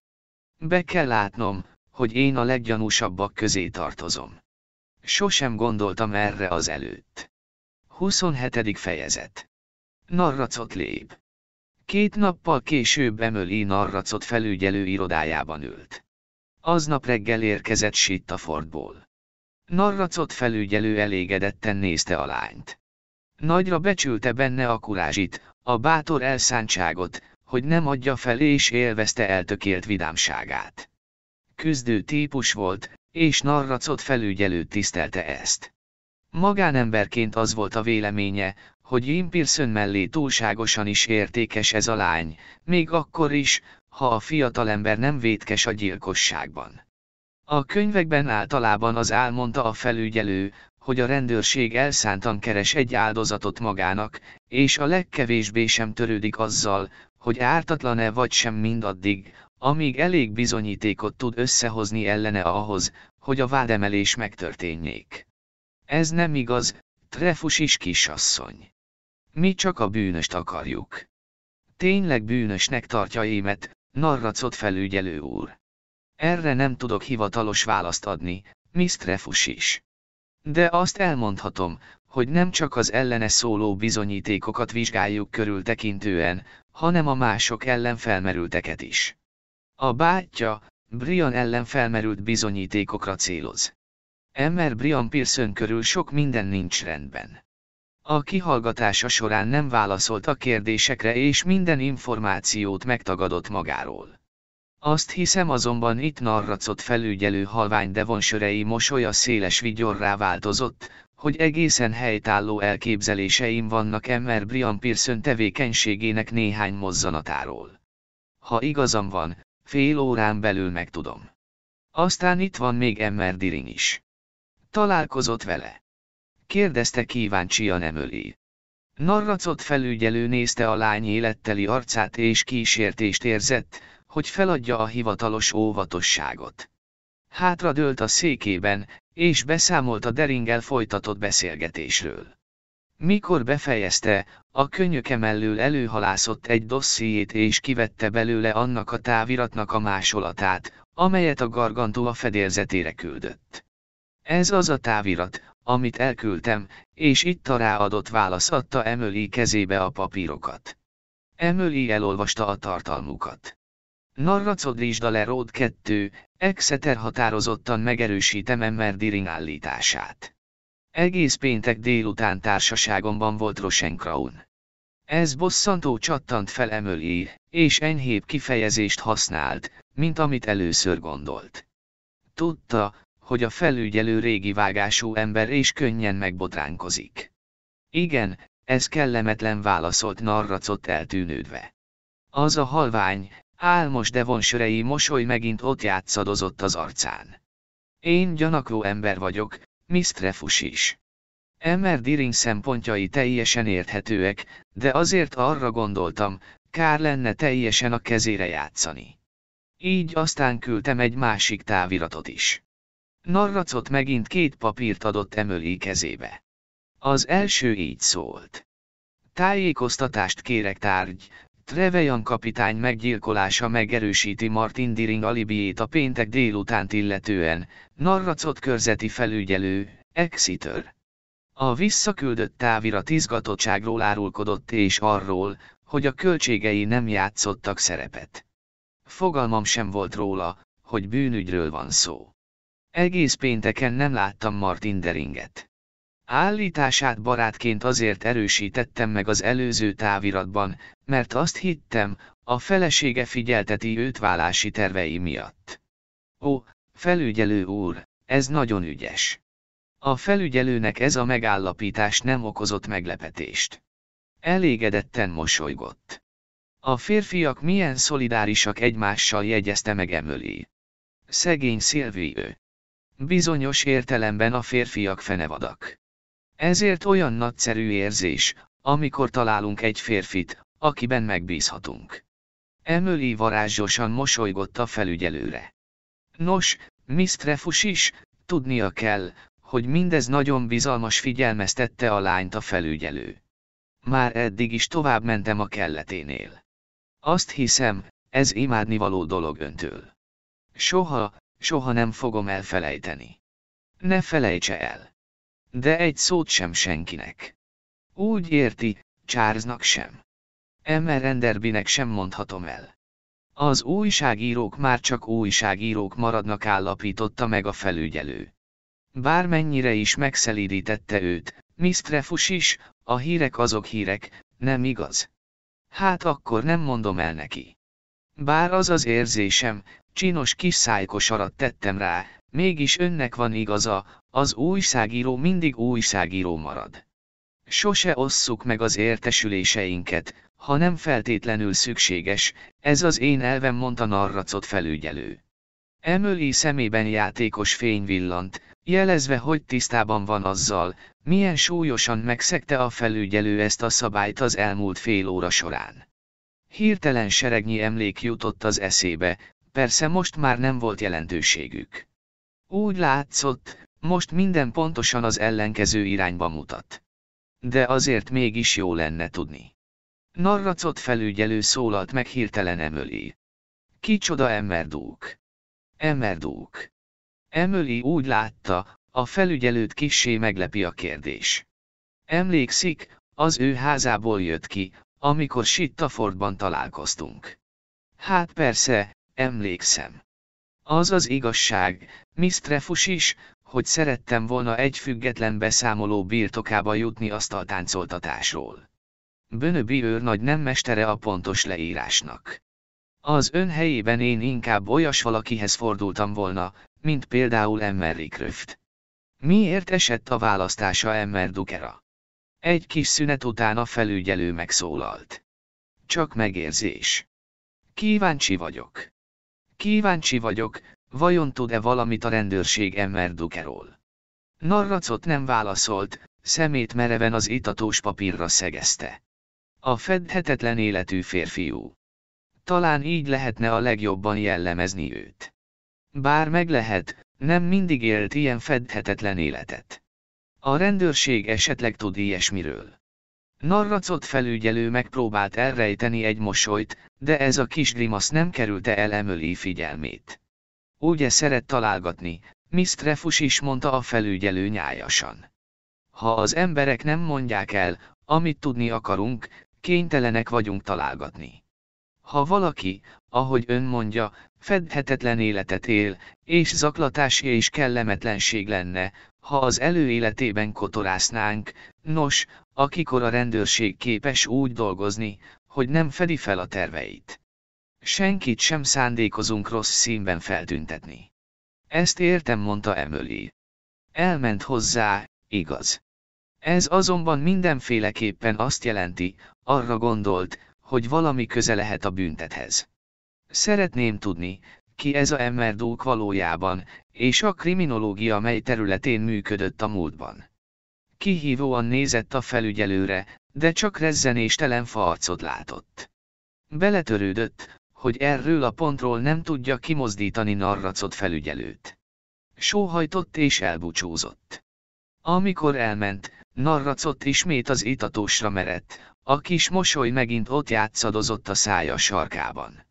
Aztán csengetett, kisvártatva belépett egyik beosztotja. Nos. Kérdezte a felügyelő. Minden rendben, uram. De nem a herszegség Princetonban, hanem a két hídnál lévő szálloda. Vagy úgy mondta a felügyelő és átvette a papírokat. Ezzel le van zárva a dolog. Kiderítette, mit csinált a másik fickó pénteken. Annyi bizonyos, hogy Ex-Hamptonba az utolsó vonattal érkezett, de azt még nem tudjuk, mikor hagyta el Londont. Folyik a nyomozás. Narracot bólintott. Itt a bejegyzés uram Somerset House-ból. Narracot kinyitotta az iratot. Hivatalos bejegyzés volt egy házasságról, amelyet William Martin Dirini és Martini Elizabeth Rickröft kötöttek 1894-ben. Még valami. Van, uram, Emmer Brian Pearson a Kék Kémény nevű hajós társaság hajóján, Abhidiason érkezett Ausztráliából. A hajó érintette Fokvárost is, de az utasok névjegyzékén nem szerepel Vilit név. Anya és lánya Dél-Afrikából egyáltalán nincs közöttük. Van viszont MRS és Miss Evans és MRS és Miss Johnson Melbourne-ből. Az utóbbiak leírása illik a villetekre. Hm Johnson mondta a felügyelő. Valószínűleg sem a Willit, sem a Johnson nem valódi nevek. Azt hiszem, megfelelően informálódtunk róluk. Van még valami. Úgy látszott, egyéb már nincsen. Nos állt fel narracott, azt hiszem, eleget tudunk ahhoz, hogy cselekedjünk. 28. fejezet. A bakancs. De drága hölgyem magyarázta Emmer Kirkwood, mit gondol, mit találhat Trevejan kapitány lakásán. A kapitány összes holmiát elszállították. A rendőrség centiről centire átkutatta a házat. Tökéletesen megértem az álláspontját és azt a törekvését, hogy ő, ő tisztázza, ha lehetséges Emmer Pirsont. De mit tehet? Nem azt remélem, hogy találok valamit mondta Emily vagy észreveszek olyasmit, ami elkerülte a rendőrség figyelmét. Nem tudom megmagyarázni, Emmer Kirkwood.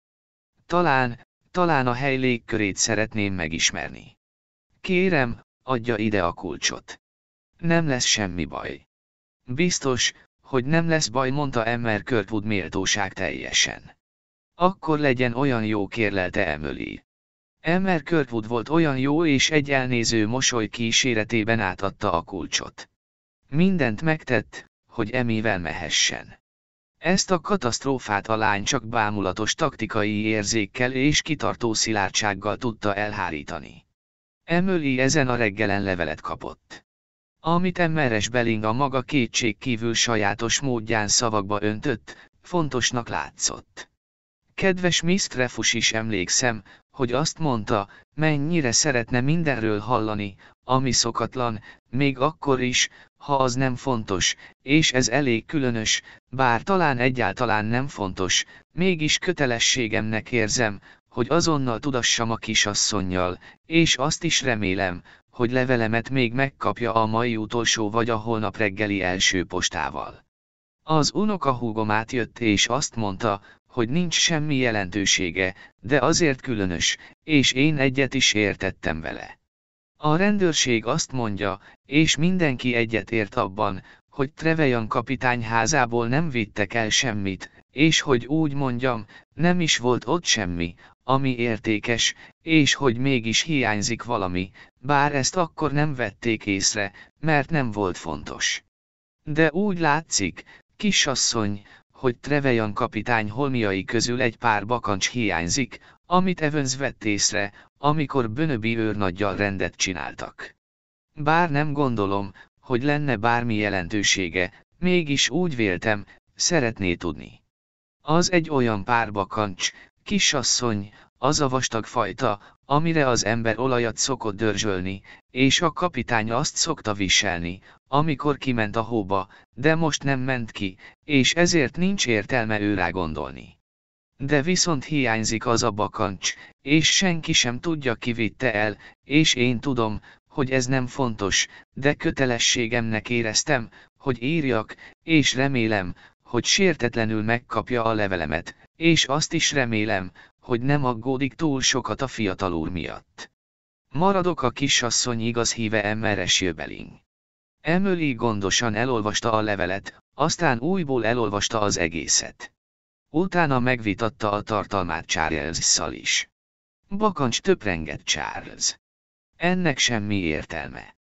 Kell, hogy jelentsen valamit, mondta Emily. Különben miért hiányozna egy pár bakancs?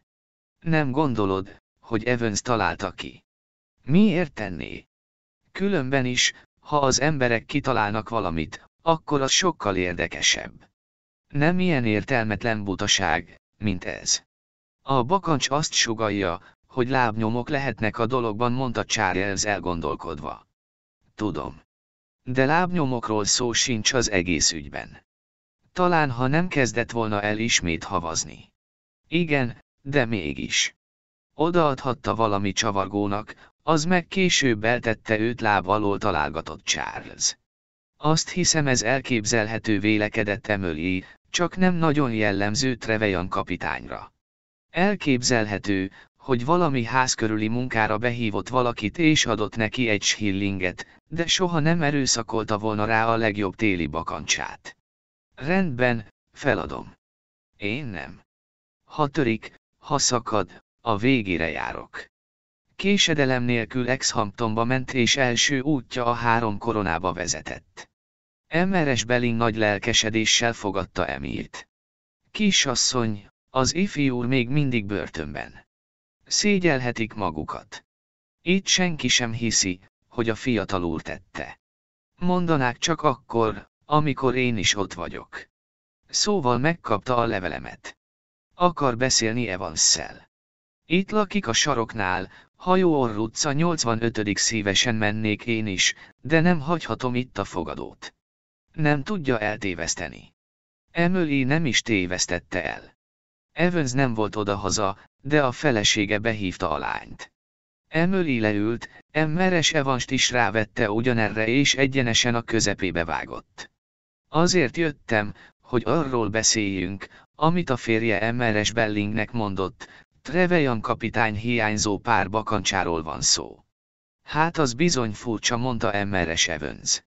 A férje teljesen biztos benne, hogy hiányzik. Ó, igen. A kapitány nagyon sokat viselte télen. Kicsit nagy volt neki, ezért dupla zoknit húzott bele. Emily bólintott. Nem lehetséges, hogy a kapitány odaadta javítatni. Evans tudomása nélkül kizárt dolog válaszolt a nő kérkedő hangon. Azért azt nem hiszem. Furcsa, hogy hiányzik, de nem hinném, hogy ennek bármi köze lehet a gyilkossághoz ugye, kisasszony. Nem valószínű értett egyetemi. Találtak valami újat, kisasszony. Kérdezte izgatottan Evans felesége. Egy-két apróságot, de semmi fontosat. Azért gondoltam, mert a felügyelő Exeterből megint itt volt. Narracot felügyelő. Igen, ő az, kisasszony. Azzal a vonattal jött, amelyikkel én. Nem, autóval érkezett.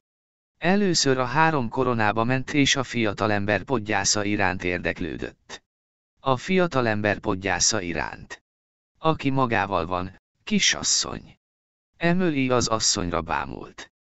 Tomot kérdezgették folytatta Emmeres Evans.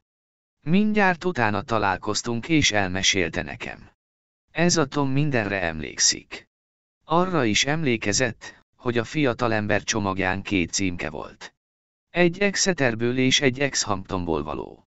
Emily arca felderült. Maga elé képzelte, amint Charles elköveti a büntényt, hogy kizárólagos hírlapi szenzációt szerezzen magának. Valaki hajmeresztő történetet írhatna erre a témára. Narracot felügyelő kitartó alapossága, ahogy mindenkivel kapcsolatban minden részletet ellenőrzött, tekintet nélkül arra, milyen távoli kapcsolatban állnak a bünténnyel, egyszerűen lenyűgözte Emilt. A felügyelőnek rögtön a beszélgetésük befejezése után el kellett indulnia Exeterből. Egy gyors autó könnyedén megelőzi a vonatot, és ő még meg is ebédelt Exeterben. Hová ment azután a felügyelő? Kérdezte. Sittafordba, Miss Trefus is. Tom hallotta, amikor a szofőrnek ezt mondta. Sittaford House-ba. Emily tudta, hogy Brian Pearson még mindig a villetteknél tartózkodik. Nem, kisasszony. Emer Dukehoz. Megint Duke, az ismeretlen tényező. Emily tudta, hogy a tényekből kell a Emmer Dukera vonatkozó következtetéseket levonni, de úgy tűnt, ez a férfi mindenkire hasonló hatással van. Mindenki kellemes, hétköznapi embernek tartotta. Találkoznom kell vele, mondta magában Emily. Azonnal oda megyek, mihelyt Sittafordba érek. Gyorsan megköszönt mindent Emmeres Evansonnak, átment Emmer Kirkwoldhoz. Ott a már ismert módon megszerezte a kulcsot, és most ott állt Trevejan kapitány házának haljában és azon tűnődött, mit is keres itt tulajdonképpen. Lassan felment a lépcsőn és bement az első szobába. Minden jel szerint ez volt Trevejan kapitány hálószobája. Ahogy Emmer Kirkwood mondta, a kapitány személyes holmiait már elvitték. A takarók elvágólag összehajtva, a fiókok üresek. A szekrénynél egy hangár sem lehetett elhagyottabb. A cipős szekrény polcsorai üresen ásítoztak. Emily sóhajtott, megfordult és lömönt. A szalomba lépett, ahol annak idején a meggyilkolt feküdt. Az ablak még mindig nyitva volt, a hó beszállingózott rajta. Megpróbálta elképzelni a jelenetet. Kinek a keze mérhette a végzetes csapást Trevejan kapitányra és miért?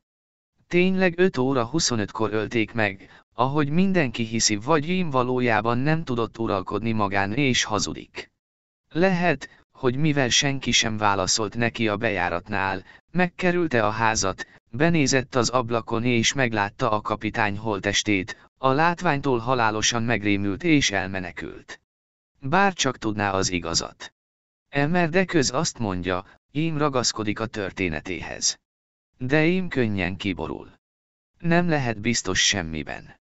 Lett volna valaki más is a házban, ahogy Emmer Rickröft gondolja, valaki, aki hallotta a veszekedést és üstökön ragadta az alkalmat. Ha így is volna, segít-e ez bármit is a bakancs kérdésének megoldásában? Talán Trevejan hálószobájában lehetett valaki. Emily ismét keresztül ment a halion és vetett egy pillantást az ebédlőbe is. Két bőrönd állt a közepén, gondosan átszíjazva és felcímkézve. A tálaló üres volt, az ezüst cserlegek Bönöbi őr nagy pihentek. Emének feltűnt, hogy a három, díjként nyert regény, amelyekről Charles Evanstól hallott, és amelyekről oly színesen számolt be, most ott feküdt mindenkitől elfelejtve egy széken. Emily még egyszer körülnézett az ebédlőben. Semmi érdekes, gondolta magában. Megint felkaptatott a lépcsőn és újból bement a kapitány hálószobájába. Meg kell tudnia, hogy miért hiányzik az a bakancs. Amíg nem képes valami épkézláb magyarázatot összekotivasztani az eltűnésükről, addig képtelen kiverni a fejéből az egészet. Ez a pár bakancs nevetségesen nagy jelentőségűvé nőtte ki magát, minden mást elhomályosított, ami az ügyel volt kapcsolatos. Hát nincs semmi, ami a segítségére lenne. Kihuzigálta a fiókokat és megtapogatta a mögöttük lévő helyet. A detektív regényekben mindig találnak egy előzékeny papírdarabot. A valóságban persze az ember nem számíthat ilyen szerencsés véletlenekre, vagy talán a felügyelő és az emberei nagyon alaposak. Tovább tapogatta a szőnyegek széleit, megvizsgálta az ágybetétet. Nem igazán tudta, mit keres ezeken a helyeken, de egy vadászkopó szenvedélyével kutatott. Amint felállt, hogy kiegyenesítse egy kicsit a hátát, valami feltűnt neki. Egy apróság a szoba katonás rendjében, egy semmiség, ami nem illett a képbe. A kiskorom halom a kandalló rostéján, Emily feszült izgalommal nézte, mint a madár a kígyót. Közelebb ment, de a szemét nem vette le róla. Ez most nem észszerű következtetés volt, nem oké és okozati összefüggés. Egyszerűen csak egy halomkorom volt, és ennek a látványa felvetett egy bizonyos lehetőséget. Emily felgyűjerte a ruhaujját és mindkét karját feltornázta a kéménybe. Egy pillanattal később már elmondhatatlan élvezettel szemlélte a gondosan újságpapírba tekert csomagot. Egy mozdulattal letépte az újságot, és ott díszelgett előtte a hiányzó bakancs. De miért? Itt van, de miért? Miért? Kézbe vette a bakancsokat, megvizsgálta őket kívülbelül, és az agyában ugyanaz a kérdés dörömbölt kitartóan. Miért? Valaki elvette Trevejan kapitány bakancsát és elrejtette a kéményben. De az Isten szerelmére, miért? Rögtön megbolondulok kiáltott fel kétségbe esve. Fogta a bakancsokat és lerakta őket a szoba közepére. Aztán odahúzott egy széket, és leült velük szemben. Arra kényszerítette magát, hogy a nyomozás első percétől kezdve mindent végig gondoljon, minden részletet felelevenítsen, akár ő maga tudta meg, akár mások szóbeszédéből szerzett róla tudomást. Minden szereplőt számításba vett, kivétel nélkül. Egyszer csak különös, homályos ötlet körvonalai kezdtek kirajzolódni. A gondolatot a szoba közepén álló, ártatlan és néma bakancsok sugalták. Ha így van, ha tényleg így van. Felkapta a bakancsokat és lerohant a lépcsőn. Berontott az ebédlőbe és a sarokban álló szekrényhez ment. Ebben sorakoztak nagy összevisszaságban a kapitány sportdíjai és felszerelései, mindaz, amit nem mert női bérlői keze ügyében hagyni.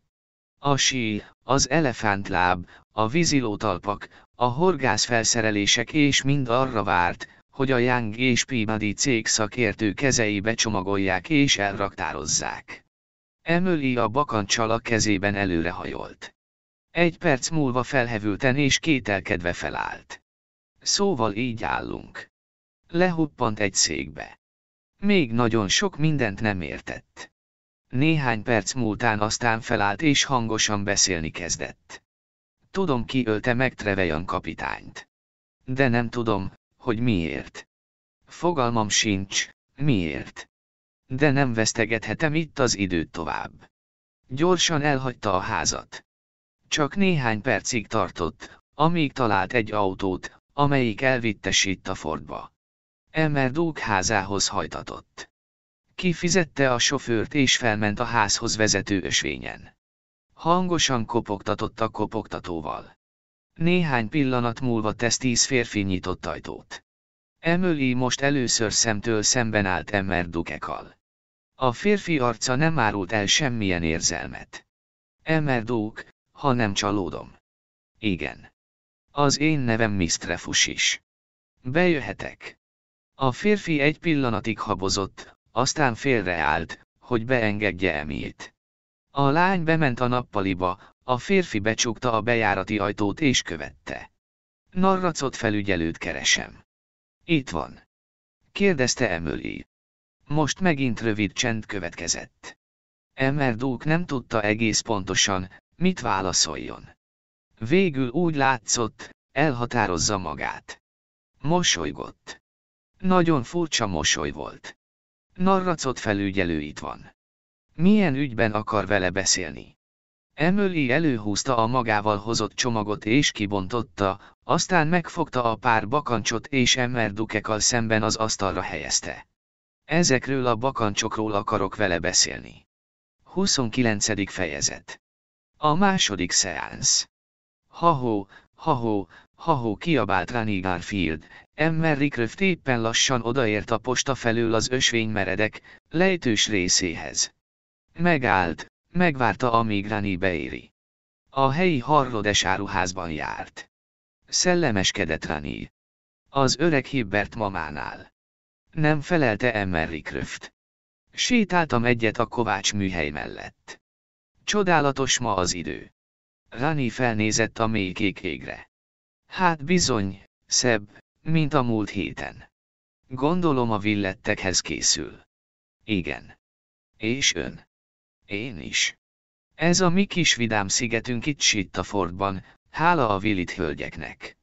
Nem szabad letörtnek lenni, ez az aranyszabályuk. Éljünk úgy, mint máskor. A nénikém persze azt mondja, érzéketlen dolog, hogy a temetés után ilyen rövid idővel vendégségbe hívják az embereket, de ez csak üres fecsegés. Csak azért mondja ezt, mert ideges a perui császár miatt. A perui császár miatt. Kérdezte Emmer Kröft meglepődve. Az egyik nyomorult macska.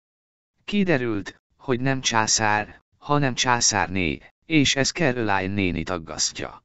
Egyáltalán nem kedveli a szex problémákat. A keblében dúló érzelmektől úgy szabadult meg, hogy rosszmájú megjegyzéseket faragott a villettekről. Miért ne hívnának vendégeket teára? Trevejan nem volt a rokonuk. Nagyon igaz válaszolt szórakozottan Emmery Kröft. A figyelmét egy felettük elrepülő madár kötötte le, amelyben ritka fajt vélt felfedezni. Milyen bosszantó. Nincs velem a távcsövem. Ha már Trevejanról esett szó, Mit gondol, lehet, hogy Emmeres Willit jobban ismerte, mint állítja. Ezt miért kérdezi? Mert nagyon megváltozott. Látott már ilyet valaha. Az elmúlt héten húsz évet öregedett. Észre kellett vennie. Igen, észrevettem. Na, látja. Trevejan halála így vagy úgy nagy megrázkódtatás volt neki. Furcsa lenne, ha kiderülne, hogy Emmeres Willi tulajdonképpen az öreg fiú rég elveszett felesége, akit ifjú korában elhagyott, most meg nem ismert rá. Alig hinném, hogy ez valószínű, Emmer Garfield. Túlságosan hasonlít valami kassza sikerre a moziban, nem igaz? Ennek ellenére nagyon különös dolgok történnek. Olvastam néhány elképesztő dolgot a napi hírekben, olyanokat, hogy el se hinném, ha nem látom kinyomtatva. Azért mert az újságban látta, hihetőbbek. Kérdezte Emmer Rickröft epésen. Ugye nem az esete a fiatal Enderby, igaz? Nem szeretem a faragatlan szaglászást olyan ügyekben, amelyek nem tartoznak az illetőre. Igen, de ő rá tartoznak makacskodott Rani. A szaglászás a szegény fickó munkája. Az öreg Burnabit egészen magához édesgette. Nem tudom miért, de engem viszont látni se bír. Olyan vagyok neki, mint a bikának a vörös posztó. Emmer Rickröft nem válaszolt. Jupiterre. Mondta Rani, amint ismét az égre nézett. Eszébe jutott, hogy ma péntek van. Pont egy héttel ezelőtt körülbelül ugyanebben az időben a villettek meghívására ugyanúgy felkerekedtünk, mint most. De az idő kicsit megváltozott. Egy hete mondta Emmerich Kröft. Határozottan többnek tűnik. Inkább egy nyavajás évnek, igaz. Ha-ho, Abdul. Éppen vájött kapitány háza előtt haladtak el és az álmodozó indiai a kaput támasztotta. Jó napot, Abdul. Köszönt Emery Kröft.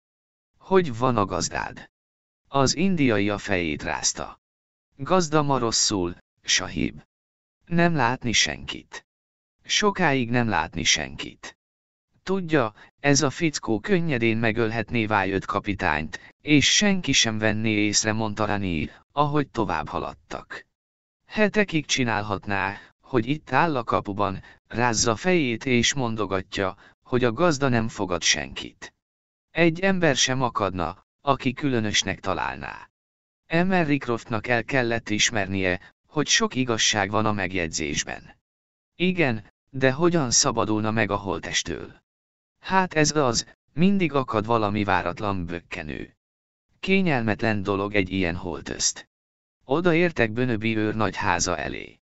Az őrnagy a kertben állt és szúrós szemmel nézett egy gyomot, amely ott nőtt, ahol nem lett volna szabad neki. Jó napot, őrnagy! Köszönt Emery Kröft. Szintén jön Sitta Ford House-ba. Bönöbi megdörgölte az orrát. Nem hiszem. Hívtak engem is, de, nem érezném jól magam. Remélem, megértik. Emery Kröft bólintott, annak jeléül, hogy megérti. Ennek ellenére mondta azt szeretném, ha eljönne. Okom van rá. Oka. Miféle oka? Emmer Rickröft kicsit habozott. Emmer Garfield jelenléte zavarta. Rani azonban, aki semmit sem vett észre, csak állt és érdeklődve figyelt. Szeretnék egy kísérletet elvégezni, mondta végül Emmer Rickröft. Miféle kísérletet? kérdezte az őrnagy. Emmer Rickröft tétovázott. Inkább nem mondanám el előre. De ha eljön, arra kérem, minden javaslatomat támogassa. Rendben van, elmegyek. Számíthat rám. Hol a kalapom? Egy szempillantás alatt csatlakozott hozzájuk, kalapját a fejébe húzva.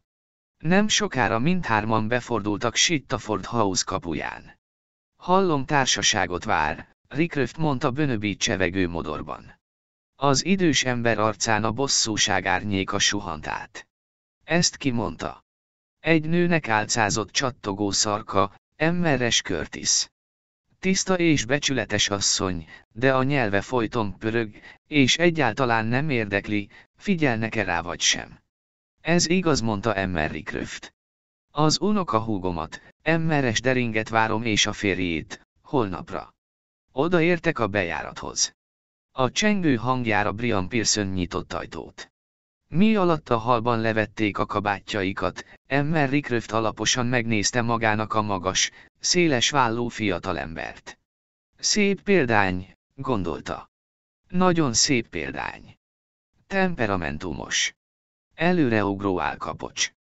Bizonyos körülmények között kellemetlen alak lehet. Ezt hívják veszélyes fiatalembernek. Amikor Bönöbi őrnagy belépett a szalomba, olyan érzés vett rajta erőt, mintha nem is a valóságban történne mindez. Emmeres Willit felállt, hogy üdvözölje. Kedves, hogy átjött. Még a szavak is ugyanazok, mint a múlt héten. Ugyanolyan vidáman lobog a tűz a kandallóban. Nem volt ugyan egészen biztos benne, de még a két nő ruhája is ugyanaz lehetett. Nagyon különös érzés volt. Mintha megint a múlt hét lett volna, mintha Treveja nem is halt volna meg, mintha semmi sem történt volna és semmi sem változott volna. Ájé, ez rossz. Emmeres Willit megváltozott. Ha le akarjuk írni, csak azt mondhatjuk, roncs lett belőle. Nem gazdag, nagyvilági nő többé, csak egy idegroncs, aki kétségbe esett és mindenki előtt nyilvánvaló erőfeszítéseket tesz, hogy olyannak tűnjön, mint régen. De akasszanak fel, ha fel tudom fedezni rajta, hogy jó-e halála mit jelent neki. Mondta magában az őrnagy. Századszor is megállapította, hogy a villettek körül valami átkozottul furcsa. Mint rendesen, ismét arra lett figyelmes, hogy valaki beszél hozzá. Attól félek, ez a mi utolsó kis összejövetelünk, mondta Emmeres Willit. Micsoda?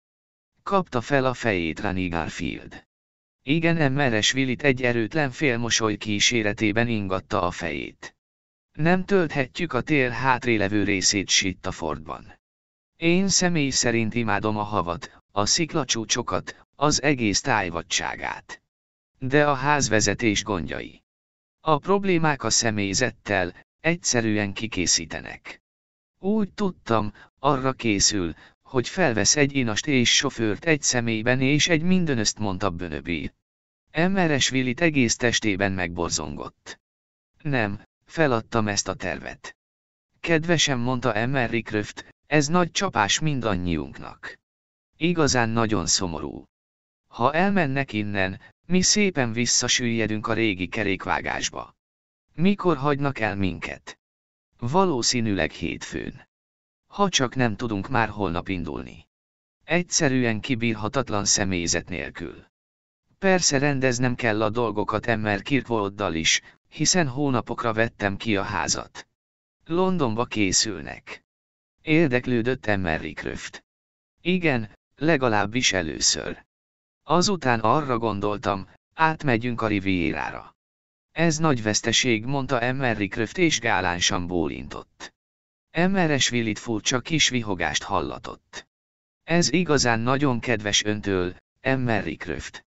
Nos, teázunk. A teát már oda készítették. Emmeres Willit töltötte ki, Rani és Brian adogatták a csészéket. Valami különös zavaradottság ült a társaságon. És mi a helyzet magával? Fordult hirtelen Bönöbi Brian felé. Szintén Londonba készül. Igen, Londonba. Természetesen addig nem megyek külföldre, amíg ez az ügy le nem zárul. Milyen ügy? Amíg a bátyám nem tisztázza magát ez alól a nevetséges vád alól. Olyan kihívóan vágta oda a szavakat a többieknek, hogy senki sem tudta, mit válaszoljon. A helyzetet Bönöbi őr mentette meg. Sosem hittük, hogy ő tette. Egy pillanatig sem. Egyikünk sem hitte, mondta Vájölit és hálás pillantást küldött az őr nagy felé. A hirtelen támadt csendet a csengő hangja törte meg. Ez biztosan Emmer Dúk, mondta Emmeres Willit. Brian, engedje be, kérem. A legifjabb Pearson az ablakhoz ment. Ez nem Dúk jelentette. Az az átkozott újságíró. Ó, kedves mondta Emmeres Willit, azt hiszem ennek ellenére be kell őt engednünk. Brian bólintott és néhány perc múlva Charles Enderby társaságában tért vissza. Enderby a szokásos, elégedettséget sugárzó modorában csatlakozott a társasághoz. Az a gondolat, hogy esetleg nem szívesen látják, fel sem merült benne. Hello, Emmeres Willit, hogy érzi magát. Gondoltam beugrom megnézni, hogy állnak a dolgok. Csodálkoztam, hová lettek az emberek Sittafordból, de most már tudom. Kérte át, Emmer Renderby. Borzasztó kedves. Kérek. Látom Emily nincs itt. Talán az ön nénikéjénél van, Emmer Garfield. Én nem tudok róla. Azt hiszem, ex-Hamptonba ment. De hisz már visszajött onnan. Hogy honnan tudom? A madarak csiripelték. Hogy pontos legyek, a Curtis nevű madár. Látta a kocsit, amint elhagyta a postát és felment az úton és látta üresen visszajönni. Emily nincs az ötös számú házban és nincs Sittaford Holuseban sem. Rejtvényünk, hol van Emily? Ha nem Miss persze Holusen áll, akkor csak a megrögzött nőgyűlölőnél, Vájött kapitánynál szürcsölgetheti a teáját. Az is lehet, hogy felment a Sittaford magaslatra, hogy megnézze a naplementét találgatott Emery Kröft. Azt nem hiszem, mondta Bönöbi. Látnom kellett volna, amikor elhaladt előttem. Az elmúlt órában a kertben tartózkodtam. Nos, azt hiszem, ez nem életbevágóan fontos kérdés, mondta Charles vidáman. Úgy értem, biztosan nem rabolták el és nem ölték meg. Ez a lapja szempontjából persze sajnálatos, igaz. Gónyolódott Brian. Emit még egy riport miatt sem áldoznám fel, válaszolta Charles. Emily igazán páratlan személyiség. És nagyon bájos, mondta Emery Kröft, nagyon bájos. Mi, ő, ő tulajdonképpen együtt működünk. Mindenki befejezte a teázást. Kérdezte Emmeres Willit. Mit szólnának egy bris partihoz? Csak egy pillanat szabadkozott Emery Kröft. Aztán fontoskodva megköszörülte a torkát. Mindenki ránézett. Emmeres Willit, mint bizonyára tudja, engem komolyan érdekelnek a lélektani jelenségek. Ma volt egy hete, hogy ebben a szobában bámulatos és félelmet keltő tapasztalatban volt részünk. Violet Willit elfolytott magában egy felkiáltást. Emmer Rickröft felé fordult. Tudom, Miss Willit, tudom. Nagyon felkavarta önt és felkavaró is volt, nem tagadom. A bűntény elkövetése óta a rendőrség minden erejével a gyilkos megtalálásán fáradozik. Már egy valakit le is tartóztattak. De néhányan azok közül, akik ebben a szobában vannak, nem hisznek abban, hogy Emmer James Pearson bűnös. Én ezért azt javaslom, ismételjük meg a múlt heti szeánszot, de ez alkalommal próbáljuk meg más lélekkel csinálni. Ó, ne!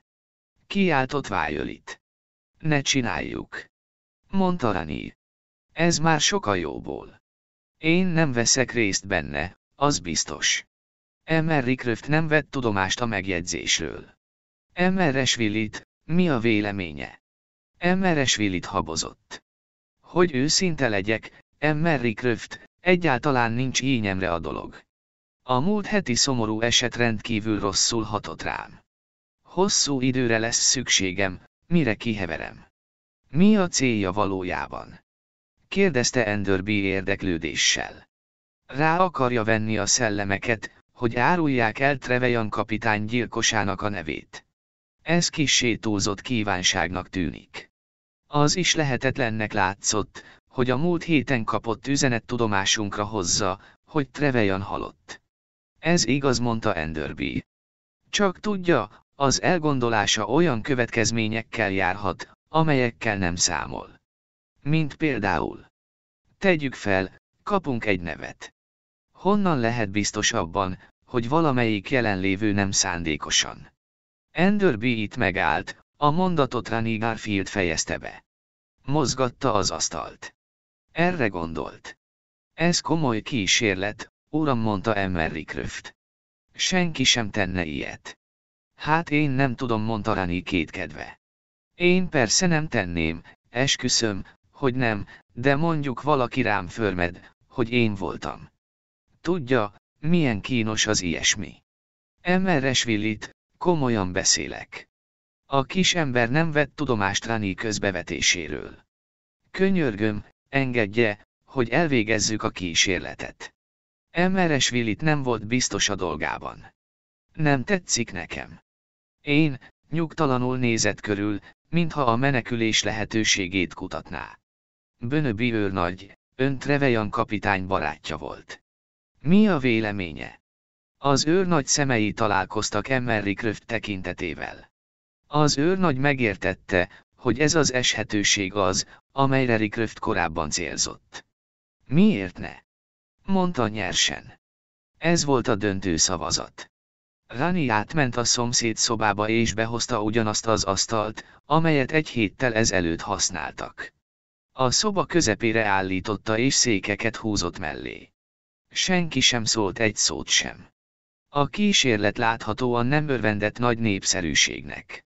Azt hiszem, így rendben van, mondta Emmerich Röft. Szeretném a múlt pénteki eseményeket pontosan azonos körülmények között megismételni. Nem pontosan azonosak a körülmények vetette ellen Emmeresvillit. Emmerdók nincs itt. Tényleg mondta Emmerich Röft. Ez sajnálatos, nagy kár, hogy nincs itt. Nos, akkor talán. Emmer Pearson beugorhatna, és úgy tekintenénk, hogy ő Emmerdók. Ne vegyél részt benne, Brian. Kérlek, könyörgök ne. Kiáltott fel Violet. Mit számít ez? Az egész úgyis egy nagy szamárság. Ez nagyon rossz szemlélet, mondta Emmerich Röft szemrehányóan. Brian Pearson nem válaszolt, leült Violet mellé. Emmer Enderby kezdte Emmerich Röft, de Charles félbeszakította. Én nem voltam benne. Újságíró vagyok, és maguk nem bíznak bennem. Inkább gyorsírásos jegyzeteket fogok készíteni a jelenségekről ez a megfelelő kifejezés ugye. Ebben maradtak. A hat résztvevő elhelyezkedett az asztal körül. Charles leoltotta a villanyt és a kandallórácsra ült. Egy pillanat mondta. Mennyi az idő? A tűzfényénél vetett egy pillantást a karórájára. Ez különös. Mi a különös? Pontosan 5 óra múlt 25 perccel. Violet halkan felsikoltott. Emmerich röft szemrehányóan csendre intette. Múltak a percek. Egészen más volt most a légkör, mint egy héttel ezelőtt. Nem hallatszott elfolytott nevetés, senki sem sugdosott, szellemes megjegyzéseket. Hosszú csend volt csak, amelyet nagy sokára az asztal recsenése tört meg. Van itt valaki? kérdezte Emmerich Röft. Ismét egy halk recsenés következett, ami mód felett kísértetiesen hangzott ebben a szobában. Van itt valaki? Ez alkalommal nem recsenést hallottak, hanem egy hatalmas döngést. Violet felsikított, Emmeresvillit csatlakozott hozzá. Nincs semmi baj. Csak dörömbölnek a bejárati ajtón. Megyek és kinyitom, mondta megnyugtató Ambrian Pearson. Kiment a szobából. A társaságban változatlanul senkinek sem volt kedve beszélni. Aztán hirtelen feltárult az ajtó, felgyulladt a villany. Az ajtóban narracot felügyelő állt. Mögötte Emily Trefus is és Emmerdók. Narracot belépett a szobába és emelt hangon megszólalt. John Bönöbi, vádolom önt azzal, hogy e hó 14-én, pénteken meggyilkolta József Trevejant. Egyúttal figyelmeztetem, hogy mindent, amit mostantól fogva mond, jegyzőkönyvbe veszünk, és az az eljárás során felhasználható ön ellen. 30. fejezet. Emöli összegez.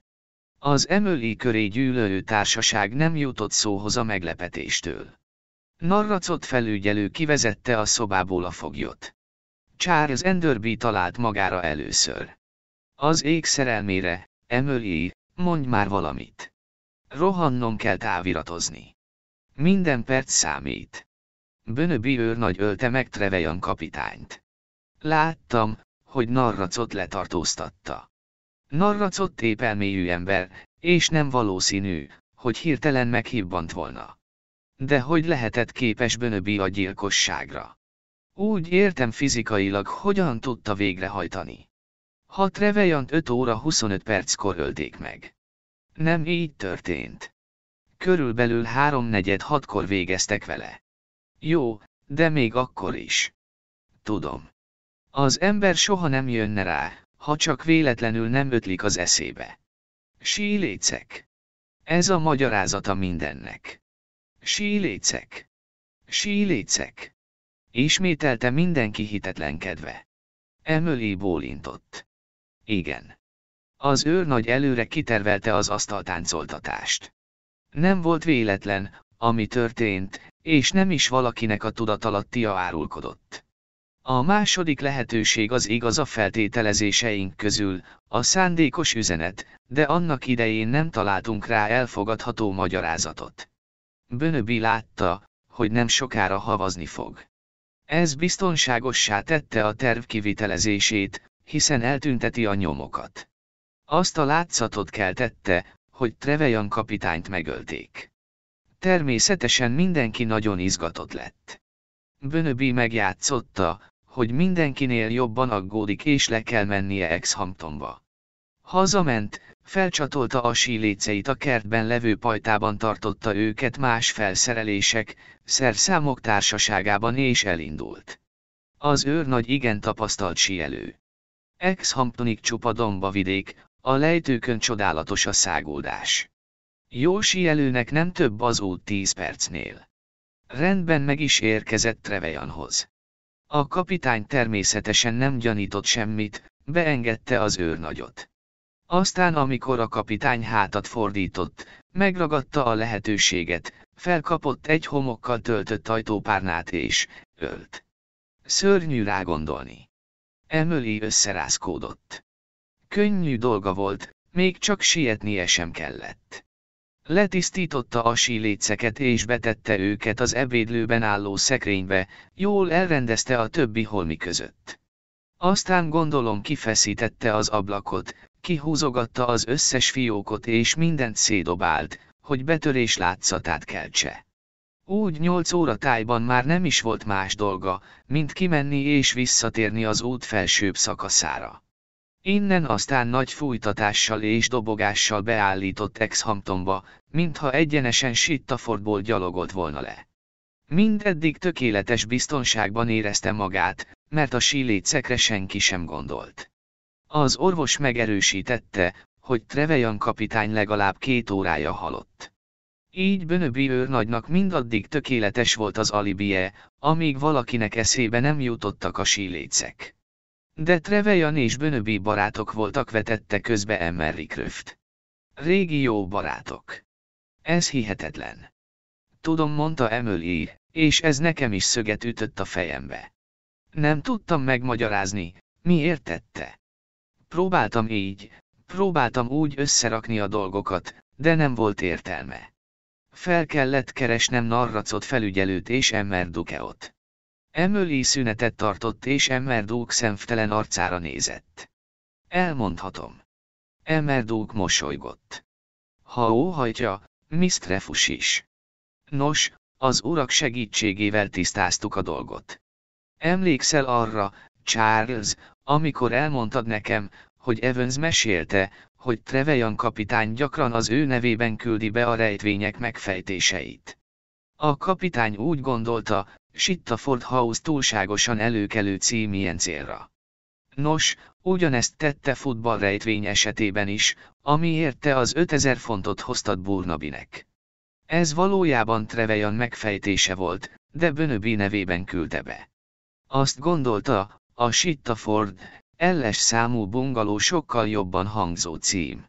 És mi történt? Pénteken reggel Bönöbi őr nagy levelet kapott, amelyben alap értesítette, hogy 5000 fontot nyert. Mellesleg ez az a pont, ahol gyanakodnunk kellett volna. Az őrnagy azt mondta neked, hogy semmiféle levelet nem kapott, mert pénteken a rossz időjárás miatt nem jött posta. Ez hazugság volt. Az utolsó posta pénteken reggel még rendben megjött. Hol is tartottam? Ja, igen. Bönöbi tehát megkapta a levelet. És nagyon akarta azt az 5000 fontot. Nagy szüksége volt rá ugyanis. Sok pénzt fektetett értéktelen részvényekbe és rengeteg pénzt veszített. Azt hiszem a gyilkosság ötlete hirtelen született meg benne. Talán akkor, amikor bizonyossá vált, hogy este havazni fog. Ha Trevejan halott, megtarthatja a pénzt, és soha senki nem jön rá semmire. Bámulatos dünnyögte Emery Kröft. Nem is álmodtam volna. De drága hölgyem, hogyan jött rá mindenre? Mi terelte a helyes irányba? Válaszként Emily elmesélte Emmeres Belling levelét és elmondta azt is, hogyan talált rá a bakancsra a kéményben. Ahogy néztem őket a szoba közepén, akkor jött a gondolat. Ez egy pár síbakancs és eszembe jutott róluk a síléc. És hirtelen arra gondoltam, hogy esetleg. Lerohantam a szekrényhez és igazam volt, két pár síléc volt benne. Az egyik pár hosszabb volt a másiknál. A bakancsok pedig a hosszabb pár síléhez illettek, a rövidebbhez nem. Azon a kötés sokkal kisebb méretű bakancshoz készült. A rövidebb sílécek valaki másnak a lécei voltak. Valami más helyre kellett volna elrejtenie a síléceket, mondta Emery Kröft a szakember kétkedésével a hangjában. Nem mondta Emily. Hová rejthette volna? A szekrény nagyon jó hely volt nekik. Egy-két napon belül összecsomagolják és raktárba viszik a holmikat, addig meg nem valószínű, hogy a rendőrség azzal foglalkozna, egy vagy két pár síléce volt Trevejan kapitánynak. De miért rejtette el Trevejan bakancsát? Azt hiszem, azért mert attól félt, hogy a rendőrség is ugyanazt teszi majd, amit én tettem. Ha meglátják a síbakancsot, eszükbe jut majd a síléc is, gondolta Bönöbi. Ezért gyönöszölte fel őket a kéményjukba. És igazában itt követte el a hibát. Evans észrevette, hogy hiányzanak, és nekem meg kellett keresnem őket. Bönöbi szándékosan terelte a gyanút Imre. Kérdezte Brian Pearson dühösen. Á, dehogy. Ez csak én szokásos hülye bal szerencséje volt.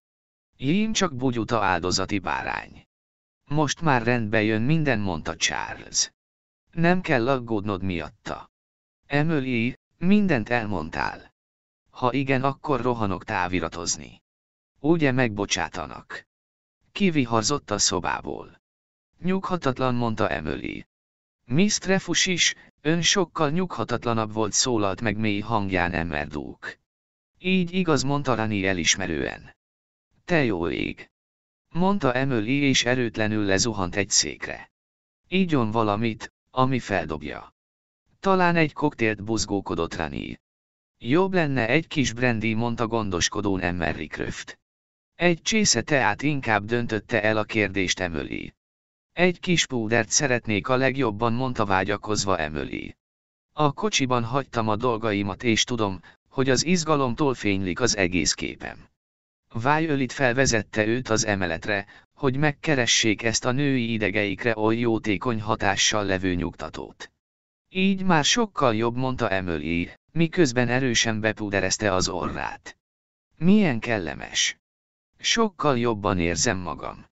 Van egy kis rózs is. Kezdem megint embernek érezni magam. Olyan csodálatos volt. Olyan bátor. Egyáltalán nem. Az állarc alatt olyan roskatag voltam, mint a kocsonya, a gyomrom szünet nélkül remegett. Ezt ismerem válaszolta Violet. Én pontosan ugyanígy éreztem. Az elmúlt napokban szörnyen meg voltam rémülve, tudja Brian miatt. Persze nem azért, mert azt hittem, felköthetik Trevejan meggyilkolása miatt. De ha meg kellett volna mondania, hol volt a gyilkosság idején, a rendőrség könnyen rájöhetett volna, hogy ő szervezte meg apa szökését. Tessék! Hagyta abba Emily meglepődve a kozmetikai helyreállítást. Apa az a fegyenc, aki megszökött. Ezért jöttünk ide, anya és én. Szegény apa, mindig, szóval néha különös volt. Aztán elkövette azokat a szörnyű dolgokat. Briannal út közben találkoztunk, Ausztráliából idefelé. Ő és én, ő és én. Értem, mondta Emily bátorítóan. Szóval mindent elmondtam neki és kifőztünk egy tervet. Brian csodálatos volt. Szerencsére nekünk sok pénzünk volt, Brian pedig eltervezett mindent. Tudja, Princetonból rettenetes nehéz megszökni, de Brian megszervezte. Tulajdonképpen csoda volt, hogy sikerült. Az volt a terv, hogy a szökés után apa azonnal idejön és elrejtőzik a manóbarlangban. Később aztán apa és Brian lettek volna a ház férfi alkalmazottai. Tudja, úgy gondoltuk, hogy ha jóval előbb ide költözünk, senki sem fog gyanút.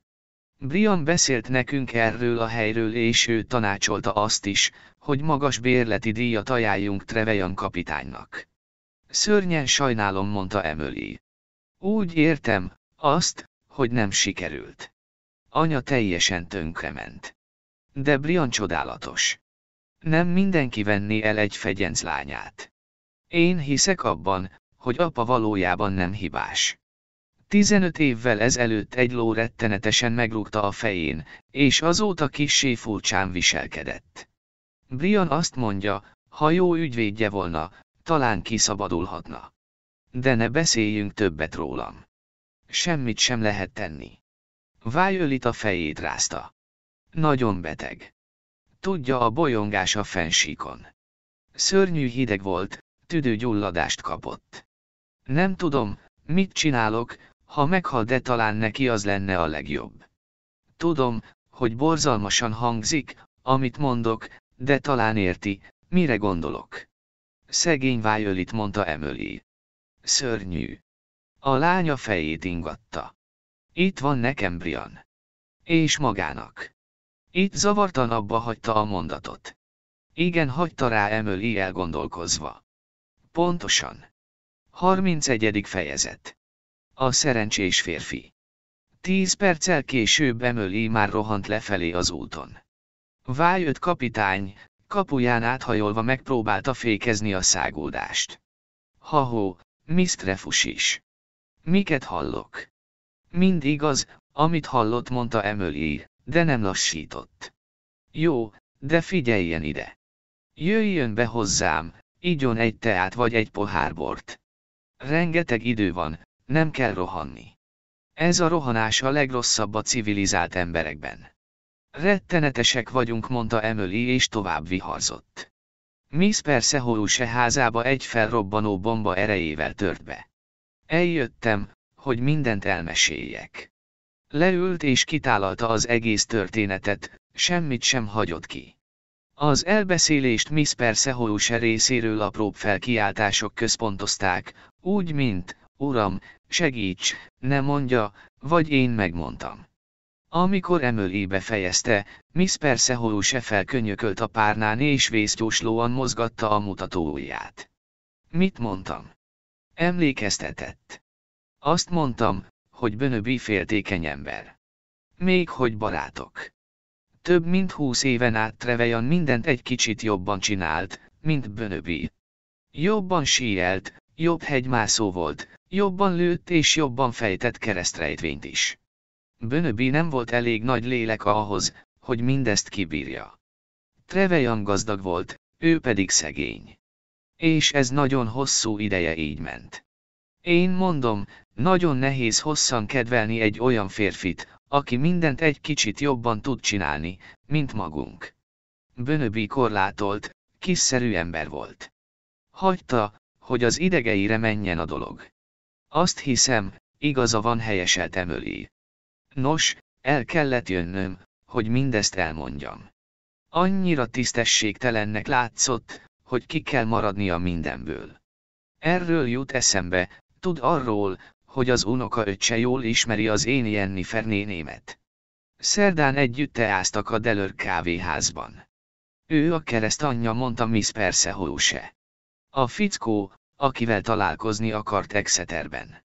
Ahogy én Ronnieté ismerem, pénzt kért kölcsön. Majd beszélek vele. Megtiltom, hogy a mai örömteli napon bárkit is megharapjon. Isten önnel. Rohanok, rengeteg a tennivalóm. Mit kell még tennie, ifjú hölgy? Azt mondom, már megtette a magáit. Nem egészen. Fel kell mennem Londonba én biztosítási cégéhez, és rá kell vennem őket, hogy ne emeljenek vádat abban a piszlicsári pénzkölcsönzési ügyben. Hm, mondta Miss Persehouse.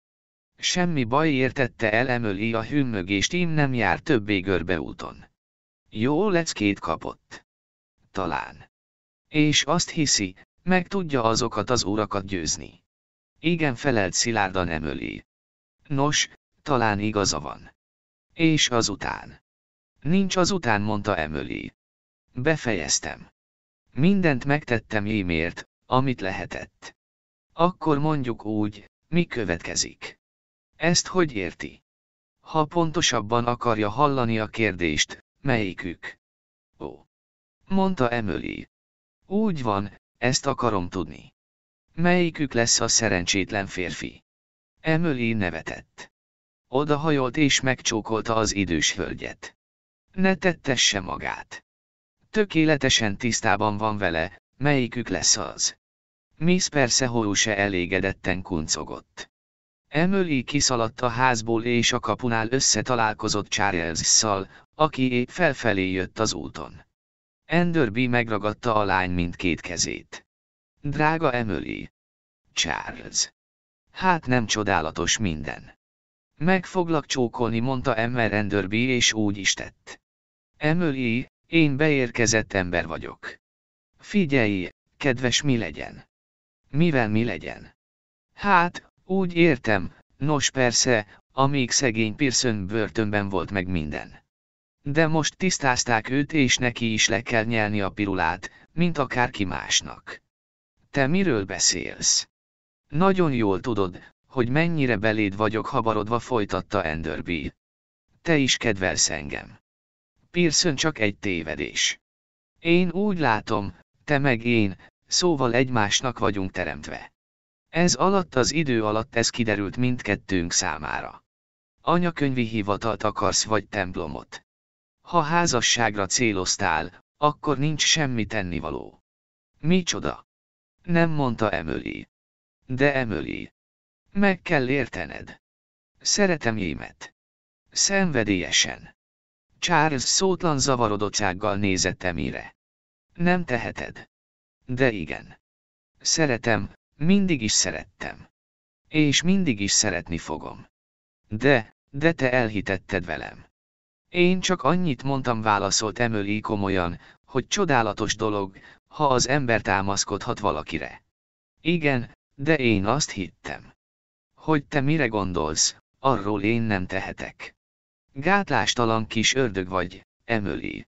Tudom, Charles kedves. Nevezd csak, aminek akarsz. De ne búsulj. Gondold csak el, milyen kerülő előtt állsz. Megvan a sztorid. Kizárólagos hírek a napi hírek számára. Befutottál. És mi egy nő? Jelentéktelen semmiség. Az igazán erős férfiaknak nincs szükségük nőkre, csak akadályozzák őket, amint repkényként rájuk tekerednek. A nagy emberek mindig is függetlenek voltak a nőktől. A karriernél nincs fontosabb dolog egy férfi számára, csak az elégítheti ki.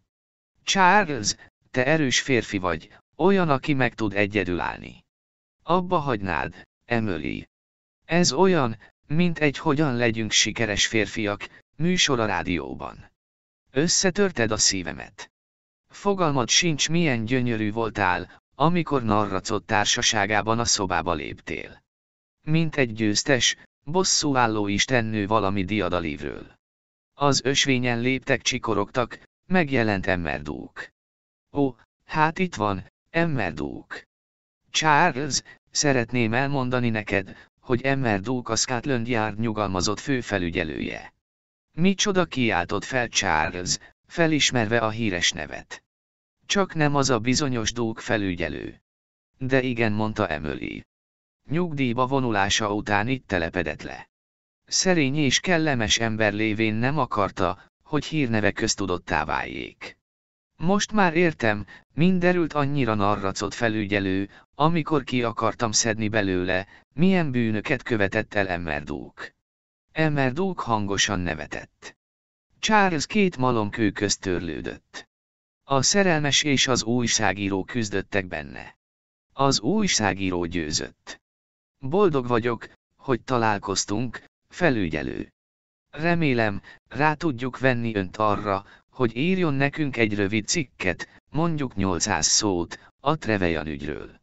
Emily közben gyorsan továbbment az ösvényen és befordult Emmeres Curtis házához. Felrohant a hálószobájába és előhúzta az úti táskáját.